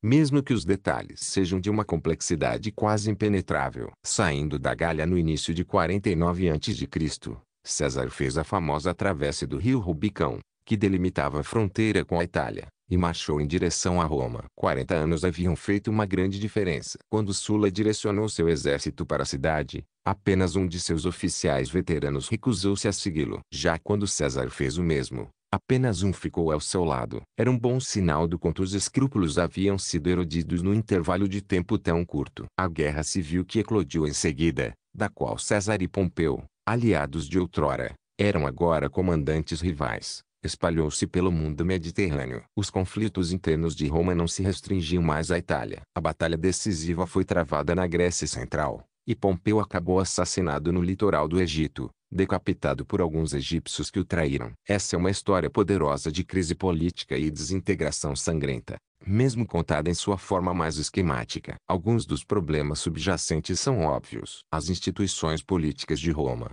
de escala relativamente limitada, haviam mudado pouco desde o século IV a.C. Mal conseguiam estar à altura de governar a Península Itálica e eram ainda menos capazes de controlar e policiar um vasto império. Como veremos, Roma confiava cada vez mais nos esforços e no talento de indivíduos cujo poder, lucros e rivalidades ameaçavam os próprios princípios sobre os quais a república se assentava. E não havia nenhum anteparo, nem mesmo uma força policial básica, para impedir que o conflito político descambasse para a violência política assassina em uma metrópole imensa, que abrigava um milhão de pessoas por volta do século e antes de Cristo, onde a fome, a exploração e as imensas disparidades de riqueza eram catalisadores adicionais de protestos, tumultos e crimes. São também eventos que historiadores, tanto antigos quanto modernos, podem examinar em retrospecto, com todas as vantagens e desvantagens desse tipo de visão. Afinal, depois que já se sabe o desfecho, É fácil apresentar o período como uma série de passos irrevogáveis e brutais na direção de uma crise ou como uma lenta contagem regressiva, seja para o fim do Estado livre, seja para a volta a um governo de um só homem. Mas o último século da República foi mais do que um mero banho de sangue. Como sugerem o florescimento da poesia, das teorizações e da arte, foi também uma época em que os romanos viram suas voltas com problemas que estavam minando seu processo político e no qual surgiram algumas de suas maiores invenções, como o princípio radical de que o Estado tinha alguma responsabilidade em assegurar que seus cidadãos tivessem o suficiente para comer. Pela primeira vez, tiveram que enfrentar a questão de como o império deveria ser administrado e governado, em vez de ser simplesmente adquirido, e conceberam elaborados códigos práticos para o domínio romano. Em outras palavras, esse foi também um período extraordinário de análise e inovação política. Os senadores romanos não ficaram sentados ociosamente enquanto suas instituições políticas mergulhavam no caos, e tampouco simplesmente atiçaram as chamas da crise para proveito próprio a curto prazo, embora certamente houvesse um pouco disso. Muitos deles, a partir de diferentes extremos do espectro político, tentaram encontrar algum remédio eficaz. Não devemos permitir que a nossa visão retrospectiva, ou que o fracasso final deles ou a sucessão de guerras civis e assassinatos nos deixem cegos para os esforços empreendidos, que são o tema principal deste capítulo e do próximo. Vamos examinar atentamente alguns dos conflitos e personagens mais famosos do período para entender a respeito do que, exatamente, os romanos estavam discutindo ou brigando. Algumas das respostas nos levarão de volta à manifestação popular de liberdade que está entranhando nos relatos e reconstruções do conflito das ordens. Mas há também novas questões, desde os efeitos de se garantir cidadania plena e massa aos aliados italianos, até a questão de como os lucros do império deveriam ser partilhados. Esses temas estão todos inextricavelmente entrelaçados. O sucesso, ou fracasso, de exércitos servindo além-mar teve consequências diretas no fronte doméstico. As ambições políticas de homens como Pompeu e César estão por trás de algumas das guerras de conquista. Nunca houve uma diferenciação clara entre os papéis militares e políticos da elite romana. Não obstante, em busca de um relato claro desses desdobramentos cruciais mas complexos, o capítulo 7 concentra-se em Roma no exterior e na ascensão de dinastias superpoderosas, especialmente as de Pompeu e de César, durante a última parte do período. Por ora, vamos nos concentrar principalmente nas questões que têm a ver com Roma e a Itália, e com a primeira parte do período, que é, em linhas gerais, para colocar nos termos de alguns nomes famosos que ainda dominam a narrativa traço Aqui vai de Tibério Graco a Sula e Espartaco. Tibério Graco em 137 a.C. Tibério Graco, neto de Cipião africano, cunhado de Emiliano e um dos heróis de guerra do cerco de Cartago, onde foi o primeiro a escalar o muro inimigo, partiu em viagem de Roma para o norte a fim de se juntar às legiões na Espanha. Quando atravessava a Etrúria, ficou chocado com as condições de vida no campo, pois a terra era trabalhada e os rebanhos cuidados por escravos estrangeiros em propriedades que operavam em escala industrial. Os pequenos agricultores, tradicional espinha dorsal da agricultura italiana, haviam desaparecido. Segundo um panfleto escrito por seu irmão mais novo Caio, e citado em uma biografia bem posterior, esse foi o momento em que Tibério se comprometeu com as reformas. Como ele mais tarde colocou para o povo romano, muitos dos homens que combateram nas guerras de Roma são chamados de donos do mundo, mas não têm um pedaço de terra que possam chamar de seu. Para ele, isso não era justo. Em que medida os pequenos proprietários haviam de fato desaparecido da terra é algo que tem desconcertado os historiadores modernos muito mais do que os antigos. Não é difícil ver uma revolução agrícola desse tipo como consequência lógica da atividade bélica e da expansão de Roma. Durante a guerra contra Aníbal,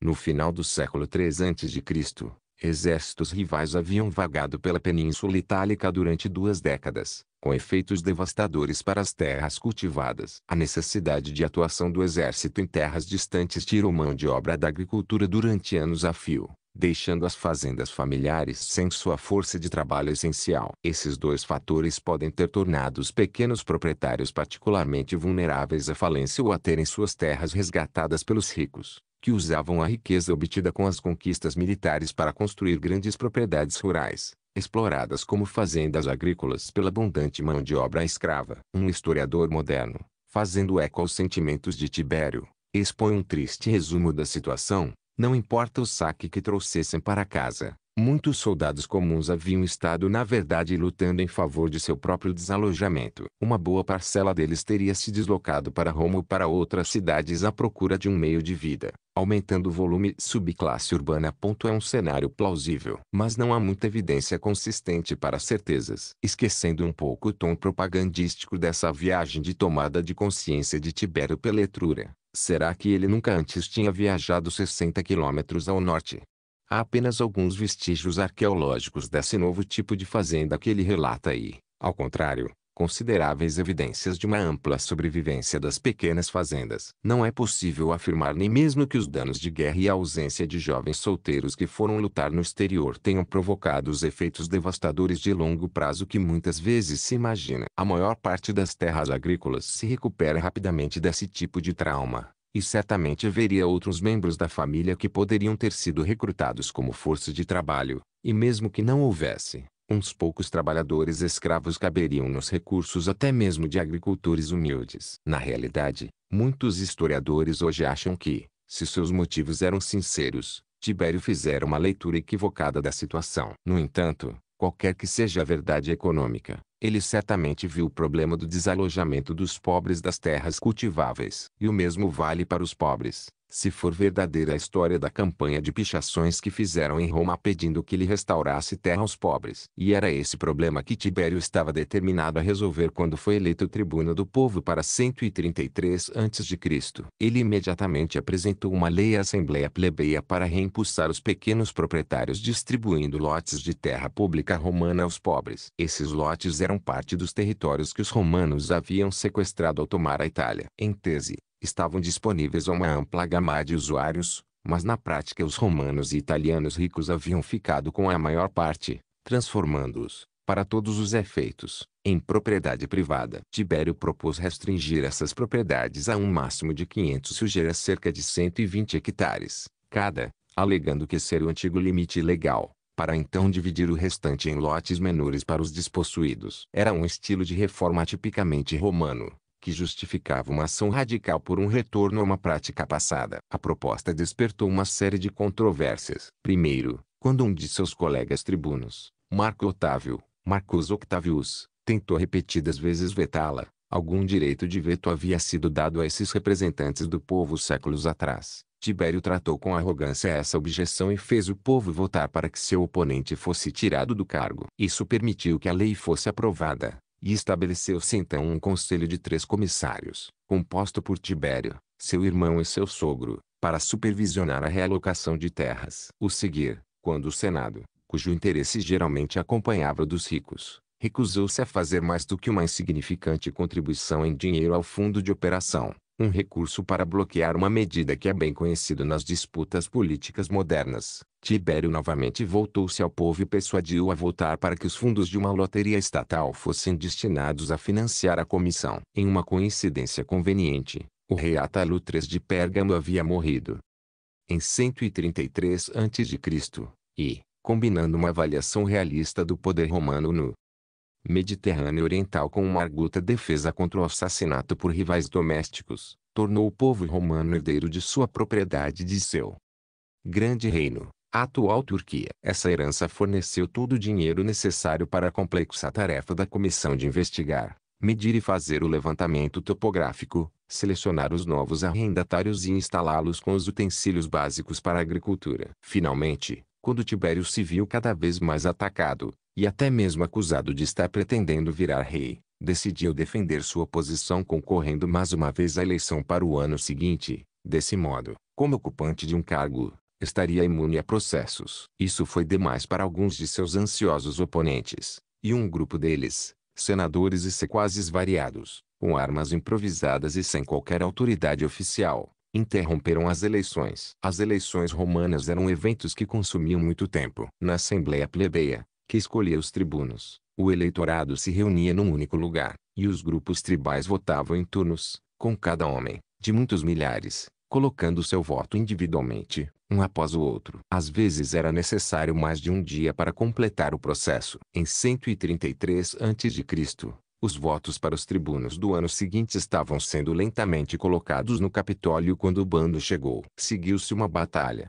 na qual Tibério foi espancado até a morte com o pé de uma cadeira. O homem que liderou o linchamento foi seu primo Públio Cornélio Cipião Násica Serapião, Publius Cornelius Scipio Nasica Serapio, um ex-cônsul e chefe de um dos principais grupos de sacerdotes romanos, os pontífices. Dizem que, antes de entrar nessa briga mortal, teria coberto a cabeça com a toga, como os sacerdotes romanos costumavam fazer quando sacrificavam animais aos deuses. Presume-se que com isso estaria tentando fazer do assassinato um ato religioso. A morte de Tibério não deteve o trabalho de redistribuição de terras. Foi colocado um substituto na comissão e a atividade nos anos seguintes ainda pode ser rastreada na série de pedras de delimitação que marcavam as intersecções das novas unidades de propriedade cada um ostentando os nomes dos comissários responsáveis. Mas houve mais baixas ainda, de ambos os lados. Alguns dos apoiadores de Graco foram submetidos a julgamento num tribunal especial criado pelo Senado. Não está claro qual era a acusação,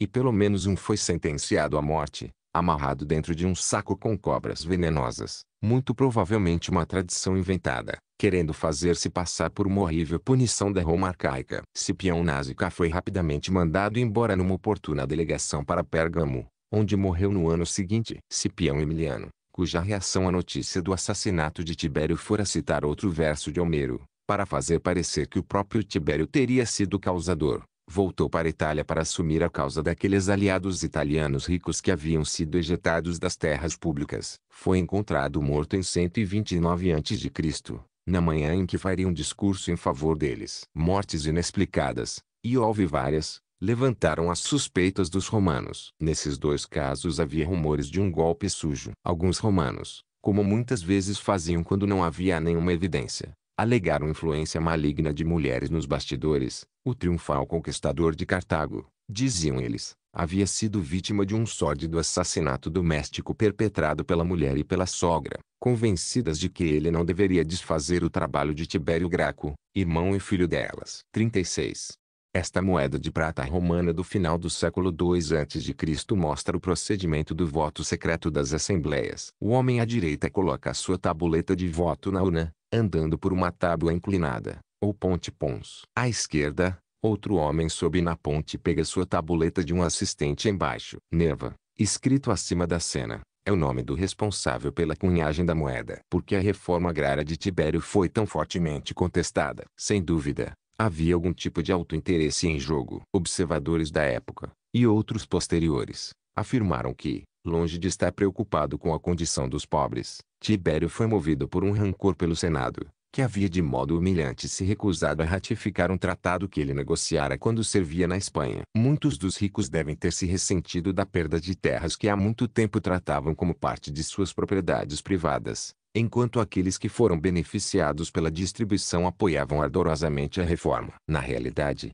houve muita gente que correu à cidade vindo de áreas distantes do território romano só para votar pela reforma. Mas havia ainda mais coisas envolvidas no conflito. O confronto em 133 a.C. revelou dramaticamente que havia diferentes pontos de vista sobre o poder do povo. Quando Tibério convenceu-os a votar pela destituição do tribuno que havia se oposto a ele, seu argumento foi na linha de se o tribuno do povo não faz mais o que o povo quer, então deve ser deposto. Isso levantou uma questão que ainda é bem conhecida dos modernos sistemas eleitorais. Por exemplo, os deputados devem ser vistos como delegados dos seus eleitores, isto é, obrigados a seguir a vontade de seu eleitorado. Ou são representantes, eleitos para exercer o próprio julgamento dentro das circunstâncias variáveis de governo. Essa foi a primeira vez, até onde podemos saber, em que essa questão foi explicitamente levantada em Roma, e não foi fácil respondê-la até agora. Para alguns, as ações de Tibério defenderam os direitos do povo, para outros, minaram os direitos de uma autoridade legalmente eleita. Dilemas similares estavam no cerne da discussão sobre a reeleição de Tibério como tribuno. Deter um cargo por dois anos consecutivos, inteiros, não era algo sem precedentes mas certamente alguns achavam que sinalizava um acúmulo perigoso de poder pessoal e era outra indicação de ambições monárquicas. Outros afirmavam que o povo romano tinha o direito de eleger quem quisesse, independentemente das convenções eleitorais. Além disso, se Átalo deixara seu reino para o povo romano populus romanus, então não caberia a ele, e não ao Senado, determinar de que modo esse legado seria usado. Os lucros do império não deveriam beneficiar os pobres também. Cipião Násica, com seus brutamontes, seus porretes e suas pernas de cadeiras. Não era um personagem simpático, e o apelido Vespilo, ou Coveiro, dado ao senador que assistiu ao descarte dos corpos no Tibre é um gracejo desconfortável segundo quaisquer padrões, antigos ou modernos. Mas sua discussão com Tibério foi fundamental, e moldou o debate político pelo restante da República. Cícero, ao examinar em retrospecto em meados do século seguinte, descreveu 133 a.C. como um ano decisivo justamente por ter aberto uma grande fissura na política e na sociedade romanas, que não se fechou de novo durante seu tempo de vida. A morte de Tibério Graco, escreveu ele, e antes disso toda a argumentação por trás de seu tribunato, dividiu um povo unido em dois grupos distintos, partes. Trata-se de uma simplificação retórica exagerada. A ideia de que houve um tranquilo consenso em Roma entre ricos e pobres até que Tibério acabou com isso é, na melhor das hipóteses, uma ficção nostálgica. O que parece provável, do que se sabe sobre os debates políticos no prazo de mais ou menos uma década que antecede 133 a.C., é que outros já haviam reivindicado os direitos do povo mais ou menos nesses termos. Em 139 a.C., por exemplo, um tribuno radical havia apresentado uma lei para assegurar que as eleições romanas fossem realizadas por voto secreto. Há pouca evidência que ajude a identificar o homem por trás disso, ou que lance luz sobre a oposição que isso pode ter despertado. Embora Cícero dê uma dica quando diz que todo mundo sabe que a lei eleitoral tirou dos aristocratas toda sua influência e descreveu o proponente como um imundo Zé Ninguém. Mas foi uma reforma crucial e uma garantia fundamental de liberdade política para todos os cidadãos desconhecida nas eleições do mundo grego clássico, democrático ou não. Não obstante, foram os eventos de 133 a.C. que cristalizaram a oposição. Entre aqueles que defendiam os direitos, a liberdade e os benefícios do povo e aqueles que, para colocar em seus próprios termos, achavam prudente que o Estado fosse guiado pela experiência e sabedoria dos melhores homens. Optimi, o que na prática era mais ou menos sinônimo dos ricos. Cícero usa a palavra partes para esses dois grupos, populares e optimates, como foram às vezes chamados, mas não eram partidos no sentido moderno. Não tinham membros, líderes oficiais ou manifestos. Representavam dois pontos de vista claramente divergentes sobre os objetivos e métodos de governo, que iriam entrar em choque muitas vezes durante quase 100 anos. Caio Graco em uma das tiradas mais citadas do mundo romano, o satirista Juvenal, escrevendo no final do século e depois de Cristo, dirigiu seu escárnio para a turba de Remo, que, afirmou ele, queria apenas duas coisas, pão e circo panem et circenses. Como mostra a vigência dessa expressão ainda hoje, tratava-se de uma brilhante crítica aos limitados horizontes da plebe urbana, apresentada como descendente do gêmeo assassinado. Eles não ligavam para nada a não ser para as corridas de bigas e a distribuição de pão com as quais os imperadores os haviam subornado, e efetivamente despolitizado. Era também uma cínica distorção da tradição romana de prover alimentação básica para o povo às custas do Estado, que teve origem com o irmão mais novo de Tibério, Caio Semprônio Graco, Gaius Sempronius Gracchus, tribuno do povo por dois anos consecutivos, 123 e 122 a.C. Caio não introduziu uma doação de cereais. Para sermos exatos, ele propôs uma lei bem-sucedida à Assembleia Plebeia, estabelecendo que o Estado deveria vender certa quantidade de grãos todo mês a preço fixo, subsidiado, para cidadãos individuais da cidade. Mesmo assim, a escala e a ambição de sua iniciativa eram enormes. E Caio parece ter planejado a considerável infraestrutura necessária para isso, a compra pública, as instalações para distribuição e alguma forma de checagem da identidade. Se não, de que outro modo seria possível restringi-la aos cidadãos?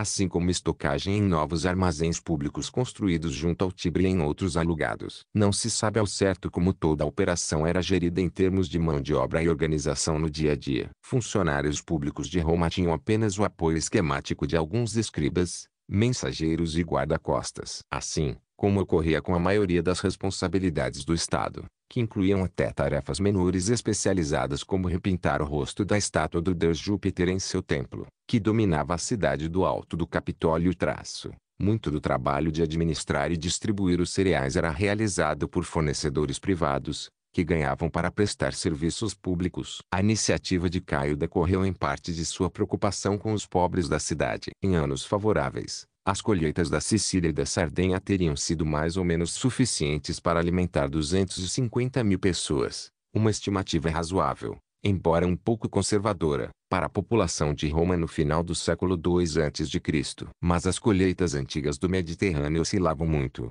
e os preços às vezes ficavam acima das possibilidades de muitos romanos, lojistas, artesãos, trabalhadores diaristas. Mesmo antes de Caio, o Estado já tomará algumas medidas preventivas para evitar a fome na cidade. Uma inscrição reveladora encontrada na Tessália, norte da Grécia, registra a visita de um oficial romano em 129 a.C.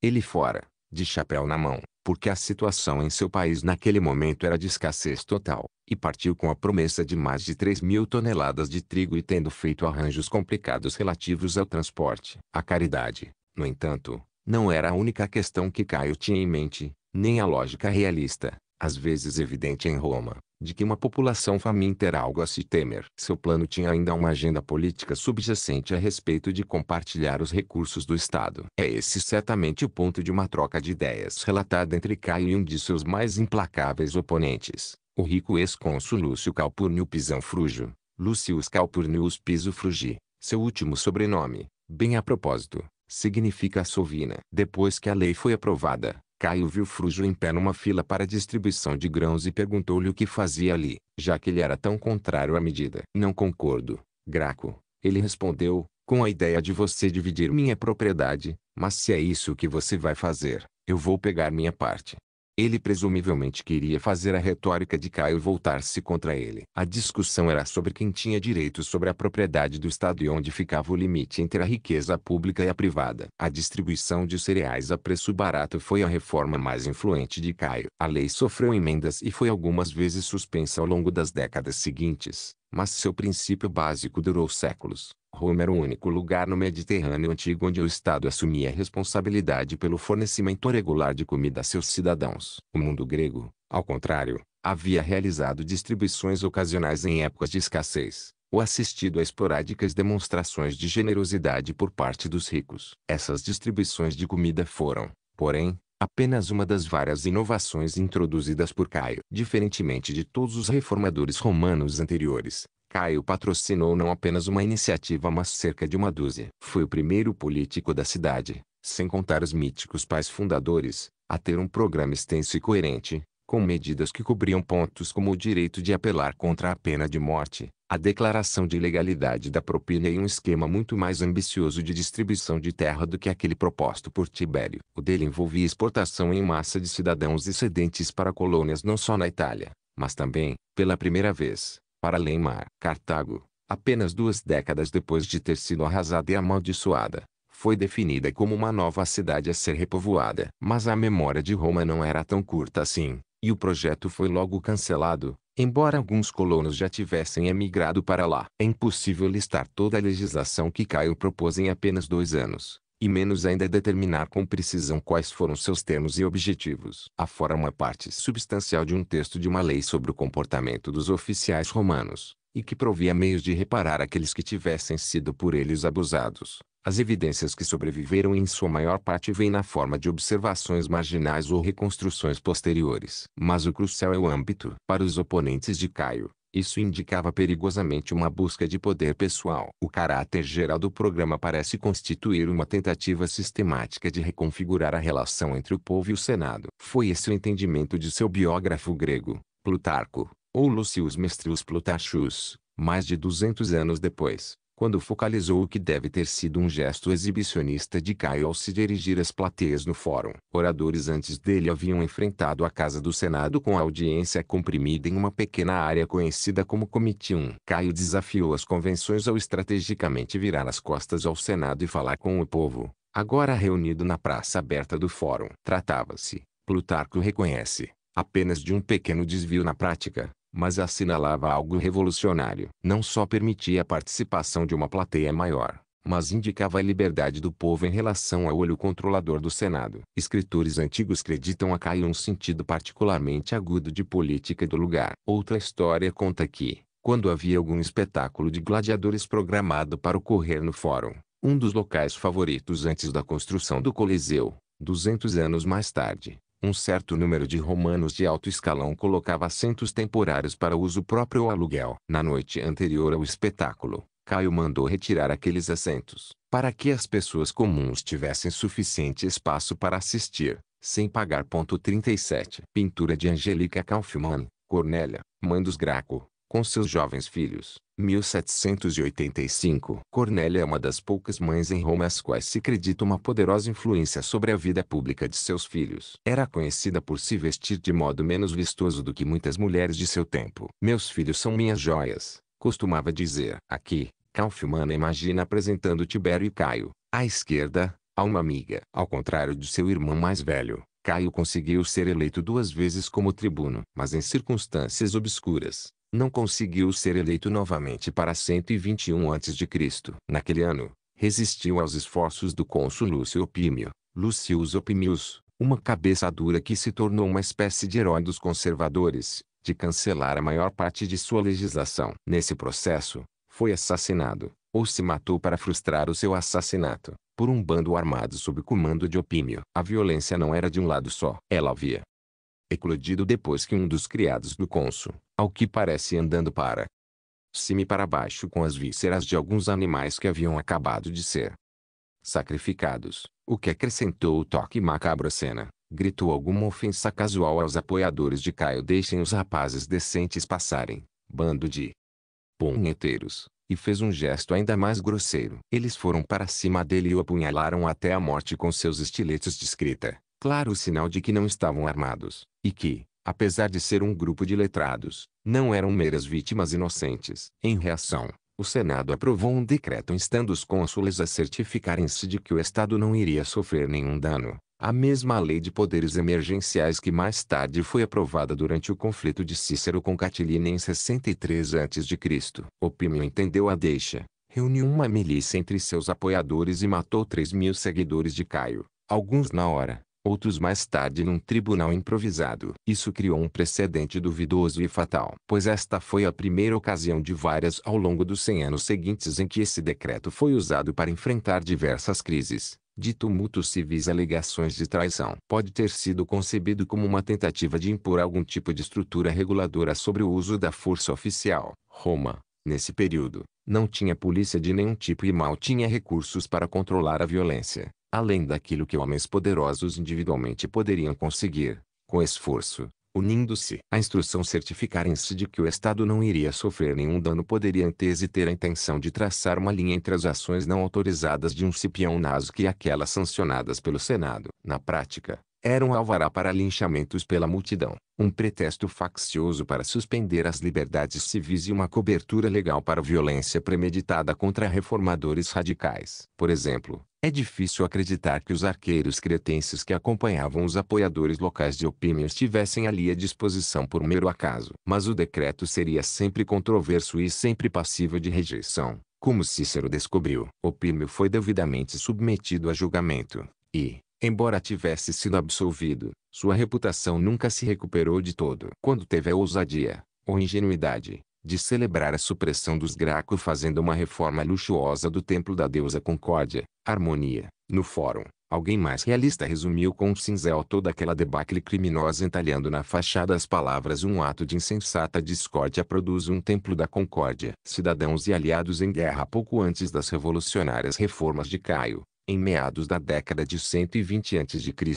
um cônsul romano estava viajando pela Itália com sua mulher e chegou à cidadezinha de Teanum, moderna Teano, cerca de 160 quilômetros ao sul de Roma. A senhora decidiu que queria usar os banhos locais, normalmente reservados aos homens. Então, o prefeito preparou-os para ela e os banhistas habituais foram expulsos. Mas ela se queixou de que as instalações não haviam sido aprontadas a tempo e que não estavam limpas o suficiente. Então uma estaca foi colocada no fórum, e o prefeito de Teanum, o homem mais distinto da cidade, foi amarrado nela. Foi despido e agredido a pauladas.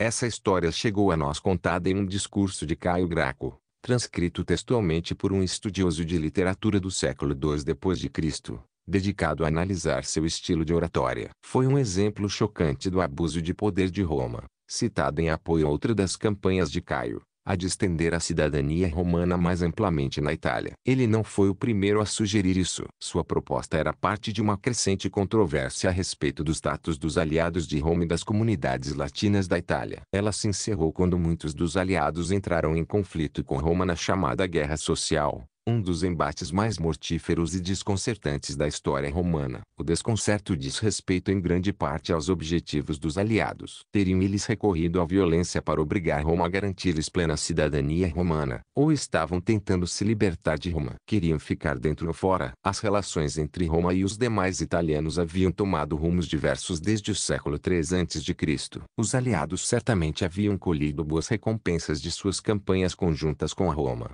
na forma do butim advindo da vitória e das oportunidades comerciais que se seguiam. Uma família da pequena cidade de Fregelai, tecnicamente uma colônia latina a 100 quilômetros ao sul de Roma, sentia orgulho suficiente dessas campanhas para decorar sua casa com frisos de terracota retratando as batalhas em lugares distantes nas quais alguns deles haviam servido. Numa escala maior, o espetacular desenvolvimento arquitetônico de muitas das cidades italianas fornece evidência concreta do lucro dos aliados. Em Praianeste, por exemplo, a apenas a 30 quilômetros de Roma, foi construído um novo santuário imenso à deusa Fortuna, uma obra-prima da arquitetura ostentatória, com teatro, terraço, pórticos e colunatas traço, à altura de qualquer construção em qualquer outra parte do Mediterrâneo. Dificilmente é, Coincidência que os nomes de várias famílias dessa cidade sejam encontrados entre comerciantes romanos e italianos da ilha de Delos no mar Egeu, um dos maiores centros de negócios da época e núcleo de comércio de escravos. 38.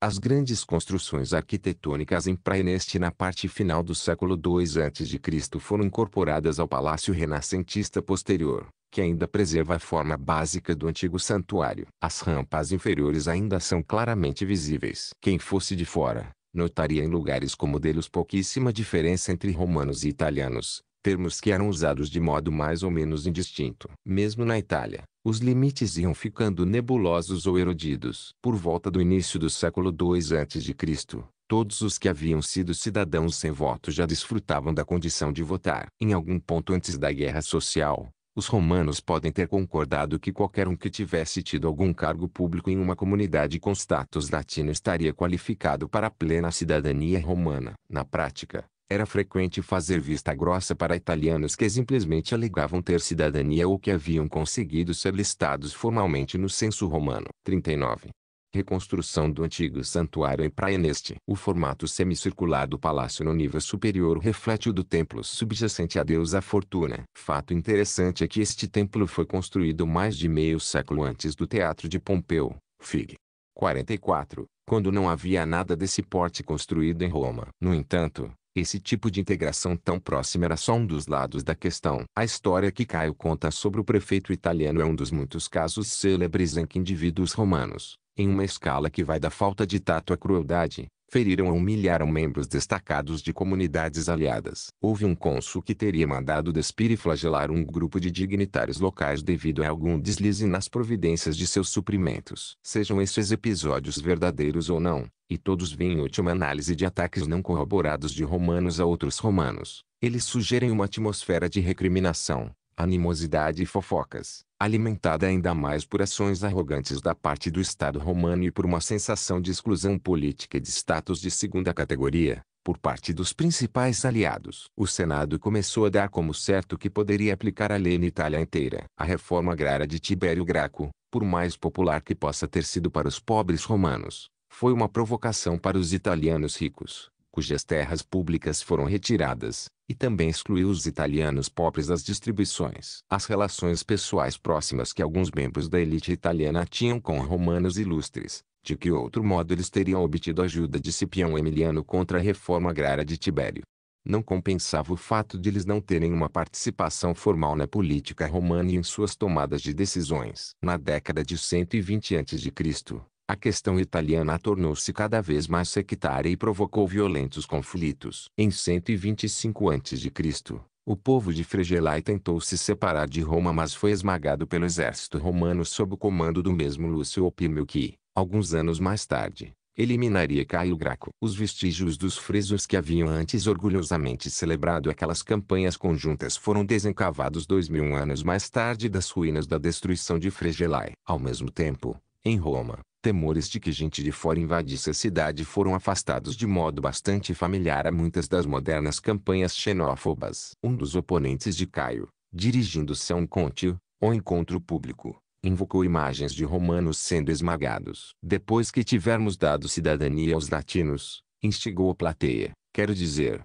vocês acham que haverá ainda algum espaço para vocês, como há agora, em algum contínuo nos jogos ou festivais? Vocês não percebem que eles irão tomar conta de tudo? Havia também ocasionalmente tentativas formais de repatriar imigrantes ou de impedir que italianos se fizessem passar por cidadãos romanos plenos. Podia revelar-se perigoso ser um apoiador muito extremado da causa italiana. No outono de 91 a.C., a proposta de um certo Marco Livio Druso Marcus Livius Drusus, de estender os direitos de cidadania mais amplamente na Itália acabou com ele sendo assassinado em casa, apunhalado enquanto dizia adeus a um grupo de visitantes. Esse assassinato marcou o início de uma guerra aberta, numa escala terrível. A gota d'água foi no final de 91 a.C., quando um enviado romano insultou o povo de Asculum no centro da Itália. Eles reagiram matando e aproveitando para matar também todos os outros romanos da cidade. Esse exemplo brutal de limpeza étnica deu o tom do que viria a seguir, que não ficou longe de uma guerra civil, pode ser chamado de guerra contra os Socii, para atenuar o ódio que gerou. A verdade, porém, é que foi uma guerra civil, contra cidadãos, resume mais tarde um historiador romano. Envolveu lutas em boa parte da península, inclusive em Pompeia, onde as marcas do golpes da artilharia romana em 89 a.C. podem ser vistas ainda hoje nos muros da cidade. Os romanos investiram enormes forças para derrotar os italianos e venceram à custa de pesadas perdas e considerável pânico. Depois que um cônsul foi morto em batalha, houve tamanho pesar em Roma quando seu corpo foi trazido de volta, que o Senado decretou que, no futuro, as baixas deveriam ser enterradas onde tivessem caído, uma medida que alguns estados modernos também adotaram. Mas a maior parte do conflito terminou em apenas dois anos. A paz foi ao que parece acelerada por um expediente simples dos romanos, oferecer plena cidadania àqueles italianos que não haviam pegado em armas contra Roma ou que estavam dispostos a depô-las. Isso certamente faz parecer que o objetivo de muitos aliados ao irem para a guerra teria sido obter a plena cidadania romana o que poria fim à política de exclusão e de status inferior. É assim que a maioria dos escritores antigos explica o conflito. Eles queriam obter a cidadania do Estado cujo poder estavam acostumados a defender com suas armas. Insiste um bisavô de um italiano que havia lutado ao lado dos romanos. E uma das histórias favoritas da bem-sucedida transformação de italianos em romanos destaca a carreira de um homem da região de Picenum, norte da Itália, quando bebê de colo, havia sido levado em desfile entre os prisioneiros. Em um dos triunfos celebrados em Roma por vitórias sobre os aliados que haviam se tornado inimigos, 50 anos depois, agora como general romano, celebrava o próprio triunfo na vitória sobre os moradores da Partia, o único homem de que se tem notícia que esteve em ambos os lados de uma procissão triunfal, isto é, uma vítima que se tornou vencedor. Mas os escritores romanos podem ter estado inclinados demais a fazer o resultado da guerra se aproximar dos seus objetivos ou a dar aos italianos uma meta que se encaixasse mais confortavelmente com a posterior unidade de Roma e da Itália. Pois a propaganda da época e a organização do lado italiano sugerem que foi de fato um movimento de ruptura que tinha como objetivo obter total independência de Roma. Os aliados parecem ter avançado um pouco no sentido de estabelecer um Estado rival, sob o nome de Itália, com capital em uma cidade rebatizada como Italica e até com a palavra Italia Italianos, estampada em seus projéteis de chumbo. Cunharam moedas que ostentavam uma memorável imagem de um touro, símbolo da Itália, escornando um lobo, símbolo de Roma. E um dos líderes italianos nitidamente inverteu a história de Rômulo e Remo apelidando os romanos de os lobos que haviam violado a liberdade italiana. Ou seja, tudo isso não parece apontar para uma proposta de integração. A solução mais fácil para o quebra-cabeça é imaginar que os aliados eram uma coalizão frágil, movida por objetivos diversos, com alguns determinados a resistir aos romanos até a morte, outros muito mais inclinados a fazer algum pacto. Isso, sem dúvida, é verdade. Mas há considerações mais sutis também, e indícios de que, Goste ou não disso, era tarde demais para a independência italiana de Roma. A cunhagem certamente evidencia imagens anti-Roma, mas ela era baseada inteiramente nos padrões de peso da cunhagem romana, e muitos dos outros desenhos haviam sido tomados de empréstimo diretamente das fontes romanas. Era como se a única linguagem cultural com a qual os italianos pudessem atacar Roma fosse a própria linguagem romana, uma clara indicação do quanto havia avançado a integração ou a dominação romana na Itália. Quaisquer que tenham sido as causas da guerra social, os efeitos da legislação de 90 e 89 a.C., que estendeu plena cidadania à maior parte da península, foram dramáticos. A Itália era agora a coisa mais próxima de um Estado-nação que o mundo clássico já conhecera, e o princípio que havíamos vislumbrado séculos antes de que os romanos poderiam ter dupla cidadania e duas identidades cívicas, a de Roma e a de sua cidade natal, virou norma. Se as cifras relatadas por escritores antigos têm alguma precisão, o número de cidadãos romanos aumentou de um só golpe cerca de três vezes, para algo em torno de mais um milhão. Ficava óbvio o impacto potencial disso, e os problemas também. Havia um acirrado debate,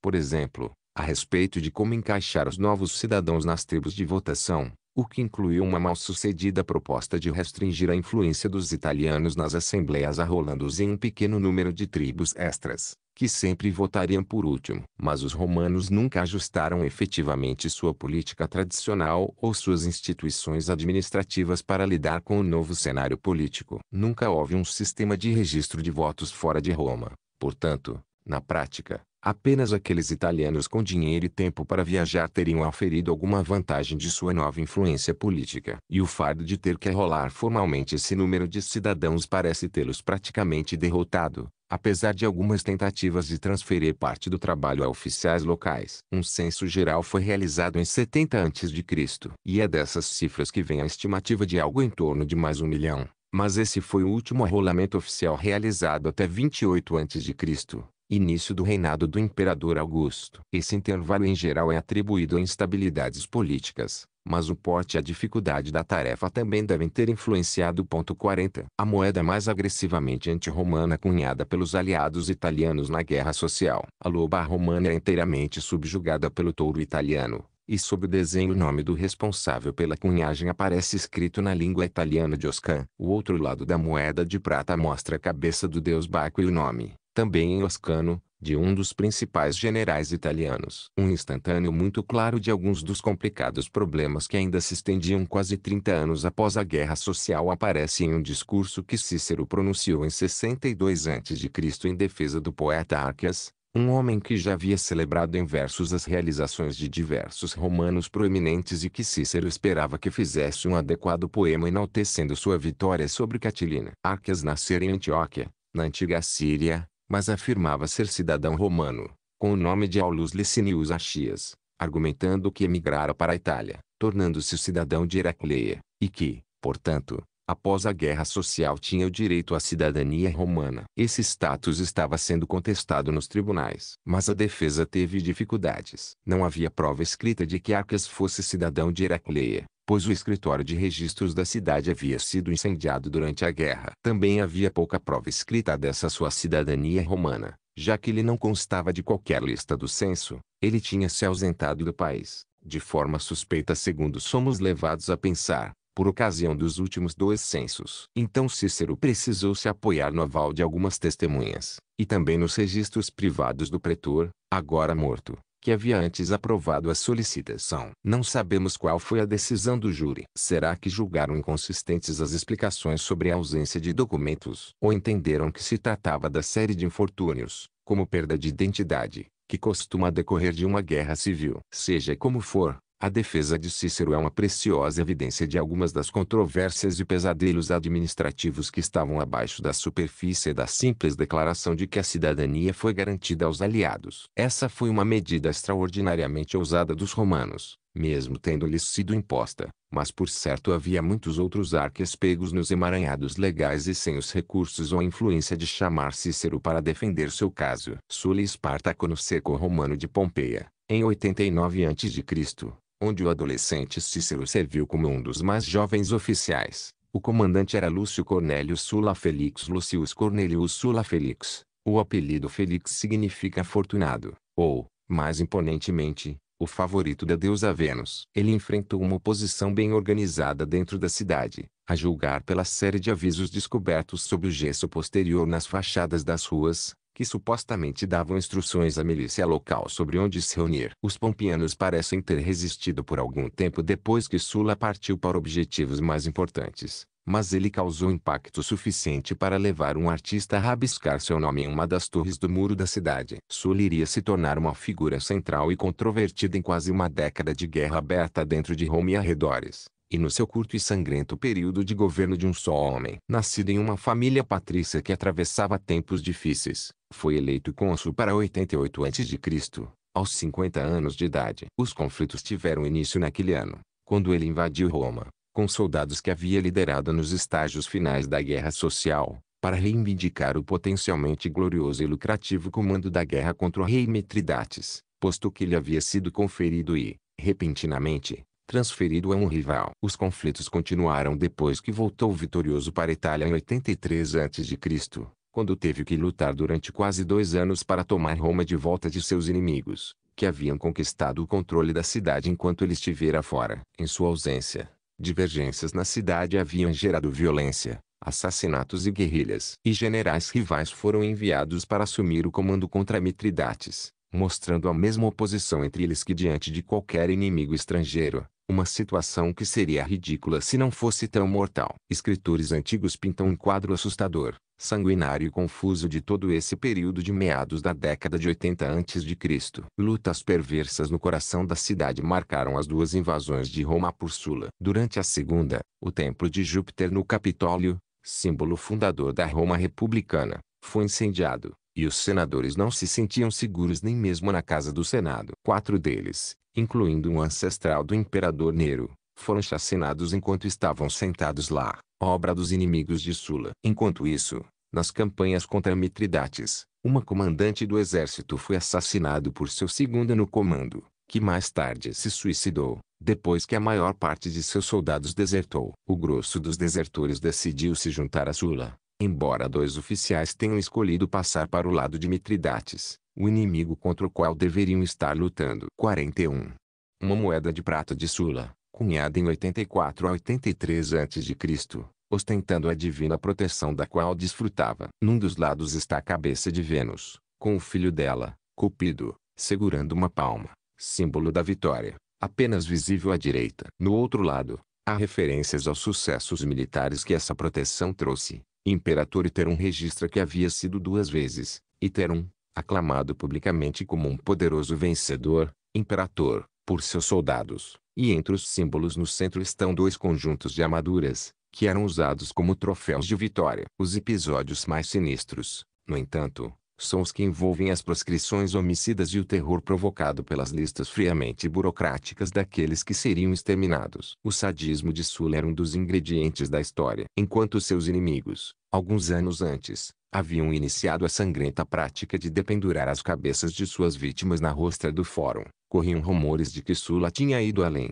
instalando-as como troféus no átrio, saguão, de sua casa, uma sórdida paródia da tradição romana de exibir as cabeças esculpidas dos ancestrais nesse local. Ele também levou as citações da literatura grega a um nível mais baixo quando, ao lhe apresentarem a cabeça de uma vítima particularmente jovem, saiu-se com uma falha de uma comédia do dramaturgo Aristófanes, sobre o fato de o rapaz tentar correr antes de saber andar. Ninguém me fez mal sem que eu revidasse a altura era uma das frases que reservou para o seu túmulo, algo bem distante dos epitáfios do Cipião. Mas isso não era tudo. Outro ingrediente da história era o entusiasmo que muitos demonstravam para se juntar ao massacre, resolver velhas diferenças ou simplesmente requerer compensações financeiras por seus assassinatos. Catilina era um dos notórios criminosos, persuadindo Sula a inserir seus inimigos pessoais nas listas e, quando seu trabalho sujo estava concluído, lavava de suas mãos os vestígios da carnificina humana em uma fonte sagrada. Como podemos explicar toda essa violência? Não basta argumentar que ela deve ter sido menos terrível do que aquilo que foi retratado. Isso é verdade até certo ponto. Muito da narrativa que chegou até nós se apoia em relatos tendenciosos feitos por aqueles que queriam exagerar a brutalidade de seus inimigos. As difamações de Catilina,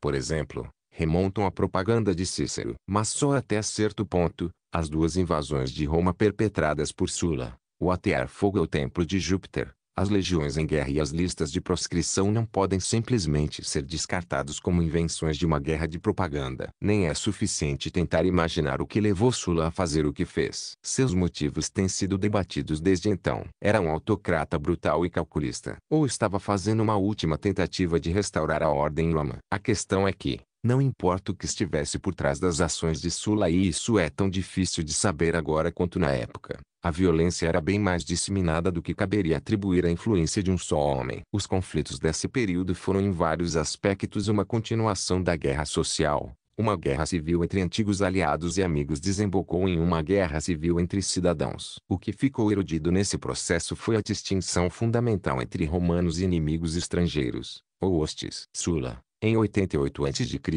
declarou seus rivais na cidade como hostes. A primeira vez que temos notícia de se utilizar o termo publicamente, como Cícero fez mais tarde, contra um confrade romano. Assim que Sula deixou Roma, eles imediatamente o declararam hostis. Em revide, essa diluição dos limites também é vista nas derrotas militares no Mediterrâneo Oriental. Velhas certezas estavam sendo tão radicalmente subvertidas que os soldados que desertavam de um comandante romano podiam, ao que parece, considerar tanto Sula quanto rei Mitridates como opções plausíveis para sua nova lealdade, e uma facção de forças romanas chegou a destruir a cidade de Troia, ancestral de Roma, o equivalente mítico de um parricídio. A guerra social também assegurou muita mão de obra militar prontamente disponível nas proximidades de Roma, soldados com considerável prática em lutar contra seus parentes e amigos italianos. Os precedentes recentes de violência na cidade, por controversos e brutais que fossem, haviam tido uma escala relativamente pequena e duraram pouco. Mas quando legiões armadas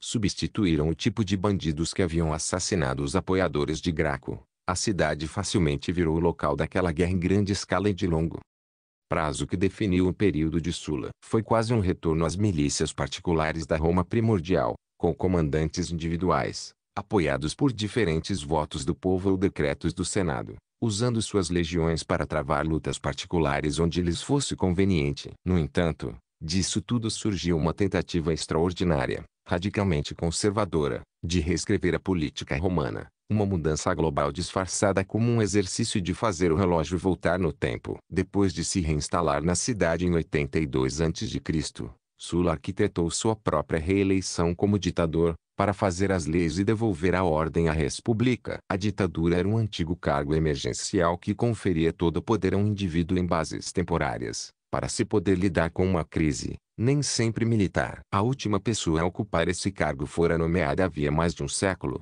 para promover eleições em 202 a.C., ao final da Segunda Guerra Púnica, quando ambos os cônsules estavam fora de Roma. A ditadura de Sula foi diferente em dois aspectos. Primeiro, não tinha limite de tempo estipulado. Segundo, deu a Sula poderes amplos, sem controles, para fazer ou rejeitar quaisquer leis, com imunidade garantida contra processos. Durante três anos, foi exatamente isso que ele fez, antes de renunciar ao cargo aposentar-se e ir para sua casa de campo na Baía de Nápoles, para morrer em 78 a.C.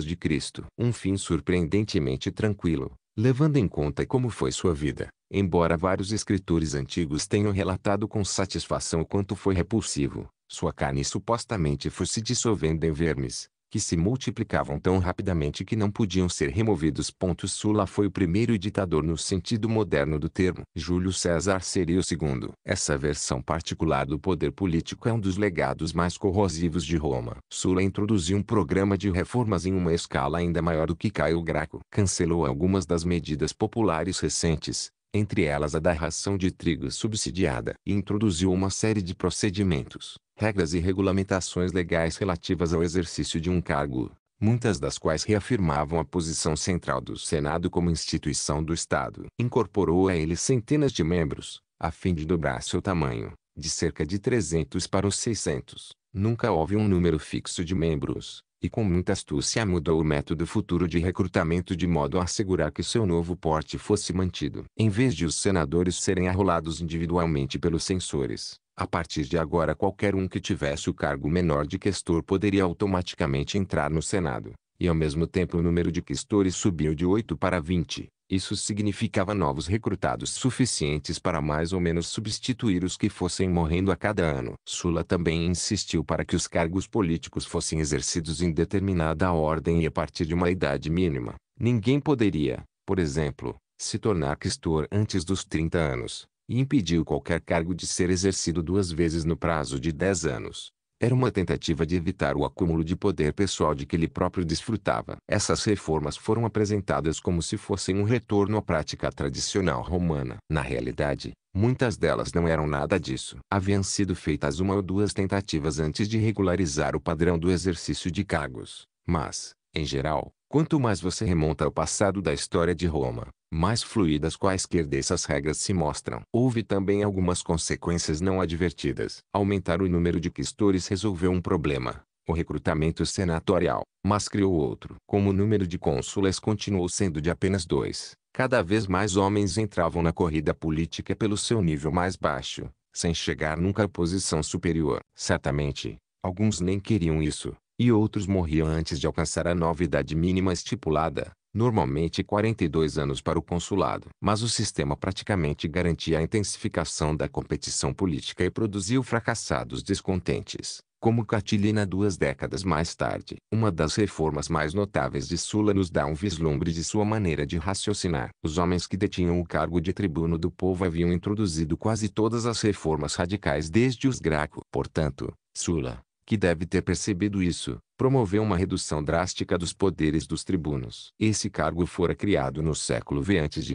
para representar os interesses dos plebeus, mas alguns dos direitos e privilégios fizeram-no particularmente atraente a quem buscasse poder político em períodos posteriores. Em especial, propiciava o direito de propor leis na Assembleia Plebeia, assim como o direito de interpor veto em negócios públicos. Esse veto deve ter começado de uma maneira bem restrita. É impensável que nos velhos tempos do conflito de ordens os patrícios tivessem permitido aos representantes dos plebeus bloquearem quaisquer decisões. Mas na época em que Otávio repetidas vezes vetou as leis de Tibério Graco em 133 a.C., deve ter ficado estabelecido o princípio de que o direito do tribuno de intervir era praticamente ilimitado. Havia tribunos de todas as colorações políticas, tanto Otávio como o voluntário que matou Tibério Graco com a perna de cadeira eram tribunos. Todos, nessa época, eram também uniformemente ricos, e certamente não representavam a voz política dos escalões mais baixos. Mas o cargo preservava sua imagem popular. Ainda era franqueado apenas aos plebeus,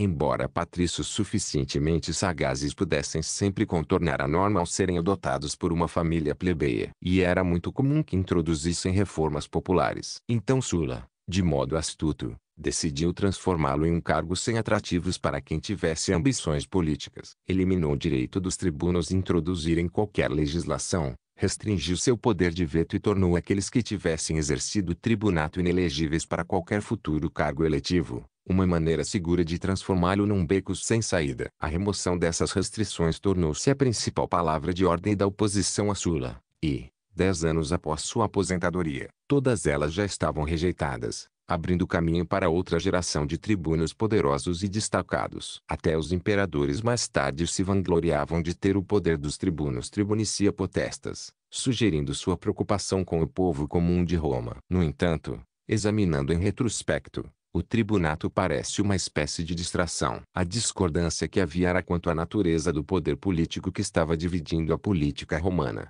e não quanto às prerrogativas de cada cargo em particular. Muito mais significativas no médio prazo, embora menos visíveis e abertamente controversas, foram algumas das decisões práticas de Sula sobre licenciar suas legiões de longa data. Ele instalou muitos de seus ex-soldados nas cidades da Itália que haviam lutado contra Roma na guerra social, requisitou terras próximas para prover-lhes um modo de vida. Pode ter parecido uma maneira fácil de punir os rebeldes, mas com frequência ambos os lados saíram perdendo. Alguns habitantes locais foram expropriados, enquanto boa parte dos veteranos mostrou-se melhor como combatente do que como agricultor, e muitos fracassaram em fazer da terra um meio de vida. Em 63 a.C., Comentava-se que esses ex-soldados que viraram pequenos proprietários fracassados haviam reforçado as fileiras dos que apoiavam Catilina. Mesmo antes disso, as diversas vítimas dos assentamentos de Sula tiveram grande papel no que se tornou, Graças em parte a Stanley Kubrick e Kirk Douglas, uma das mais conhecidas de todas as guerras antigas. Em 73 a.C.,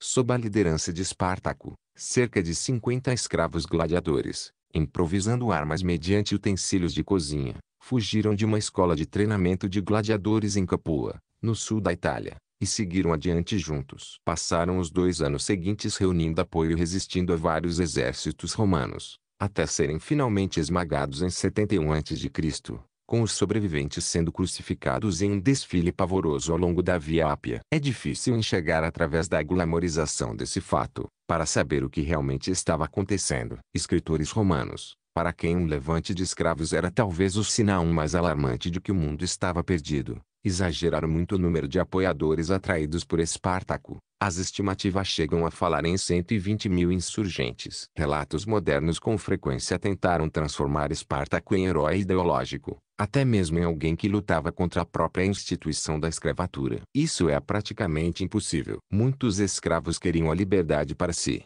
mas toda a evidência da Roma antiga sugere que a escravidão como instituição era aceita como inevitável, até mesmo pelos escravos. Se é que eles tinham algum objetivo claramente formulado, a melhor aposta é que Espartaco e seus companheiros queriam voltar às suas respectivas casas. No caso de Espartaco, provavelmente a Trácia, no norte da Grécia, para outros, a Gália. Mas uma coisa é certa, eles conseguiram resistir às forças romanas por um período embaraçosamente longo. 42. Essa pintura esboçada de Pompeia mostra um homem lutando a cavalo, identificado, na língua euscana, escrita da direita para a esquerda, como Spartax, ou seja, Espartaco. Estudiosos prudentes provavelmente estão certos em imaginar que se trata de uma cena de combate de gladiadores e não de algum confronto durante a rebelião de Espartaco. Mas, mesmo assim, pode ser a única descrição visual do famoso escravo gladiador. O que explica esse sucesso não pode ser simplesmente que os exércitos romanos enviados contra eles fossem mal treinados, nem que os gladiadores tivessem disciplina e habilidade de luta desenvolvida na arena e lutassem pelo desejo de liberdade. Provavelmente as forças rebeldes foram engrossadas pelos descontentes e expropriados que faziam parte da população livre cidadã da Itália, incluindo alguns dos ex-soldados de Sula que podem muito bem ter se sentido mais à vontade em campanha militar, mesmo enfrentando as legiões nas quais já haviam servido, do que arando a terra. Visto nesses termos, o levante de Espartaco não foi apenas uma rebelião de escravos com um final trágico, mas também o último capítulo de uma série de guerras civis iniciada há 20 anos antes com o massacre dos romanos em Asculum que marcou o começo da guerra social. Vidas comuns História dos conflitos políticos desse período tende a ser a história de um embate envolvendo princípios políticos e visões amplamente divergentes a respeito de como Roma devia ser governada. É uma história de grandes ideias, e quase inevitavelmente se torna uma história de grandes homens, disse Pião Emiliano Assula. Pois é assim que foi contada por escritores romanos, de cujos relatos agora dependemos, que se concentraram nos heróis e anti-heróis, nas personalidades destacadas que parecem ter determinado o curso tanto da guerra quanto da política. Eles também se apoiaram em material, a maior parte hoje perdida, que veio da pena desses próprios homens, os discursos de Caio Graco uma das perdas mais tristes de toda a literatura clássica, a autobiografia de Sula, escrita em 22 volumes durante a sua aposentadoria, que escritores, posteriores consultaram e mencionaram. O que falta é o ponto de vista daqueles que estão fora desse grupo exclusivo, a visão dos soldados comuns, ou dos eleitores, ou das mulheres ou, excetuando as muitas ficções sobre Espartaco, dos escravos, os homens que saltaram de telhado em telhado em Cartago, as pessoas que rabiscaram paredes pedindo a Tibério pela reforma agrária, o criado desbocado que insultou os apoiadores de Caio, e as cinco esposas de Sula, continuam todos em segundo plano ou são no máximo atores de pequenos papéis. Mesmo quando pessoas comuns falam por si, as palavras delas que sobreviveram tendem a ser breves e a não mostrar comprometimento. Para Lúcio Cornélio Sula Felix, ditador, filho de Lúcio, de seus ex-escravos, como diz uma inscrição num pedestal de pedra. Mas quem eram eles? O que havia sobre esse pedestal e por que estariam dedicando a ele? É algo que fica por conta das inúmeras suposições. Igualmente incerto é o quanto a vida de homens e mulheres nas ruas seguia mais ou menos normalmente por todo o período, enquanto aqueles que estavam no topo lutavam com suas legiões. Ou será que a violência e a desintegração da ordem cívica acompanhavam a população a maior parte do tempo? Às vezes é possível ver efeitos desses conflitos como respingos na vida cotidiana. Pompeia foi uma dessas pequenas cidades rebeldes que ganharam a cidadania romana após a Guerra Social mas viu-se também forçada a dar as boas-vindas a uns dois mil ex-soldados, que receberam terras pertencentes aos habitantes locais. Não foi um arranjo feliz. Embora em número bem menor do que os cidadãos originais, os veteranos logo fizeram sentir sua presença de modo agressivo. Dois entre os mais ricos patrocinaram a construção de um novo e enorme anfiteatro, o que pode ter sido uma amenidade bem-vinda tanto pelos habitantes originais quanto pelos brutamontes de Sula que deviam estar ansiosos para ver espetáculos de gladiadores. O registro de cargos exercidos na cidade nesse período mostra que os novos colonizadores deram algum jeito de excluir as velhas famílias locais. Na década de 60 a.C., Cícero referiu-se a disputas longas e crônicas em Pompeia a respeito, entre outras coisas, do direito de voto. Os efeitos indiretos do cerco de Sula ainda se faziam sentir nas ruas de Pompeia décadas depois. Mas o testemunho mais claro dos riscos e dilemas para as pessoas comuns que viveram essas guerras vem de uma história sobre a eclosão da guerra social em Asculum. Em 91 a.C., uma tenta plateia, composta por romanos e habitantes locais, assistia a alguns espetáculos no teatro da cidade quando a ação abandonou o palco. A parte romana da plateia não gostou de uma posição anti-Roma de um dos atores cômicos e atacou com tal violência que matou. O comediante que se apresentou em seguida era um ator viajante de origem latina, muito apreciado pelas plateias romanas por suas piadas e mímicas. Aterrorizado diante da possível reação do outro lado da plateia em relação a ele, não teve outra opção a não ser subir ao palco onde o outro homem acabara de ser morto e com um pouco de conversa e de piadas achou um jeito de sair do apuro. Tampouco sou romano, disse ele aos espectadores. Viajo por toda a Itália procurando agradar, fazendo as pessoas rirem e dando-lhes prazer. Por isso, poupem a andorinha que os deuses permitiram aninhar-se em segurança em todas as suas casas. Isso comoveu os espectadores, e eles sentaram novamente para assistir ao restante do espetáculo. Mas foi apenas um breve interlúdio cômico, logo em seguida, todos os romanos da cidade foram mortos. É uma história comovente e reveladora, expondo o ponto de vista de um comediante comum diante de uma plateia comum, que nessa ocasião não era apenas hostil, mas potencialmente assassina. E é um poderoso lembrete da linha muito tênue que existia ao longo desse período entre a vida civil normal, ir ao teatro, curtir um ou dois números cômicos, e um massacre mortal. Às vezes, as andorinhas não eram poupadas.